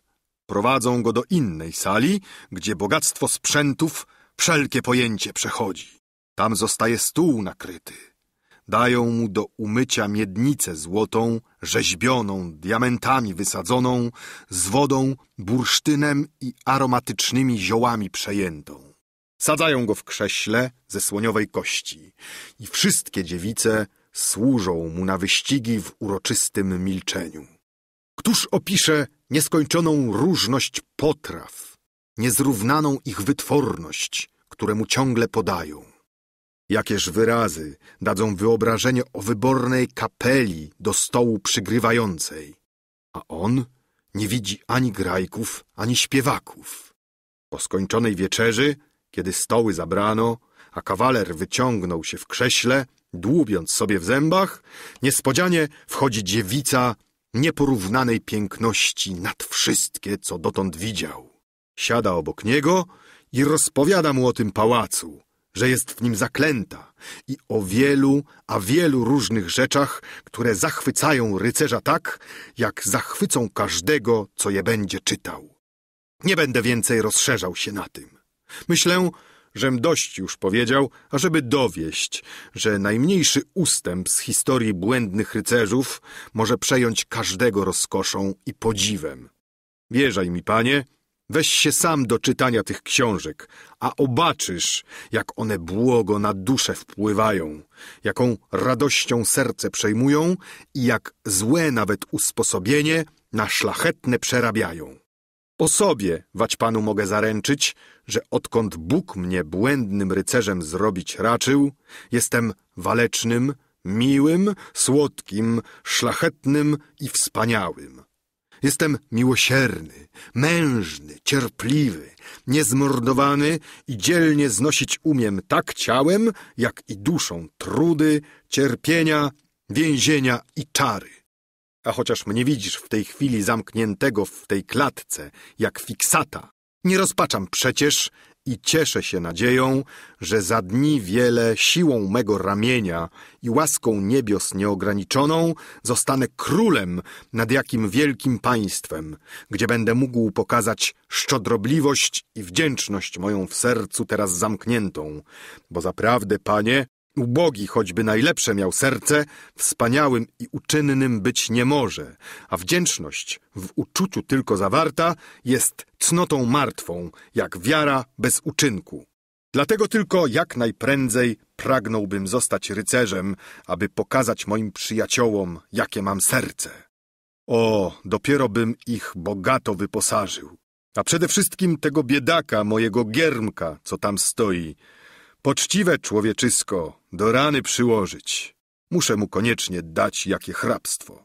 Dawno mu je obiecał, chociaż się boję, czy na tym stanowisku przyzwoicie się zachowa. Panie! Przerwał mu Sancho, słysząc, co o nim mówi. Postarajcie się tylko dać mi owo hrabstwo, na które tak dawno już mam chrapkę, a o resztę niech już was głowa nie boli. Dam ja sobie radę. Wielka tam rzecz, przecież takich na świecie nie zabraknie, co proszą się u panów o ziemię na czynsz i pracują na nich w pocie czoła, jakby na siebie samych. A panowie sobie hulają w najlepsze i trwonią dochody, o nic się nie turbując. Jako żywo. I ja tak potrafię. Nie tak straszna to filozofia. O, co targować, to się długo nie będę. Raz, dwa, masz dzierżawę, daj pieniądze, a z pełną kabzą będę sobie żył jak król. Niech tam sobie dzierżawcy sadzą kapustę, sieją rzepę, a mnie diabli do tego. Miałbym się też o co troszczyć. Dobrze mówisz, przyjacielu Sancho, rzecze kanonik. Ale to tylko intrat dotyczy. Co do wymiaru sprawiedliwości wszakże, to nie tak lekko. W tym względzie każdy pan pilnej musi dokładać staranności. Tu się wykazuje jego rozum, doświadczenie i uczciwe serca skłonności, które każdą czynnością jego od początku do końca kierować powinny. Bóg błogosławi zawsze ludziom dobrego serca, a złych zawsze prawie karze. Ja się tam nic na tych filozofiach nie rozumiem, odpowie Sancho. Ale bylem tylko dostał do rączki to hrabstwo, to już wiem, że dam sobie radę i będę dobrze rządził. Jestem tak samo z ciała i duszy jak inni i w moim państwie będę takim samym panem jak każdy w swoim. A jako pan będę sobie robił, co mi się podoba. Będę sobie postępował wedle mojej fantazji. Będę kontent, a jak będę kontent, to już niczego nie będę pożądał. A jak niczego nie będę pożądać, to czegoż mi u diabła więcej potrzeba? Żeby się tylko tego hrabiostwa dochrapać. A potem kłaniam się uniżenie. Bywaj zdrów, holenderski śledziu, jak mówi przysłowie. Te filozofie jednakże, zagadnął kanonik, nie tak są złe, jak powiadasz, mój Sancho. Niejedno dałoby się jeszcze powiedzieć w przedmiocie owych hrabstw. Ja tam nie wiem, co by się dało powiedzieć, przerwał Don Kiszot. Idę w tym za przykładem rycerzy mego powołania, co nagradzają zasługi giermków, robili ich panami miast i wysp, a niektórzy z tych giermków tak wielką mieli duszę i chciwą ambicję, że po korony nawet sięgali. Oto niedaleko szukając, wszakżeż wielki i nieporównany Amadis z Galii zrobił swego giermka panem wyspy stałego lądu.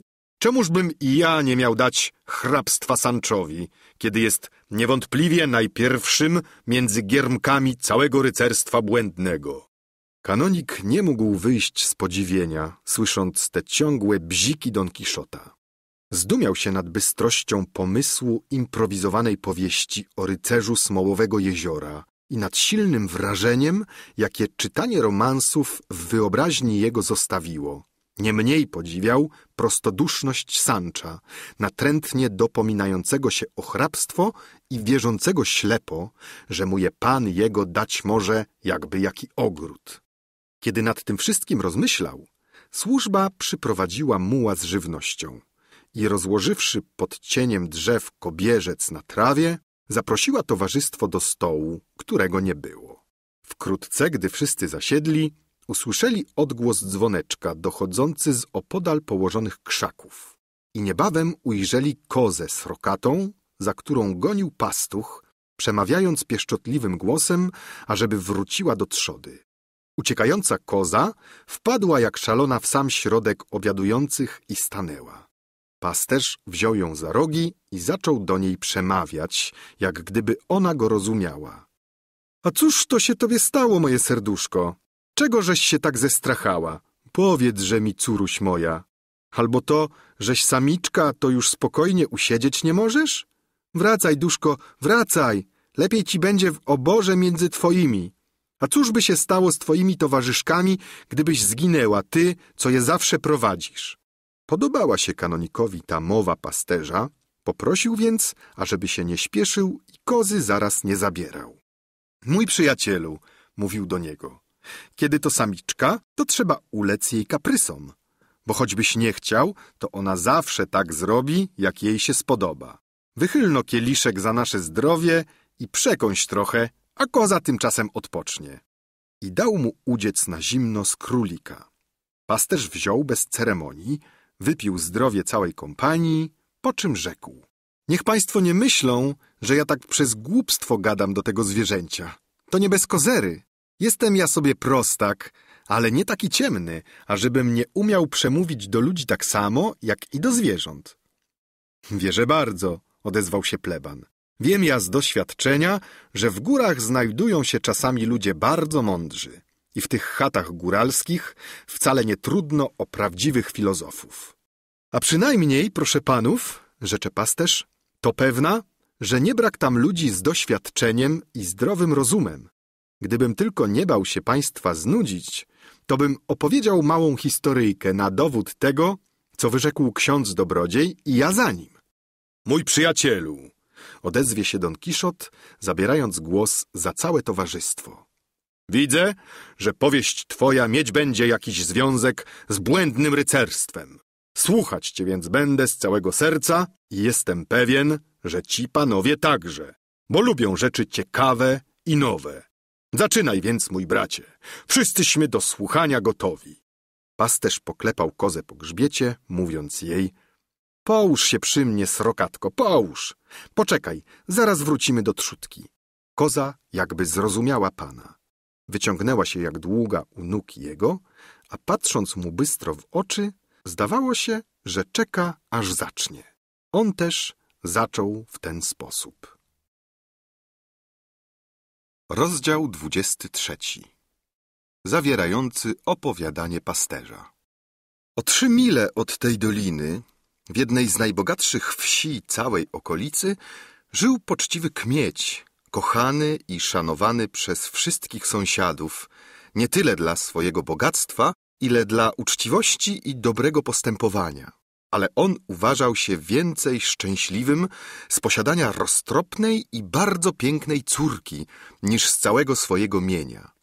Nie miała ona jeszcze szesnastu lat, a odgłos o jej dziwnej urodzie rozszedł się nie tylko po sąsiednich siołach, ale i do najodleglejszych dochodził okolic, co pobudziło do takiej ciekawości, że z dalekich nawet stron zbiegano się, ażeby ją zobaczyć jako cud piękności. Ojciec strzegł jej jakby oka w głowie, a ona żyła cnotliwie i skromnie.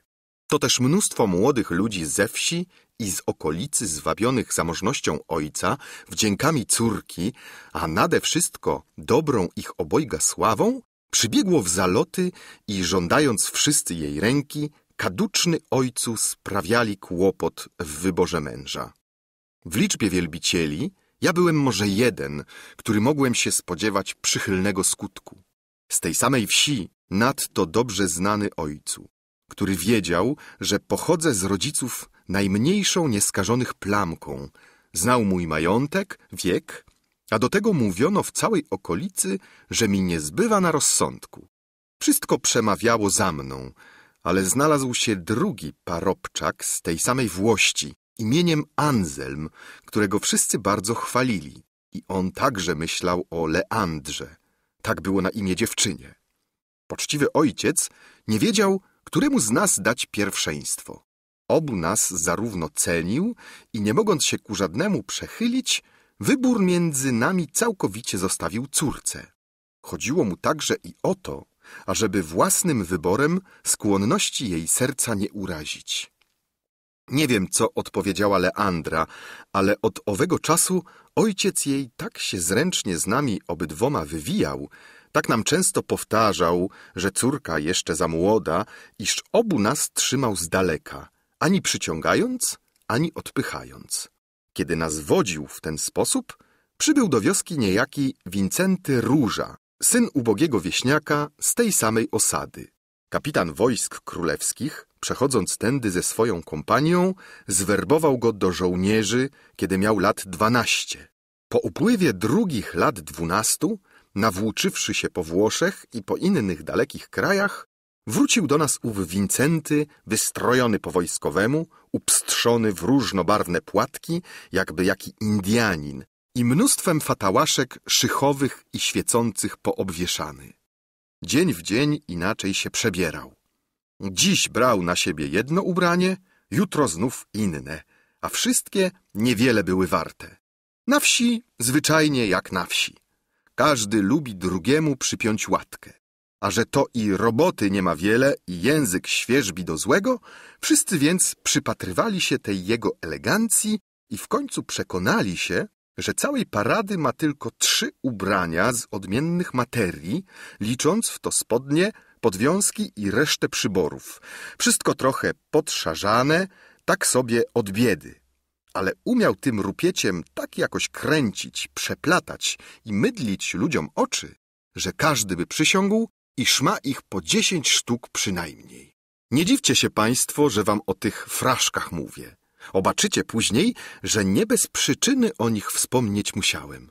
Wojak nasz zwykle siadał na ławeczce pod rozłożystym wiązem pośrodku wsi stojącym i rozpowiadał tam swoje przygody, przechwalając się walecznością i czynami swoimi. Nie ma kąta na świecie, ażeby w nim nie był. Nie ma batalii, ażeby do niej nie należał. Własną ręką nawybijał Maurów więcej, niż ich żyje w Maroko i Tunisie. Gante, Luna, Diego de Garcia de Paredes i tysiące innych głośnych wojowników, których z imienia i nazwiska wymieniał, nie odbyli tylu bitew, co on, a zawsze zwycięsko i tak szczęśliwie z nich wychodził, że ani kropelki krwi nie uronił.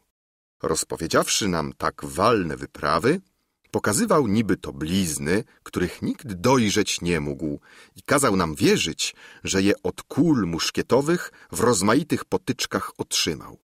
A żeby go już całkiem odmalować, muszę i to powiedzieć, że był tak dumny i taki ton sobie nadawał, iż każdego od razu tykał, jeśli był równy, a z ludźmi od siebie stateczniejszymi za pan brat sobie poczynał. Mawiał także, że oręż był mu ojcem, a czyny rodowitość mu dały, że jako żołnierz nikogo wyższym na świecie nie uznaje. Przy całej tej chełpliwości fanfaronik ten umiał trochę śpiewać. Brzdąkał niby to na gitarze, o której opowiadał, że ją dostał od jakiejś księżniczki i tymi sposoby tumanił głupców tak, że go za dziwowisko świata poczytywali i bawił wszystkich mieszkańców wioski. I więcej jeszcze talentów miała ta lala. Był nadto poetą i z najbzdurniejszego wydarzenia w okolicy składał wierszami sążniste piosenki. Tego to wojaka, tego Wincentego Róże, trefionego Gacha i Junaka obaczyła przez okno Leandra. Świecidełka w oko jej wpadły. Piosenki, które na wiele rąk rozpisywał i szczodrze rozdawał, zawróciły jej głowę i opowiadania bohaterskich czynów, którymi szafował w wojnie, zachwycały ją.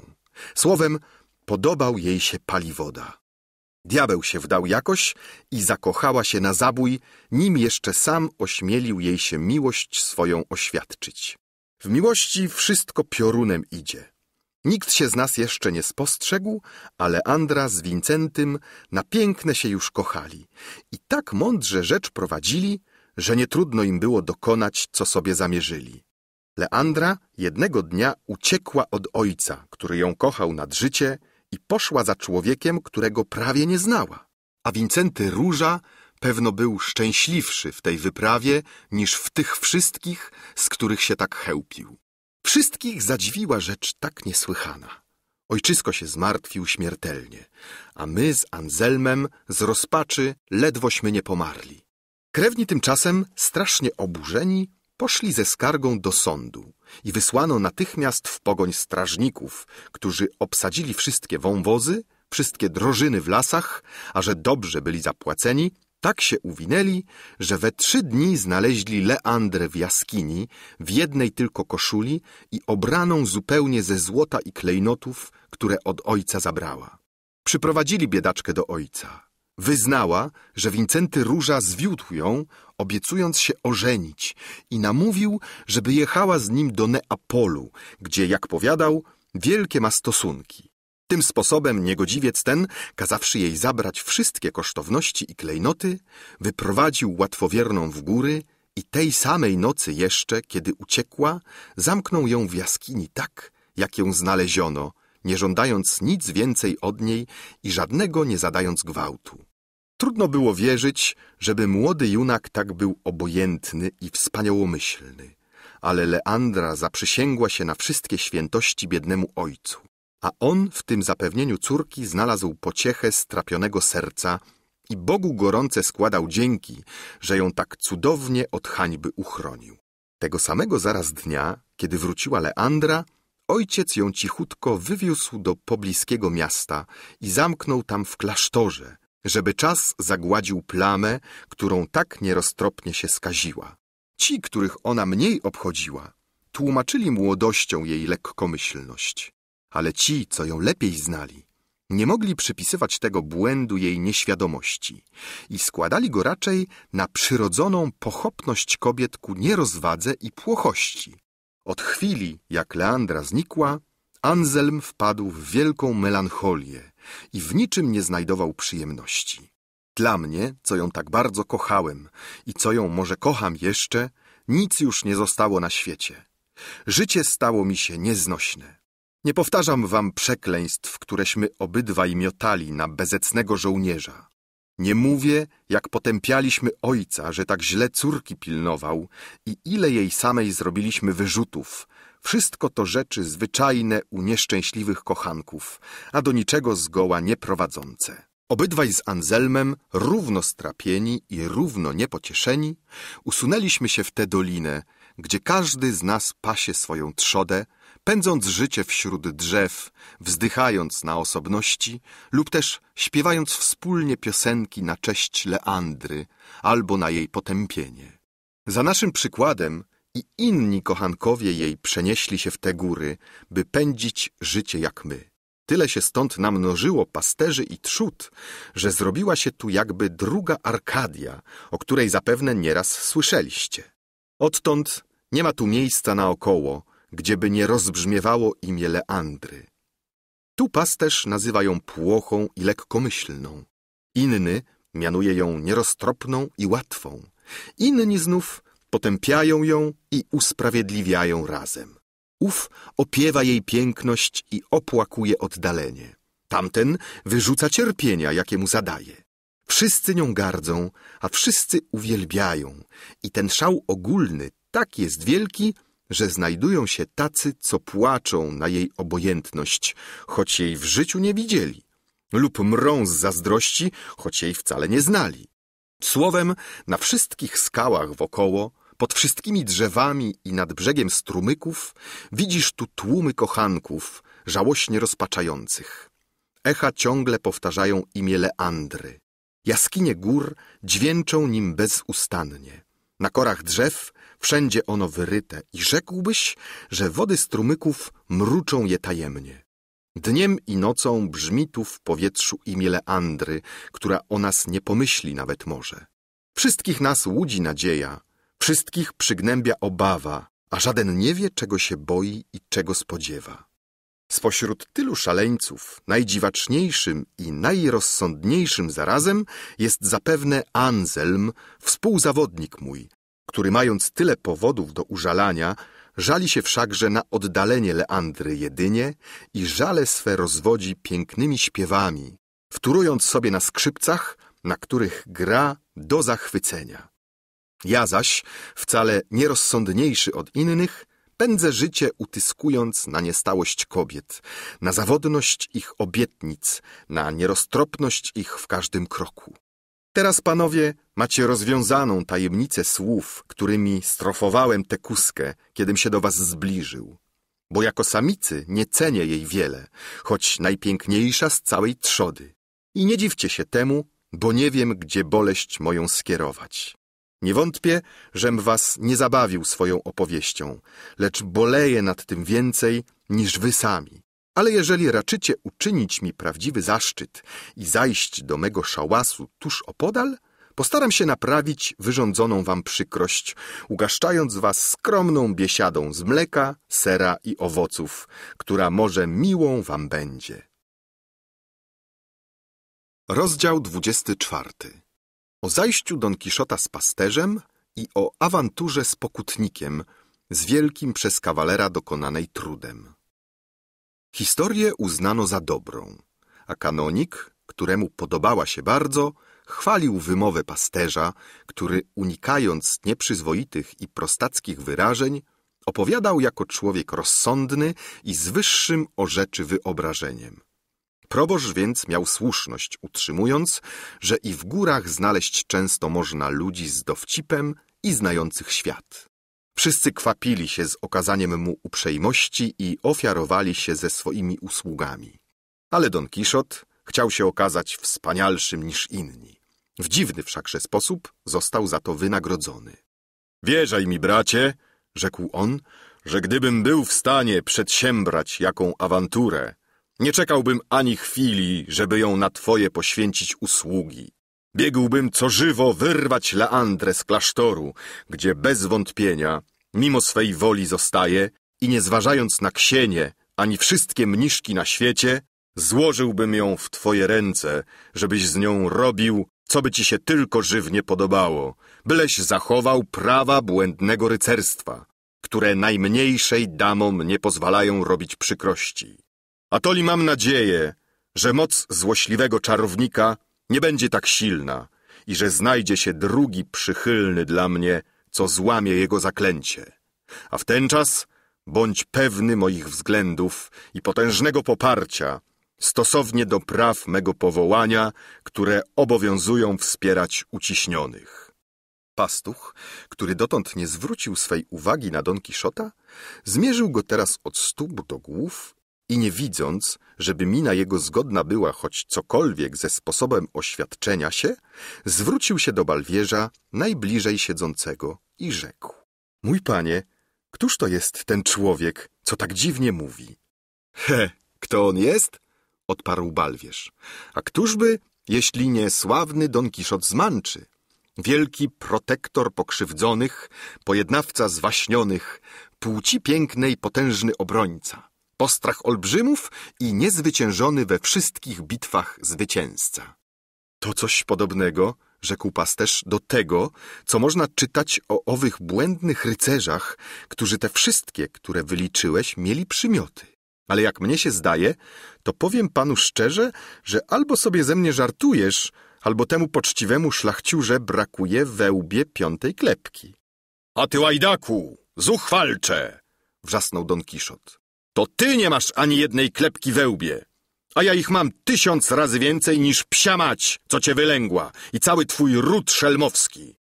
I to powiedziawszy, porwał bochen chleba ze stołu i z taką wściekłością ugodził nim w pastucha, że mu nos na miazgę rozbił, a zęby w gębie, jak w grzechotce zaklekotały.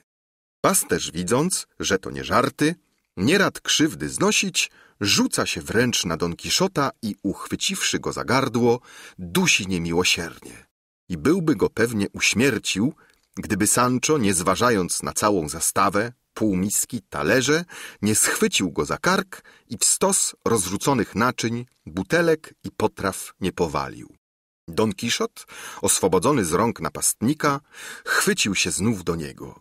A ten, widząc, że ma z dwoma do czynienia, zaczął omackiem szukać noża około siebie, chcąc się krwawo pomścić za pokrwawioną twarz i potłuczone ciało. Szczęściem Atoli kanonik i pleban zawczasu uprzątnęli wszelką broń sieczną. Balwierz, człowiek bardzo miłosierny, ulitował się nad biedakiem i wziął się do Don Kiszota tak gracko, że go powalił pod siebie i okładał gradem kułaków, a mszcząc się za krew tamtego, tak mu nos oporządził, że obydwaj teraz wyglądali jakby w maskach, ani by ich nie poznał. Kanonik z plebanem pękali od śmiechu. Łucznicy nie posiadali się z radości, a wszyscy podżegali ich przeciw sobie jak psy. Sancho tylko wściekał się z rozpaczy, że nie może iść w pomoc panu, bo go trzymał jeden ze sług kanonika. Ale nie mogąc mu być inaczej pomocnym, wołał nań, co gardło wystarczy, ażeby się trzymał ostro i dostojeństwa swego nie dał poterać takiemu świszczypale, zaręczając, że jak tylko będzie wolny, to go wydobędzie z biedy. Kiedy jedni tak się śmieją, a drudzy zażarcie czubią, daje się nagle słyszeć odgłos trąbki, tak żałosny i smutny, że wszystkich uderzył, a Don Kiszota najbardziej. I choć zbity na ciele i przywalony całym ciężarem przeciwnika, w duchu porzuca zemstę, a folgując ciekawości, bracie szatanie, rzecze odważnie do napastnika swego. Bo kim innym przecież być nie możesz, kiedyś tak dzielny, żeś mnie dał radę. Wiesz co? Wstrzymajmy bój chociaż na godzinę, bo mi się zdaje, że żałosny dźwięk tej trąby na nową wzywa mnie przygodę. Pasterz, dobrze znużony bójką, która i jemu dała się we znaki, puścił go zaraz. A Don Kiszot zerwawszy się na nogi i wyprostowawszy należycie, otarł twarz z kurzu i zwrócił się w stronę, skąd odgłos dochodził. Niebawem na pochyłości wzgórza pokazało się kilku ludzi w białe szaty przybranych, jakby pokutnicy lub mary jakie. Z powodu niesłychanej suszy W tym roku odprawiano w całej okolicy procesje, modły i pokuty na ubłaganie nieba o deszcz. I byli to właśnie mieszkańcy pobliskiej wioski, idący w procesji do świętego miejsca u podnóża gór będącego. Don Kiszot, skoro tylko obaczył niezwyczajny ubiór pokutników, niepomny, że sto razy w życiu ich widział, uroił sobie natychmiast, że to nowa jakaś przygoda, do której on, jako jedyny błędny rycerz w całym towarzystwie, sprawa i urzędu musi być powołany. Pokutnicy nieśli, jak zazwyczaj, święty obraz żałobnym kirem okryty. To jeszcze bardziej utwierdziło go w urojeniu.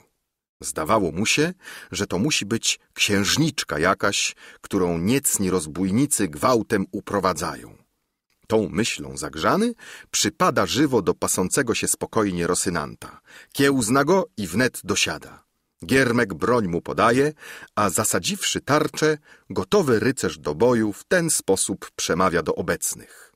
Teraz to, zacni i dostojni panowie, obaczycie, ile światu na tym zależy, ażeby się na nim znajdowali ludzie poświęcający się błędnemu rycerstwu. Teraz, powtarzam, poznacie czyny moje i gdy wrócę wolność tej damie uwięzionej, przekonacie się, jaka cześć należy się tym, których zakon wskrzesiłem. Rzekłszy to, wspina piętami Rosynanta, bo ostróg nie miał, i cwałem puszcza się na pokutników, mimo usiłowań plebana, kanonika i sanczy, który z całej siły wrzeszczał na niego. A gdzież u diabła lecisz znów, wielmożny Don Kiszocie? A czy cię diabli opętali, żeby tak godzić na świętość religii?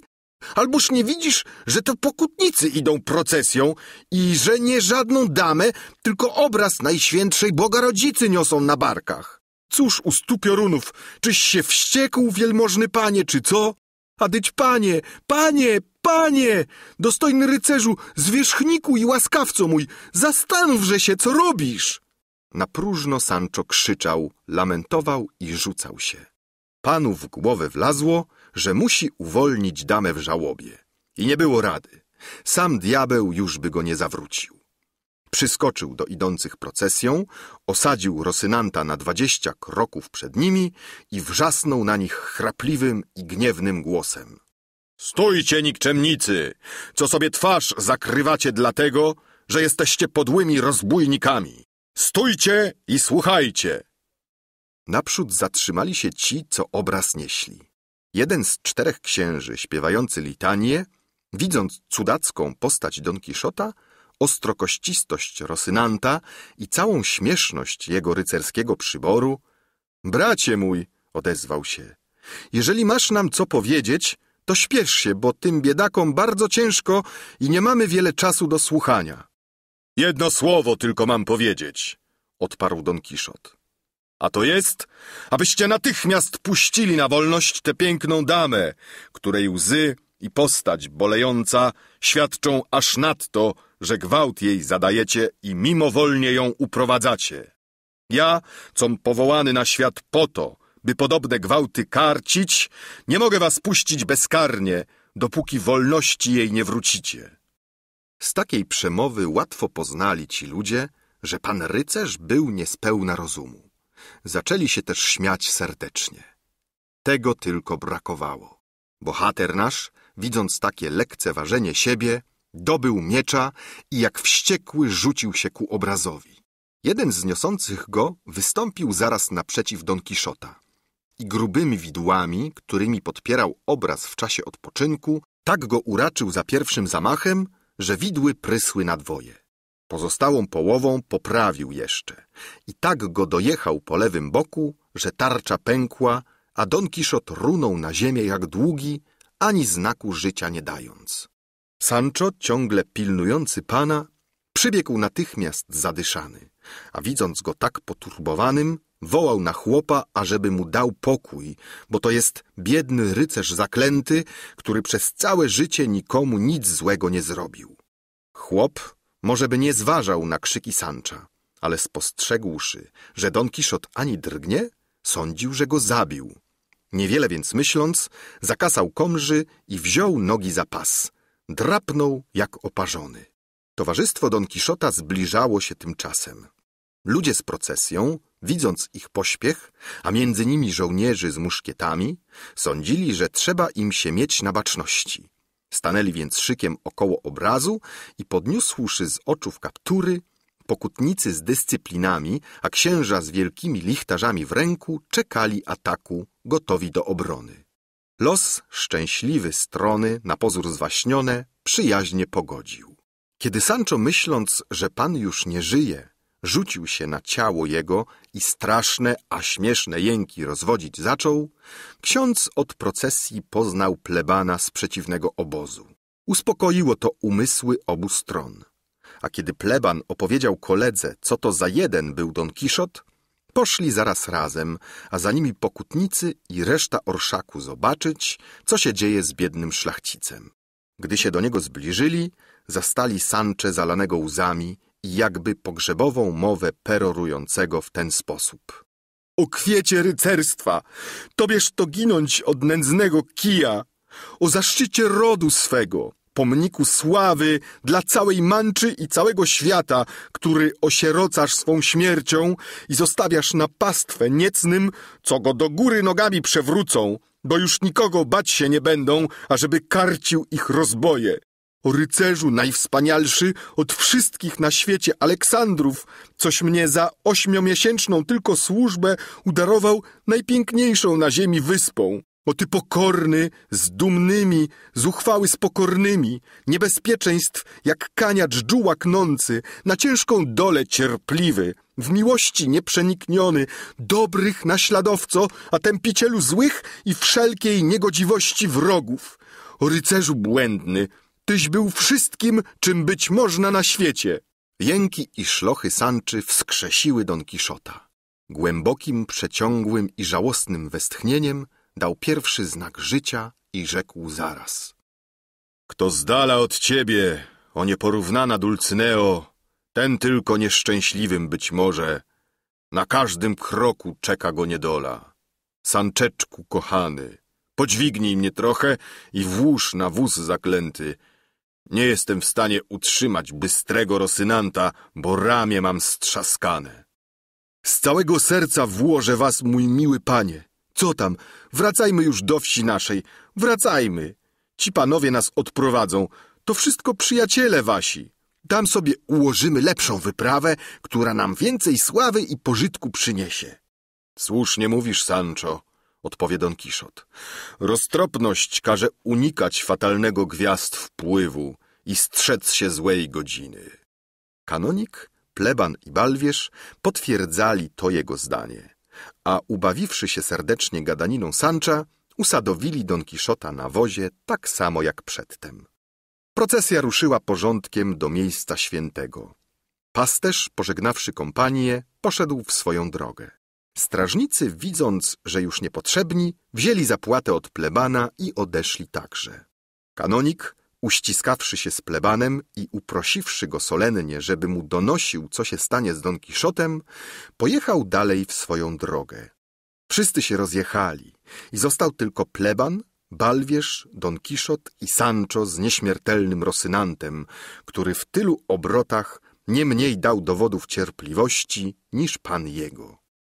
Wielkiego, słynnego i niezwyciężonego Don Kiszota usadowili w klatce na wiązce siana. Podwodnik zaprzągł woły i ruszył drogą, którą mu pleban wskazał. Jadąc noga za nogą, szóstego dnia przybyli do wioski pewnego szlachcica. I gdy wjeżdżali w samo południe, że to na szczęście była niedziela, wszystko, co żyło, zebrało się przed wieś i z wielkim dziwowiskiem witało współrodaka, którego zaraz poznali.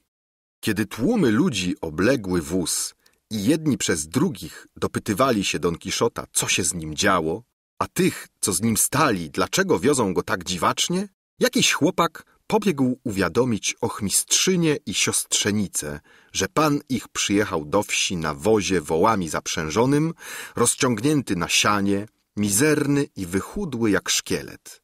Biedne kobieciska przelękły się strasznie i aż litość brała słyszeć ich krzyki. Widzieć, jak włosy sobie z głowy rwały, jak okropnie te diabelskie księgi przeklinały, A wszystko to było niczym, dopóki nie obaczyły wchodzącego Don Kiszota i nie przekonały się, że jeszcze nędzniej wygląda, niż im doniesiono. Na wieść o przybyciu szlachcica jedna z pierwszych przybiegła żona Sancho Pansa, żeby ich powitać i zaraz na wstępie, spotkawszy Sancze, pytała. No i cóż, mój mężulku, jakże się miewa nasz osioł? Miewa się lepiej niż pan jego, odpowiedział Sancho. Bogu najwyższemu chwała, że mi takiej łaski dał doczekać. Rozpowiedz, że mi zaraz, mój miły, coś zarobił na tym swoim koniuszostwie brudnym czy błędnym. Gdzież masz suknię dla mnie? Gdzie trzewiki dla dzieci? Nie mam żadnych fatałaszków, odpowiedział Sancho, ale przywożę za to daleko ważniejsze rzeczy. Aha, to co innego, aż mi serce rośnie, rzecze żona. Pokaż, że mi te ważne rzeczy, mój maleńki. Pokaż zaraz, niechże sobie czym serce pocieszę, bo nie wiem dlaczego od czasu, jakem twego pyszczka nie oglądała, ciągle mi tak smutno i przykro, że sobie rady dać nie mogę.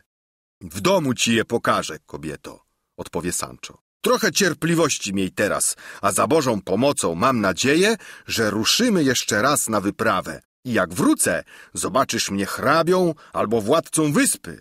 Ale to wyspy, co się nazywa, wyspy porządnej, lądowej, nie takiej tam, co to tuzinami po morzu się walają. Dajże ci, panie Boże, mój mężu, rzecze kobieta. Bardzośmy też zabiedzeni. Ale co to te zaspy czy wyspy, mój miły, bo ja to jakoś tego nie rozumiem. Nie dla psa kiełbasa, odpowie Sancho. Przyjdzie czas, to się dowiesz, moja kobieto, i ślepie wytrzeszczysz z dziwowiska, jak cię wasale jaśnie wielmożną zwać będą. O dla Boga, Sancho, co też to ty gadasz? Mnie jaśnie wielmożną będą nazywać wasany? Zapytała zdziwiona Juana Pansa. Takie było imię żony Sancha. Nie dlatego, że byli krewnymi, ale że jak powiada Benengeli, zwyczaj jest w Manczy, iż kobiety przybierają nazwisko męża. Nie kwap się tak zaraz wszystko wiedzieć, odpowie Sancho. Czekaj czasu, jak Żyd szabasu. Poprzestań na tym, że ci to mówię i zamknij gębę. Tymczasem tylko niech ci będzie wiadomo, że nie ma nic milszego w świecie, jak być koniuszym u błędnego rycerza, który goni za przygodami. Prawda, że nie wszystkie przytrafiają się tak, jakby człowiekowi było pomyśli i że ze stu dziewięćdziesiąt dziewięć bywa takich, co ci kością w gardle staną. Doświadczyłem ja tego, moja kobieto. Bogu dzięki kosztowałem ja ich dosyć, ale i one mnie też kosztowały, a nieraz i ugryzły porządnie. Bywało wszystkiego nieskąpo. To mnie w powietrze wyrzucali, to znów kijami na leśne jabłko zbili i to nieraz. Ale to się zapomni. I mimo całe złe, nie bacząc krzywdy i bólu, rzecz nad wszystko rozkoszna gonić za fortuną po lasach, borach, górach, głogach i przepaściach.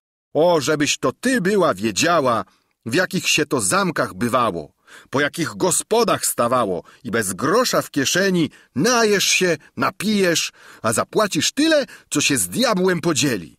W ten sposób rozmawiał Sancho ze swoją kobietą. Ochmistrzyni zaś z siostrzenicą rozbierały tymczasem Don Kiszota i położyły go w łóżku. On się przyglądał jednej i drugiej i poznać nie mógł. Pleban zalecił mocno siostrzenicy, żeby pilnowała wuja, a szczególniej, żeby mu nie dała znów się z domu wyruszyć i opowiedział jej, ile mieli biedy ze sprowadzeniem go na powrót. Tu znów poczciwe kobieciska szlochać zaczęły. Znów najokropniejsze przekleństwa miotały przeciw księgom rycerstwa i do tego stopnia się uniosły, iż zaklinały niebo, żeby ich autorów w piekielnych przepaściach pogrążyło. Z całych sił wzięły się teraz do czuwania nad biednym szlachcicem. Pielęgnowały go jak mogły, drżąc ciągle ze strachu, żeby im znów nie uciekł, jak tylko trochę do zdrowia powróci. Autor tej historii pomimo najusilniejszych starań o wyszukanie akt i dokumentów dotyczących trzeciej wyprawy Don Kiszota, nie mógł nigdy ich znaleźć, a przynajmniej nie był nigdy w stanie powziąć autentycznych wiadomości o tej wyprawie. Sława jedynie przechowała w pamięci ludów Manczy, że Don Kiszot, wyruszywszy po raz trzeci z domu, Przybył do Saragossy i był uczestnikiem w wielkim turnieju, gdzie dokazywał cudów godnych swej waleczności i doskonałości swojego rozumu. Autor również nie mógł się nic dowiedzieć o innych jego przygodach, ani jaki był koniec życia jego i nic by o tym wszystkim dotąd nie wiedział, gdyby szczęśliwym trafem nie był się spotkał z pewnym starym doktorem, który miał u siebie skrzynię ołowianą, jak powiadał, znalezioną w fundamentach dawnej pustelni, świeżo odbudowanej, w której to skrzyni zamknięty był pergamin, a na nim spisane wiersze hiszpańskie greckimi literami, opiewające niektóre wypadki z życia Don Quixota, wychwalające piękność Dulcynei z Tobozo, dziarskość Rosynanta i wierność Sancho Pansy, a oprócz tego wiele innych, nader ciekawych rzeczy wspominające. Pilny i wierny autor tej niesłychanej historii podaje tu wszystko, co tylko się daje z tego pergaminu wyczytać i za całą nagrodę trudów swoich w wertowaniu archiwów Manczy żąda jedynie od czytelnika, ażeby historii niniejszej wierzył, tak jak poczciwi ludzie wierzą księgom rycerskim, tyle dziś kredytu w świecie używającym. Nic więcej nie żąda. To mu aż nadto wystarczy na zachętę do nowych trudów i nowych poszukiwań, do wynalezienia rzeczy nie mniej prawdziwych, a co najmniej równie uciesznych.